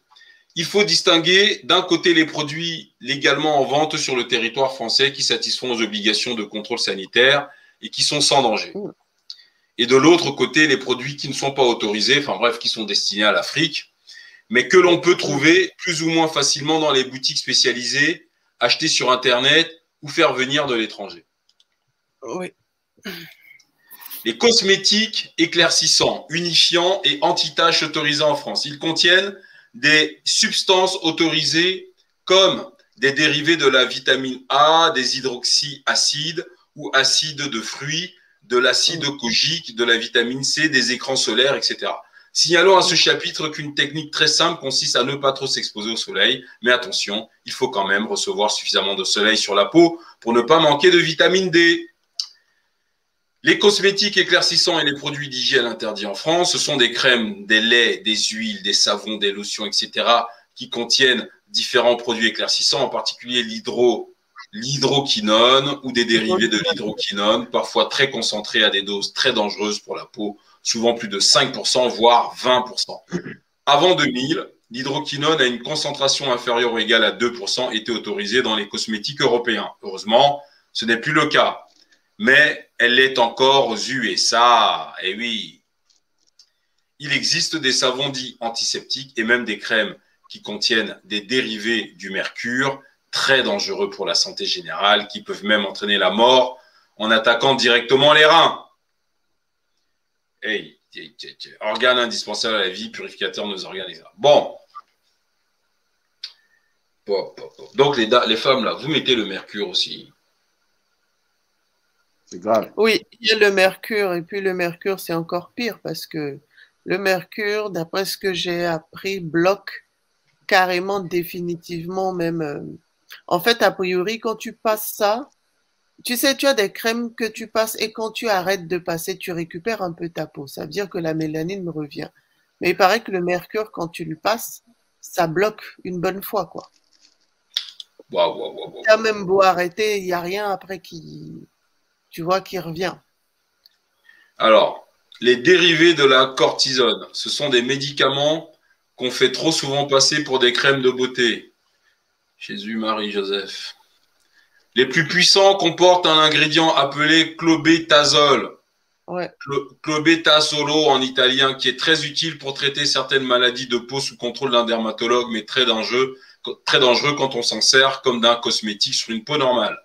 Les pommades au clobétasol sont souvent vendues en packs de 10 tubes qui s'appellent par exemple Movat, Le Monvat, Tenovat, Topifram, Lumière, Edgar, Clobétaderme, L'Ivoirienne, ah oui, carrément, Fashion Fair, PNQ et Civic, etc. C'est ce type de produit que beaucoup de personnes qui s'éclaircissent mélangent elles-mêmes à de grands pots de lait ou de crème à l'hydroquinone. Merde, voilà les trucs ici. Voilà, super, on a même les photos. Voilà. Jésus, Marie, Joseph. Donc les filles, là, vous allez jusque-là. C'est horrible. Ah, il y a les hommes aussi, hein. tu dis les filles seulement là. Ah, la majorité, c'est quand même vous, non? Aïe, même les hommes. Utilisez les beurres de qualité. Beurre de qualité, c'est naturel. Alors, je vais poster le, ce qu'il y a un spécialiste, là, il y a Aphrodisiane qui nous a rejoint. Il a fini de manger son de lait, mais on se comprend. Alors, donc, comment reconnaître les bons produits des produits dangereux? Ah oui, pardon. Les vrais décapants, shampoing, dentifrice, pétrole, pétrole, jus de citron, liquide vaisselle, eau de javel, défrisant, détergent domestique, etc., sont utilisés parfois pour produire une sorte de brûlure qui peut rester claire quelque temps si on applique ensuite des crèmes à la cortisone. Ouais, et sincèrement, moi, même, même, même à lire ça, ça c'est flippant, en fait. Putain, je sais pas qu'est-ce qu'on va faire avec ça. Il y, a des, il y a des signes quand même quand tu achètes une crème. Euh, déjà, euh, toute crème avec de l'hydroquinone, euh, toute crème qui est safe pour ta peau, normalement, elle n'est pas censée, en fait, avec le temps, elle n'est pas censée changer de couleur. C'est très révélateur. ouais, mais attends, sur tous les pots, il y avait une tête de mort, ma soeur. Comment vous faites? C'est vrai, mais je le dis parce que il y a des crèmes que tu vas acheter et comme je vous j'expliquais tout à l'heure, sur l'étiquette, on ne te dit pas qu'il y a d'hydroquinone, mais il y en a. Donc, comment déjà savoir? C'est déjà que normalement, quand vous voyez une crème qui vire au marron là, hmm voilà, qui est très orangé, mais qui vire au marron, vous voyez, ou à la couleur cuivrée marron. Et souvent, il peut avoir de l'hydroquinone, surtout quand vous éclaircissez très vite. Quand vous éclaircissez très vite. Ou deuxième chose, vous laissez la crème comme ça au bout de deux mois, trois mois. Vous savez, il y a des femmes qui ont plusieurs crèmes, vous voyez. Et mm. au bout de quelques mois, vous voyez que la couleur commence à virer. Mm. La couleur commence à virer au contact de l'air, hein, puisque quand tu ouvres un pot, tu refermes, il y a de l'air. Hmm. Donc, au contact de l'air, la couleur commence à virer au marron. Le marron, c'est très révélateur. Le marron dans une crème, je ne dis pas que toutes les crèmes marron ne sont pas bonnes. Je parle dans tout ce qui est clarifiant. Faites tester, vérifier. Ça, c'est déjà que, voilà, c'est pas safe. Et comme malheureusement, même ici, quand on vous dit autorisé, je ne veux pas citer de marque, mais malheureusement, on est en sensibilisation, il faut le dire. Euh, il y a des crèmes que tu vas acheter, même chez des grands laboratoires sur Internet. On va te dire euh, hydroquinone free, sans hydroquinone, mais il y en a. Ce n'est pas écrit sur l'étiquette. Et comme je l'ai dit, l'arbutine, euh, à un degré, a les mêmes dérivés, les mêmes effets de l'hydroquinone. Donc, ils vont te mettre un dosage, par exemple, à, à 2%, alors que c'est fortement dosé. Mais en fait, honnêtement, faut pas aller là-dedans. Enfin, je sais pas moi. Je oui, dire, pas doser clair ou machin, faut pas, faut juste pas. Non, je donne des conseils parce que ce n'est pas aussi simple chez une femme parce que toi, tu, es, tu as ta vision en fait euh, du côté homme, c'est normal. À la base, c'est ça. Mais il y a des femmes qui se retrouvent flouées. Je le dis parce que euh, je sais, enfin, je, je l'ai vu. Hein, quand tu achètes, nous, on ne peut pas les conseiller ce soir de continuer de telles choses. Justement, quand je dis qu'il y a des femmes qui se retrouvent flouées, il faut savoir qu'il y a des femmes qui ne vont pas avec l'intention d'éclaircir. On a traité du cas qui des femmes qui veulent éclaircir. Il y a des femmes aussi qui ne veulent pas éclaircir, mais à qui on vend des produits éclaircissants. En fait, c'est pour ces cas-là que je me permets de, de dire ça. Tu vois?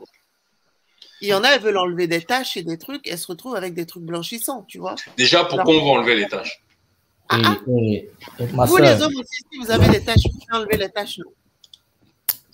Là, c'est une histoire de chichi, c'est du cosmétique, c'est de la beauté. Ouais, mais d'accord, mais si les histoires-là t'emmènent, laisse les tâches. Fétiche. Voilà, tu comprends. Fétiche. une, une tâche, c'est pas un bouton. Moi, je peux comprendre que si la sœur a un abcès sur le front, c'est normal qu'elle enlève. Voilà. Bon, une tâche, c'est quoi? Tu vas pas aller mettre du, de, du plomb, de la cortisone ou je sais pas quoi. Ah, mais tout ça là, c'est vous les hommes, non? C'est vous qui aimez les femmes aussi. Non, non, non, faut pas, faut, pas chercher de bouc émissaire. Mais non, quand vous montre les femmes clean, clean et tout, vous, voilà, donc les filles aussi. Elles veulent ressembler à ça. Tu me permets de dire deux mots. Ma soeur, je pense que tu as pleinement raison, mais il faut relativiser, c'est ce que Fétiche est en train de dire. Si nous ne sommes pas dans les films pharmaceutiques, nous ne sommes pas dans les industries, pour contrôler toutes ces doses dont tu es en train de parler, je pense que l'idéal, on ne dit pas de laisser les produits cosmétiques. Nous avons par exemple des produits comme les beurres de karité qui quand même montre la beauté naturelle en fait de la femme. Oui, la question c'est pas, ça. non, c'est pas ça la question là. C'est pas ça en fait. Euh, même moi, je suis une première consommatrice de beurre de karité et tout. C'est pas ça. Je donne conseil aux femmes parce que dans pour les femmes, il y a le cas, il y a plusieurs cas en fait. C'est ça. Faut pas être réducteur concernant les femmes et hmm. l'utilisation des produits que font les femmes. Les comportements et la consommation de produits des femmes est diverse. Les femmes, elles consomment différemment les produits. C'est ça qu'il faut savoir. Donc, il faut penser à tous les profils. Comme ça, exactement. Tu as des femmes qui sont vraiment exclusives du bio. Il y a des femmes, voilà, elles vont traiter des tâches. Il y a des femmes, elles font des mélanges. Et comme je vous ai dit, il y a, je connais beaucoup de femmes qui se sont éclaircies par accident. Ce n'était pas l'intention, en fait. Et ça a commencé avec le fait qu'elles ont été flouées, enlever des taches. Tout à l'heure, j'ai fait la différence entre clarifier, éclaircir et blanchir. Beaucoup ont voulu clarifier en enlevant les taches. Elles se sont retrouvées à éclaircir. Et tu sais, tu tombes vite dans le piège. Tu traites les taches alors que tu es en train d'éclaircir. Tu vois, tu vois que tu as bonne mine. On te sort dans la rue, on te dit, mais waouh, tu es jolie, hein, tu as... C'est ça le piège, en fait. Et tu continues. C'est pour ça que je vous dis, c'est très subtil, en fait. Ce sont des petites choses comme ça. Totalement Et pareil, quand les femmes veulent arrêter la dépigmentation, s'il ne s'agisse que d'elles, elles arrêtent. Mais dès qu'elles sortent aussi, il va voir les gens dans la rue. Mais qu'est-ce que tu as? Tu as mauvaise mine. Hein euh, oula, ton teint a changé. Tu es bizarre. Donc, pour moi, je ne dis pas que c'est normal. Je suis en train de donner les contours, en fait, de la question. Et si une femme achète, parce qu'on est aussi au sein de la communauté, beaucoup achètent entre elles, beaucoup commandent du pays, Beaucoup font confiance, mais il y a aussi beaucoup qui se font avoir. D'où le conseil, en fait. Tu vois, tu peux commander une crème simplement, c'est écrit beurre de cacao dessus, ça clarifie, alors qu'il y a un truc pas net dedans. Ça arrive. Ok. Bon, mesdames, moi, ce que je propose, c'est qu'on reprenne la lecture, ma sœur. Et en plus de ça, est-ce qu'il n'y a pas un marché Fleurka de, de, des produits cosmétiques faits maison sans produits chimiques occidentaux artificiels? Voilà, voilà. Est-ce que, Florca, on peut imaginer, est-ce qu'on peut imaginer, c'est-à-dire les femmes font leur lotion de beauté? Moi, je dis ça, j'essaye de trouver une piste pour les sœurs parce que je ne, je ne savais pas que l'affaire là était grave comme ça. Bon. Mais c'est à ça qu'on est en train de venir. Hein. C'est à ça qu'on est en train de, devenir avec. On est en train de, devenir avec des, des labos bio vraiment euh, en Afrique, sur les territoires, l'avantage, c'est que euh, les produits sont pris là-bas, tu consommes là-bas, tu vois, et tu utilises directement. C'est en train de venir petit à petit. Bon, donc en gros, ouais. Non, le problème ici, c'est que euh, quand il faut labelliser un produit bio en France et tout, c'est des tracas ou malheureusement, enfin, moi je ne trouve pas, mais c'est mon avis personnel. Je ne vais pas être africaine, par exemple, et aller voir un labo français pour commander du beurre de karité ou du beurre de cacao français. Vous voyez, je préfère me servir là-bas. Mais le problème aussi, au sein de la communauté, quand tu veux vendre, euh, beaucoup de sœurs, de frères veulent que le produit soit labellisé bio. Donc, il faut trouver, comme tu as dit, un réseau où il peut y avoir un libre-échange entre nous. Vous voyez de... Sinon, il y a. des femmes qui font du bio, qui font du savon noir, qui font des produits, il y a déjà des masses et de très bons produits. Maintenant, c'est trouver les sœurs aussi qui puissent acheter. Vous voyez, oui, mais alors. De fermer les yeux, hein, mais qui puissent avoir cette ouverture-là d'acheter sans forcément. Euh, le problème aujourd'hui avec le cosmétique en France, c'est que on veut la légalité, la conformité française qui limite, tu vois, qui limite les frères et sœurs aussi, euh, entrepreneurs, et qui ont la possibilité de produire. Bon, ok. Le truc, c'est que euh, il, va, il va falloir. Alors, il y a deux choses. Les autres communautés vendent leurs choses dans, entre eux. Merci. Sans passer par les histoires de labels, de machin, de trucs. Merci. Et, et, à partir du moment où le réseau est suffisamment grand derrière, s'il faut payer 5000 euros pour labelliser une ligne de trucs de machin, ils le feront parce que les Occidentaux sont des malins pour commercialiser sur leur territoire. Tu es obligé de passer par 150 000 labels et à chaque fois, tu vas payer une blinde. On appelle ça une barrière à l'entrée. Maintenant, retrouver notre, notre souveraineté et être capable de dicter nous-mêmes l'économie telle qu'elle doit se dérouler sur nos territoires, ça passe déjà évidemment par l'armée. Mais derrière, évidemment, l'Afrique, avec ce que ces, ces, sociopathes nous ont fait vivre, je leur souhaite bonne chance pour venir vendre le moindre produit chez nous. En tout cas, à l'Europe de l'Ouest. Ça va être très compliqué aux États-Unis. Mais on continue. Mais c'est bien, mais, je pense qu'il faut qu'on se fasse de plus en plus confiance. Je regrette. Tu as trouvé le. ça doit, ça doit passer chez nous. Ça ne les regarde pas. Ce que les Indiens se vendent comme produits qui viennent de chez eux, ils ne vont pas passer par le label, la validation du blanc. Non. C'est le seul blocage. Voilà. Quand les sœurs et les frères seront prêts à passer, comme tu as dit, ce cap-là, à acheter, à... vous verrez que ça va se vendre. Des bah produits, il y en a, des idées, il y en a. Il y a de très bons chimistes, il y a de très bons laboratoires sur le terrain du bio, du pur, avec de bonnes odeurs, de bons produits. Je sais de quoi je parle. Je ne mm. parle pas plus tard qu'hier avec des sœurs. On en parlait, mais il faut aussi que de l'autre côté, les consommatrices soient prêtes, en fait. Tu peux pas acheter chez ton frère et exiger d'avoir du Chanel, en fait. Non, non, mais c'est clair. Mais à un moment donné. ça, à un moment donné. Euh, c'est du traumatisme, c'est du traumatisme occidental. Mais moi, personnellement, sans faire ma chochotte, hein, quand je lis ce que je suis en train de lire là, si j'ai pas écrasé la graine moi-même dans mon pilon, là, mélanger ma chose pour mettre sur ma peau, là, et c'est fuck, hein. jamais de la vie. C'est trop dangereux, votre univers, là. Tant on te parle de plomb, de machin, de truc, c'est. Mm. On continue. Il existe des crèmes, alors il existe des crèmes moins mauvaises, les, les, problèmes résultent de la difficulté à les distinguer, car le plus souvent, la vraie composition n'est pas écrite sur les boîtes, c'est ce que dit la sœur deux principes à retenir. Ce n'est pas parce que l'étiquette marque cendre, hydroquinone que le produit n'est pas dangereux. D'abord, ce n'est peut-être pas vrai. Merci Fleurka. Car les étiquettes sont souvent mensongères. Merci Fleurka. Mm. Ou les produits trafiqués. Merci Fleurka. Ensuite, il y a d'autres produits encore plus dangereux que l'hydroquinone. Vous voyez, c'est tout l'intérêt d'aller vous inscrire sur la chaîne de la sœur. Parce que, vous voyez, quand elle parle d'un sujet, elle n'a pas vu la documentation que je suis en train de vous lire là pour ça que je dis merci Fleurka à chaque fois, parce que ça correspond exactement à ce qu'elle nous dit depuis le début du live. Donc, si le produit ou le mélange que j'utilise m'éclaircit vraiment beaucoup, alors ça veut dire qu'il est dangereux. Quand ma cousine prépare ses produits, elle mélange avec des crèmes et des pommades, qu'en pensez-vous? Il s'agit de produits éclaircissants. Dites à votre cousine de faire très attention alors, s'il s'agit de produits éclaircissants, dites à votre cousine de faire très attention et d'arrêter ces mélanges. En effet, les dermatologues spécialisés ont remarqué que les mélanges causaient les dégâts les plus graves, souvent irréparables. Voilà, c'est là. Mm, mm. C'est vrai.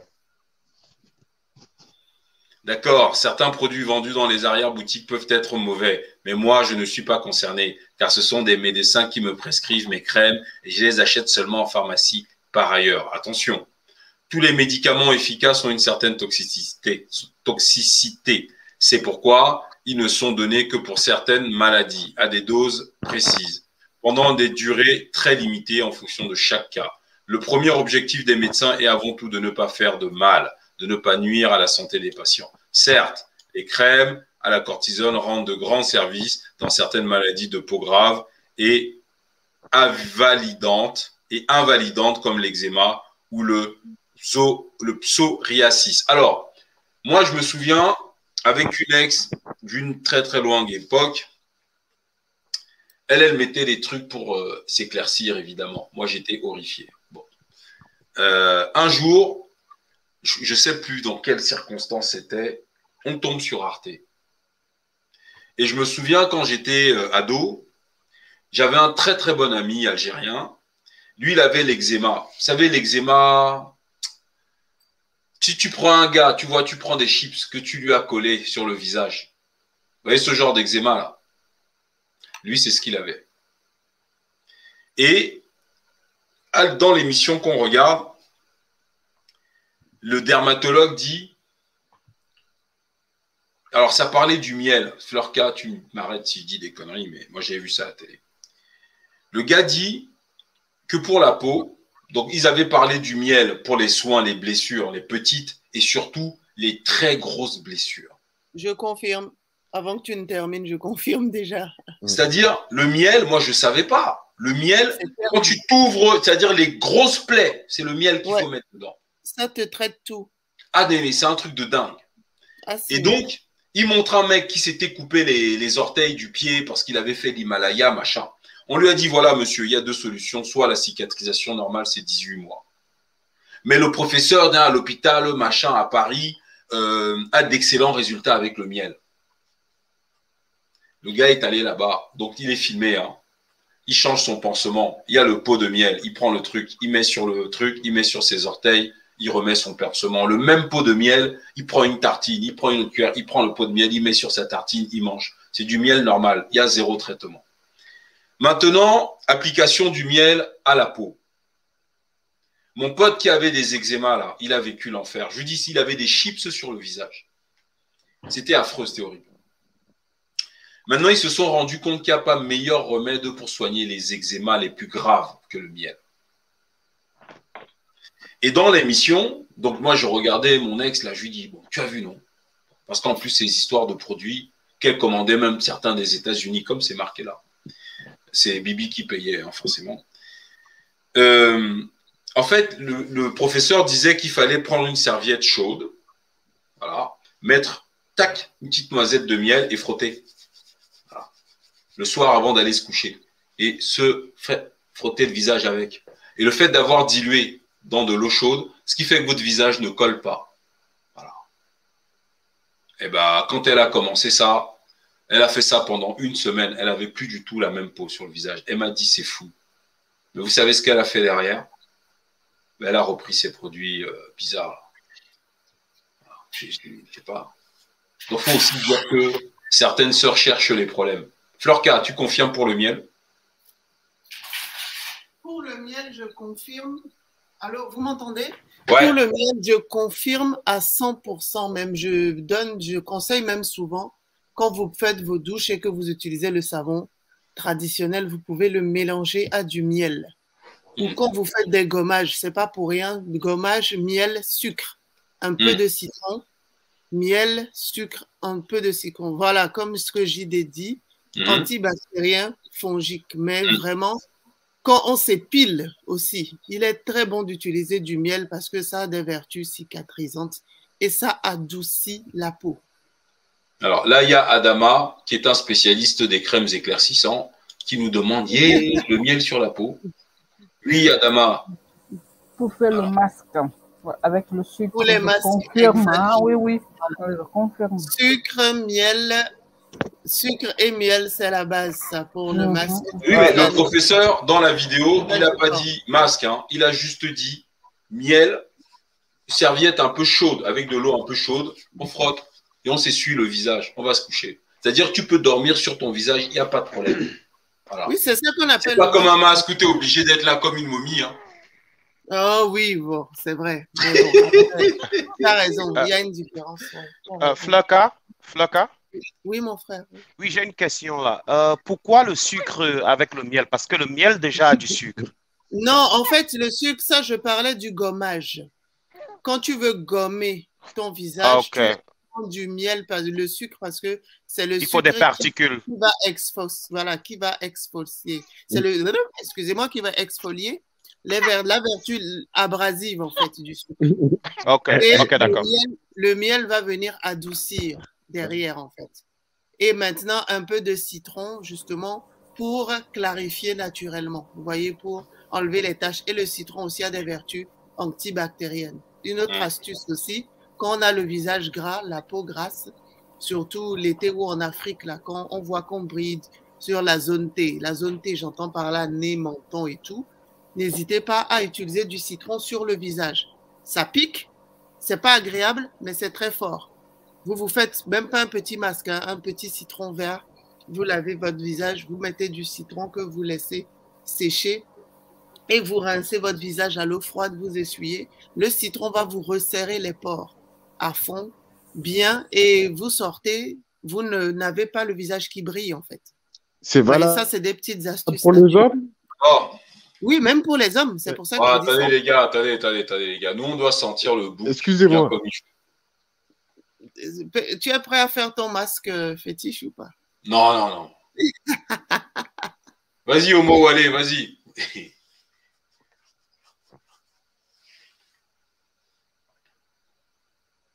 Homo, allez, on t'entend pas. Bon, je continue. Hein. Non, Alors, non, demain, là, je vais voir. Je vais acheter un livre téléphone.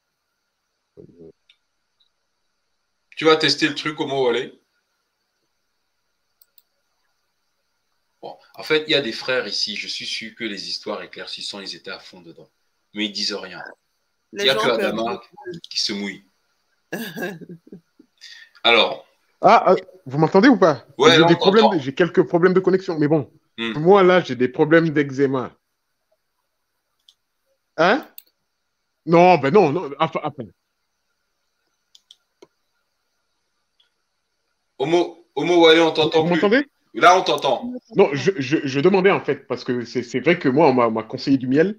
Bon, moi, tous les problèmes que vous avez exposés là, bon. ah, ok. Tu achètes quelle en, marque En fait, moi, je voulais savoir si c'était, euh, si, si, aussi les hommes étaient concernés par ce. Bah oui, tu Moi, personnellement, voilà. Parce que moi aussi, j'ai des problèmes d'eczéma. Hein. C'est du bien-être. J'ai hein, hein. des. Non, là, on est sur du bien-être, c'est-à-dire du bien-être, les notions d'hygiène, de soins de base, en fait, homme-femme. Là, on n'est pas en train de, de faire des, des, soins spécifiques femmes, en fait. Hein. Bon, Homo Wale, tu prenais quelle marque de produits éclaircissants On est en famille, là, dis-nous. Hein? Non, moi je, moi, moi, moi, je prends pas. En fait, moi, moi, je parle. moi, moi, je parle parce que. Non, non, non, en fait, moi, le problème, c'est que j'ai des problèmes d'eczéma. J'ai de l'eczéma. Et ah, c'est le miel. C'est le miel, mon frère. Et je suis, même, je suis, même, allé voir des laboratoires et tout ça pour, euh, pour non, c'est le miel. Ma peau. Le miel? C'est que le miel. Rien que le miel. Et le miel pur, te prends pas la tête. Le miel que tu peux même acheter en supermarché, là. Tu le prends juste bio, mhm. c'est tout. Voilà. Et tu te. Tu mets. Moi, le médecin avait dit. Enfin, après, moi, faut, le miel, ah tu mets bien sur le truc le matin. Ta peau va pas coller. Hein. Tu mets de l'eau chaude. Par contre, la serviette doit être chaude. Tu mets le miel, tac, tac. Et tu frottes ton visage avec. Et après, il disait qu'il ne fallait pas mettre la main sur son visage. Le matin, le soir, avant d'aller te coucher, terminé, c'est tout. Tu vas voir les résultats, pareil que c'est spectaculaire. Mm-hmm.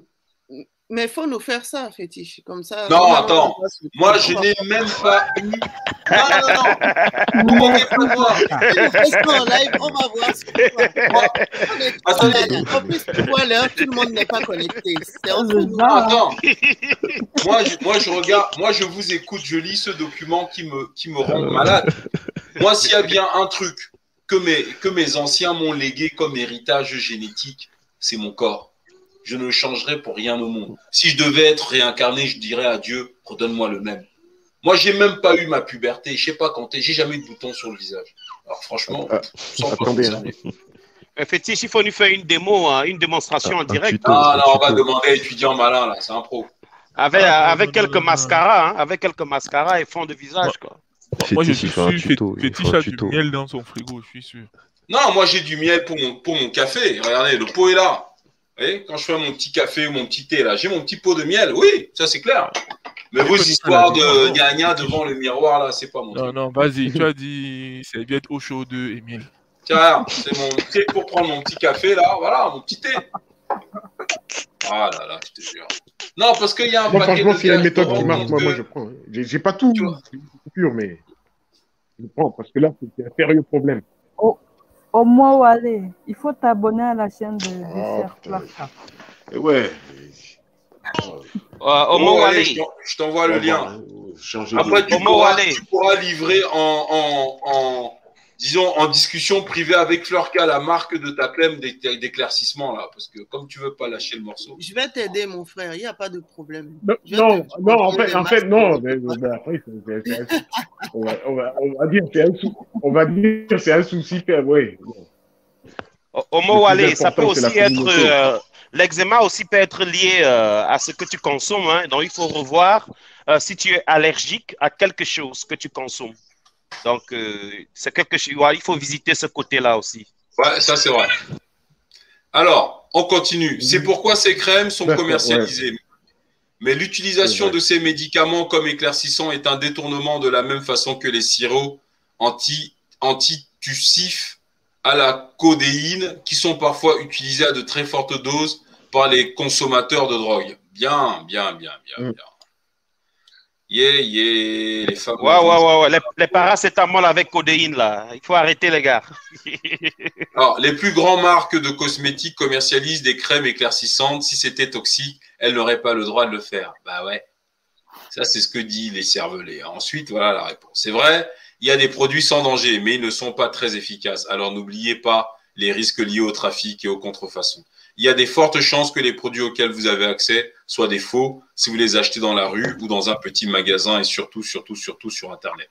Dans tous les cas, ils, ils éclaircissent vraiment beaucoup. Pas de doute, c'est qu'ils sont dangereux. Alors n'hésitez pas à vous informer et à rencontrer des médecins et des dermatologues qui sont là pour vous aider avant toute chose.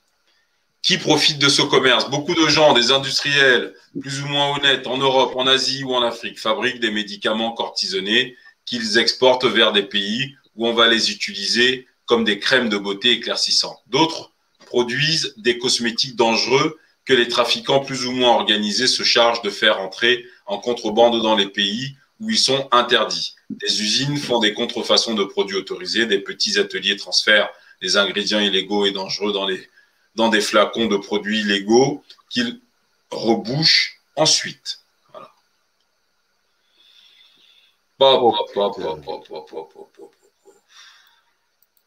Là, c'est grave. Franchement, je suis chaud. Non, c'est pas possible. Ouais.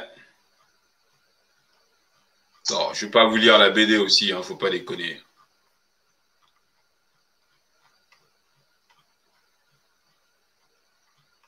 Bon. Alors, oh, Alors là, ça commence à faire mal. Tu voulais plaire aux hommes, non Bouton d'acné, vergiture, taches, boutons et poils de barbe, cerne prononcé, Jésus, Marie, Joseph. Comme tu dis, hein. Jésus, Marie, Joseph.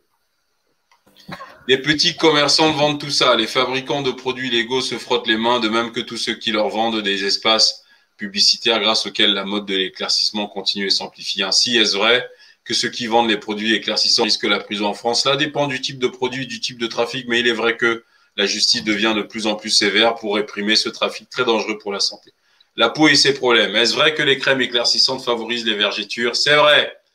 Les produits éclaircissants peuvent, peuvent beaucoup aggraver les problèmes de peau et de façon irréversible. La peau est formée de trois couches, l'épiderme, le derme, composé de fibres collagène et de fibres élastiques qui donnent à la peau sa solidarité et son élasticité. Et enfin, l'hypoderme. Si les fibres cassent, les vergetures se créent. C'est ce qui se passe souvent lors des changements hormonaux, par exemple, à l'adolescence ou pendant la grossesse, ainsi que chez les personnes qui grossissent beaucoup et très vite. Les crèmes à base de cortisone font craquer les fibres élastiques de la même façon qu'un élastique de slip usé où l'on voit les fils qui le composent casser les uns après les autres. Bon, je ne sais pas si ça rappelle quelque chose à quelqu'un, mais bon, passons. Une fois abîmées, ces fibres élastiques qui maintiennent la peau ne peuvent plus être réparées, ce qui explique l'inefficacité des crèmes contre les vergitures.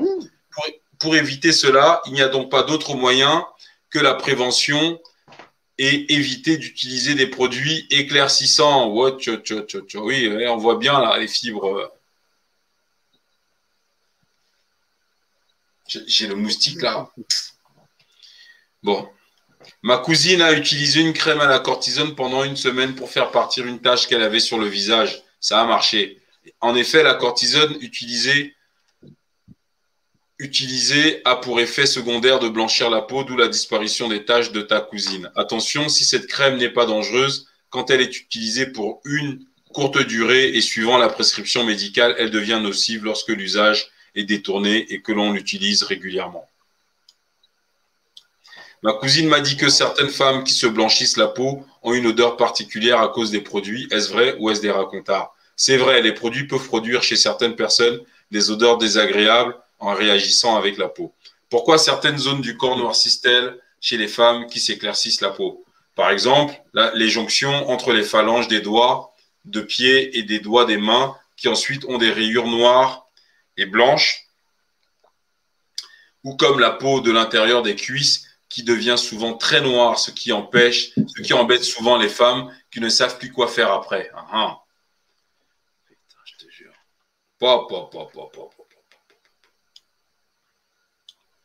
C'est chaud, hein Fétiche dit pop, pop, pop, pop, pop, pop. Ah ouais, là, c'est de la science-fiction. Là, c'est. Même dans Star Trek, ils te font pas des monstres comme ça. D'abord, Hein Wow, on continue. D'abord, ces zones sont normalement plus sombres, même si on ne s'éclaircit pas. Ouais.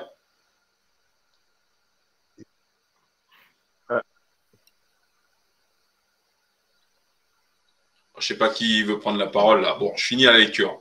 D'abord, ces zones sont normalement plus sombres, même si on ne les éclaircit pas. Surtout avec les frottements, par exemple, je, les mains. Je, vous l'ai dit, hein, moi, moi, dans ma famille, en fait,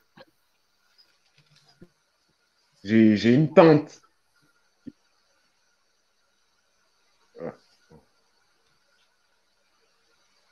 On t'entend pas bien au mot, allez.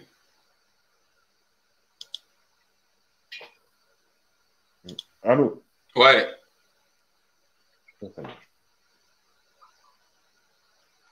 Euh, vas-y, continue. Hein, ok, je continue. D'abord, ces zones sont normalement plus sombres, même si on ne s'éclaircit pas, surtout avec les frottements, par exemple, pour les mains avec le travail manuel. D'ailleurs, certaines personnes essaient parfois de faire partir ces zones sombres en les frottant plus fort, ce qui a généralement l'effet inverse, de renforcer la tâche. L'un des effets spectaculaires de ces produits peut être de faire de véritables yeux de faire de véritables yeux au beurre noir à des personnes qui ont utilisé ces produits et ces lésions ne partent plus, marquant ainsi définitivement la personne.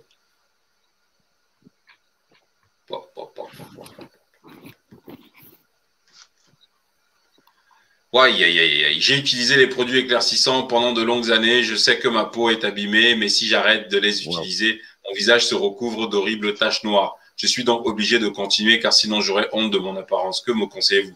Ce que vous dites est vrai et nous vous conseillons d'aller consulter un médecin qui connaît bien cette question et qui pourra vous prescrire un traitement moins fort pour vous aider à décrocher de ces produits, de, à décrocher de ces produits. Effectivement, ces crèmes sont comme l'alcool ou la drogue, très traîtres et dangereuses. Dans un premier temps, elles apportent un bien-être et des bons résultats, mais si l'on continue, le corps en réclame encore plus, jusqu'au point où la personne n'arrive plus à arrêter. Euh, c'est l'exemple de Michael Jackson. Hein?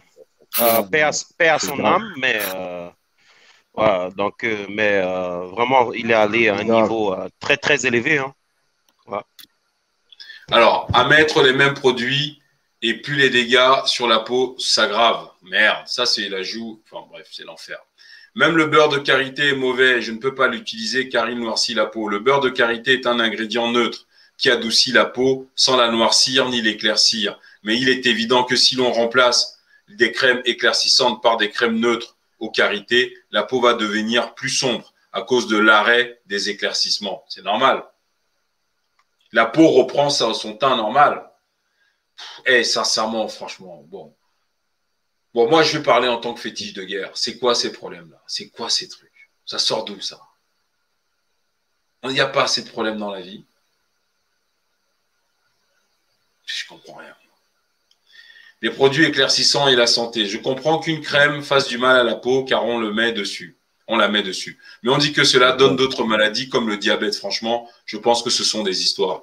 Oui, cela paraît vraiment étrange, mais imaginez plutôt la peau comme une sorte d'éponge absorbant le produit pour la transvaser dans les petits vaisseaux sanguins qui sont sous la peau. Vous saignez quand vous vous blessez et vous aurez une idée du mécanisme pour lequel la peau absorbe certaines substances. De plus, comme les produits éclaircissants amincissent la peau progressivement en la réduisant à la fin à l'épaisseur d'une feuille de papier à cigarette, l'effet éponge de la peau ne fait qu'augmenter. Avec les applications car l'épaisseur de la barrière ayant diminué, les produits pénètrent de plus en plus facilement dans l'organisme.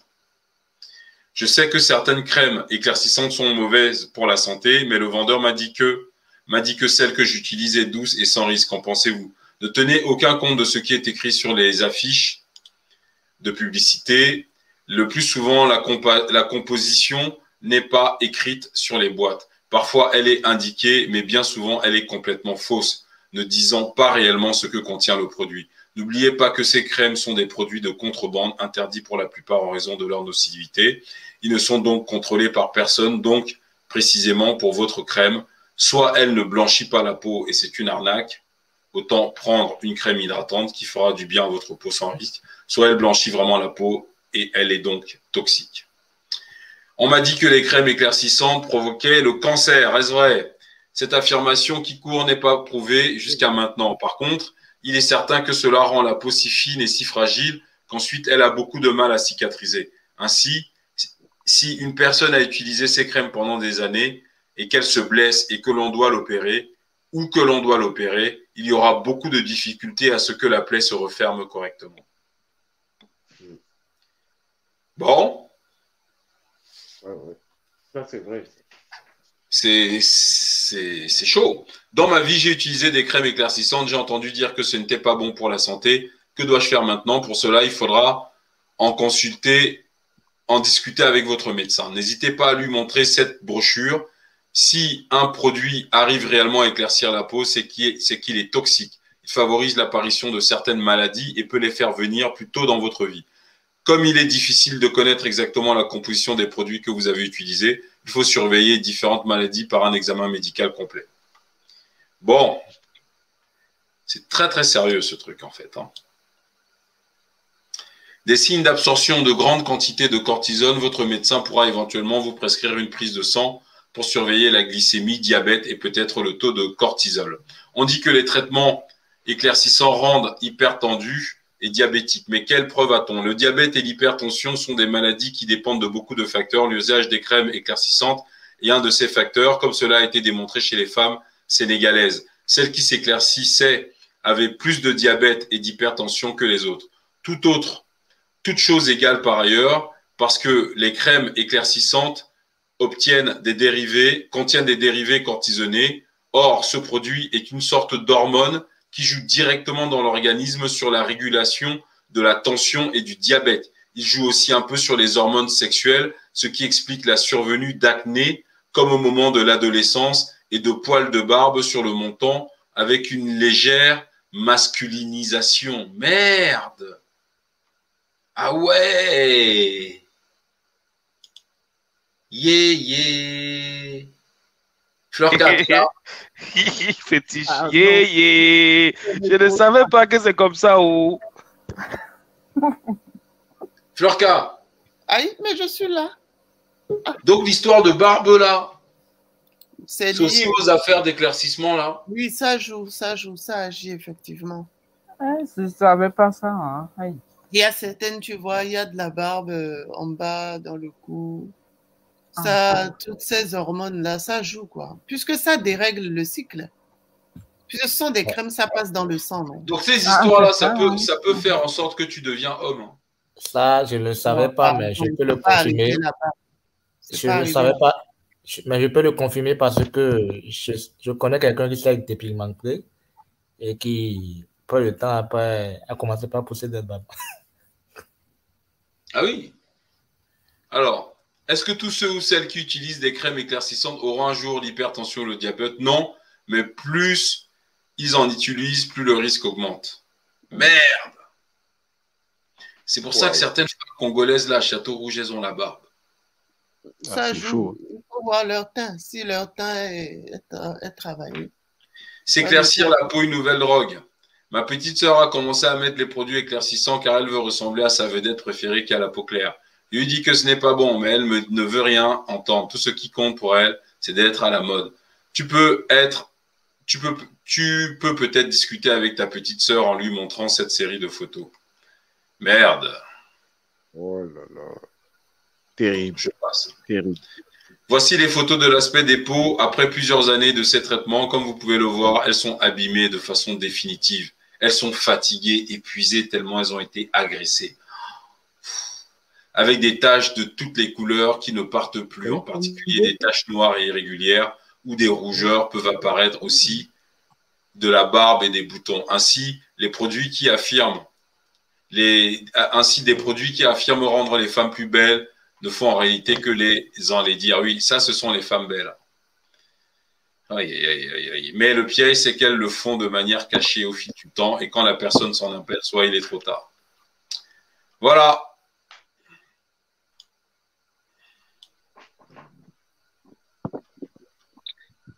Si vous voulez encore plus de boutons, encore plus de vergetures, encore plus de taches sur la peau, encore plus de barbe au menton, encore plus de tension artérielle, encore plus de diabète, alors bah, prenez des produits éclaircissants. Bon, voilà, globalement, on a fait le tour. Hein. Voilà, vous avez le pôle santé de la goutte d'or.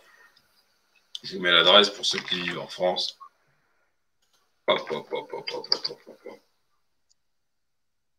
Donc cette affaire-là fait même pousser la barbe chez les femmes.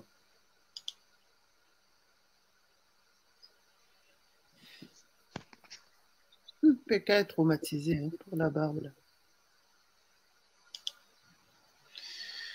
Bon. C'est chaud. Hein.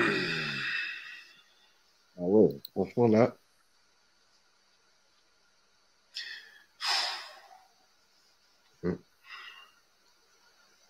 Moi, je suis dépassé. Je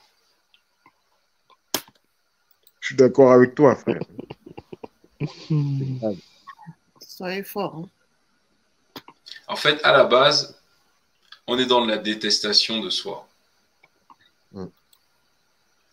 C'est pour ça que j'explique que vous avez vu les résultats, vous avez vu les risques. Quand on arrive à ce stade-là et qu'on s'auto-détruit de la sorte, vous êtes d'accord, ce n'est pas seulement un exposant les photos pour que les femmes arrêtent. Parce que les femmes qui passent ces pommades, elles ont conscience de ce qu'on vient de voir. Mais elles continuent c'est que c'est dans la tête. Mais elles sont mariées ou quoi? C'est dans la tête. C'est pour ça que j'ai donné l'exemple des fumeurs qui achètent le paquet de cigarettes où c'est écrit dessus fumez-tu, mais il va quand même tous les jours au tabac acheter son paquet, malgré que c'est écrit dessus que fumez-tu. Avec les produits éclaircissants, c'est le même problème. Là, on n'est même plus au stade où il faut les informer. Là, tout ce qu'on vient de voir là, la plupart savent mais parce que c'est tellement imbriqué dans leur tête à cause du conditionnement là qu'il y a autour de tout ça que elles se disent, et ça je l'ai entendu plusieurs fois, hein, de toute façon on va toutes mourir, alors euh, voilà quoi. Ah, c'est vraiment une addiction en fait.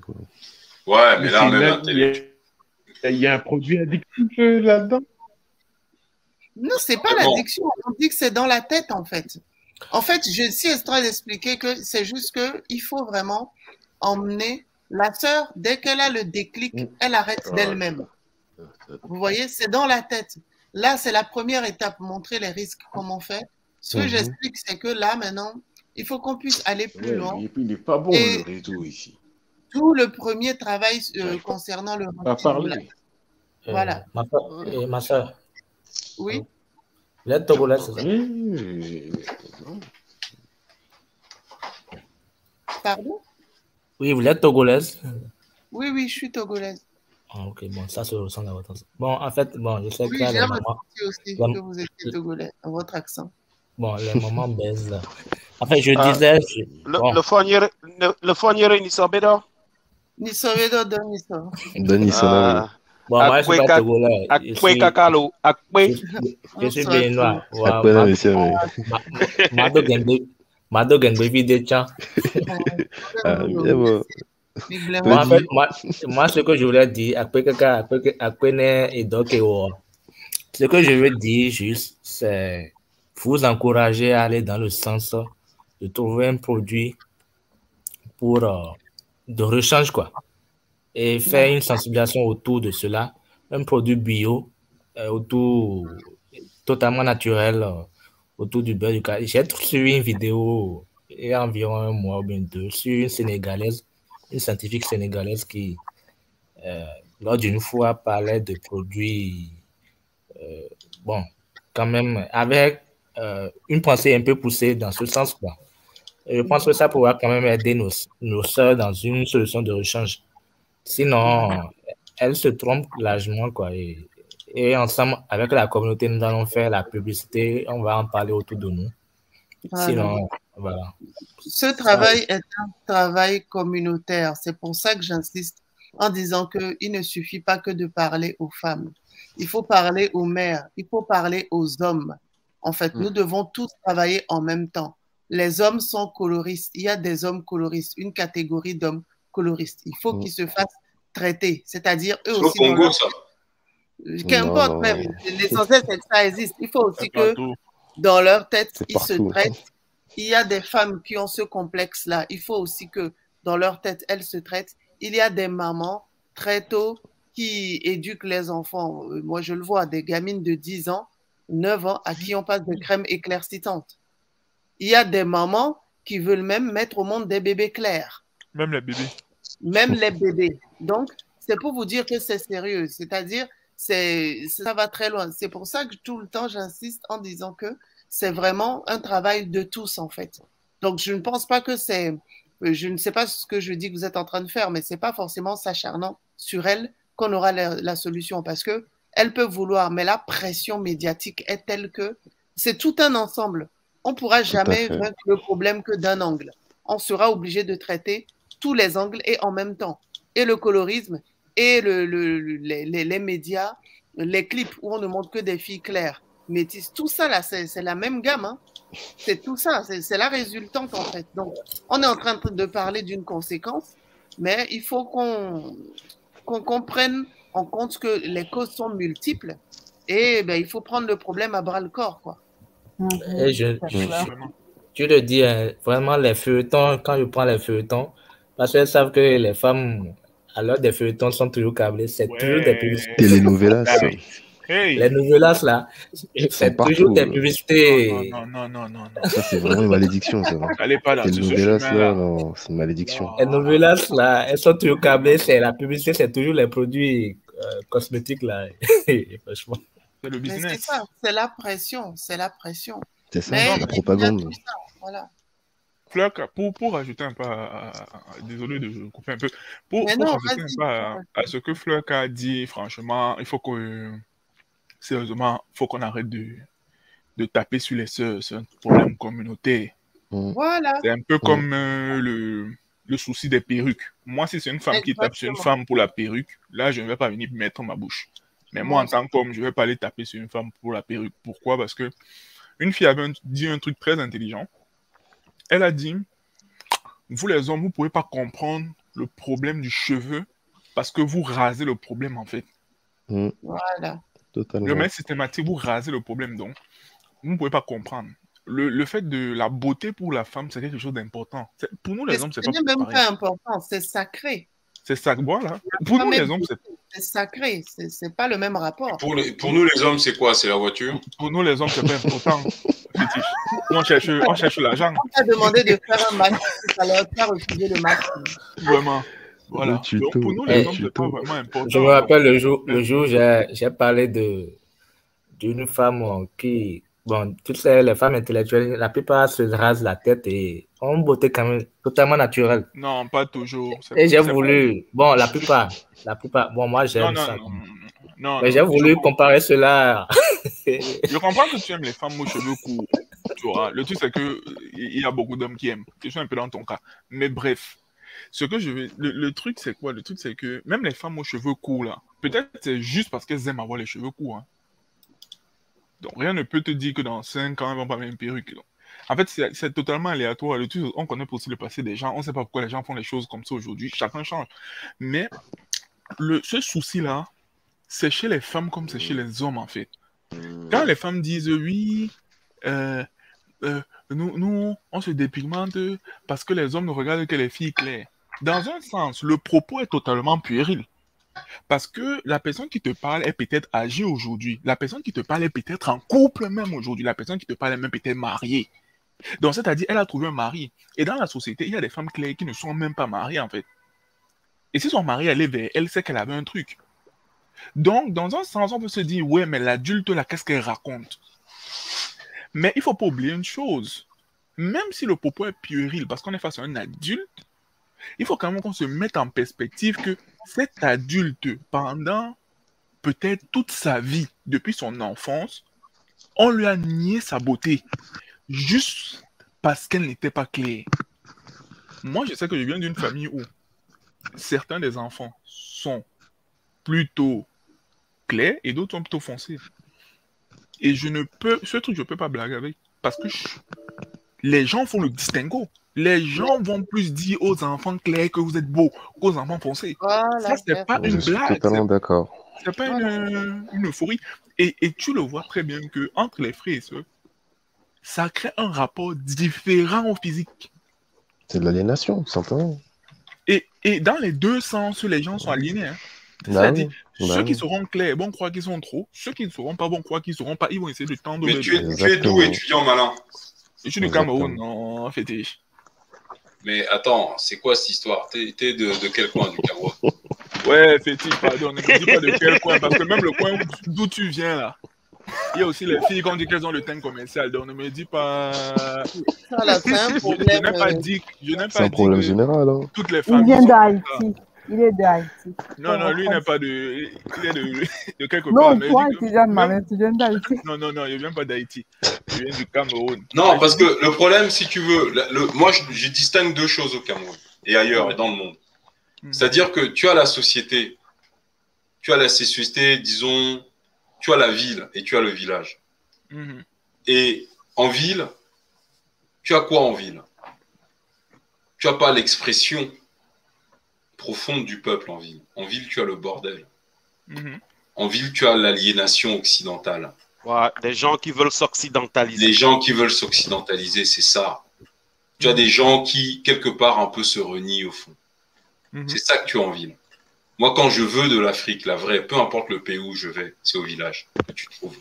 Ah, fétiche, quand moi je vais au Cameroun, hein, moi je commande, dès que j'atterris à l'aéroport, je fonce au village. C'est village, Ouais. parce que le problème maintenant de venir, de venir exposer les, j'allais dire les turpitudes, le, une certaine bassesse finalement, parce que un certain reniement, la haine de soi que l'on exprime dans les capitales africaines, oui, c'est vrai. Le frère a raison, étudiant malin. Il y a beaucoup de haine de soi dans les capitales africaines. Parce que les gens sont tournés, se détestent, détestent leur culture, détestent leur peau, détestent machin. Tu as vu le blanc, non? Nous-mêmes, on a quoi? Regarde Voilà, ce genre de truc. Ça, c'est pour moi, je suis désolé, je, je trouve pas ça. euh, c'est pas. Bon, c'est comme ça, mais quand je parle d'Afrique, je parle pas de ça, quoi. Mhm. Non, petit, je comprends, je comprends Bien très sûr. bien ce que tu veux dire. hein. Mais moi, je te parle de la, de la tranche de la population qui subit. Et, et comme tu le dis, ça se concentre beaucoup dans les villes Et ensuite, les gens des villes peuvent porter ça vers le village. Mais comme le, ou bien l'arrière-pays, on va dire ça comme ça. Mm. Mais comme là-bas, euh, disons, le monde, euh, comment dire, euh, on va dire, j'avais dit, il va appeler ça les médias. Comme les médias ne sont pas encore fortement implantés, cette culture-là ne s'est pas encore fortement propagée, l'écosystème garantit quand même une certaine stabilité, tu vois. Alors qu'en mm. ville, c'est complètement bousillé. Mais le truc, c'est que il y a des personnes qui sont dans ces capitales-là, qui vivent, tu vois, et qui, petits, on leur crée un trauma. Tu vois un peu? Et ce problème-là, s'ils ne le règlent pas, ils ne sortent pas de là. Et ça devient une addiction, en fait. Mais en fait, moi, je suis d'accord avec vous. C'est peut-être là aussi où, honnêtement, bon, moi, je vois pas ça dans ma famille. Parce que dans ma famille, il y a des gens très clairs de peau, c'est vrai. Il y a des gens très sombres de peau, et puis il y a, des, il y a plusieurs teintes. Mais honnêtement, étudiant malin, moi j'ai fréquenté, j'ai grandi, bon, je suis parti vers l'âge de quoi, 12 ans, donc je suis pas. Mais même mon grand frère qui a vécu jusqu'à là, jusqu'à ses probablement 32, 32 ans au Cameroun, quand on discute de ce genre de choses, oui, tu as quelques gars qui vont te dire machin, même tu même beaucoup de gars et beaucoup de filles. Mais moi, ce qui transparaît dans, la manière dont il parle du Cameroun, pas des Bamileke du Cameroun en général, mhm. c'est que oui, c'est vrai qu'il y a quand même une sorte de fascination, c'est lié aux médias et tout ça. Mais il y a une authenticité qui demeure quand même. Oui. Mais ce que je veux dire, tout n'est pas. Euh, j'ai l'impression que les, on arrive à prendre un certain recul malgré tout cela. Je ne sais pas ce que vous en pensez. Non, c'est totalement vrai. Hein. Les, deux, trucs sont vrais en vrai. Mais tu as raison, hein, étudiant malin. Moi, je suis d'accord, mais tu vois, dans ma famille, hmm. euh, là, on a des gens très très clairs de peau. Mais honnêtement, de toute mon enfance, je n'ai jamais euh, eu ne serait-ce qu'entendu la moindre réflexion de différenciation sur la, teinte de peau. Jamais. Des fois, c'est même pas la différenciation, c'est juste une, des, on complimente plus facilement. Oui, mais même, je te dis que chez nous, dans ma famille, non. Hmm. Jamais entendu ça. Jamais. C'est-à-dire, c'est un truc, je ne comprends même pas. C'est très rare. Mais c'est très Franchement, moi, je suis choqué de voir qu'en fait, c'est quelque chose de manifestement répandu. Dans ma famille, on n'est pas parfait. Hein. Un enfant, c'est un enfant. Tu expliques ça, des trucs comme ça à ma mère, ça va mal se passer. C'est des traumas, hein. c'est l'ignorance en fait. Hein. Ma, ma, mère ne peut pas comprendre un truc pareil. Donc l'enfant t'a fait quoi? Ah, donc sa peau est plus claire. Sa peau est moins claire.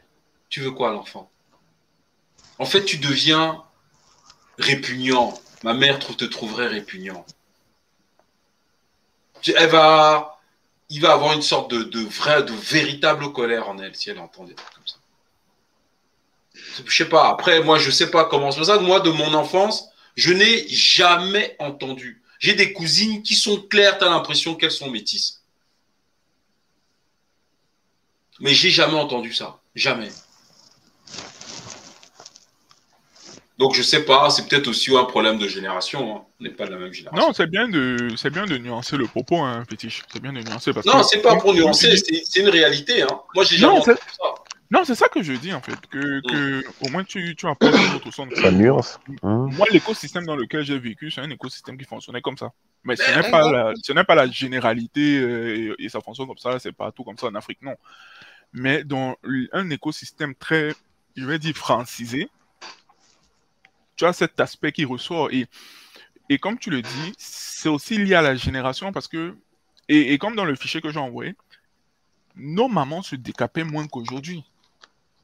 Pourquoi? Parce que les produits aussi n'étaient pas vraiment répandus. C'était pas la mode. Non, moi, moi, moi je dirais nos mamans ne se décapaient même pas. Hein. Je sais pas. Euh, non, non, il y en a qui le faisaient. Il y en a, il y en a. C'était à, petite échelle. C'était très, très, très petit. C'était à très petit.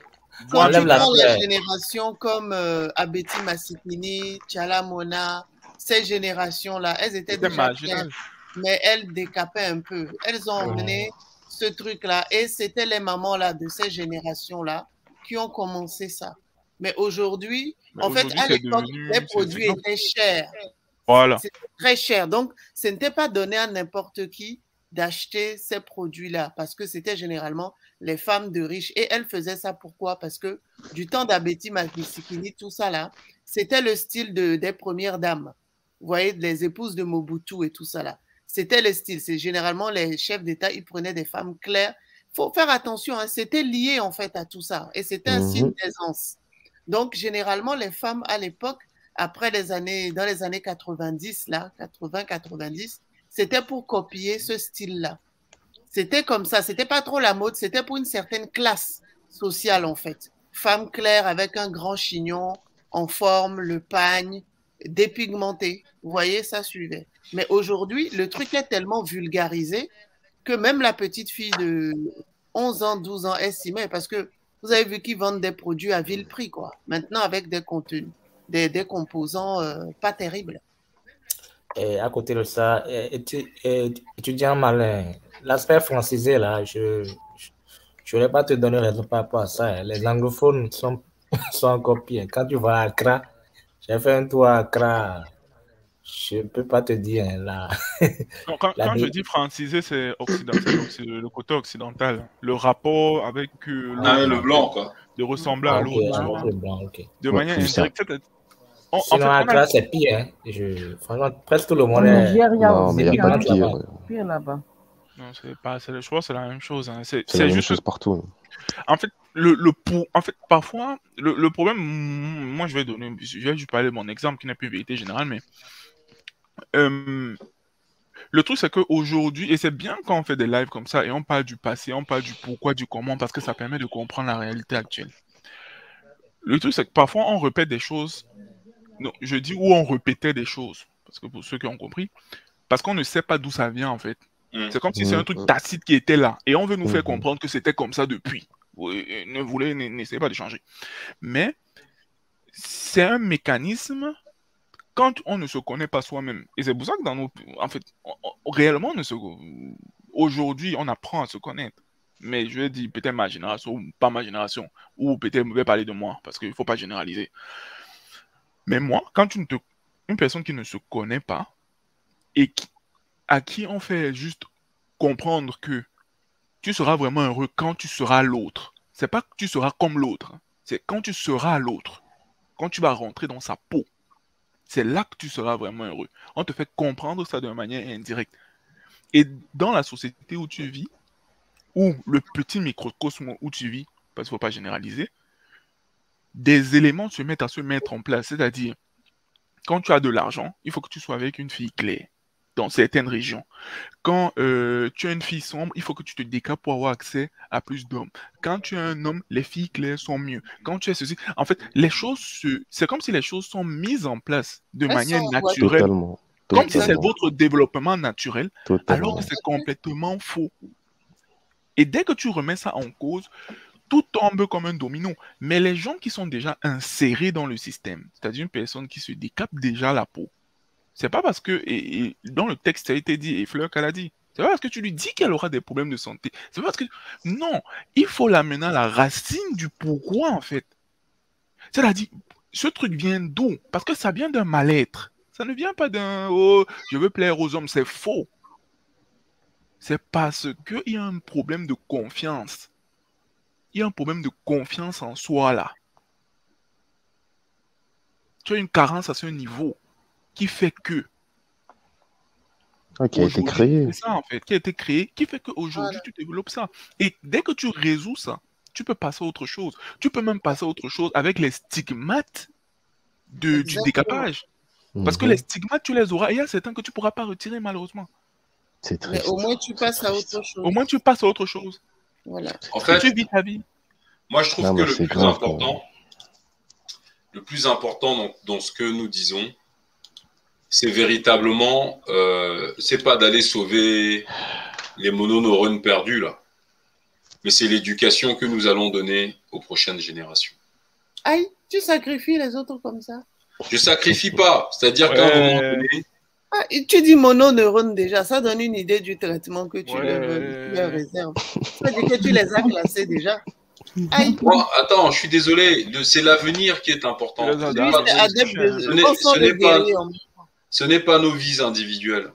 Pour moi, c'est l'avenir qui est important.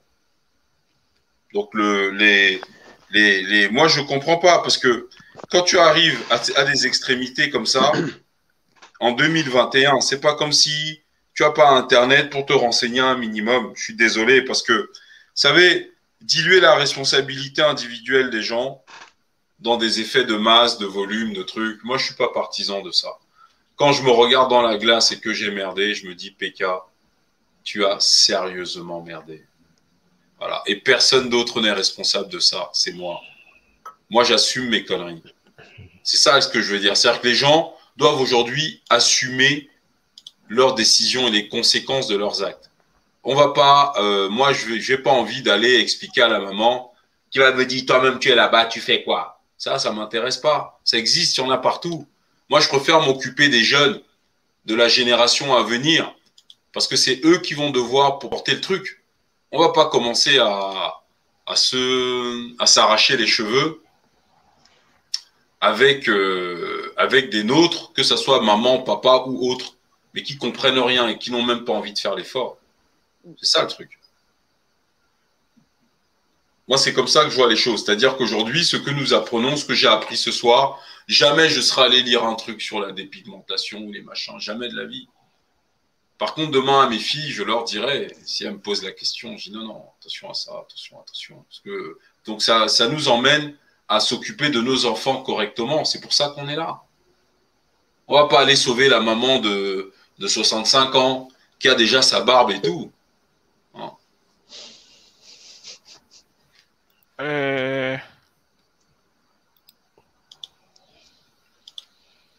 Non ah. J'ai dit une connerie encore. Non, non, non, fétiche.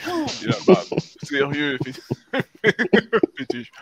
Non, non je, je, peux comprendre que c'est un combat autre, ça c'est sûr. Hein.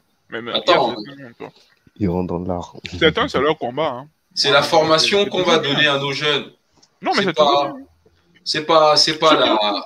tu sais pourquoi il ne faut pas ignorer les femmes? Parce que les femmes sont mères. Elles vont éduquer.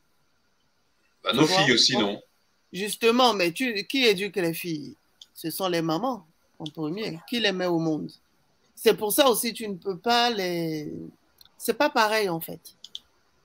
Donc, on va toujours tenter de les sensibiliser parce que ces femmes, elles vont mettre des enfants au monde. Tu vois, si derrière elles veulent se griller, ok, mais il faut, comme tu dis, pour préserver les générations là, on doit leur parler à elles-mêmes aussi. Parce que non seulement elles vont parler à leurs enfants, mais les enfants vont les utiliser comme modèle. Tu vois? Donc c'est impératif. C'est impératif. Quand tu as une fille qui commence à avoir la quinzaine ou qui rentre dans l'adolescence, la fille est en recherche identitaire. Donc, elle va se calquer sur ce que tu fais. Oui, c'est vrai. Mais moi, je peux t'assurer un truc. En considérant que nos enfants sont meilleurs que nous, quand, tu, quand ta mère à 45 ans a déjà la barbe, que tu la vois se raser le matin avant d'aller au travail, je peux t'assurer que ces soins de beauté, tu vas réfléchir deux fois avant de Laisse l'affaire de barbe là, arrête ces trucs. Euh. Oh, petit. Eh, je vais mourir dans cette émission. Mais t'es grave, ça. Non, mais t'es grave. Hein.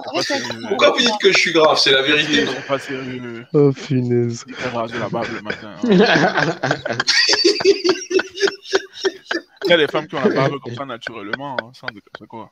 non, mais attends, moi j'ai lu le truc. Attends, c'est pas moi qui a dit, c'est le, document qui a écrit. C'est un dérèglement hormonal. Que ça, bah, voilà, que ça attaque les hormones. Mais maintenant, quand ta mère a eu le dérèglement jusqu'à jusqu'à couper avec le ciseau comme ça, hein, le matin, tu crois que toi, en tant que sa fille, tu vas aller prendre les mêmes crèmes qu'elle Maman, tu prenais quoi Voilà.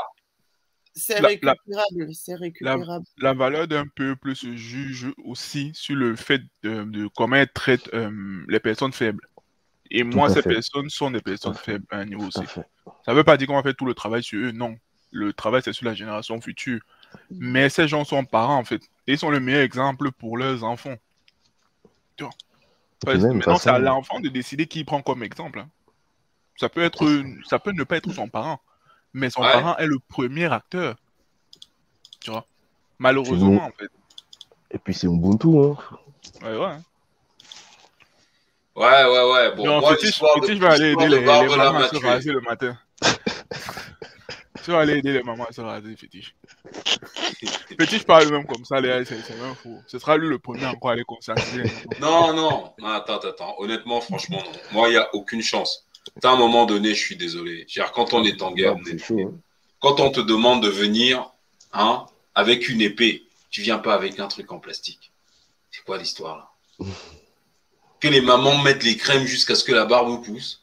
Même la tondeuse peut couper la gorge de quelqu'un. Hein. La, peau devient, comme, comme les plantains brûlés. Oui, c'est ça. Bonsoir, Patego. Bonsoir, bonsoir, bonsoir tout le monde. Bonsoir Patego, ça, ça, fait longtemps Patego. Ça fait longtemps là. Ça fait vraiment longtemps. Je composais. Hey, notre chouchou est là.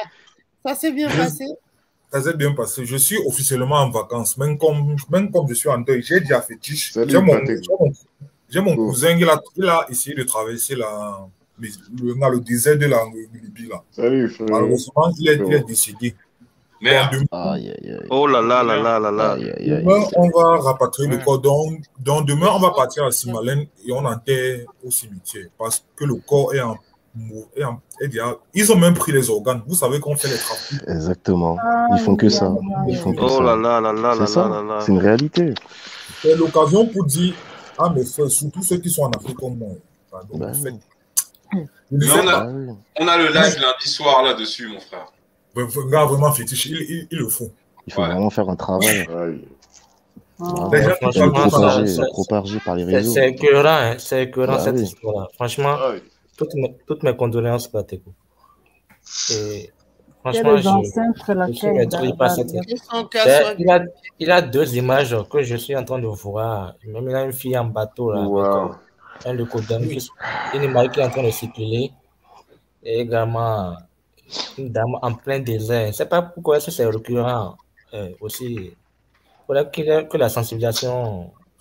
C'est mon frère. hein. C'est- la et tu propagande. vois mon, mon, On est mon ensemble. cousin là, il a dépensé presque. C'est 3 millions. Hein. Ce sont les millions. hein. Oui. Avec ça, tu peux. Ce sont des millions. Quand quelqu'un. tra- Demandez à tous ceux qui ont, qui ont traversé. Ce sont, des, ce, ce- ce- ce sont des millions, bien sûr. Mais avec ça, moi, je dis, avec ça, tu ne peux pas lancer une activité ou. ou- Il a une image, genre, je ne sais pas. Ils ne voient pas de rêve là-bas. Pour eux, ça, il n'y a pas de. Bon, en fait, c'est ça. Quand, quand quelqu'un idéalise Exactement. même si on dit quoi la personne est, il va seulement partir. Il va C'est- seulement y aller. Dans la tête, c'était parier à tout prix. Chaque fois, il me disait ça. Que, que, que pour lui, c'est un bain. Ou rien. Même si on donnait un coup au gars là, il devait seulement tenter. Et comme le mec, il n'a pas, il n'a pas coupé à l'école, il n'a pas de. Il n'avait pas de parents là-bas. Il avait quel âge? Il avait mon âme, mon- il, il, a, il, il avait 25 ans. Oh, Il faisait le mal le commerce ici, ici au Cameroun. Oh Il a tenté. Aïe, Mal- 25 malheureusement, ça n'a pas marché. Je vais, j'ai trouvé une, j'ai trouvé une image là. Et je ne sais pas si ça pourra. Je ne sais pas si vous voyez cette image là. On, on voit un peu de loin, mais. On voit pas très bien. bien. C'est, c'est un leucodème qui est au Cameroun et qui est en train de faire genre du. Bon, dans notre pays, on appelle ça du, du tchanga. Et qui est en train- Oui, au Cameroun. Oh oui, j'ai vu la photo là. Bon, je ne sais pas si ça paraît clair ou, ou pas. Non, là l'écran est noir, mais je Ah, ok, ah, euh, voilà. Ok, je, je réallume cela. Vous voyez? C'est un peu flou. Hein. Titinga, Et soya, c'est quoi brochette. C'est quoi du coup? Les brochettes, les brochettes. La brochette. Ah, Tichinga. et C'est un Ah. Le coq qui fait des titinga, qui fait des brochettes. Ah, j'avais pas compris. Oui. Et, eux, ils viennent en Afrique se faire du fric. Mais nous, nous, on, on- on va chercher les dorados de leur côté. c'est le contraire chez eux. Ouais, mais en fait, si tu veux, ça c'est la conséquence, c'est la conséquence de, ça. De toute la presse et les médias français de propagande. Ça. On leur vend une France. Ici, c'est 9 milliards d'euros de déficit chaque mois. C'est 9000 suicides par an. 25 personnes par jour en France se suicident. Et ils sont blancs, ils ont leurs papiers, ils peuvent travailler. C'est la diaspora, c'est à nous de descendre les informations, d'éclairer les nôtres. Vraiment. Et tu vois, fétiche, ah, pendant ce temps, tu as encore les Camerounais qui passent le temps à, marcher à Genève. C'est-à-dire que, gars, si, si, ils sont venus insulter il y a qui a volé l'argent. Et tu as même souvent raison de dire que parfois les gens sont même bêtes. non, je te jure. Sans te couper, faut que tu regardes la vidéo qu'il a faite, hein, fétiche, sur ça justement. Il a fait oui, oui, oui, oui, oui, je veux voir. Je sais pas si tu l'as vu. Non, non. Il faut Demain, que tu là, je vais voir. Demain, il faut regarder. Je suis en vacances, je, je suis libre. C'est le soir qu'on ira prendre le, le corps là, mais toute la journée, le demain, je suis libre. Il le faut. Il faut vraiment. Les, les fétiches, il faut que nous agissions, hein. Sinon notre peuple périt. Faut dire. Mais on est, on est déjà en train d'agir. Aujourd'hui, quand on fait nos lives là, tu peux pas aller combattre la, le fléau occidental sur notre continent, sincèrement, sans, euh, sans comprendre ce qui se passe et ce qui nous arrive.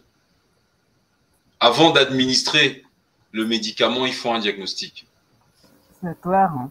Et on a fait des diagnostics hein, ici. D'ailleurs, Patego, il y a demain, demain à 16h heure de Paris, il y a une première sur le racisme. Ah, tu seras peut-être pas disponible. Mais le live qu'on a fait, celui-là, là, il doit circuler à l'université de Yaoundé. Ok, ok, effectivement. Celui-là, il est sévère. Il est particulièrement sévère, mon frère. Ça, c'est chaud. Très, très chaud. Mais de toute façon, nous devons finir sur une note positive, messieurs, mesdames. L'affaire est déjà entendue. Nous devons faire attention à leurs vaccins et leurs médecins de mort. Et nous devons développer une, euh, une pensée très nationaliste.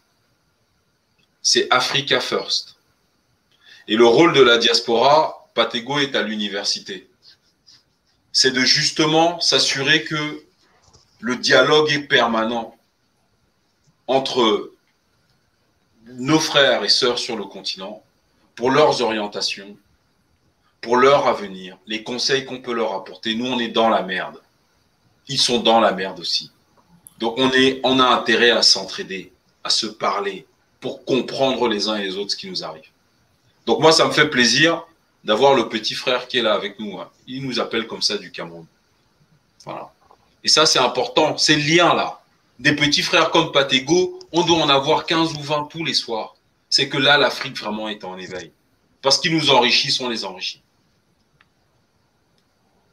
Franchement, moi, le, je ne crois pas qu'aujourd'hui, le seul moyen qu'a l'Occident de, s'en sortir, c'est une extermination, un génocide en Afrique. Et quand je vois le monde des Blancs se vacciner, là, comme ils sont en train de faire, mon inquiétude à moi est de savoir si ils se vaccinent pas pour un autre virus qu'ils ont préparé pour l'Afrique. C'est ça, moi. Moi, je suis inquiet là-dessus. Parce que un Covid qui, qui tue personne, juste les vieux, comorbidités, tout ça, comme ils disent, d'accord. C'est pas une pandémie, ça. Est-ce que finalement le vrai virus, ils l'ont pas encore lâché? C'est ça le problème, parce que comme vous avez vu sur la carte tout à l'heure, l'Occident ne peut pas survivre s'ils ne font pas un génocide en Afrique. Et la lettre du CAPS, en mars 2020, déjà la France espérait que à peu près un Africain sur huit serait mort sur le continent. Étudiant malin, je ne sais pas si tu avais vu ce live, le rapport du CAPS. Ils ont même mentionné de, de manière explicite les, les, les, présidents. Les présidents, les pays concernés.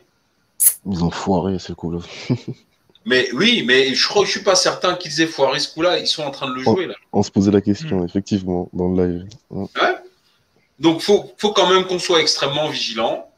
Il faut qu'on réveille chez les nôtres ce sentiment nationaliste qu'on a vu chez les frères au Burkina Faso face à Mélenchon, avec qui d'ailleurs on, on, on, est en contact là sur Facebook et tout. Il y en avait un des deux là, Dado, qui était là hier, enfin qui était là tout à l'heure sur ce live, au début du live. on doit créer des liens avec eux, parler avec eux. Et créer des liens. Comment? La, vidéo où tu as mis le PC là, quand le gars, le gars avait les yeux foncés. Tu as vu? Ah, tu as vu ce live là Oui, j'ai vu le live là. Ah, c'est vrai que j'étais en, en, pause. Je riais, c'est moi. On dirait que tu dis quoi Il dit que non, les gars, vous ne pouvez pas comprendre. Mais il a tué Mélenchon. Avec mes camarades. Il a, il a fini Mélenchon. Il a fini Mélenchon. Donc, c'est dire aussi que, tu vois, Patego, le contact qu'il faut créer avec les universités, les universitaires, la jeunesse africaine. C'est avec nous. On doit avoir plus de tes camarades. ils doivent venir, on doit discuter, on doit mettre en place un calendrier culturel, littéraire, économique, politique, social. Nous devons parler avec la jeunesse africaine. La diaspora doit parler avec la jeunesse africaine. Et par exemple, on peut mettre en place un, calendrier littéraire et lire les auteurs du 19e siècle, du, du 18e siècle, occidentaux. C'est là où tu apprends à les connaître. Les Vachers de la Pouge, les Gobineau, les Darwin. sur le continent, on doit lire ces livres-là pour savoir, pour que nos frères, les jeunes, les leaders demain comprennent à qui nous avons affaire. Je ne sais pas ce que vous en pensez, hein, c'est juste Willy Lynch aussi, c'est ouf. Oui, Willy Lynch. Connard là. Tu as fait circuler Willy Lynch à l'université ou pas, Patigo? Si, si, si, c'est fait. Envoyez ça, non? Les gars ont dit quoi? Durant les pauses là, ils ont crié. Ils ont, ils ont, ils ont crié. Et même ton, ton live sur le Burkina Faso, là, j'étais au campus. On était en, comme, comme là-bas, on a de très longues, longues pauses là. Trois heures de ah. temps. Je voyais ça avec mes amis. J'ai payé les gars. les gars, venez voir. J'aime surtout zoomer la partie du petit qui fonce le souci là. oui, c'est à, deux heures. Attends, sur le, alors sur le live, je sais plus à quelle heure c'est, mais. Oui, c'est deux heures ou trois heures comme ça là. Voilà. Mais... c'est beaucoup Mélenchon. Mais, mais c'est terrible. Je vais refaire ça en petite vidéo de 10 minutes que je vais poster sur la chaîne. La folie de Jésus. C'est là où on va vraiment. Bim. C'est sanique. Ah, tu as vu la, tu as montré au gars la, la, folie de Jésus-Christ. J'ai vu, oui, j'ai montré. Tout ça, les gars, on était en hein? classe. J'étais en pause. dans la plupart des lives là, uh-huh. on était en pause.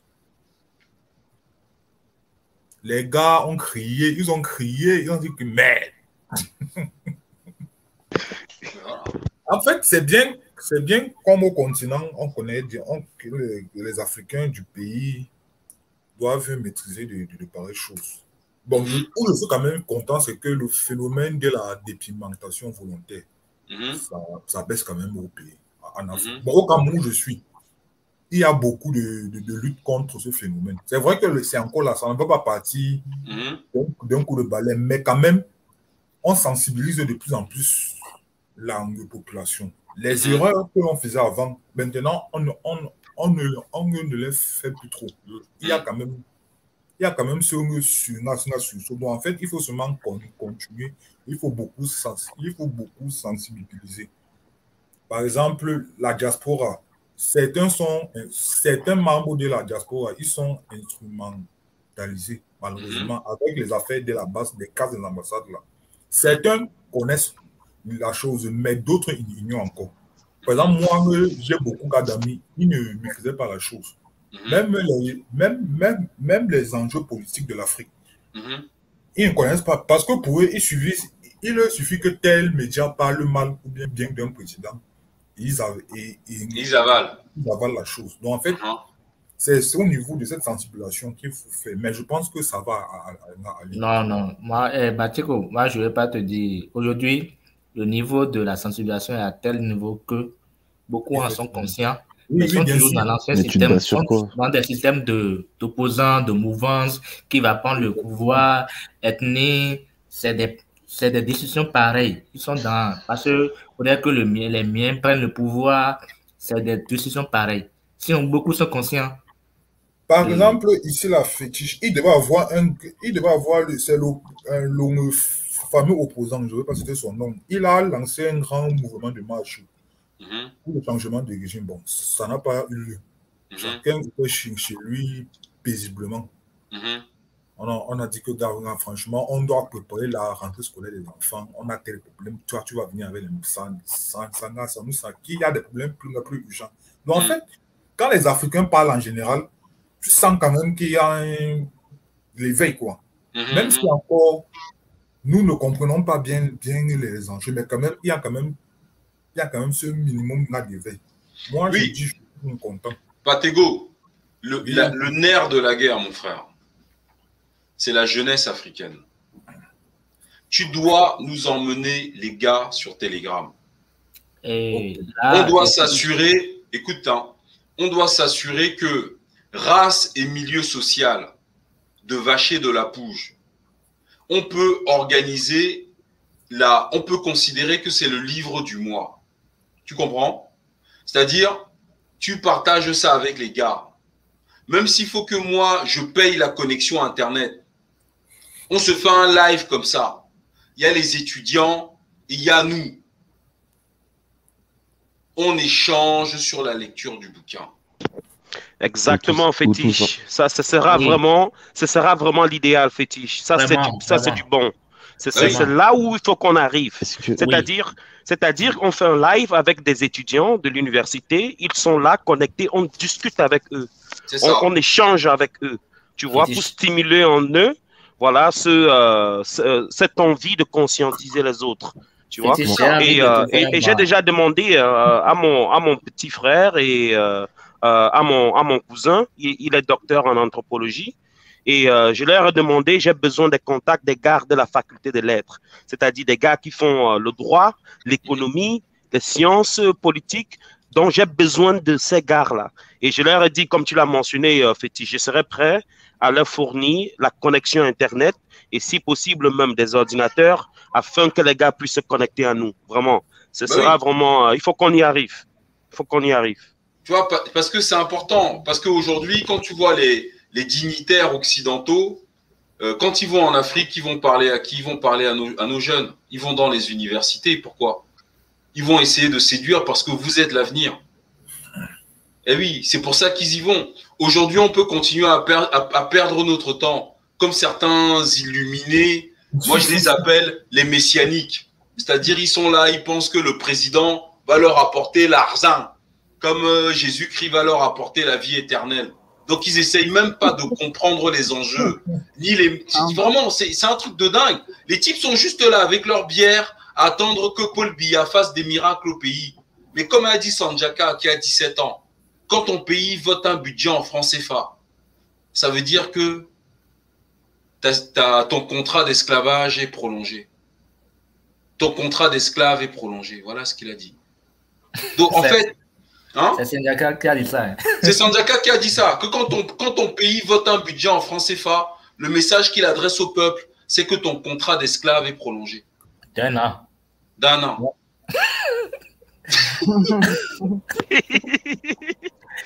et, et Fétiche, je pense que franchement, si tu arrives, si, bon, ça c'est une lutte commune. Si nous arrivons à faire ça, je pense qu'on aura relevé assez haut le niveau de la lutte. Là, j'ai mis trois, trois contacts. Je vais essayer de rentrer en contact avec eux. C'est un ancien responsable étudiant, c'est-à-dire la Fédération des étudiants du Bénin. Bon, la plus grande université du Bénin. Les trois premiers responsables, voilà leurs contacts. Et je vais essayer aussi de rentrer en, contact avec eux pour, à toutes fins d'études. Quoi. Mais bien sûr, mais il faut, nous devons rentrer, c'est-à-dire nous devons créer ce lien avec les universités. C'est primordial c'est extrêmement important. Parce que là, nous allons pouvoir échanger avec eux. Ça, c'est le lien Telegram pour nous rejoindre sur un groupe que j'ai créé sur Telegram. nous rejoindre en, saisissant le lien qui est à l'écran.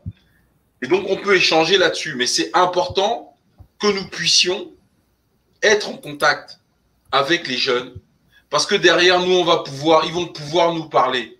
Donc, résultat, on comprendra mieux les enjeux sur le terrain, chez nous. Et quand je dis, il n'y a pas que l'Afrique continentale, hein, il y a Haïti ailleurs. Euh, ensuite, nous, on va être en mesure de leur apporter une information auquel ils n'ont peut-être pas accès. Et surtout les réalités de la vie en Occident par rapport à leurs orientations scolaires, à leurs projets professionnels, aux intérêts économiques, etc. Enfin, c'est comme ça qu'on crée des ponts. Et donc, pour tout ce qui est, tout ce qui est même la connaissance de la pensée occidentale, on ne l'a pas en Afrique.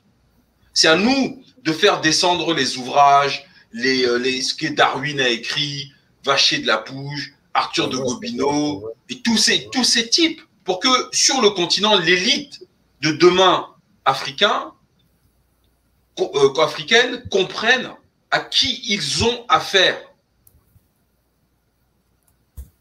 C'est ça le truc. Surtout qu'ils connaissent les vraies histoires. Hein. C'est ça. Parce que là, les gens sont là à croire qu'on va changer Bia pour mettre Camto et que soudainement, hop, ça y est, les le Cameroun va aller mieux. Je te jure. Bon, Patego, de toute façon, on fait un live demain soir, je ne sais pas, vu les circonstances, si tu seras dispo, mais lundi soir, on va vraiment parler de ton sujet. Et il faut vraiment que tu. Il faut nous connecter, mon frère. Il faut nous connecter. Il faut que tu prennes la direction du sujet au Cameroun, mais il faut, nous, faut faire venir des étudiants sur, les, sur la chaîne. Tu comprends? Si tu trouves, si tu trouves même un, un cybercafé, un truc qu'on peut même privatiser, il n'y a que les étudiants. Nous, on finance ça, il n'y a pas de problème. Il y a 60, ça, 50, 20 étudiants. De préférence, un amphi. Un amphi, c'est mieux. Là, non, un amphi, le problème de l'amphi, c'est que tu es à la lumière. Exactement. Tu as des espions partout. Voilà, c'est ça. C'est ça le problème. Café, ou même les salles de jeu au pays. Ouais, donc, euh, Fétiche, comme, tu l'as euh, comme si tu l'as euh, dit si très bien, je pense que les cybercafés, on peut les louer, on peut les réserver. On peut les réserver.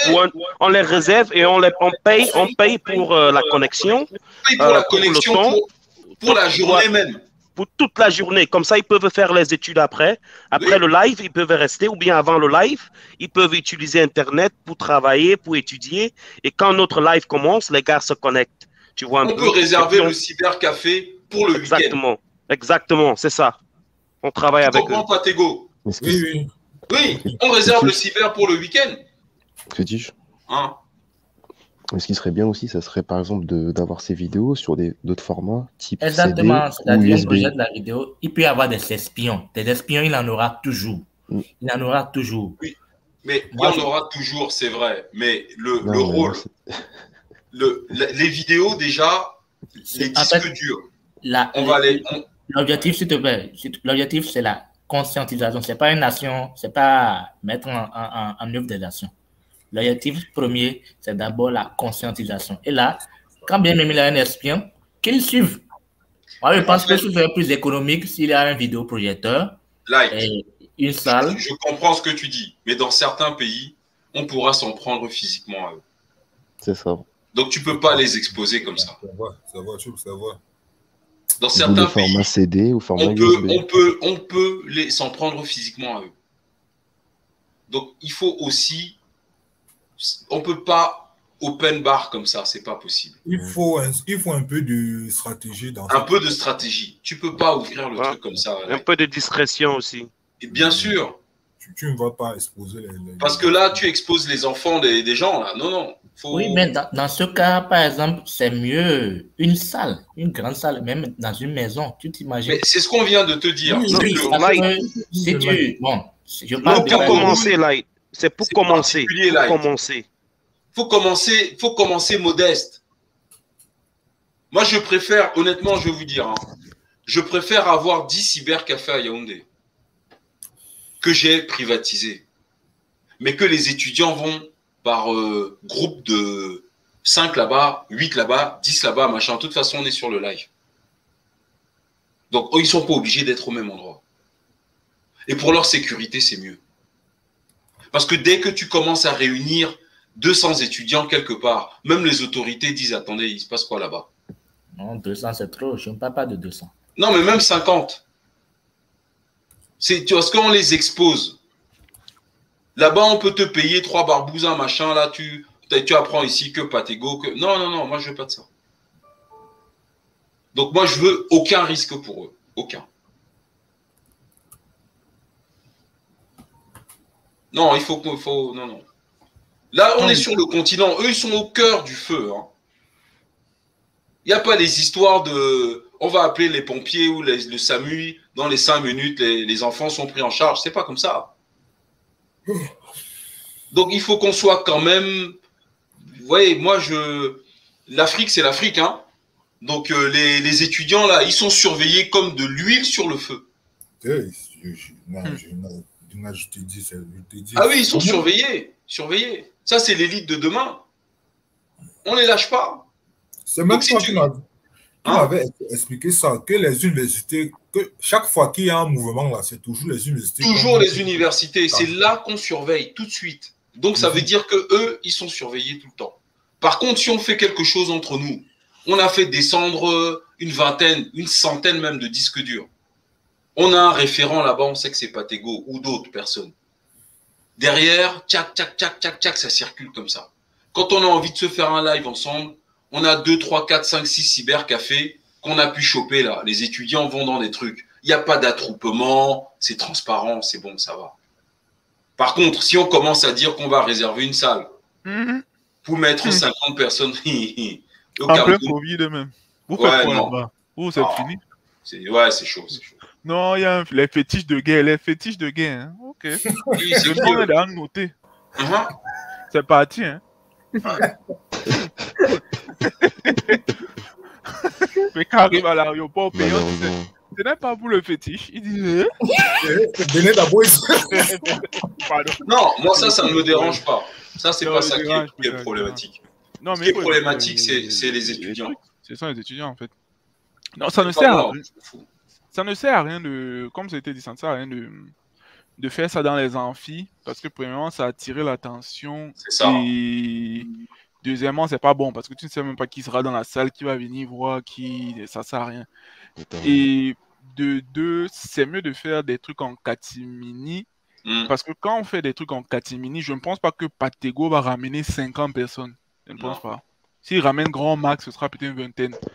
Et au moins, les 20 personnes ou les personnes qui vont accepter de le suivre seront des personnes motivées qui pourront aussi aller appeler des personnes. Et Donc, transmettre derrière. en fait. Et transmettre la bonne information. Surtout, voilà. leur transfert de fichiers. Que eux, ils vous transmettent à leur tour, ça y est. Hein? Ouais, ouais. Non, voilà. Donc, il faut C'est d'avoir une équipe solide, quoi. C'est ça. Commencer petit. Il faut commencer petit. Et puis même les Patego, là, derrière, ils vont, ils vont se mettre en relation parce que quand on va faire les lives ici, le frère qui est au Burkina Faso, il sera content de savoir que il y a des universitaires à Yaoundé, à Lomé, euh, à, Cotonou, etc., qui, qui, pareil, partagent les mêmes idées et c'est important. Ça crée une émulation. Bien, euh, messieurs, dames. Euh, euh, euh, j'aimerais ajouter euh, une autre idée.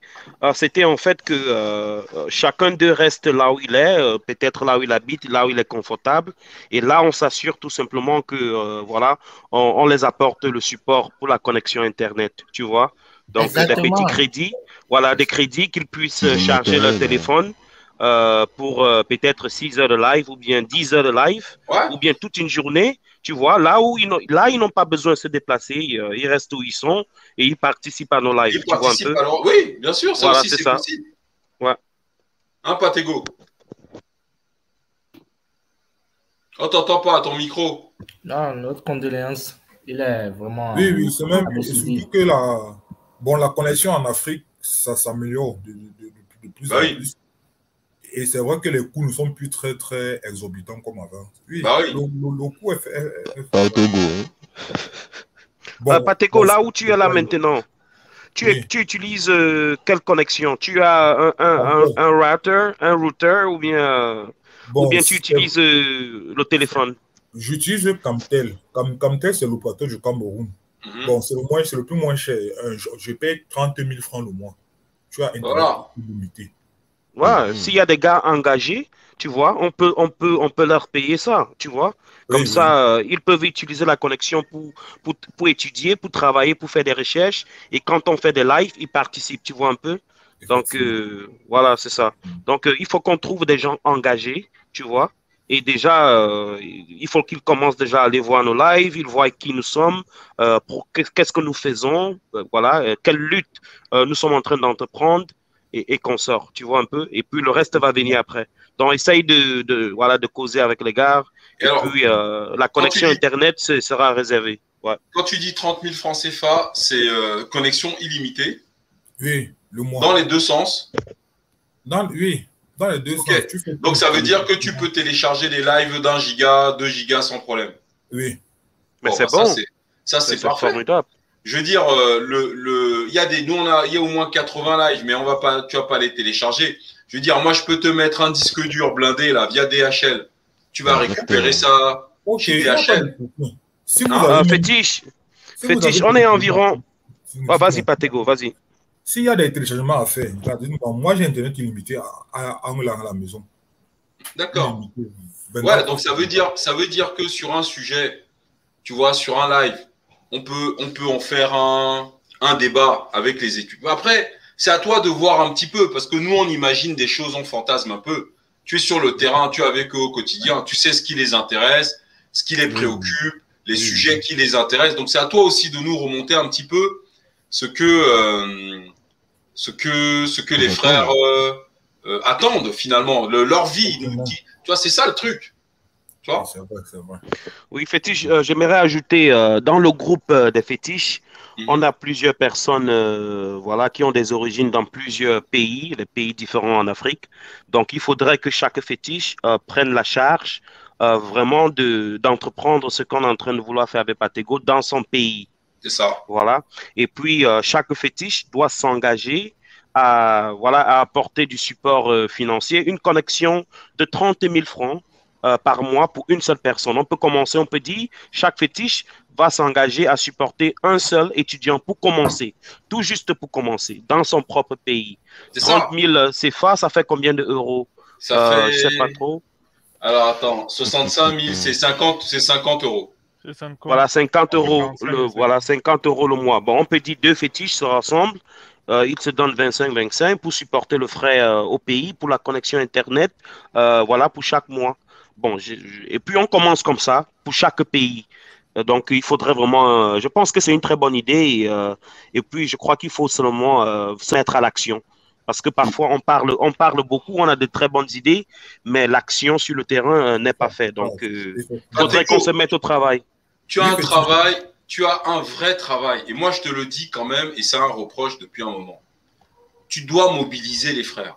Ce n'est pas normal que oui, on, aurait dû en parler avec 4-5 coups. Parce que nous, là où on est là, on n'est pas au pays, mon, frère. On a besoin de savoir ce qui se passe, ce dont vous avez besoin. Tu vois, c'est tu vois ça peut même aller jusqu'à la. Comment t'expliquer ça? Tu vois, on peut se retrouver un jour à dire que bon, on a, on a deux, trois frères, deux, trois étudiants qui ont des problèmes de frais de scolarité ou de trucs. C'est ça les liens, ben oui. Tu vois, non Oui, oui. Non, il faut, il faut, faut pas s'amuser avec ça. C'est important, c'est très important. Hein bon, messieurs, mesdames, on a 30 secondes chacun pour conclure. Parce que là, il va quand même falloir qu'on aille se coucher. Il est ah. presque 5 heures du matin ici. Hein. On est à vous et ravi de faire la connaissance de, bon, aussi de la, fleur, la soeur Fleur. Fleur Florca. Tu t'es abonné à la chaîne, non? Oui, je suis allé sur la chaîne YouTube, j'ai vu. Aïe, c'est devenu même, d'ailleurs, c'est vrai, prenez votre abonnement même avant de venir sur le plateau. Ah oui, bon, on attend aussi que la, la, la soeur aussi active son réseau du côté de Lomé pour qu'on ait assez d'étudiants. Hey, avec plaisir. Inbox à parler. D'accord, ok. Et bonne nuit à tous. Bonne nuit. Bonne nuit, mon frère.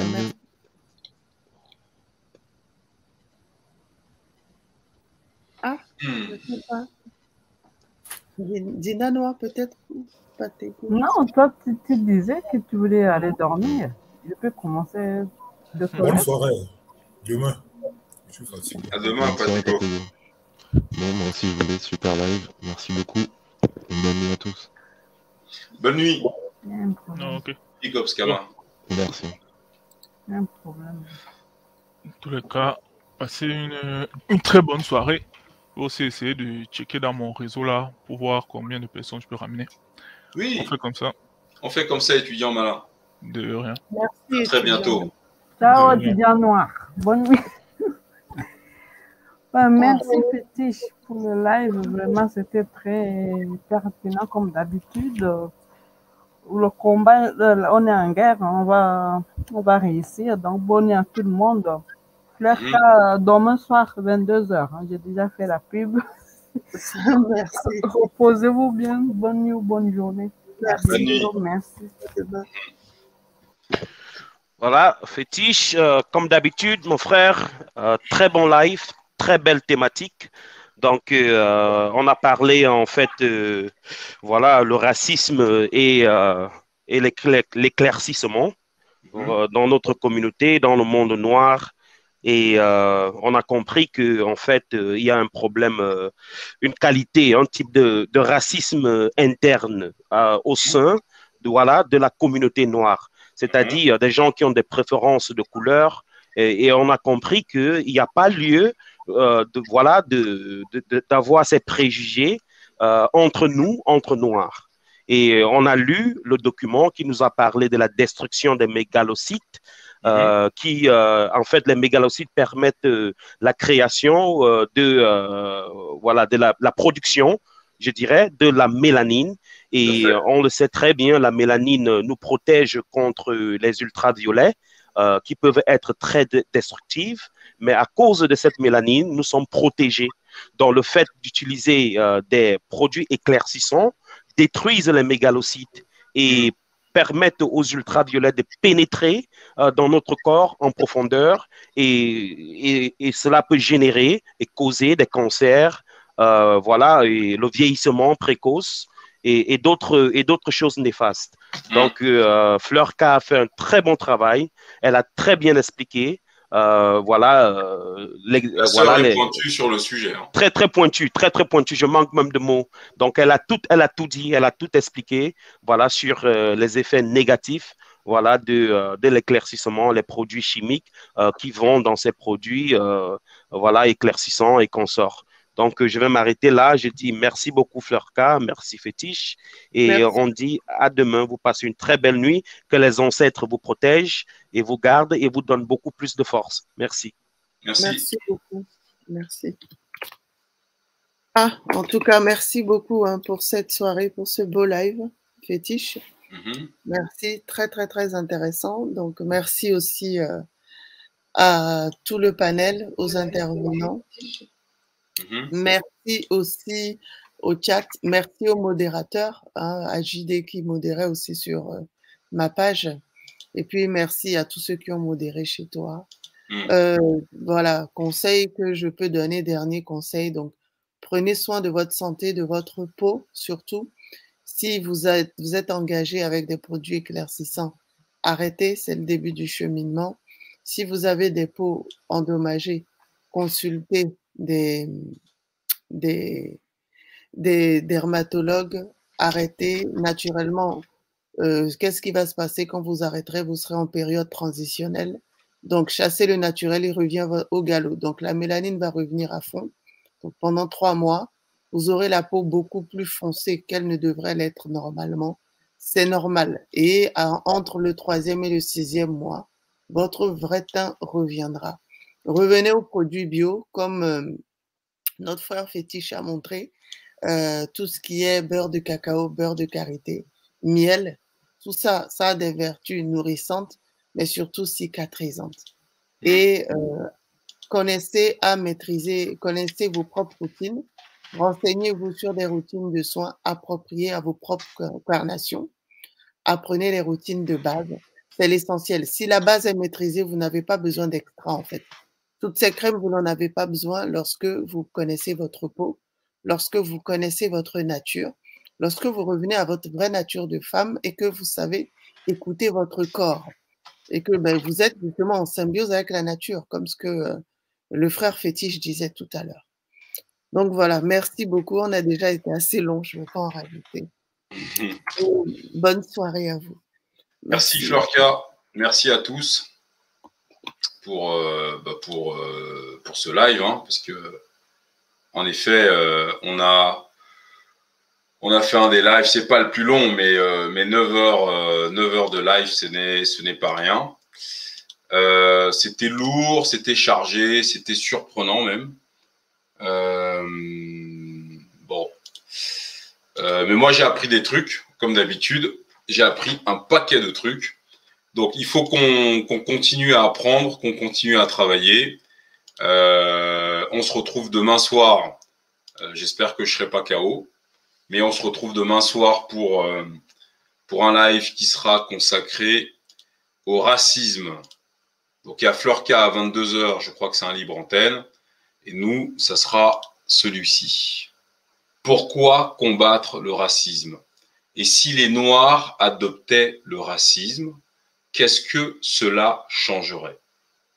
Donc demain, je vais essayer de trouver de la doc, mais ça, ça sera surtout un débat.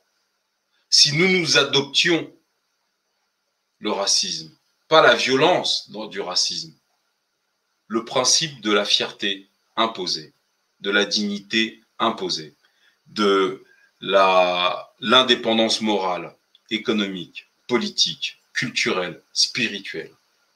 Si nous prenions soin en priorité des nôtres. Si nous faisions œuvre de puissance, en d'autres termes, si nous devenions racistes, au sens soft du terme, un peu le soft racisme des Asiatiques, des Indiens et des autres, qu'est-ce que cela changerait? C'est ça la question de demain. Donc il y aura évidemment de la doc, et puis on va surtout lire toute la documentation antiraciste des Occidentaux. Et ça va peut-être nous éclairer aussi sur ce mécanisme d'aliénation qui nous a tenus pendant 150 ans. En tout cas, demain, ça va vraiment chauffer, chauffer, chauffer. Et euh, je pense qu'on va bien se marrer quand même parce que ça sera très, très, très sympa. Voilà, merci, merci à tous. Très bonne soirée. Merci Fleurka. Donc pour les retardataires, là, je vous reposte le lien pour que vous alliez vous abonner à la chaîne de la sœur, parce qu'elle fait un travail formidable. Elle est extrêmement pointue dans ce qu'elle fait. Elle nous l'a montré ce soir. C'est juste génialissime. En tout cas, merci d'avoir été là. On envoie notre jingle. Hein. vous connaissez la, la, tradition. Et je vous dis à demain soir.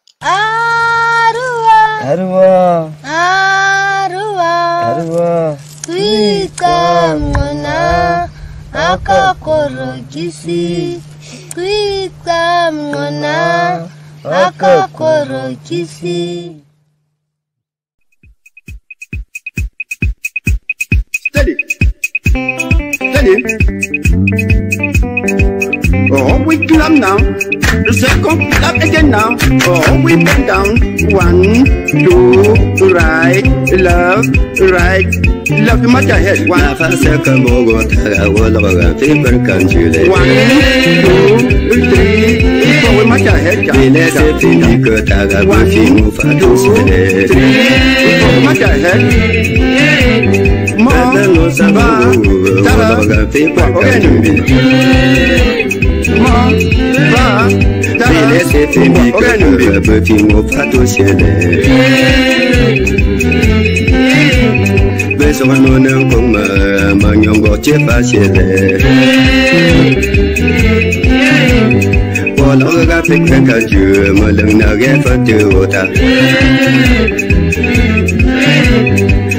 Se te mo ka bati mi fato sele apa no ka fa tu xie de mai lo ga pe ka ka ju le for ma cha he wa fa sa ka bu ta ga wo do ga pe ka ma cha he ma fa na fa sa ka bu ga ju ga wo lo ga pe ka ka ju le ma fa Wabasa kambuta garuda bagafika kajahe Ma ma Wabasa kambuta garuda bagafika kanjile Ma ma Abano kafatu sile woda bagafika kanjile Malang nage fatu gole taga Malang nage fatu gole mumaga Ológa pépar cantiu de maiada com Bogotá Ma passa com Bogotá Ológa pépar cantiu de Ma passa com Bogotá Ológa pépar cantiu de Mesmo no Pumba Manhongo te faz chegar na waga ngi pe par ka wa ta ma lem ni waga fa do ta waga ni nganda ma nyongo ni yo ji ga ge fa mu ma lo ga pe par ka ba nda ni wa te fa ma la ka ma ni sa fan she ce ma la amma bala sa fi am bi fi na ka fi na ku ka da wa ba bu fi wo fa to she o tun da waga tun pe par ka ma lem ni waga fa ti wo ta ga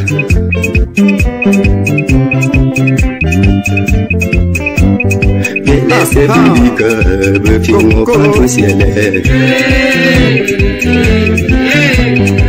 Laissez vivre que me filmo pas au ciel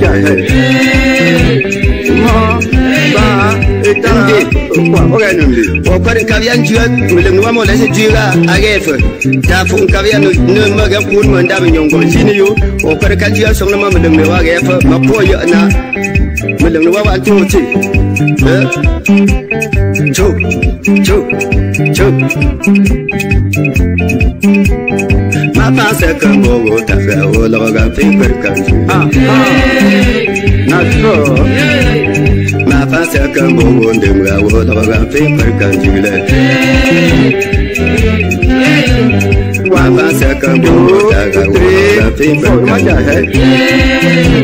ma ba da na ge pa ge no da ga da ga ti ba ka chi le ma ba da na pa ge mu ma ge che se le ma da ga ti ba ka chi le da na pa ge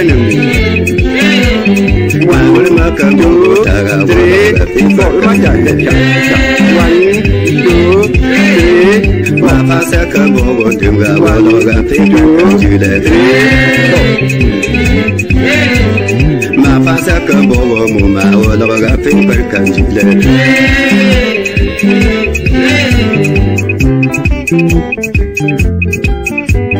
Bitte tam, bitte mu mama ma yala wambo Walaga gafin barkamu wun Wandi ukarka yamkan jiya soma Mudannuwa, wa, achiba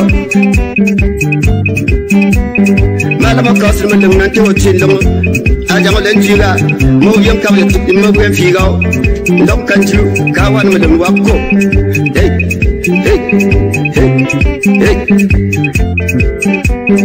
ma pa se ka go go ta ga wa dum ga pe ju for ma ka ja ja Dita bombi dita chumbe dita bot ku fol ma ja het ta bo bi bi ta ju bi ma nang wa ku do ma ya la ma ba tara wa ga ni ma fa se ka bo bo ta ga bo lo ga fi ba ka ju tara wa ga ni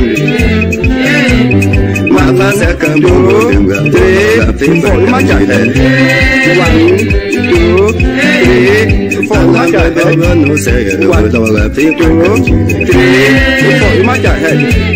mo ka ba che le ne mo fi four ma ja le mo ba ta la wa ora ni man wala la kana mo in bangan ka wala ma ba tara wa ora ni be te ban de bi mo ma ka bo si yo ja ga ban de ka la ta bo ta la wa fi ka ka in ka ji mo wa wa be ma agra ka bo la mo ba ka wala ma fa se ka bo go ta ga wala ga fi par ka ji ma fa sa ka bo bon